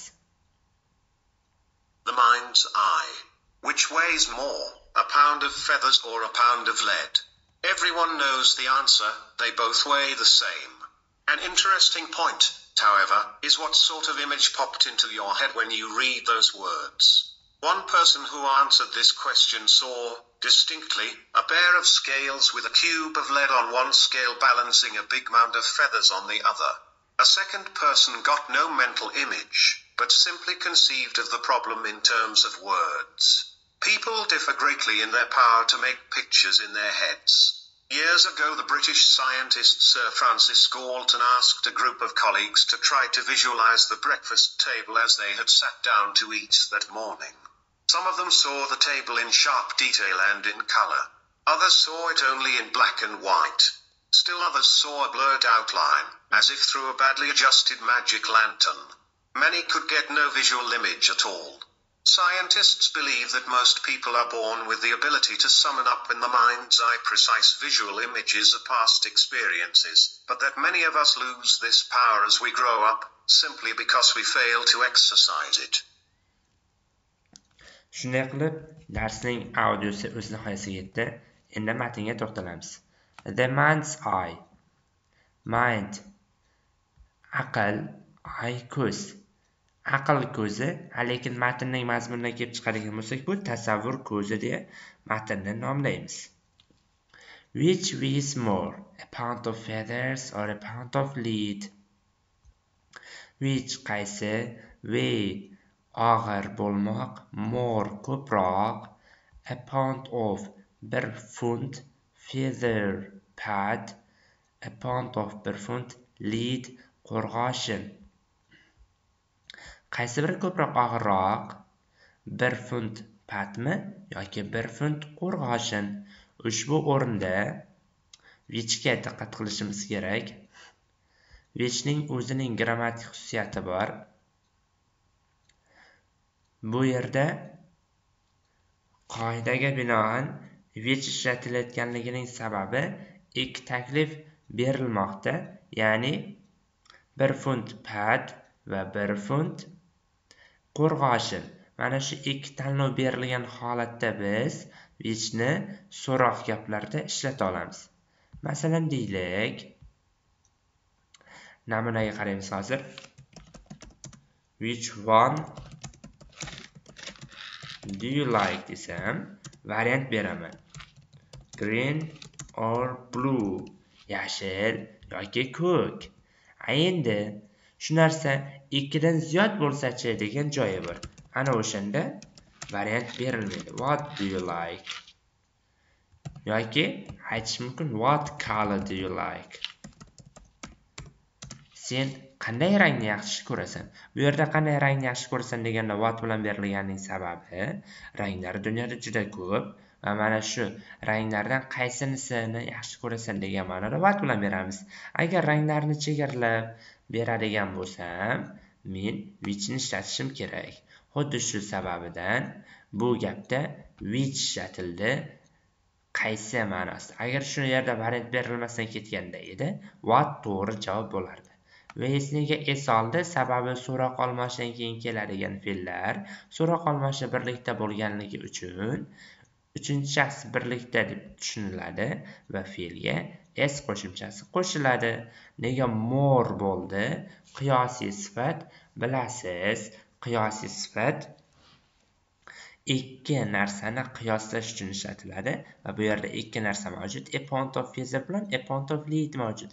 Shu sababdan more qiyosiy sifat shakli kelmoqda. Everyone knows the answer. Hamma javobni biladi. Everyone. Hamma everyonedan keyin keladigan fe'l birlikda bo'lishi kerak. Shu sababdan knows bo'ldi. The answer javobni. They both weigh the same. Ular har ikkalasi bir xil vaznga ega yoki bir xil vaznda tortiladi. Mana shu yerdagi bozning ishlatilishiga e'tibor beramiz. Qisqacha to'xtalib o'tamiz hammasini aytishga payt yo'q chunki bu juda katta mavzu. Bo'z asosan ikki narsaga ishora qiladi va odatda darak gaplarda keladi. Buni olmoshlar bilan ishlatilishi ikki xil shakli bor. Both of shaklida kelishi mumkin yoki they both shaklida kelishi mumkin. Buni har ikkala holat ham to'g'ri xatolikka olinmaydi. Bu yerda they both shakli kelibdi. Va may fe'l fe'l endi ko'plik sonda turibdi sababi they ko'plikda.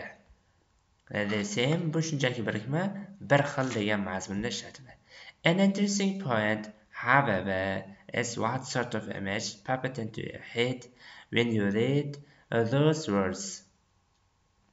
Interesting. Qiziqarli point jihat. However lekin sort of turi image surat pop popento hayolga xayolga kelmoq. Hid bosh read o'qimoq. Those words bu so'zlar. Lekin eng qiziq tomoni siz ushbu so'zlarni o'qigan vaqtingizda xayolingizga kelgan narsaning suratidir. Mazmunda tarjima qiladi. Endi holatiga e'tibor bersak mana bu yerda howeverga e'tibor beramiz. However gapni boshida kelib o'zidan keyin nuqta e o'zidan keyin vergul belgisini oladi o'zasini. Masalan gap boshlanadi.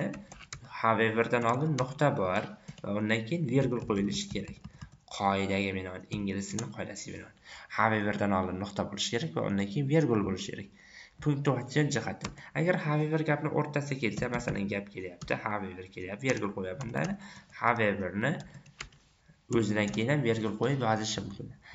Ushbu holatda kelsin yoki bu holatda kelsin. Birinchi holatda kelsa o'zidan keyin o'zidan oldin nuqta o'zidan keyin vergul olsin. Gap o'rtasiga kelsa oldi orqasidan vergul olsin. Mana shu qoida jihatdan to'g'ri. Bu yerdagi is nega is bo'ldi? Interesting pointda point birlikda kelyapti. Interesting so'zi bilan endi nima desa point so'zining premodifikatorlari. Sort of. Bu shunchaki birikma image tasavvur popatento bu sifatdosh shakli kelyapti sifatdosh haqida avvalgi darslarda ma'lumot berilgan video darslarini ochib ko'rishingizni maslahat beraman. Hayolingizga kelgan deb tarjima qilinishini ham o'ziga yarasha sabablari bundan avvalgi darslarda yoritib berilgan. Ya'ni aynan o'zi bo'lmasada shunga o'xshash qoida yoritib berilgan shuning shu sababdan to'xtab to'xtalib o'tirmaymiz. When you read the, the source bu yerlar shart emas. One person who answered the question so distinctly a pair of scales with a cube of lead on one scale balancing a big mound of feathers on the other. One bir person kishi answered javob berdi. This question bu savol so ko'rdi distinctly yaqqol. A pair of scales bir juft tarozi cube kub lead qo'rg'oshin scale palla balance muvofiq muvofiq muvozanatda. Mm, a big amount of uyum degani bir uyum pat a e, big amount of feathers mana bu yerda big degani katta uyum pat bo'ladi. On the other boshqa tomonda. Tarjimasiga kelsak bu savolga javob bergan kishi yaqqol bir pallasida kub shaklidagi qo'rg'oshin va unga mutanosib ravishda bir uyum patli tarozini ko'radi. Ya'ni tez aytadigan bo'lsak bu savolga javob beradigan bir kishi yaqqol tasavvurida mutanosib bo'lgan bir pallasida pat ikkinchi bir pallasida qo'rg'oshin bo'lgan tarozini ko'radi. Tarzida tarjima qilamiz. One persondan keyin keladigan who nisbiy olmosh va person shaxsni bildirgani uchun who keldi. Answer o'tgan zamonda bu savolga ya'ni bu savol deb yuqoridagi savol nazarda tutilyapti. Endi tarjima jihatdan oladigan bo'lsak persondan keyin who kelganligi uchun biz buni gan deb tarjima qilamiz. Bu savolga javob bergan bir kishi one person. So ko'rdi distinctly bu ravish ravishning gapdagi o'rni fe'ldan keyin. A pair of scales bir juft tarozi with lini bildiradi. Ya'ni bir tomonida ko'p bo'lgan ikkinchi tomonda esa pat bo'lgan tarozi ya'ni qanday tarozi desa. O'sha vizni qoidasiga to'xtalaylik. Masalan deylik gap kelsa a boy with a book bo'lsa kitob bilan bola emas bu. Kitob bilan bola deyish xato. Bu aksincha kitobli bola demakdir. Masalan aytishimiz mumkin. Tarjimasi buni kitobli bola yoki kitobi bor bola deb tarjima qilinadi. Bu yerda ham xuddi shunday kelyapti. Ko'p shaklidagi bir pallasida ko'p shakldagi narsali tarozi tarzida. Mont ofga keladigan bo'lsak bu uyum ma'nosini bildiradi va fezer bilan ishlatiladi shu o'rinda juftotlar foydasiga to'xtalib o'tib ketaylik. Masalan bo'lishi mumkin.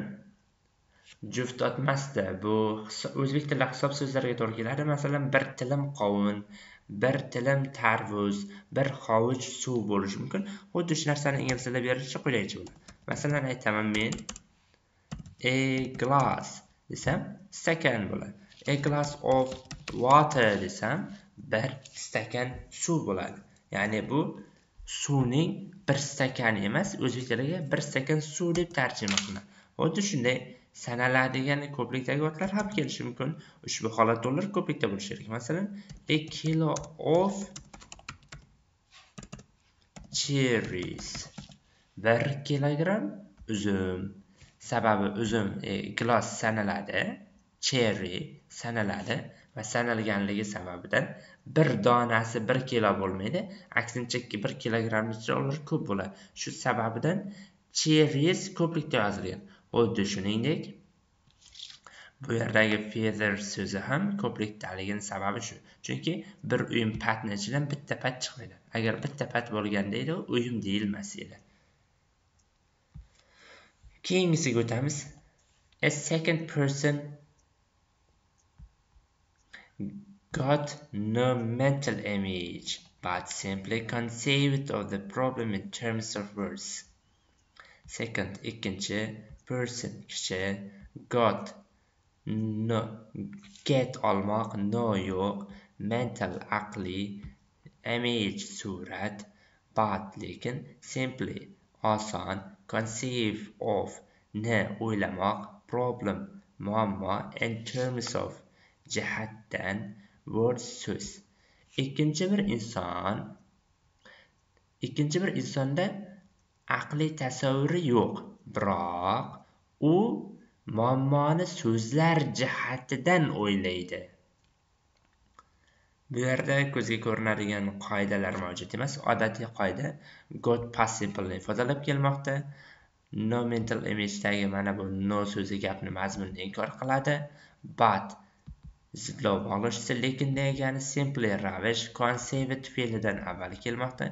Conceivning predlogi of nega the problem bo'ldi? Chunki avvalgi masalalar ko'tarilmoqda. In terms of jihatidan deb aytishimiz mumkin. Bundan keyin keladigan matnda mabodo yangilik bo'lib qolsa ho'p yangilik bor ekan aytib o'tib ketamiz. Biz vizni aytdik masalan a girl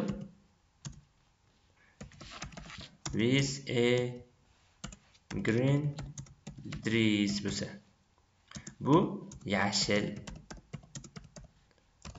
ko'ylakli qiz bo'ladi. Ana endi shunda dress tushib qolsa nima bo'ladi desak aytamiz a girl in green bunda ham mazmun xuddi shuningdek saqlanadi. Hech qanaqasiga buzilmaydi. Faqat sifat bo'lsa ya'ni e sifat emas ot bo'lsa viz ishlatiladi. O sifat plyus ot shaklida kelishi kerak vizni ishlatilishi uchun. Inni ishlatilishi uchun faqat sifatning o'zi bo'lsa yetarli. Equivalent green bo'lsa yashildagi qiz emas yashil ko'ylakli qiz tushuniladi. Bu matnda faqatgina shu qoidasi bor ekan. Qolgan qoidalar tanish hammasi deyarli o'tilgan. People differ greatly in their power to make pictures in their heads.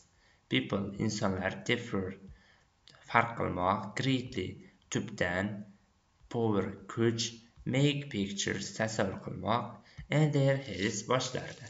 Insonlar boshlarida tasavvur qilish qobiliyatiga ko'ra tubdan farq qilishadi. Years ago, the British scientist Sir Francis Galton asked a group of colleagues to try visualize the breakfast table as they had sat down to eat that morning. Years ago, ancha yillar oldin, the British scientist britaniyalik olim asked so'radi a group of colleagues bir guruh hamkasblardan to uchun try sinab ko'rmoq visualize tasavvur qilmoq breakfast table nonushta dasturxoni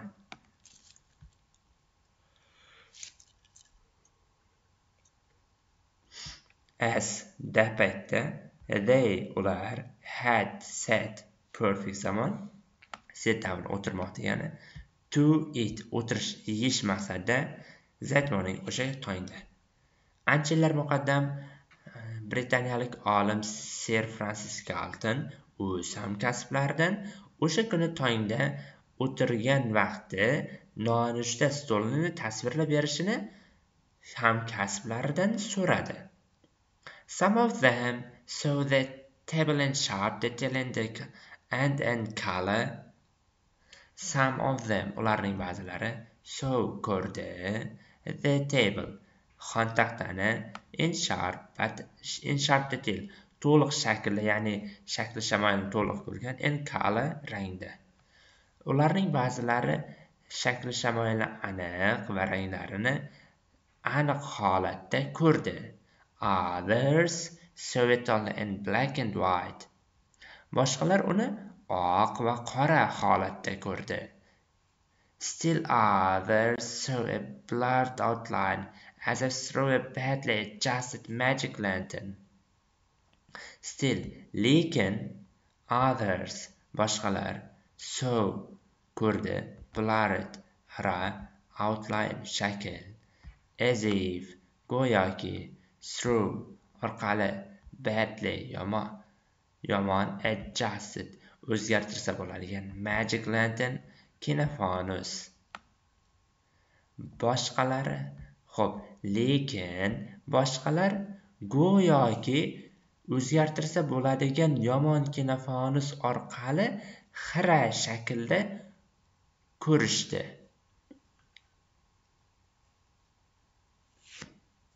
Xato ketib qoldi biroz e'tibor beramiz.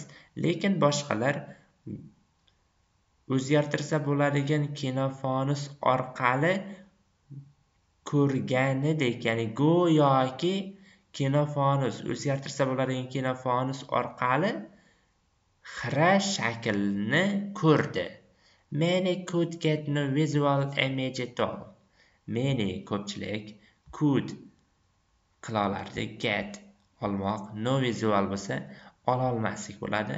Vizual image tasavvuriy surat at all hamma vaqt. Ularning ko'pchiligi ha ularning ko'pchiligini hamma vaqt vizual tasvirni ololmadi. Ya'ni ularning ko'pchiligi Э, tasavvur qila olishmadi mazmunida kelmoqda. Scientists believe that most people are born with the ability to summon up in the mind's eye precise visual images of past experience.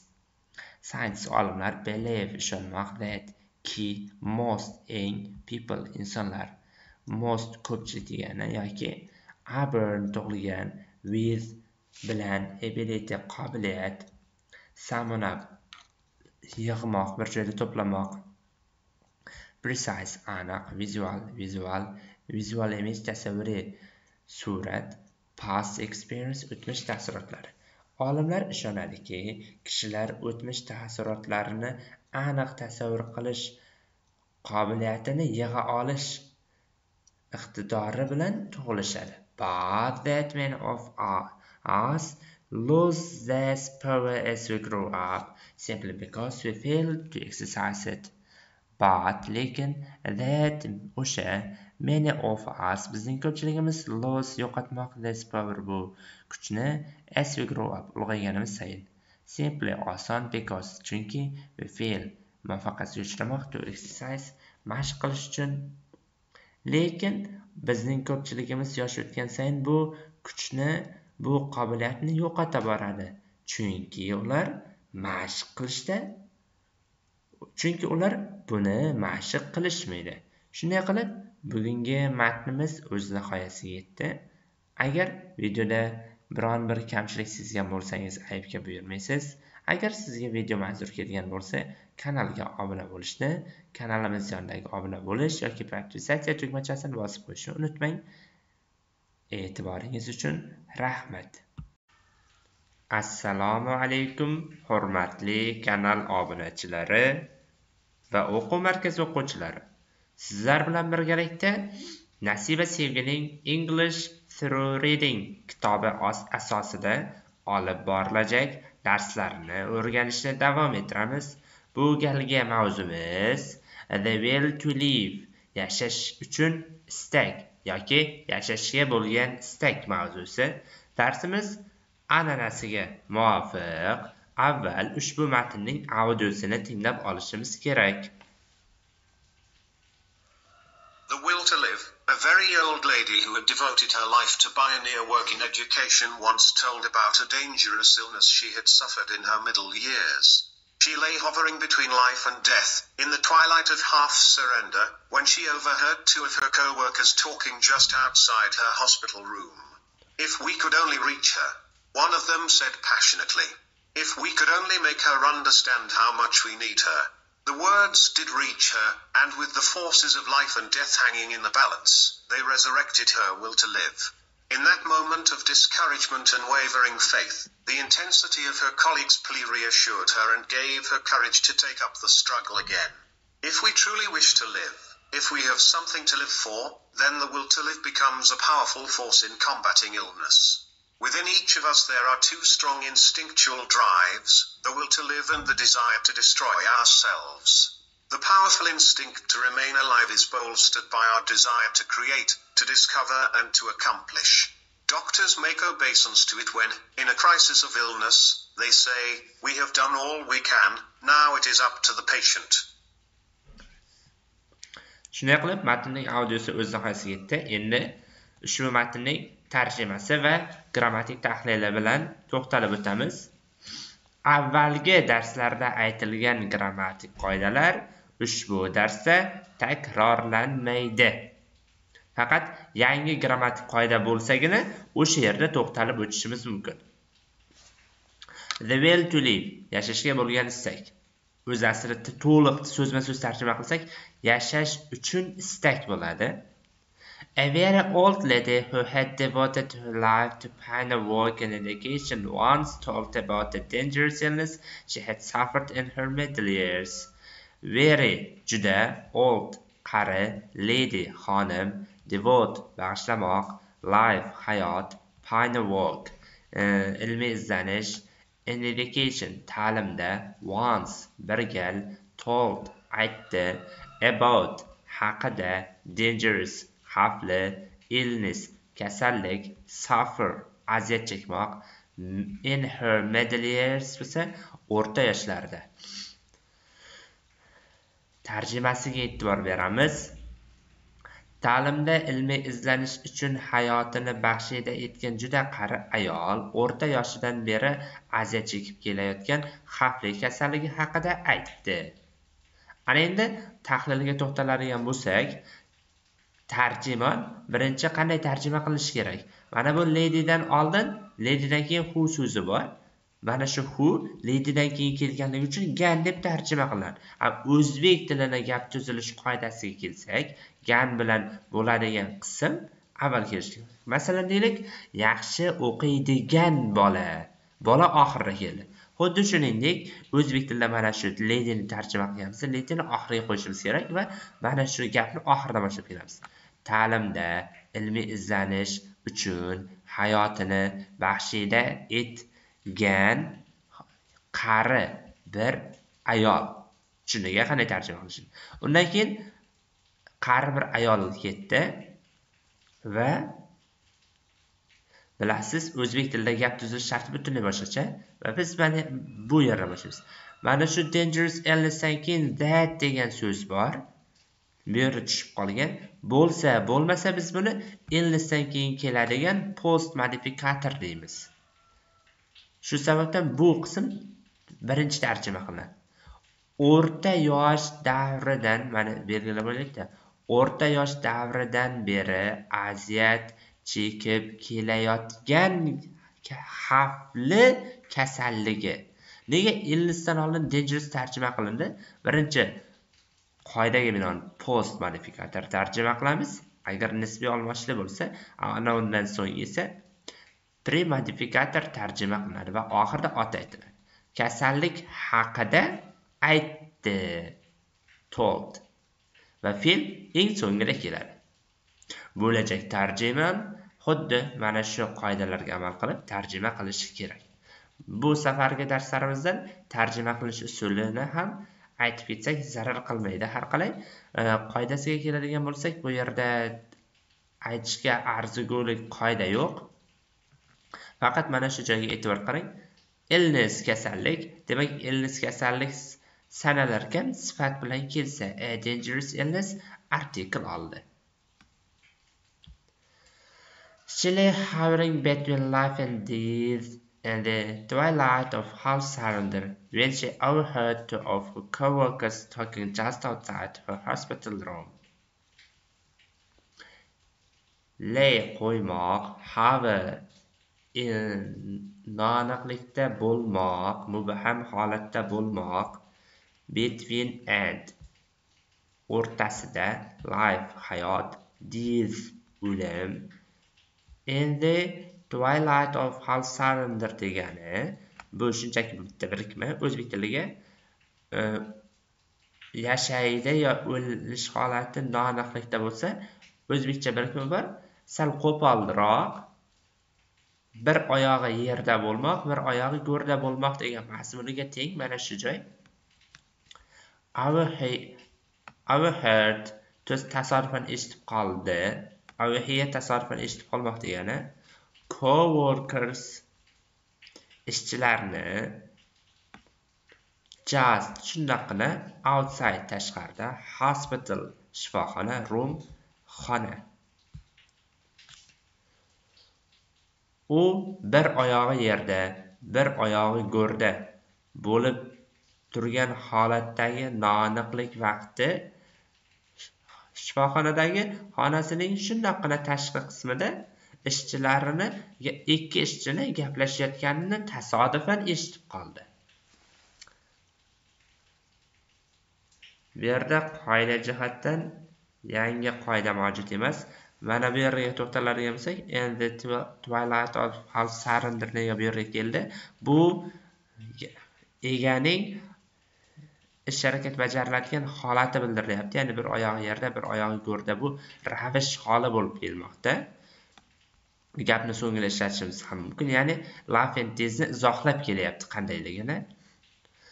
I have to bu yerda qoida mavjud emas ekan.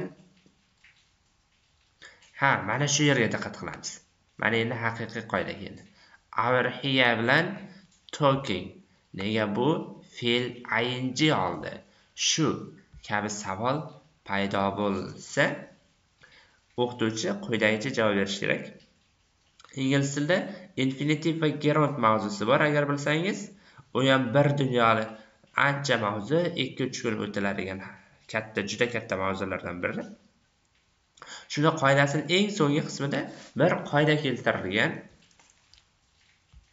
Buni boshqa kitoblardan topib o'qishingiz mumkin yoki qaysidir kitoblarda bor bo'lishligi mumkin. Aniq manbasini bilmayman. Lekin o'zim ishlatadigan grammatika qoidalarida bu qoida mavjud albatta. Qo'l yozma. Buni kitob shakli hozircha mavjud emas. Shuning uchun bu yerda og'zaki yuzaki aytib o'tib ketamiz qaraymiz. Hear listen see kabi fe'llar bor. Ya'ni his qilmoq ko'rib qolmoq tinglamoq eshitib qolmoq kabi so'zlarga yaqin bo'lgan fe'llar bor. Mana shu fe'llardan keyin agar to'ldiruvchi kelsa to'ldiruvchi nima bo'ladi? Somebody bo'ladi. Shundan keyin kelsa ish harakatning vaqtiga qaraymiz. Agar ish harakatning bajarilish vaqti uzoq muddatli bo'lsa biz fe'l ing shaklini ishlatamiz. Masalan qanday bo'lishi mumkin? Monitorga diqqat qilaylik. I saw him. Men uni ko'rdim. Men uni nima qilayotganini ko'rdim. Aytaman walking sayr qilayotganini ko'rdim. Bu yerda ham xuddi shuningdek gaplashib turganini eshitib qolgan to'satdan va mana shu gaplashib turgani biroz vaqt bo'lsa-da davom etadi. Ha qisqa muddatli ish harakat bo'lsachi deyishingiz mumkin. Buni kelgusi darslarda nasib qilsa aytarmiz. Yoki bir izlab ko'ring manbalardan qidirib ko'ring. Topa olmasangiz telegram orqali murojaat qilsangiz o'sha joyni aytib tushuntirib berishim mumkin.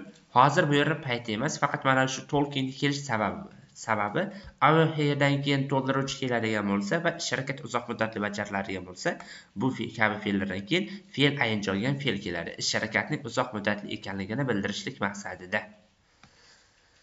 Keyingiga davom etamiz. If we could only reach her. One of them said passionately. If agar we biz could qila olardi. Only faqat reach yetishmoq. One of them ularning biri said dedi passionately achinib. Buni birinchi ko'rgan odam agar biz unga yetisha olsak dedi ularning biri achinib deb tarjima qildi. Aslida esa boshqacha qaniydi biz unga faqatgina yetisha olsak dedi ularning biri achinib. Shuni qoidasiga e'tibor qilamiz. Ingliz tilida ega plus could yoki would.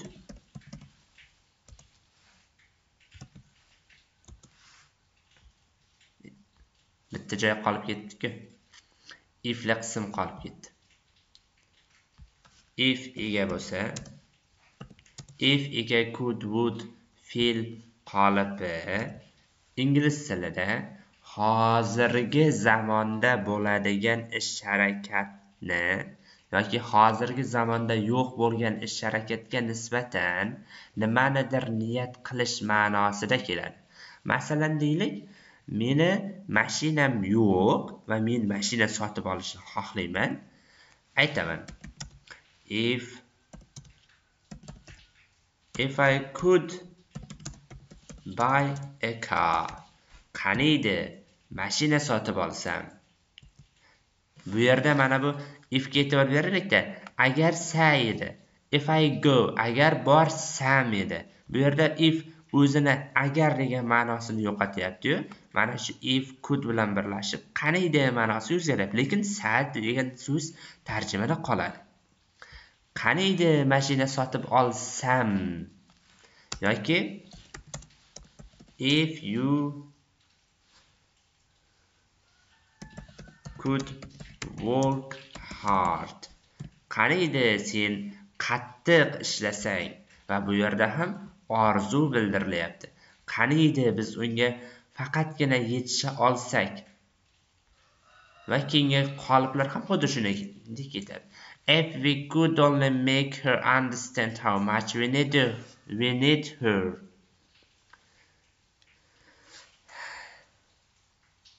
Make fe'l orttirma nisbatini hosil qiluvchi fe'l mekdan keyin kishini bildiruvchi to'ldiruvchi kelsa undan keyin kelajak so'z fe'l bir shaklda bo'ladi va bu orttirma nisbatni bildiradi. Make her understand degan unga tushuntirmoq degan ma'noda tarjima qiladi. Endi how much qancha degani qolgani tanish qaniydi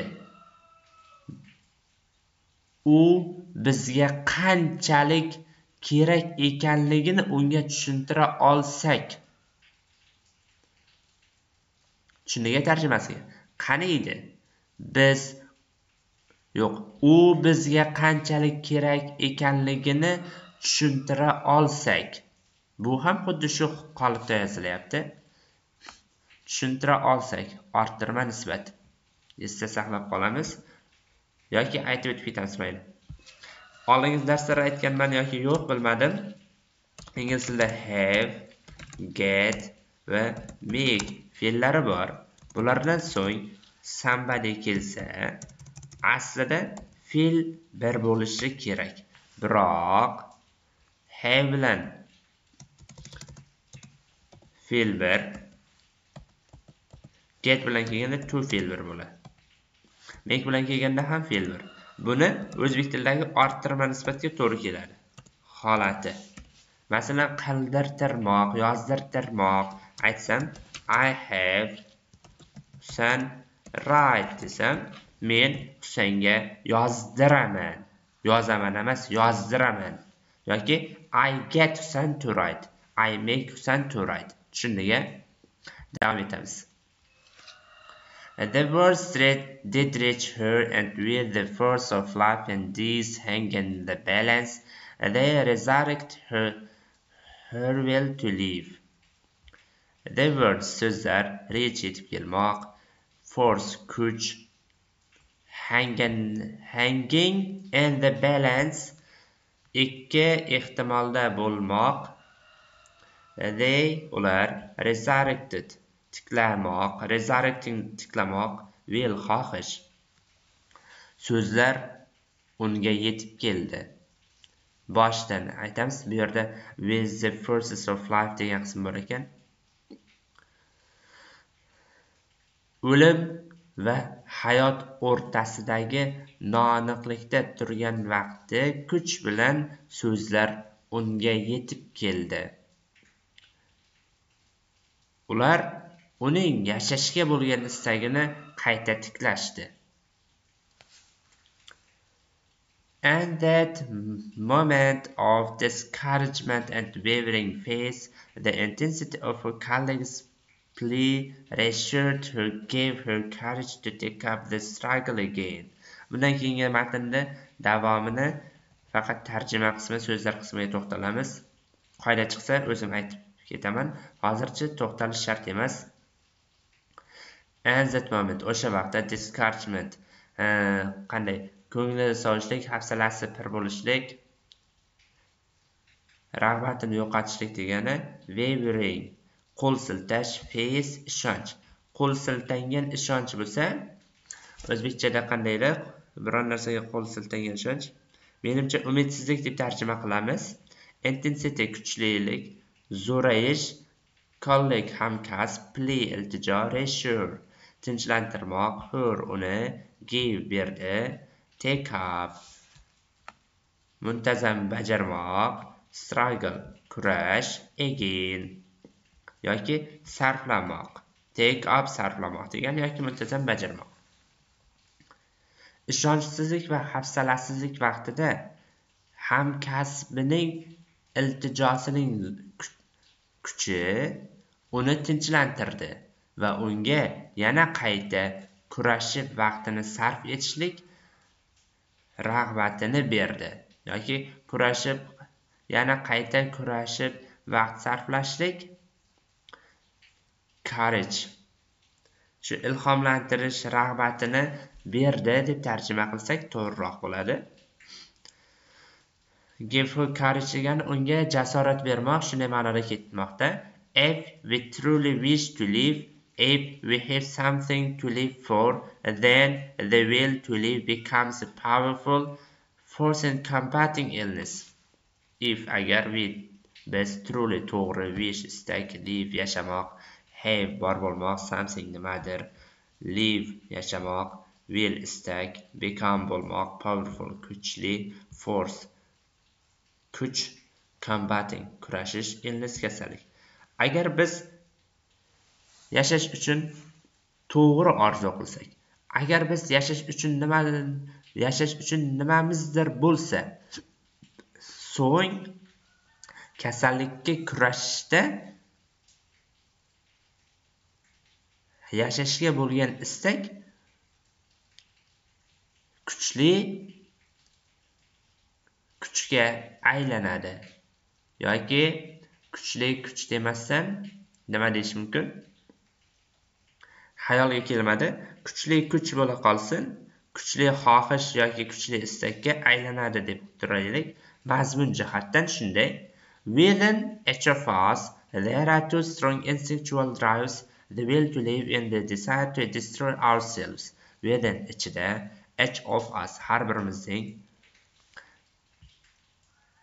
each of us har birimiz two ikki strong kuchli instinctual instinct instinctual o'zbek tiliga tarjima qilinmaydi ya'ni instinkt otadan onadan o'tadigan yoki insonda doimiy bo'ladigan holat instinkt deyiladi. Buni mediklardan so'rab ko'rish kerak albatta. Drive motiv desire orzu.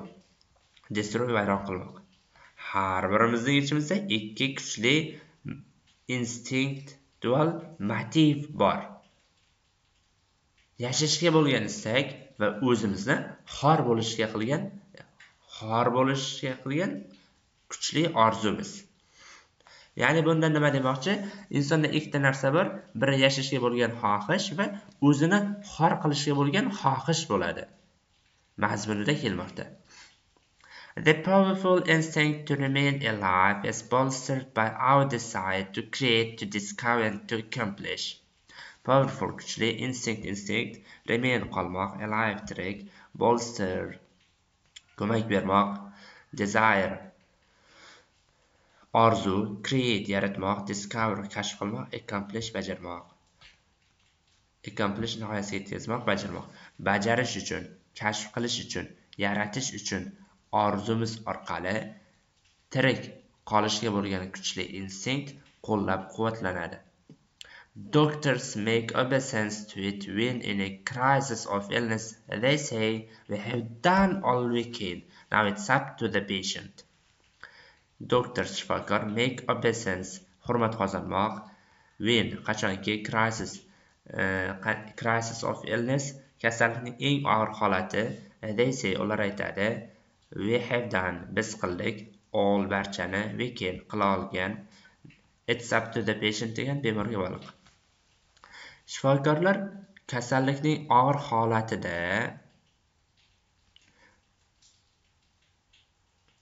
holati payti obro' e, hurmat qozonishadi va ular deyishadi biz qo'limizdan kelgan barcha ishni qildik endi hammasi bemorga bog'liq. Shunday qilib bugungi matn o'z nihoyasiga yetdi. Agar sizga video manzur kelgan bo'lsa kanalga obuna bo'lishni va kanalimiz yonidagi obuna bo'lish yoki подписаться tugmachasini bosib qo'yishni unutmang va ushbu darsliklarni ushbu kitob asosida dars qiladigan safdoshlaringizga do'st birodarlaringizga yoki tanishlaringizga taklif qilishingizni so'rab qolgan bo'lardim. Kelgusi darslarda ko'rishguncha xayr e'tiboringiz uchun rahmat assalomu alaykum hurmatli kanal obunachilari va o'quv markaz o'quvchilari sizlar bilan birgalikda Nasiba Sevgining English Through Reading kitobi asosida olib borilajak darslarni o'rganishni davom ettiramiz. Avvalo darsimiz an'anasiga muvofiq ushbu darsning audio versiyasini tinglab, yaxshilab eshitib olishimiz kerak. So'ngra esa grammatik tahlil hamda tarjimasini birgalikda ko'ramiz. Bunday bo'lsa, boshladik. Debate over the world's future. How many people can the Earth hold? Will birth and death rates continue to decline? Can food production keep pace with population growth? Can technology supplement or replace today's resources? What are the long-term effects of pollution on health, climate, and farm production? Debate over such issues has spawned how many volumes as scholars look to the future with varying degrees of optimism and gloom. In a lecture titled The Terror of Change, Patricia Gulas-Strauch cited three aspects of our future about which there is little disagreement. The speed of change. I will accelerate. The world will be increasingly complex, and nations and world issues. I will be increasingly interdependent. Today's problems, which face third world megacities in particular, cannot be ignored by developed countries. We cannot look to the past for solutions as there is no precedent for such growth. We are in uncharted, challenging waters. Shunday qilib audio o'z nihoyasiga yetdi. Endi biz sizlar bilan birgalikda ushbu matndagi yangi so'zlarni yodlab olamiz. Buni tez tez aytib o'tib ketaman. Sababi videoni to'xtatib yozib olish imkoniyatingiz sizda mavjud. Debit muhokama qilmoq yoki muhokama of the world's future our uzra worlds dunyoning future kelajak. How many nechta people insonlar earth yer hold tutmoq sig'dirmoq birth tug'ilish disease o'lish reach daraja continue davom etmoq decline tushmoq food production oziq ovqat mahsulotlari keep, keep peace with bilan birga bormoq population growth population aholi growth o'sish technology texnologiya supplement qo'shimcha qo'shimcha qilmoq replace o'rnini egallamoq qayta to'ldirmoq yoki qayta tiklamoq ma'nosida today bugun resources manba long term uzoq muddatli effect samara natija pollution ifloslanish health salomatlik climate iqlim farm production xo'jalik ferma mahsulotlari issue masala spont yozilishiga sabab bo'lmoq asosan kitob uchun ishlatiladi. Volumes kitob ya'ni katta qismli kitoblar volumes deyiladi. Scholars olim look to ga qaramoq future kelajak varying turli xil degree daraja optimism optimizm xursandchilik degani gloom tushkunlik lecture ma'ruza titled nomlangan terror dahshat change o'zgarish sight misol keltirmoq aspect jihat about haqida disagreement norozilik speed tezlik change o'zgarish accelerate tezlatmoq increasingly tobora complex murakkab nations xalq millat increasingly tobora interdependent. Bir-biriga bog'liq face yuzlashmoq megacities mega shaharlar particular in particular ayniqsa ignore nazarpisand qilmoq qilmaslik developed rivojlangan country mamlakat. Past o'tmish solution yechim precedent o'xshash teng gross o'sish uncharted noaniq challenging waters qiyin ahvol degani ana endi matnning tarjimasi va grammatik tahlili bilan birgalikda ishlaymiz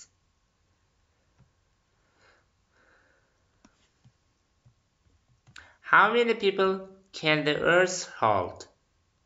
Yer qancha insonni o'ziga sig'dira oladi?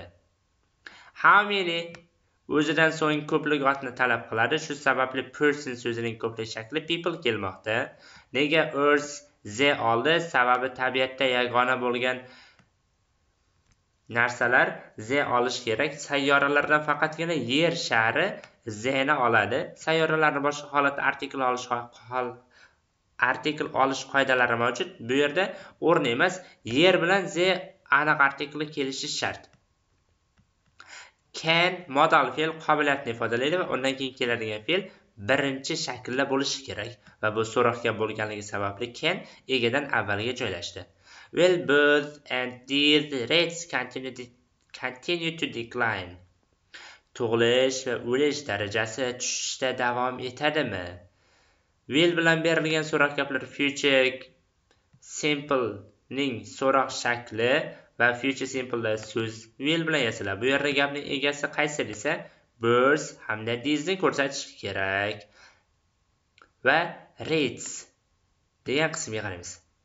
Endi shu yerda to'xtash kerak.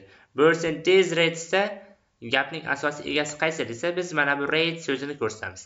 These hamda birds so'zlari rate so'zining pre modifikatorlari va aniqlovchi o'laroq kelmoqda. Tug'ilish va o'lish continue. Gapdagi asosiy fe'l gapda will so'zi borligi uchun birinchi shaklda turmoqda.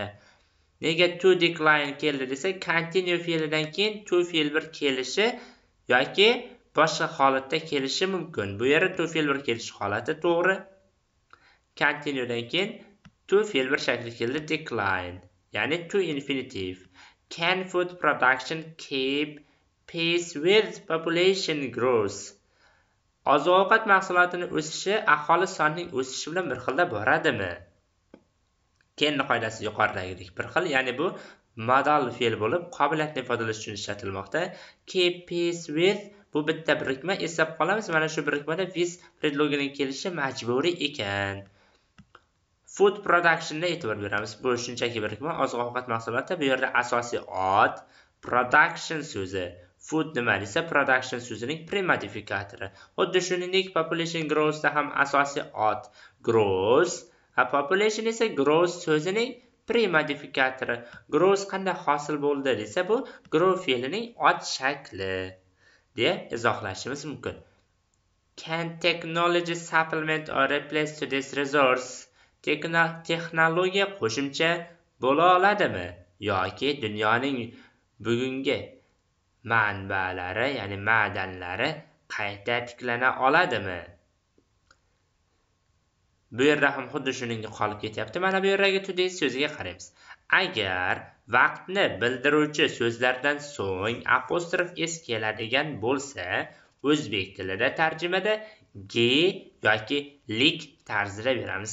Masalan todays bugungi tomorrows ertangi yoki days kunlik tarzida ifodalashimiz mumkin. Yoki buni perifraza qilib boshqacha usulda ham aytish mumkin. Buni galdagi darslarda birgalikda o'rganamiz. Hozir esa o'rni emas What are the long-term effects of pollution on health, climate and farm production?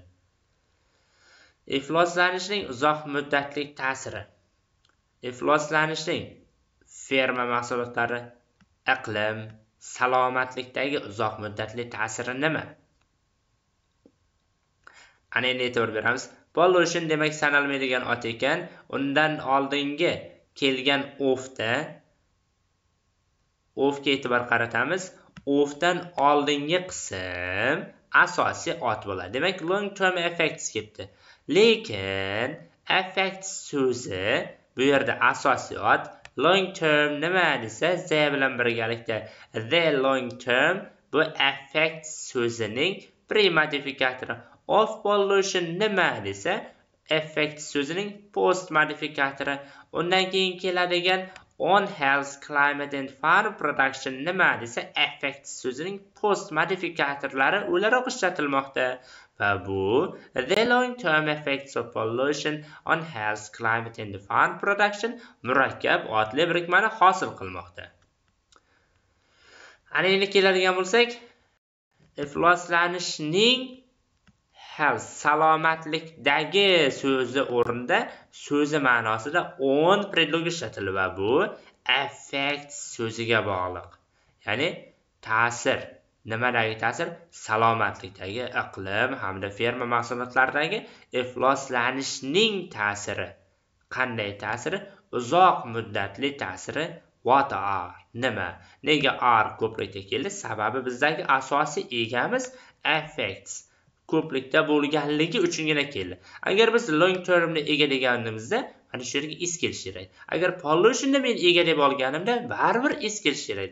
Sababi ingliz tilida sanalmaydigan otga birlik fe'l ko'plik emas.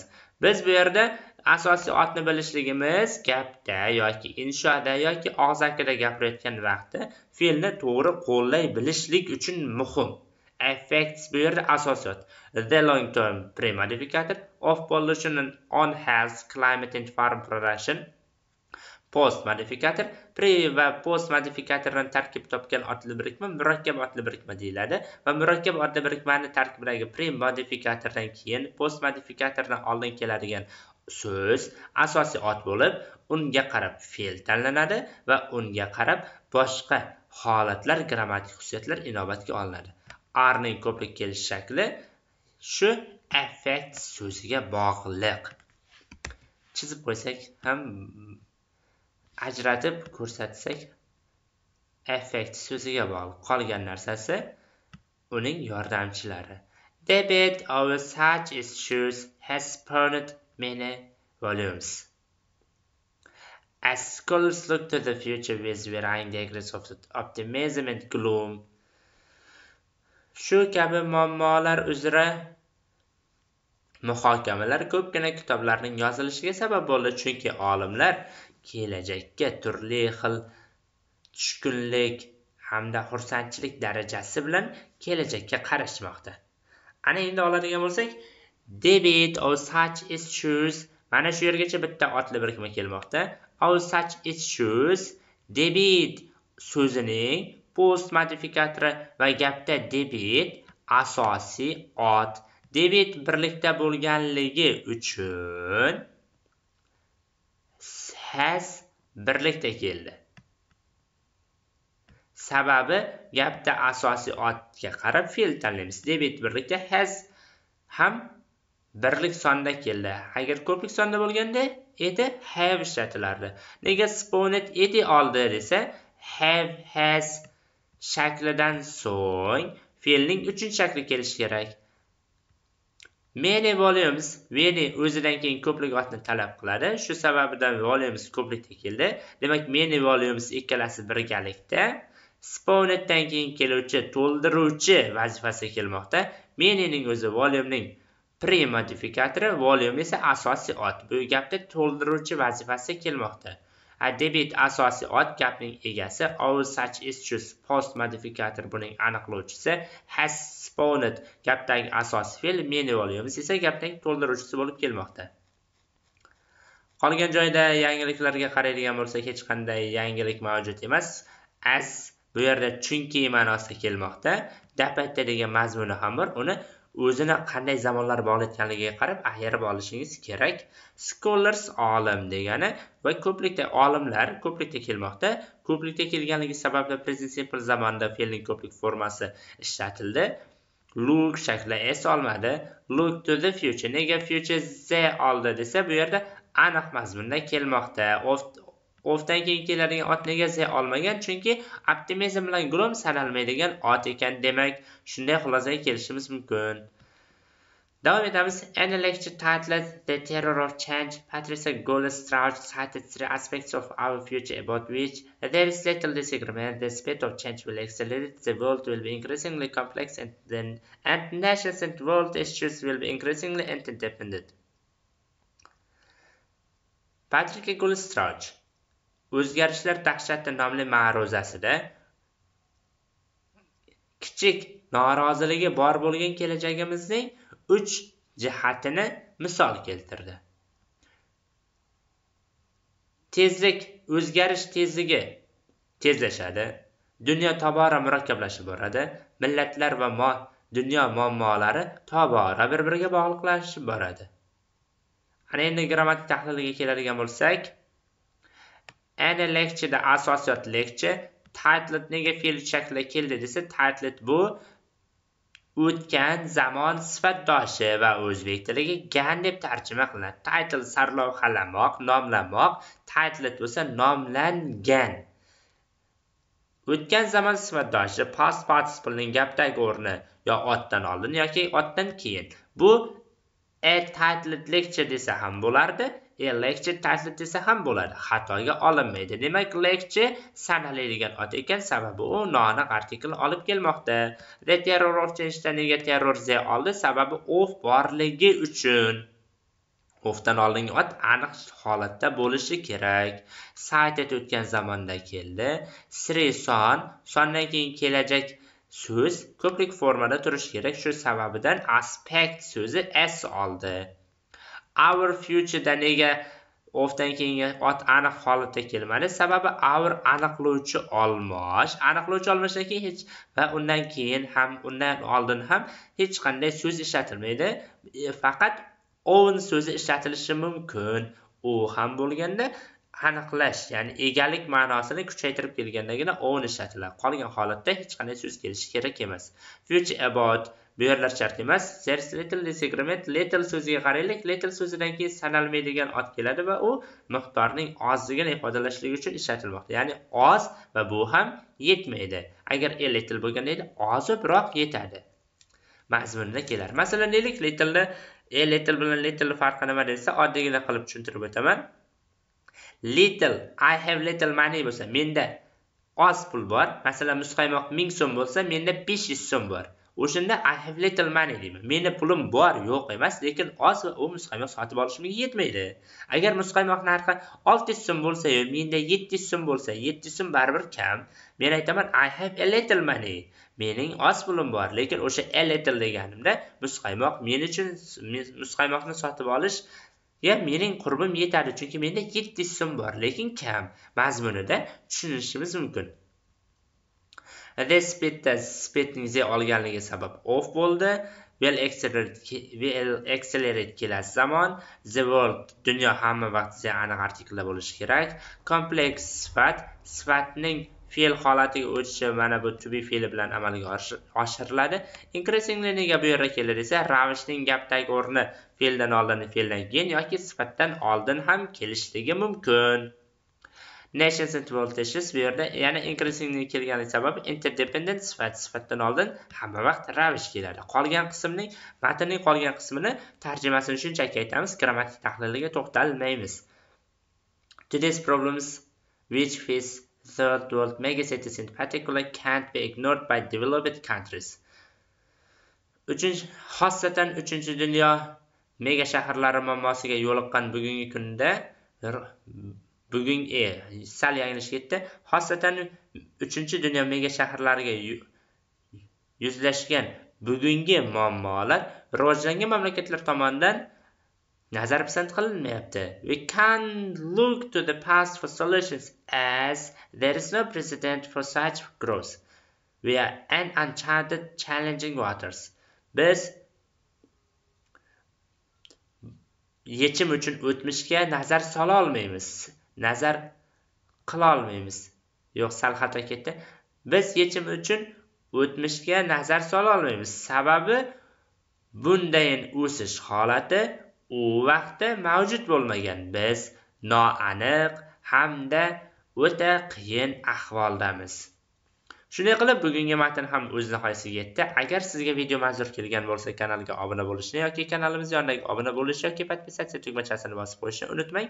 Agar sizga yuqorida aytilgandek video chinida chini bilan manzur kelgan bo'lsa o'z do'stlaringizga ham ushbu video darslarni taklif qilishingizni so'rab qolgan bo'lardim.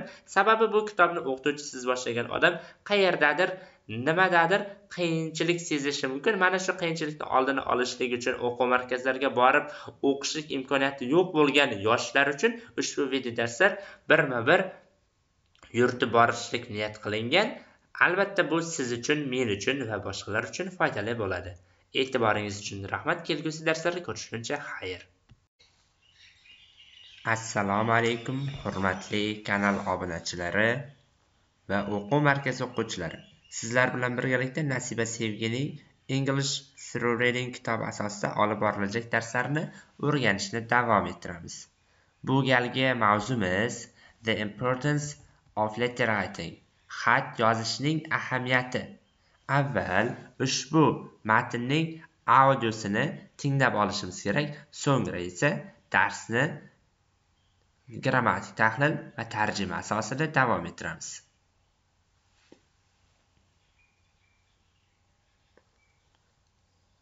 The importance of letter writing. The letters we write can spell the difference between making and missing an important sale. Between landing and losing a job, between a yes and a no from the girl or boy of our dreams.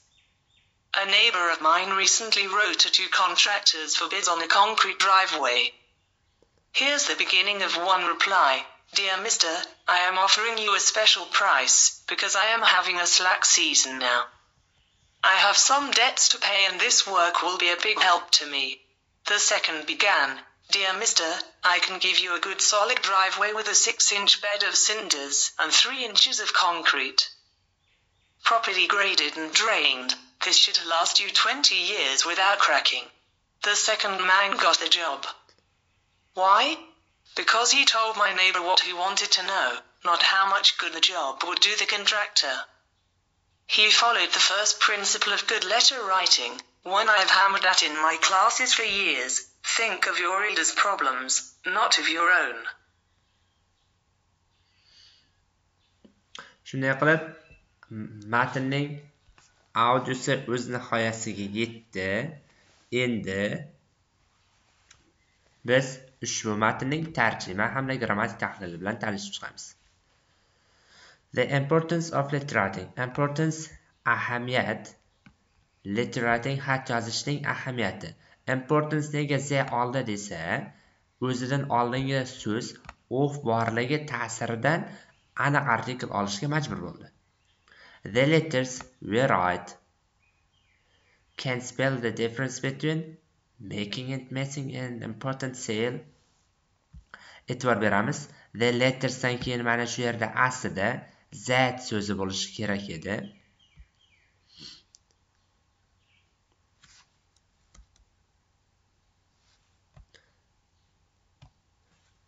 Aslida z so'zi bo'lishi kerak. Ya'ni the letters that we write. Ana o'shanda biz yozadigan xatlar bu tarjima qilinsa to'g'ri bo'ladi. Keyingi qismda davom etsak can spell farqini ayta oladi bo'lyapti. Bu yerda can modal fe'li bilan qobiliyat ifodalanmoqda. The difference farq between o'rtasidagi farq. Nimaning o'rtasidagi farq desa e'tibor beramiz. Between bu yerda predlog predlogdan keyin kelgan fe'l ing shaklini olishi shart. Shu sababdan ham making missing ing olgan lending ing olgan losing ing olgan. Chunki ingliz tilida predloglardan keyin keladigan fe'l hamma vaqt ing olishi kerak. Ana endi keyingi qismga qarasak bu yerlarda deyarli qoidalar ko'rinmayapti yangi so'zlari letters xat write yozmoq spell aytmoq difference farq between o'rtasida make important sale make an important sale muhim savdo qilmoq miss an important sale. Muhim savdoni o'tkazib yubormoq. Land a job ish olmoq. Lose a job ish yo'qotmoq. Girl boy o'g'il qiz. Our bizning dreams orzularimiz. Ana endi aytadigan bo'lsak biz yozadigan xatlar muhim savdo qilish muhim savdoni qo'ldan boy berish ish olish ish yo'qotish va bizning xayolimizdagi o'g'il qizning ha yoki yo'qligi o'rtasidagi farqni bizlarga aytadi. Farqni aytadi. Bizlarga degan joyi shart emas. A neighbor of mine recently wrote to, wrote to two contractors for bids on a concrete driveway. Neighbor qo'shni recently yaqinda wrote yozdi contractors pudratchi. Pudratchi kim desa shartnoma asosida pul taklif qiladigan kishi pudratchi deyiladi. Bit pul taklifi konkret beton driveway mashina yo'lchasi. Ya'ni driveway qanaqa yo'lcha? Uyning ichida garajgacha bo'ladigan mashina borish yo'lakchasi driveway deyiladi. Ana endi tarjimasi ana endi qoidasiga e'tibor bersak a neighbor of mine qaydan kelib qoldi? Diqqat qilamiz. Neighbor of mine tarjimasi o'zimning qo'shnim deya tarjima qilinadi. Bu yerda menikining qo'shnisi degan gap yo'q. Hozir monitorga e'tibor beramiz. Qayerdan kelib qolganligini yaqqol ko'rishimiz mumkin. Neighbor of mine neighbor of mine aslida my neighbor bo'lgan edi.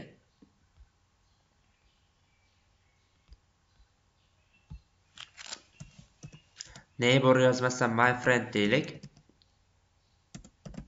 My friend tarjimasi mening do'stim. Mana shu holatda my friend dagi may aniqlovchi olmoshidan keyin faqat va faqat ot kelishi kerak. Lekin bularning orasida faqatgina bir so'z joylashishi mumkin. U ham bo'lsa own so'zi. My own friend. Bunda tarjima biroz almashinadi. O'zimning do'stim. Shu holatda my own friendni ikkinchi usulda yozishimiz mumkin. Unda friendni gapning avvaliga chiqaramiz. A friend shunda my own ajralib qolganligi uchun u qism bilan bog'lashlik maqsadida of ishlatamiz a e, friend of my own tarzida bo'ladi. Tarjima hamon bir xil. O'zimning do'stim. Faqat shakli o'zgardi. Ana endi uchinchi usul bor. Uchinchi usulda own so'zi tushib qoladi va my egalik olmashiga aylanadi. Sababi egalik olmashi yakka o'zi kelishi kerak mydan keyin esa nimadir so'z bo'lishi kerak. Shunday qilib a friend of mine shakllandi. Tarjimada yana o'zimning do'stimligicha qolaveradi. Tushundingizdegan umiddaman. My friend mening do'stim my own friend o'zimning do'stim a friend of my own a friend of mine. Neighbor ham xuddi shuningdek yasalgan.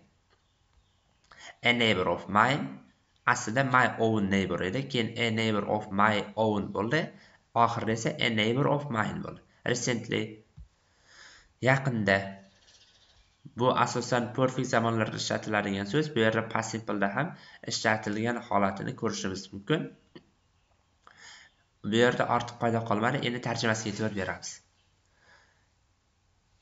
Yaqinda o'zimning qo'shnim beton yo'l uchun pul taklifini pul pulni taklif qilib ikki pudratchiga yozdi. Ya'ni ikki ish beruv ish beruvchiga yozdi. Ya'ni kim buning ma'nosi? Shu yigitning qo'shnisi beton yo'lakni qilib berishi uchun ikki ishchiga yozgan ekan.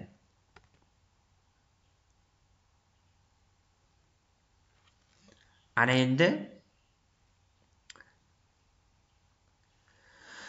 yo'q biroz yanglishdik unda. Yaqinda beton yo'lakni qilib berish uchun pul taklifiga binoan ikki pudratchi ikki ishchi mening qo'shnimga xat yozdi bo'ldi mana shu endi xat yozilgan ikki versiyani quyida ko'ramiz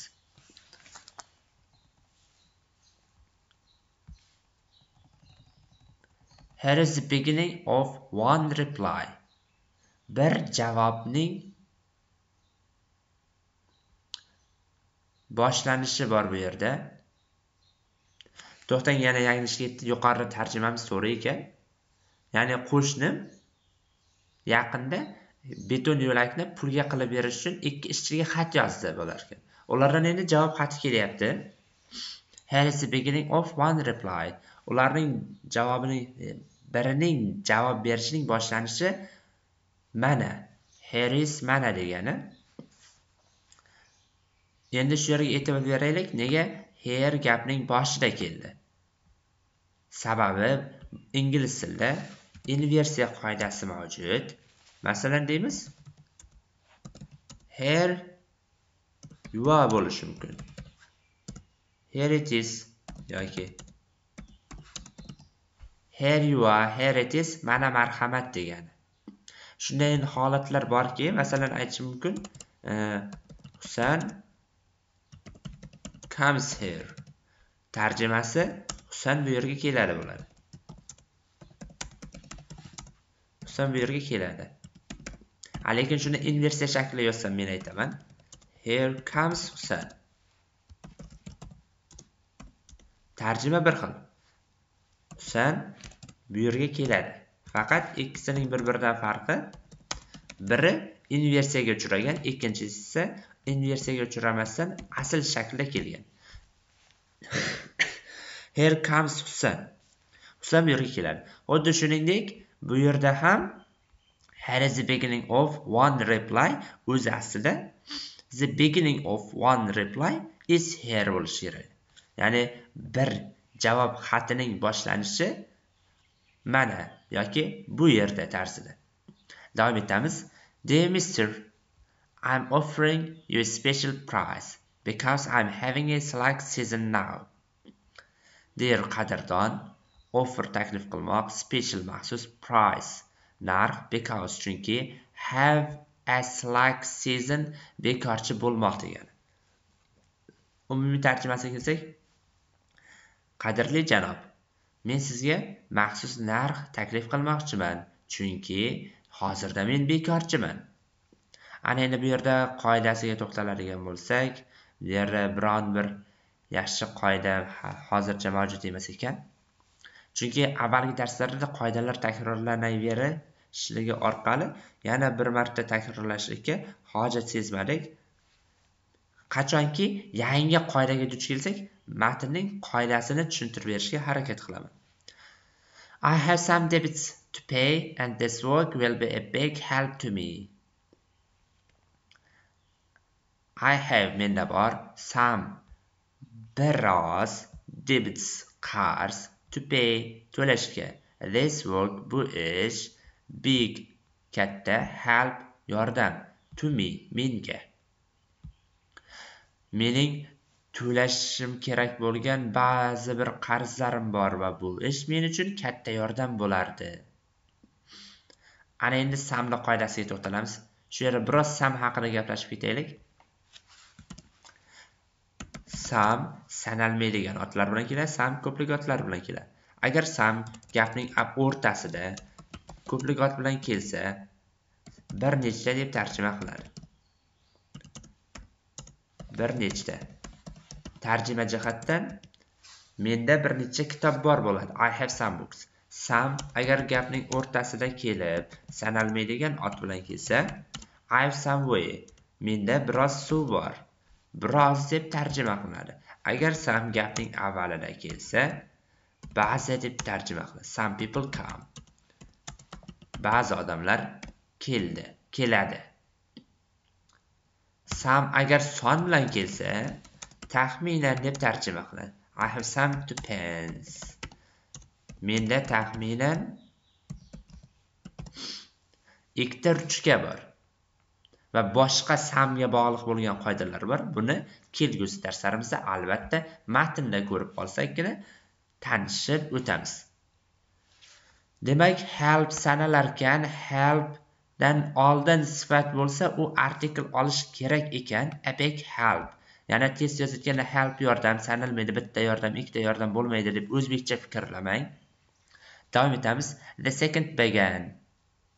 Dear mister i can give you a get solid driveway with a 6 inch bed of cinders and 3 and 3 inches of concrete. Give bermoq good yaxshi solid qattiq driveway mashina yo'lagi 6 inch 6 inchlik bed of cinders. Bu yerda cinder cho'g' degani inch inch konkret beton. Ana endi tarjimasiga keladigan bo'lsak ikkinchi bir insonni yozyapti. Ya'ni ikkinchisining boshlanishi u quyidagicha boshlangan. Qadrli janob men sizga olti inch cho'g'lik qattiq beton yo'lini va uch inchlik betonni sizga bera olaman.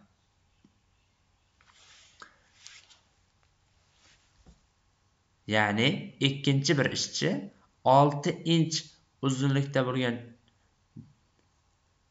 beton yo'lagi va eniga e, ko'ndalangiga ketganda uzunasiga ketganda uch inchlik betonni qattiq beton qattiq mashina yo'lagini sizga taklif qila olaman.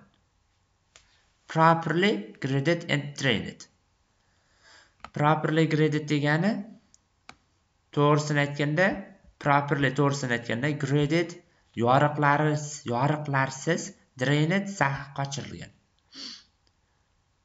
To'liq yoriqlarsiz va zaxi qochirilgan tarzda. These should last you 20 years without cracking should davom et should kerak last davom etmoq bu hech qanday yoriqlarsiz 20 yil davom etishi kerak The second man got the job. Ikkinchi bir inson ishni oldi. Why? Nima uchun? Because he told my neighbor what he wanted to know, not how much good the job would to the contractor. Chunki he told u aytdi my neighbor qo'shnimga what he wanted to know. U nimani bilishni aytdi. Endi u nimani bilishni xohlashini aytdi. aksincha shartnomani qilish uchun unga yaxshi qanchalik yaxshi ish zarur ekanligini emas bilishi bilishni xohlagan narsasini qo'shnimga aytdi he followed the first principle of good letter writing u followed erishdi he followed ergashdi. Principle tamoyil yoki prinsip letter writing xat yozish. U yaxshi xat yozishning birinchi tamoyiliga ergashdi. One I, I've hammered at in my classes for years. Think of your reader's problem, not of your own. Hammer at yo'liqmoq. Think o'ylamoq. Think of haqida o'ylamoq. Reader o'quvchi problem muammo your own o'zingiz. Men bir yillar davomida sinfimda bu holatga qayta qayta yo'liqdim.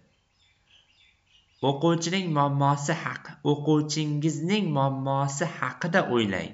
O'zingizning muammongiz haqida emas. Shunday qilib bugungi matn o'z nihoyasiga yetdi. Endi keyingi matnga o'tamiz. Keyingi ikkinchi bir matn. The winds with us. Bu yerda mana bu yerda to be bor. The wind is with us bo'lsa shamol biz bilan birga matni. Avvalo ushbu matnning audiosini tinglab olishimiz kerak. So'ngra yana grammatik tahlili agar yangi qoida chiqsa grammatik tahlili agar yangi qoidasi mavjud bo'lmasa shunchaki tarjima variantini ko'rib o'tamiz.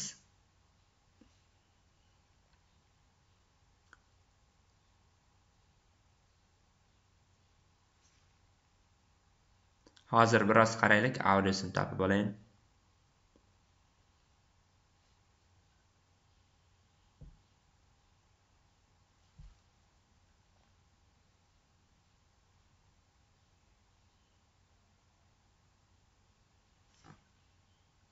bo'ldi boshlaymiz unda.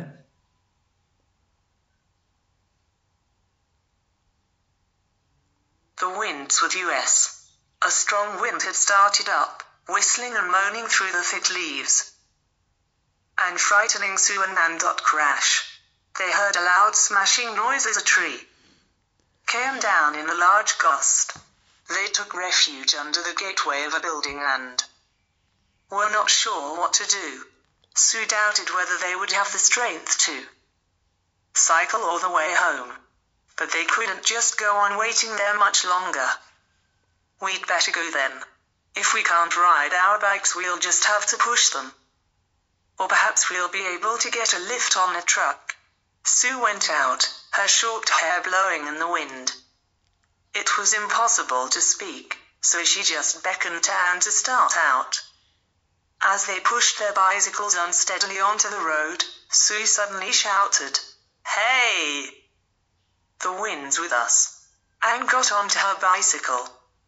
There was no need to pedal, all she had to do was hold on to the handlebars. She felt an almost unreal sense of exhilaration, as if she were floating through the air. The wind's with us. Sue shouted again, her voice filled with surprise and elation. Even we have the wind with us sometimes, eh?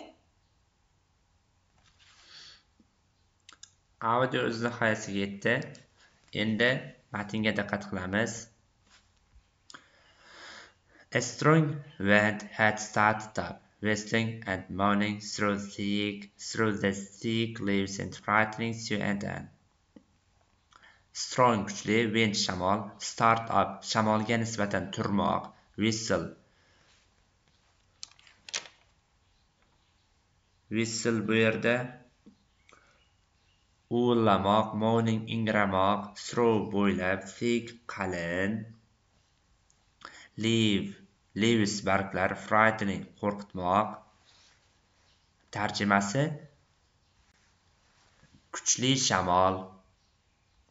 Sue annani qo'rqitib qalin daraxtlar orqali qalin daraxtlarni qalin daraxtlar bo'ylab uvillab guvillab turdi. Ya'ni shamol boshlandi ma'nosida. Bu yerda bitta qoida mavjud.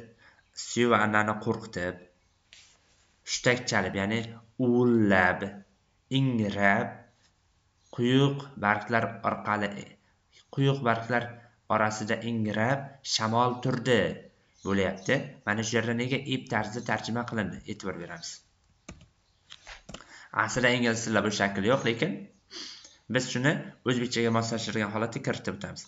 Ingliz tilida fe'llarning shakli to'rt xil. E, ha shunday. Infinitiv infinitiv shakli bor. Infinitivni o'z navbatida ikki xil holati bor. To infinitiv bor bare infinitiv bor. Keyingisi geront bor gerontdan keyingisi participle bor shuni p qilib qo'yaylik. Darsliklarda ham p tarzda keladi. Participle sifatdosh infinitivda ikkita shakl to infinitiv masalan to work bo'lsa bu ishlamoq bo'ladi. Bu to infinitivga misol. Bare infinitiv siz keladi. Workning o'zi misol. Geront fe'l olishi kerak. Working. Participleni o'z navbatida ikki xil shakli bor. Past participle bor. Present participle bor. Present participle. Past participle. Ed bilan yasaladi. Fe'lning uchinchi shakli asosan. Masalan worked bo'lishi mumkin yoki gone bo'lishi mumkin. Bu past participle. Present participle nima bo'lsa present participle fe'l bilan yasaladi. Working bo'ladi. Ana endi har biriga bittadan misol keltiramiz to infinitive bare infinitive gerund past participle present participle to infinitivega misol i want to speak. Bu yerda to infinitive bor men gapirishni xohlayman bare infinitivega i let him write. Men unga yozishiga imkon berdim bu yerda bare infinitive mana bu yerdagi write. Bare infinitive rangini biroz o'zgartirsak aniqroq ko'rinadi. Speak esa to infinitive. Buni ham rangini o'zgartiramiz. Ana endi gerontga misol keltiramiz. Geront asosan gapda ega vazifasi kelishi mumkin yoki ot nima vazifani bajarsa shu vazifada keladi. Working is good. Ishlash yaxshi. Bu geront past participle avvalgi darslarda o'tganmiz o'tgan zamon sifatdoshi buni ishlatilishini qaraymiz I saw a cried child. Yig'lagan bolani ko'rdim. Yig'lagan bolani ko'rdim. Ana endi present continuous e present participle qanday yasaladi? I saw a crying child.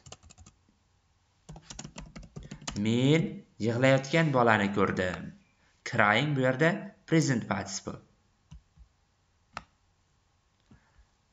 Bizga yana bir holat bor. O'zbek tilida sof fe'l, harakatnomi, sifatdoshdan tashqari ravishdosh shakli mavjud. Ingliz tilida ravishdoshlar yo'q, lekin ravishdosh holatida tarjima qilish holatlari mavjud. O'shanda biz fe'l anjini ishlatamiz. O'zi aslida buni kelib chiqishi boshqacha bo'ladi. E'tibor beramiz. Masalan aytishim mumkin. I am watching TV while I am eating bo'lishi mumkin. Tarjima jihatdan olib qarasak, men ovqatlanayotgan vaqtimda televizor ko'rayotgan ko'rayapman. Tarzida bo'lsa, ingliz tilida mana shu while ni olib tashlasam, gapda o'z-o'zidan ega ham yordamchi fe'l ham tushib qoladi. Ana endi qolgan qism nima? I'm watching TV eating bo'ldi. Buni tarjima qiladigan bo'lsak, mana shu yerdagi eating o'zbek tilidagi ravishdoshga to'g'ri keladi endi. Ovqatlanib televizor tomosha qilyapman bo'ladi. yoki bunday bo'lishi mumkin. I'm sitting at home reading. Men uyda o'qib o'tiribman. Shundan kelib chiqadiki, o'zbek tilidagi ib va b ravishdosh qo'shimchalarini ingliz tilida ham ingliz tilida yana ing qo'shimchasi beradi va bu o'zbek tilidagi tarjimada quyidagicha beriladi. Shu tartibda beriladi. Bu yerda ham Anna va syuni qo'rqitib shamol turdi bo'ladi. Shunday unday bo'lsa davom etamiz. Crash, cars. Cars degan tovushli ovoz. They heard the loud smashing noise as a tree come down in a large gust. Heard eshitdi, loud baland, smashing qulayotgan noise shovqin.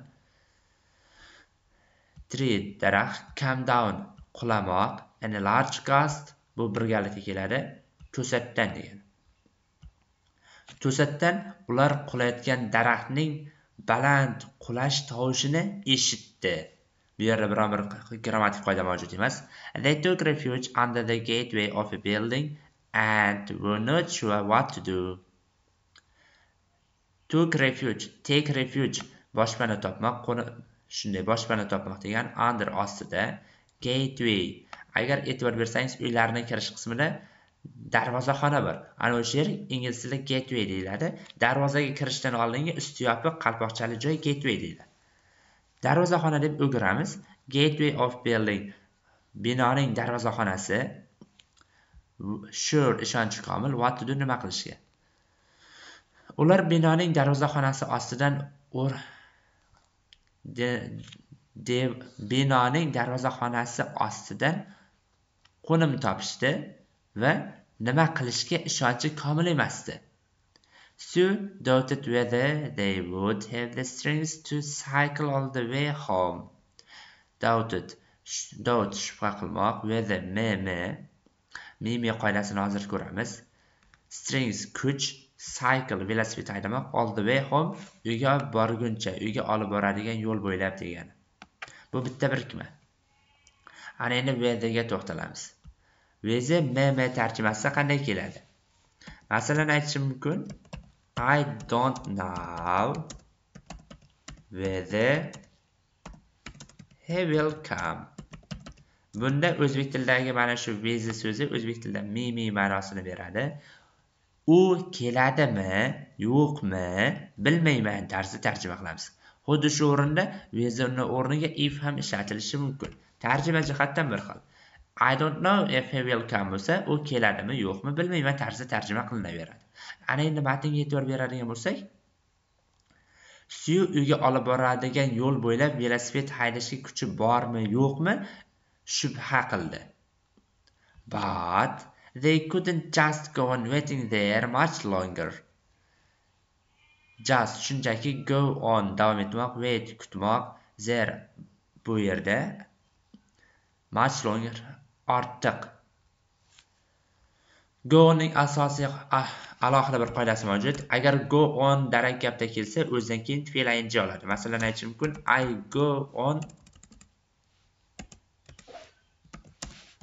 i go on reading. Men o'qishni davom ettirdim. Agar shu qo'shma gapda kelsa o'zidan so'ng o'zidan so'ng to fe'l bir oladi. Masalan aytish mumkin. Uh, after I finished my work.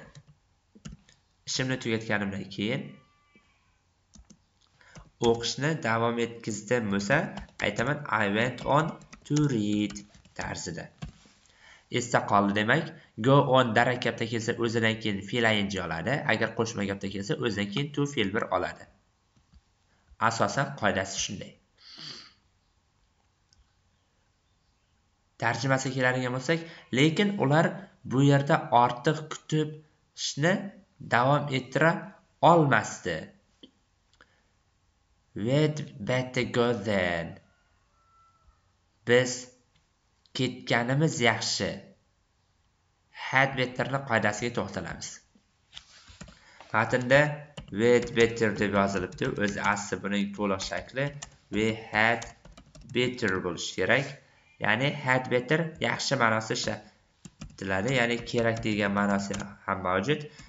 Had better bilan should sinonim so'zlar. Faqat had better ma'lum bir vaziyatda qilinishi kerak bo'lgan maslahat ma'nosida keladi. Masalan aytish mumkin. Kun kech bo'lsa aytaman i had better go. Men ketishim kerak. Kech bo'lganligi uchun ketishim kerak yoki mening ketganim yaxshi. Agar shudda bo'lsa i should study. Men o'qishim kerak va bu doimiy ish harakatlar uchun. Had better bir martalik. Should study bo'lsa yoki should bilan kelsa bu doimiy maslahat uchun keladi. Bu yerda had betterni ishlatilganligi sabab ayni shu damdagina ketish kerak har doim emas. If we can't if we can't ride our bikes we'll just have to push them.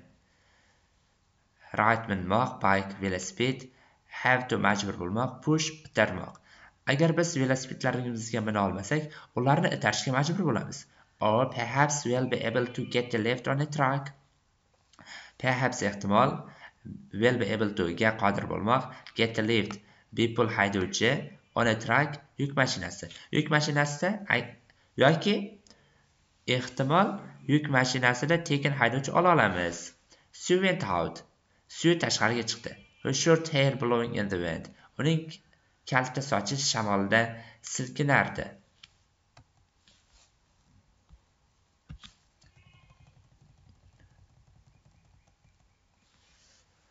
It was impossible to speak.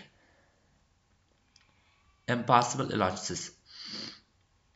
Gapirish ilojsiz edi. Shu qoidaga e'tibor beramiz. Ingliz tilida shunday qoidalar mavjud. Qoida bo'yicha it plus formula yozamiz. To be fe'li plus sifat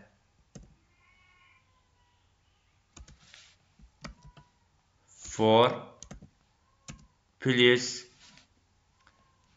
olmosh yoki ot bo'lishi mumkin. Plus to fe'l bir shaklda keladi. Agar gap tutsak it is easy for me to read. O'qish men uchun oson deb tarjima qilamiz. Qoida bo'yicha xuddi shuningdek yasaladi. Ana endi matnning shunchaki grammatikasini emas faqatgina tarjimasi bilan tanishib o'tib ketamiz. So she just, so she just began to uh, and to start out. Start out boshlamoq begin imlamoq. Shuning uchun u annaga boshlash uchun shunchaki imladi. As they pushed their bicycles unsteadily onto the road suddenly shouted hey! Asta paytda push itarmoq bicycle velosiped unsteadily beqaror road yo'l. Suddenly to'satdan shouted baqirmoq. Shot baqirmoq. Ular velosipedni qiychaytirib yo'lak bo'ylab haydab ketayotganda suyuch to'satdan baqirdi. Hey the wind is with us. Shamol biz bilan birga. Anna got onto the her got onto her bicycle. Anna velosipedga mindi. There was no need to pedal no need to pedal all she had to do was hold onto the handlebars. Bizga pedal zarur bu yerda pedal zarur emas. Biz qilishimiz kerak bo'lgan barcha ish handlebar shu velosipedni tutqichini tutish. Hold onto ustidan ushlamoq handlebar tutqich velosipedning tutqichini tutish. Biz qilishimiz kerak bo'lgan barcha ish. She felt an almost unreal sense of exhilaration as if she were floating through the air. She felt his qildi almost qariyb unreal noreal noodatiy sense his exhilaration zavq shavq as if go'yoki floating through the air havoda uchayotgandek. Go'yoki ular u havoda uchayotgandek noodatiy zavq shavq hissini his qilishdi. The wind with us shamol biz bilan birga syu shouted again syu yaqinda yana baqirdi. Her voice filled with surprise and elation elation zavq shavq. Uning ovozi ajablanish va zavq shavqqa to'la edi. Even we have the wind with us sometimes. Hattoki ba'zida shamol biz bilan birga bo'ladi. Eh shunday qilib bugungi darsimizning ikki matni o'z nihoyasiga yetdi. Agar sizga video manzur kelgan bo'lsa kanalga obuna bo'lishni yoki kanalimiz yonidagi obuna bo'lish yoki подписаться tugmachasini bosib qo'yishni unutmang. Va video darslar sizga yoqayotgan bo'lsa ushbu kitob asosida dars qilayotgan do'stlaringizga ham ushbu video darslarni taklif qilishingizni so'rab qolgan bo'lar edik. Ayb va kamchiliklar o'tgan bo'lsa aybga buyurmaysiz. E'tiboringiz uchun rahmat. Kelgusi darslarni ko'rishguncha xayr. Assalomu alaykum hurmatli ingliz tili va arab tili oddiydan murakkabgacha kanalining a'zolari. Sizlar bilan birgalikda nasiba sevgining english through reading kitobi asosida olib borilajak.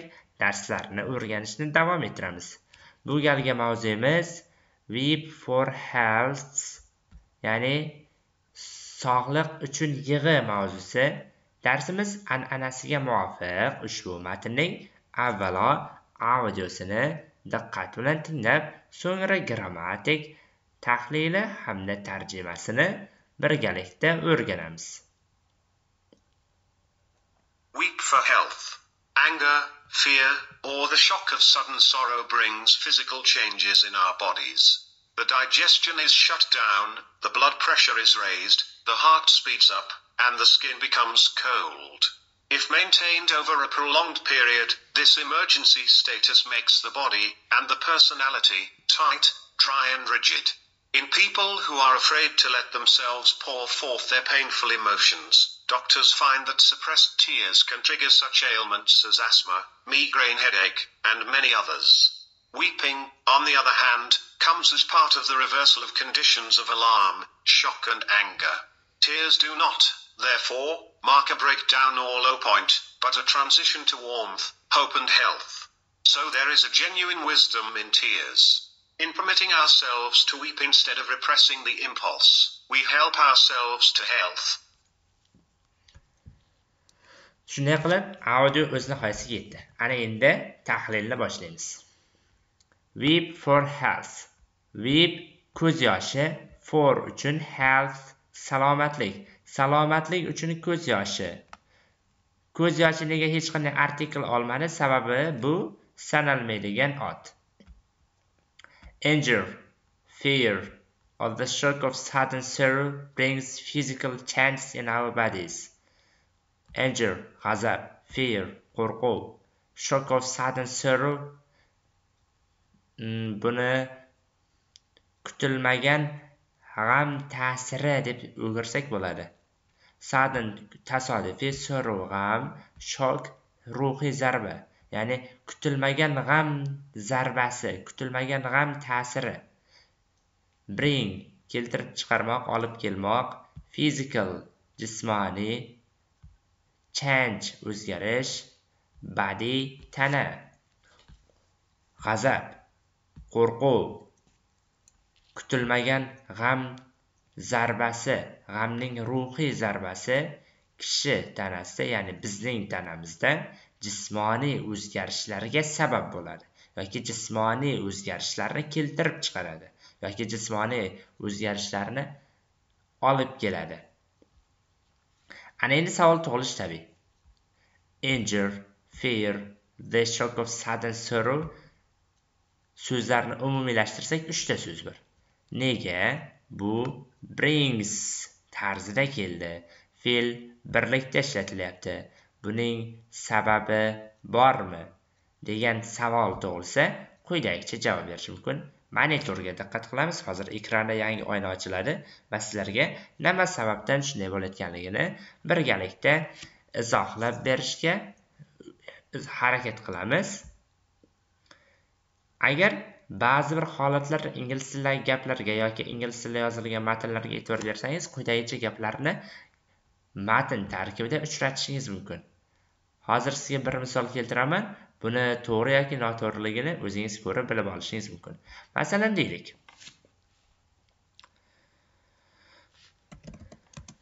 Too much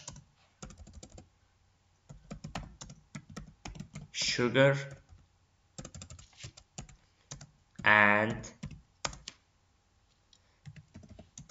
too much salt is. Endi yozamiz. Too much sugar and too much salt are. Nima deb o'ylaysiz? Qaysi biri to'g'riroq is to'g'rimi are to'g'rimi buni rangini biroz o'zgartirib olamiz. Shunaqa holat hech ko'rganmisiz? Gap bir xil ega bir xil yozilish bir xil faqat fe'l farq qilyapti. Bunaqa holatni menimcha deyarli kamdan kam odam ko'rgan bo'lishligi mumkin va bunda isni yoki arning ishlatilishiga sabab nima desa quyidagicha izohlashimiz mumkin. Agar men yozuvchi sifatida masalan gapni davom ettiraylik shu isdan keyingisini dangerous tariqasida masalan dangerous deyishim mumkin. Ko'p shakar va tuz zararli agar men shakarni ham tuzni ham ikkalasini birgalikda olsam mana shu ikki modda birlashgan holatda zararli demoqchi bo'lsam esda ishlataman agar men har ikkalasi ham zararli deb aytmoqchi bo'lsam ya'ni alohida alohida ma'noga urg'u bermoqchi bo'lsam aytaman. O'zi aslida bu gap ikkinchi bir gap. Too much sugar is dangerous edi. Va and too much salt is dangerous edi. Mana shu ikkala gap birlashdi. Va ikkita is birlashib ko'plik holatdagi arni shakllantirib berdi. Ya'ni kim? Yana bir tushunarli bo'lsin uchun takrorlayman. Agar men yozuvchi sifatida berilgan ikki yoki undan ortiq sanalmaydigan otlarni umumiy deb tasavvur qilsam va umumiyligini sizga izohlab bermoqchi bo'lsam men birlik fe'l ishlataman bunda shakar bilan tuz birgalikda zararli degan mazmun kelib chiqadi. Agar men shakar ham zararli tuz ham zararli deb alohida alohida ikkalasining zararligi haqida urg'u bersam men fe'lni ko'plik shaklda ishlataman xuddi shuningdek matnga qaraymiz. G'azab qo'rquv ruhiy tushkunlik zarbasi jismoniy o'zgarishni keltirib chiqaradi va mana shu keltirib chiqarishi uchalasi birlashgan holatda bo'ladi. Mazmunida kelyapti. Agar men biringni o'zini qo'yganimda edi agar yozuvchisi bo'lib g'azab. Ruhiy tushkunlik e, g'azabni o'zi jismoniy o'zgarishni keltirib chiqaradi. Qo'rquvni o'zi keltirib chiqaradi. G'am ta'siri keltirib chiqaradi degan mazmunda ifodalashi mumkin. Va bu narsa endi agar shunday oladigan bo'lsak bir marta asabiylashgan insonda jismoniy o'zgarish bo'lib ketaversa qo'rqqan insonda jismoniy o'zgarish bo'lib ketaversa g'amga tushgan odamda qo'rqa jismoniy o'zgarish bo'lib ketaversa degan mazmundagi xato gap tushunilishi mumkin. Aksincha bunda mana shu uchala so'z birlikni ya'ni umumiylikni ifodalab kelmoqda. Mana shularning hammasi birgalikda jismoniy o'zgarishlarni keltirib chiqaradi. Endi davom etamiz. The digestion is shut down. The blood pressure is raised the heart speeds up and the skin becomes cold. Digestion.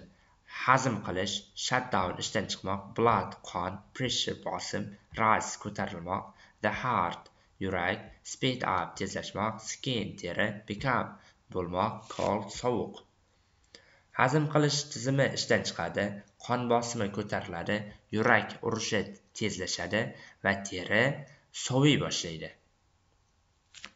Ana endi qoidasiga keladigan bo'lsak digestion inson organizmida bitta va yagona hazm qilish sistemasi va shunga nisbatan the aniq artikl ishlatilmoqda.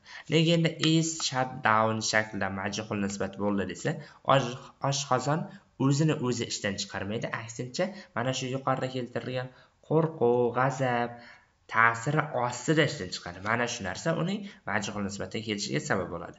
Xuddi shuningdek qon bosim ham o'z o'zidan o'zini o'zi oshirmaydi boshqa tomonlama oshiriladi.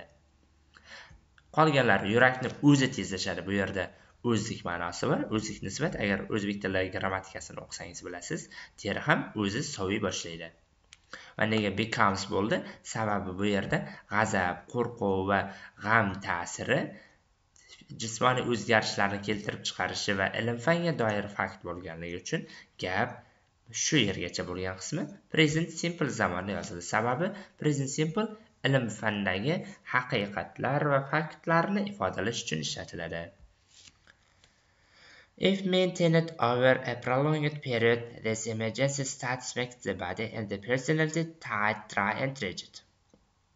If agar maintain davom ettirmoq over E, prolonged period uzoq vaqt davomida this bu emergency status favqulodda holat make qilmoq body tana personality shaxsiyat tight zih tajang dry hissiz and rigid qo'pol qattiqqo'l agar bu narsa uzoq vaqt mobaynida davom ettirilsa bu favqulodda holat insonni shaxsiyatni tajang hissiz va qo'pol qilib qo'yadi.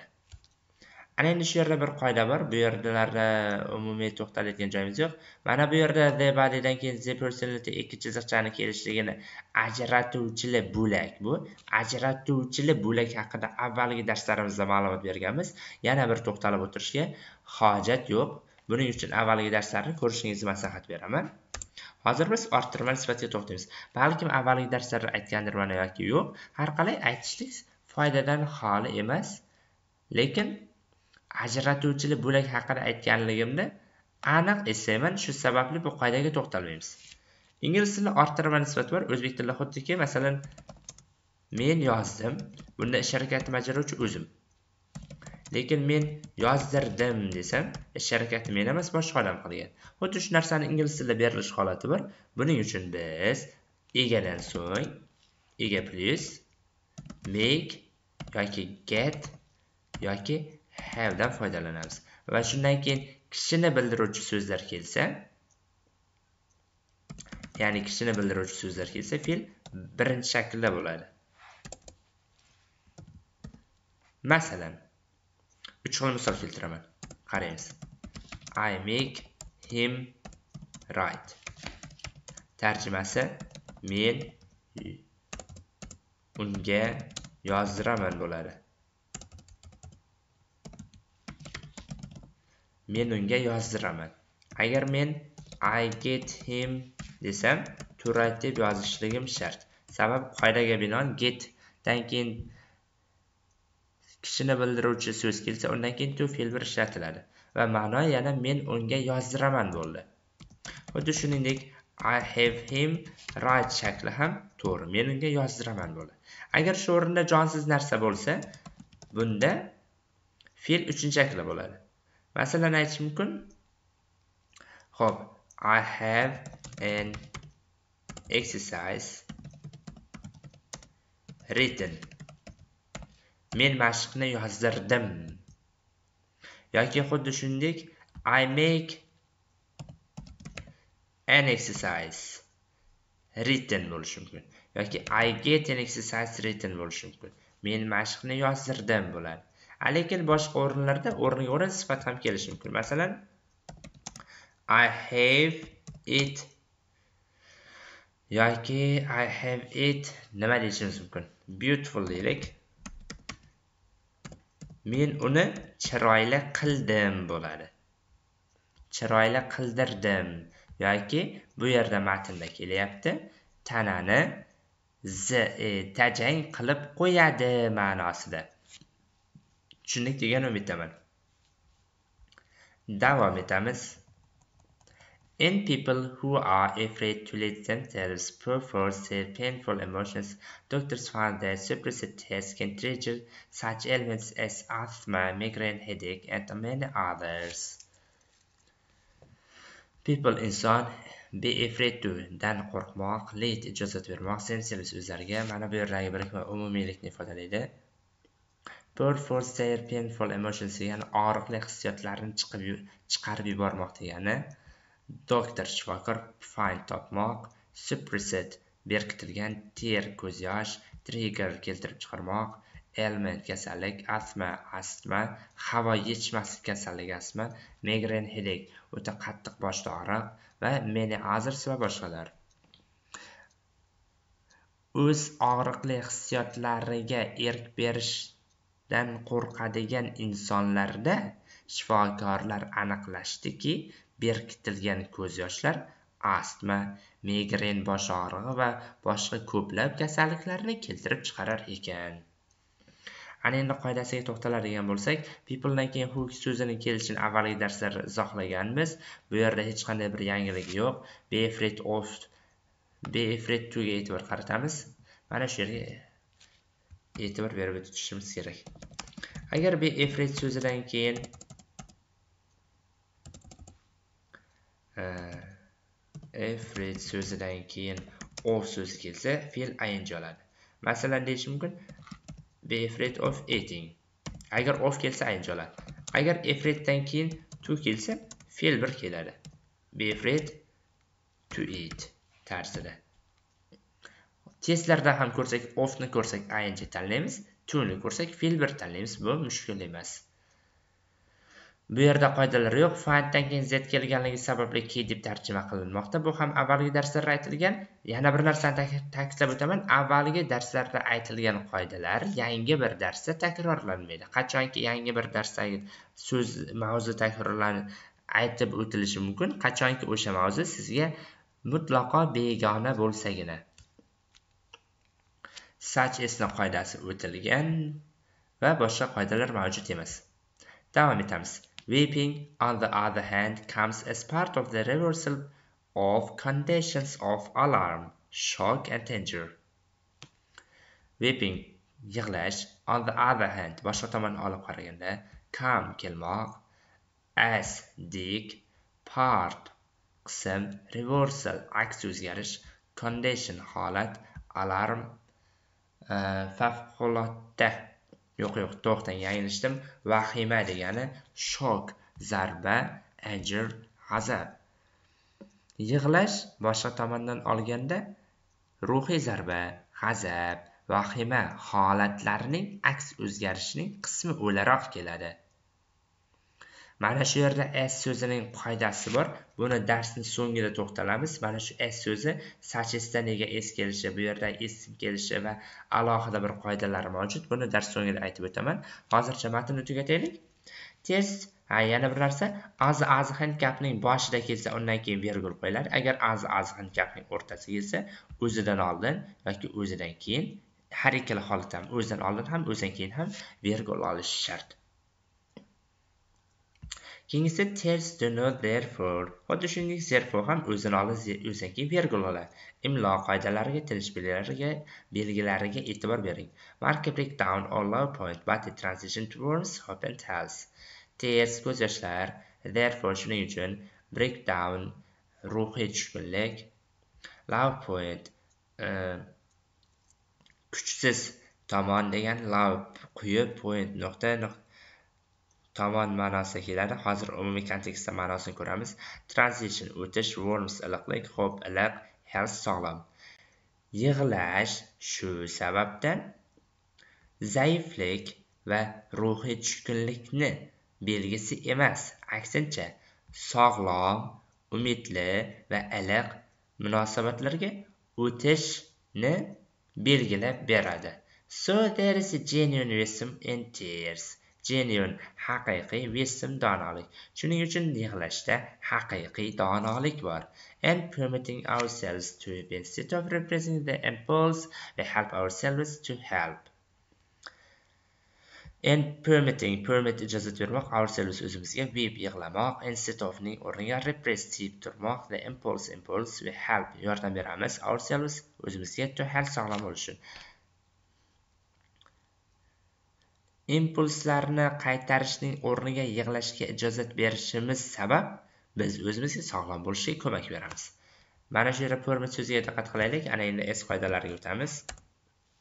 Permit so'zidan keyin matnda e'tibor bergan bo'lsak ourselves shaxsni bildiruvchi so'z keldi.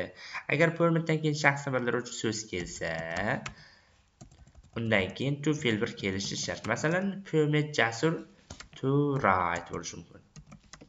Bu yerda jasur shaxsni bildiruvchi so'z yoki xullasi to'ldiruvchi permitdan keyin to'ldiruvchi kelsa undan keyin fe'lning to plus fe'l bir shakli ishlatilishi shart bu muhim qoida. Ana endi as so'zining ishlatilishiga o'tamiz. As so'zi qanday ma'nolarda keladi? Birinchi ma'no. As so'zi ikki zamonni bog'lab payt holi vazifasida keladi. Buni balkim eshitgandirsiz yoki yo'q bilmayman. Agar yangi bo'lsa siz uchun manfaatli bo'ladi. Agar eski qoida bo'lsa siz uchun takrorlash bo'ladi. Endi qaraymiz. As so'zi da paytda ma'nosida keladi. As so'zi da paytda ma'nosida kelib o'zidan keyin ham har doim past continuous zamon oladi. Masalan aytish mumkin as it was raining. Raining I was sleeping. Men yomg'ir yog'ayotgan vaqtda uxlayotgan edim. Yoki aytish mumkin as it was raining I fell down. Yomg'ir yog'ayotgan vaqtda men yiqilib tushdim. Ana endi shu yerda yoddan chiqarmaslik kerak. As so'zidan so'ng har doim past continuous zamoni keladi. Undan ortiq zamon kelishi ham kerak emas va boshqa zamonning kelishi ham xato sanaladi. Endi keyingisiga e'tibor beramiz. As so'zi dik ma'nosida keladi. Va o'zidan so'ng past simple talab qiladi. Masalan aytish mumkin. As above. Tarjimasi yuqorida aytganimdek e'tibor bering as so'zidan so'ng past continuous zamoni keldi u da paytda deb tarjima qilindi. As so'zidan so'ng past simple zamoni keldi. U endilikda boshqacha dik tarjimasini bermoqda.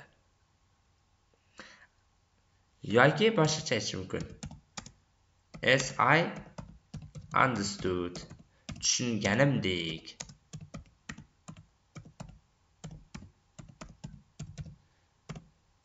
Tushunganimdek. Ana endi uchinchi qoida. As so'zidek deb tarjima qilinadi. Va o'zidan so'ng ot va otni birikmalar oladi. Masalan deyish mumkin?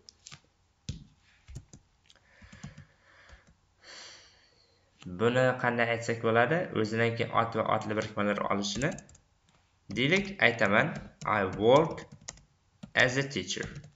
Men o'qituvchi bo'lib ishlayman. Yoki o'qituvchidek ishlayman. Mana shu yerda o'zi aslida dik ma'nosini beradi. O'zbekchaga tarjima qilganda tarjimada o'qituvchi sifatida ishlayman. Yoki dik sifatida singari deb tarjima qilishimiz mumkin va bu o'rinda undan so'ng ot va otli birikmalar kelishi kerak. Otli yoki ot birikmalar. Va s so'zining bundan boshqa qoidalari ham mavjud. Buni inshaalloh kelgusi darslarda birgalikda o'rganamiz. Hozir esa shunchasini o'rganishlik yetadi. Aslida s so'zining bundanda ko'p qoidasi bor. Hozircha to'xtalmaymiz. Shunday qilib bugungi matn o'z qaysi ketdi agar sizga video manzur kelgan bo'lsa kanalga obuna bo'lishni yoki kanalimiz yonidagi obuna bo'lish yoki podpisatsiya tugmachasini bosib qo'yishni unutmang. Va ushbu kitob asosida dars qilayotgan do'stlaringizga ham videoning o'zi yoki videodagi ma'lumotlari yoqadigan bo'lsa shu do'stlaringizga ham taklif qilishingizni so'rab qolgan bo'lardik. Sababi bu video darslar o'quv markaziga borishga sharoiti yo'q bo'lgan o'quvchilar uchun tashkillashtirilgan yoki o'qituvchisiz mustaqil o'rganishlikni niyat qilgan o'quvchilar uchun va bu kitob asosi dars o'tmayotgan o'quvchilar uchun ham mo'ljallangan. Har qalay bu narsa siz uchun ham men uchun ham barchamiz uchun ham foydadan xoli emas.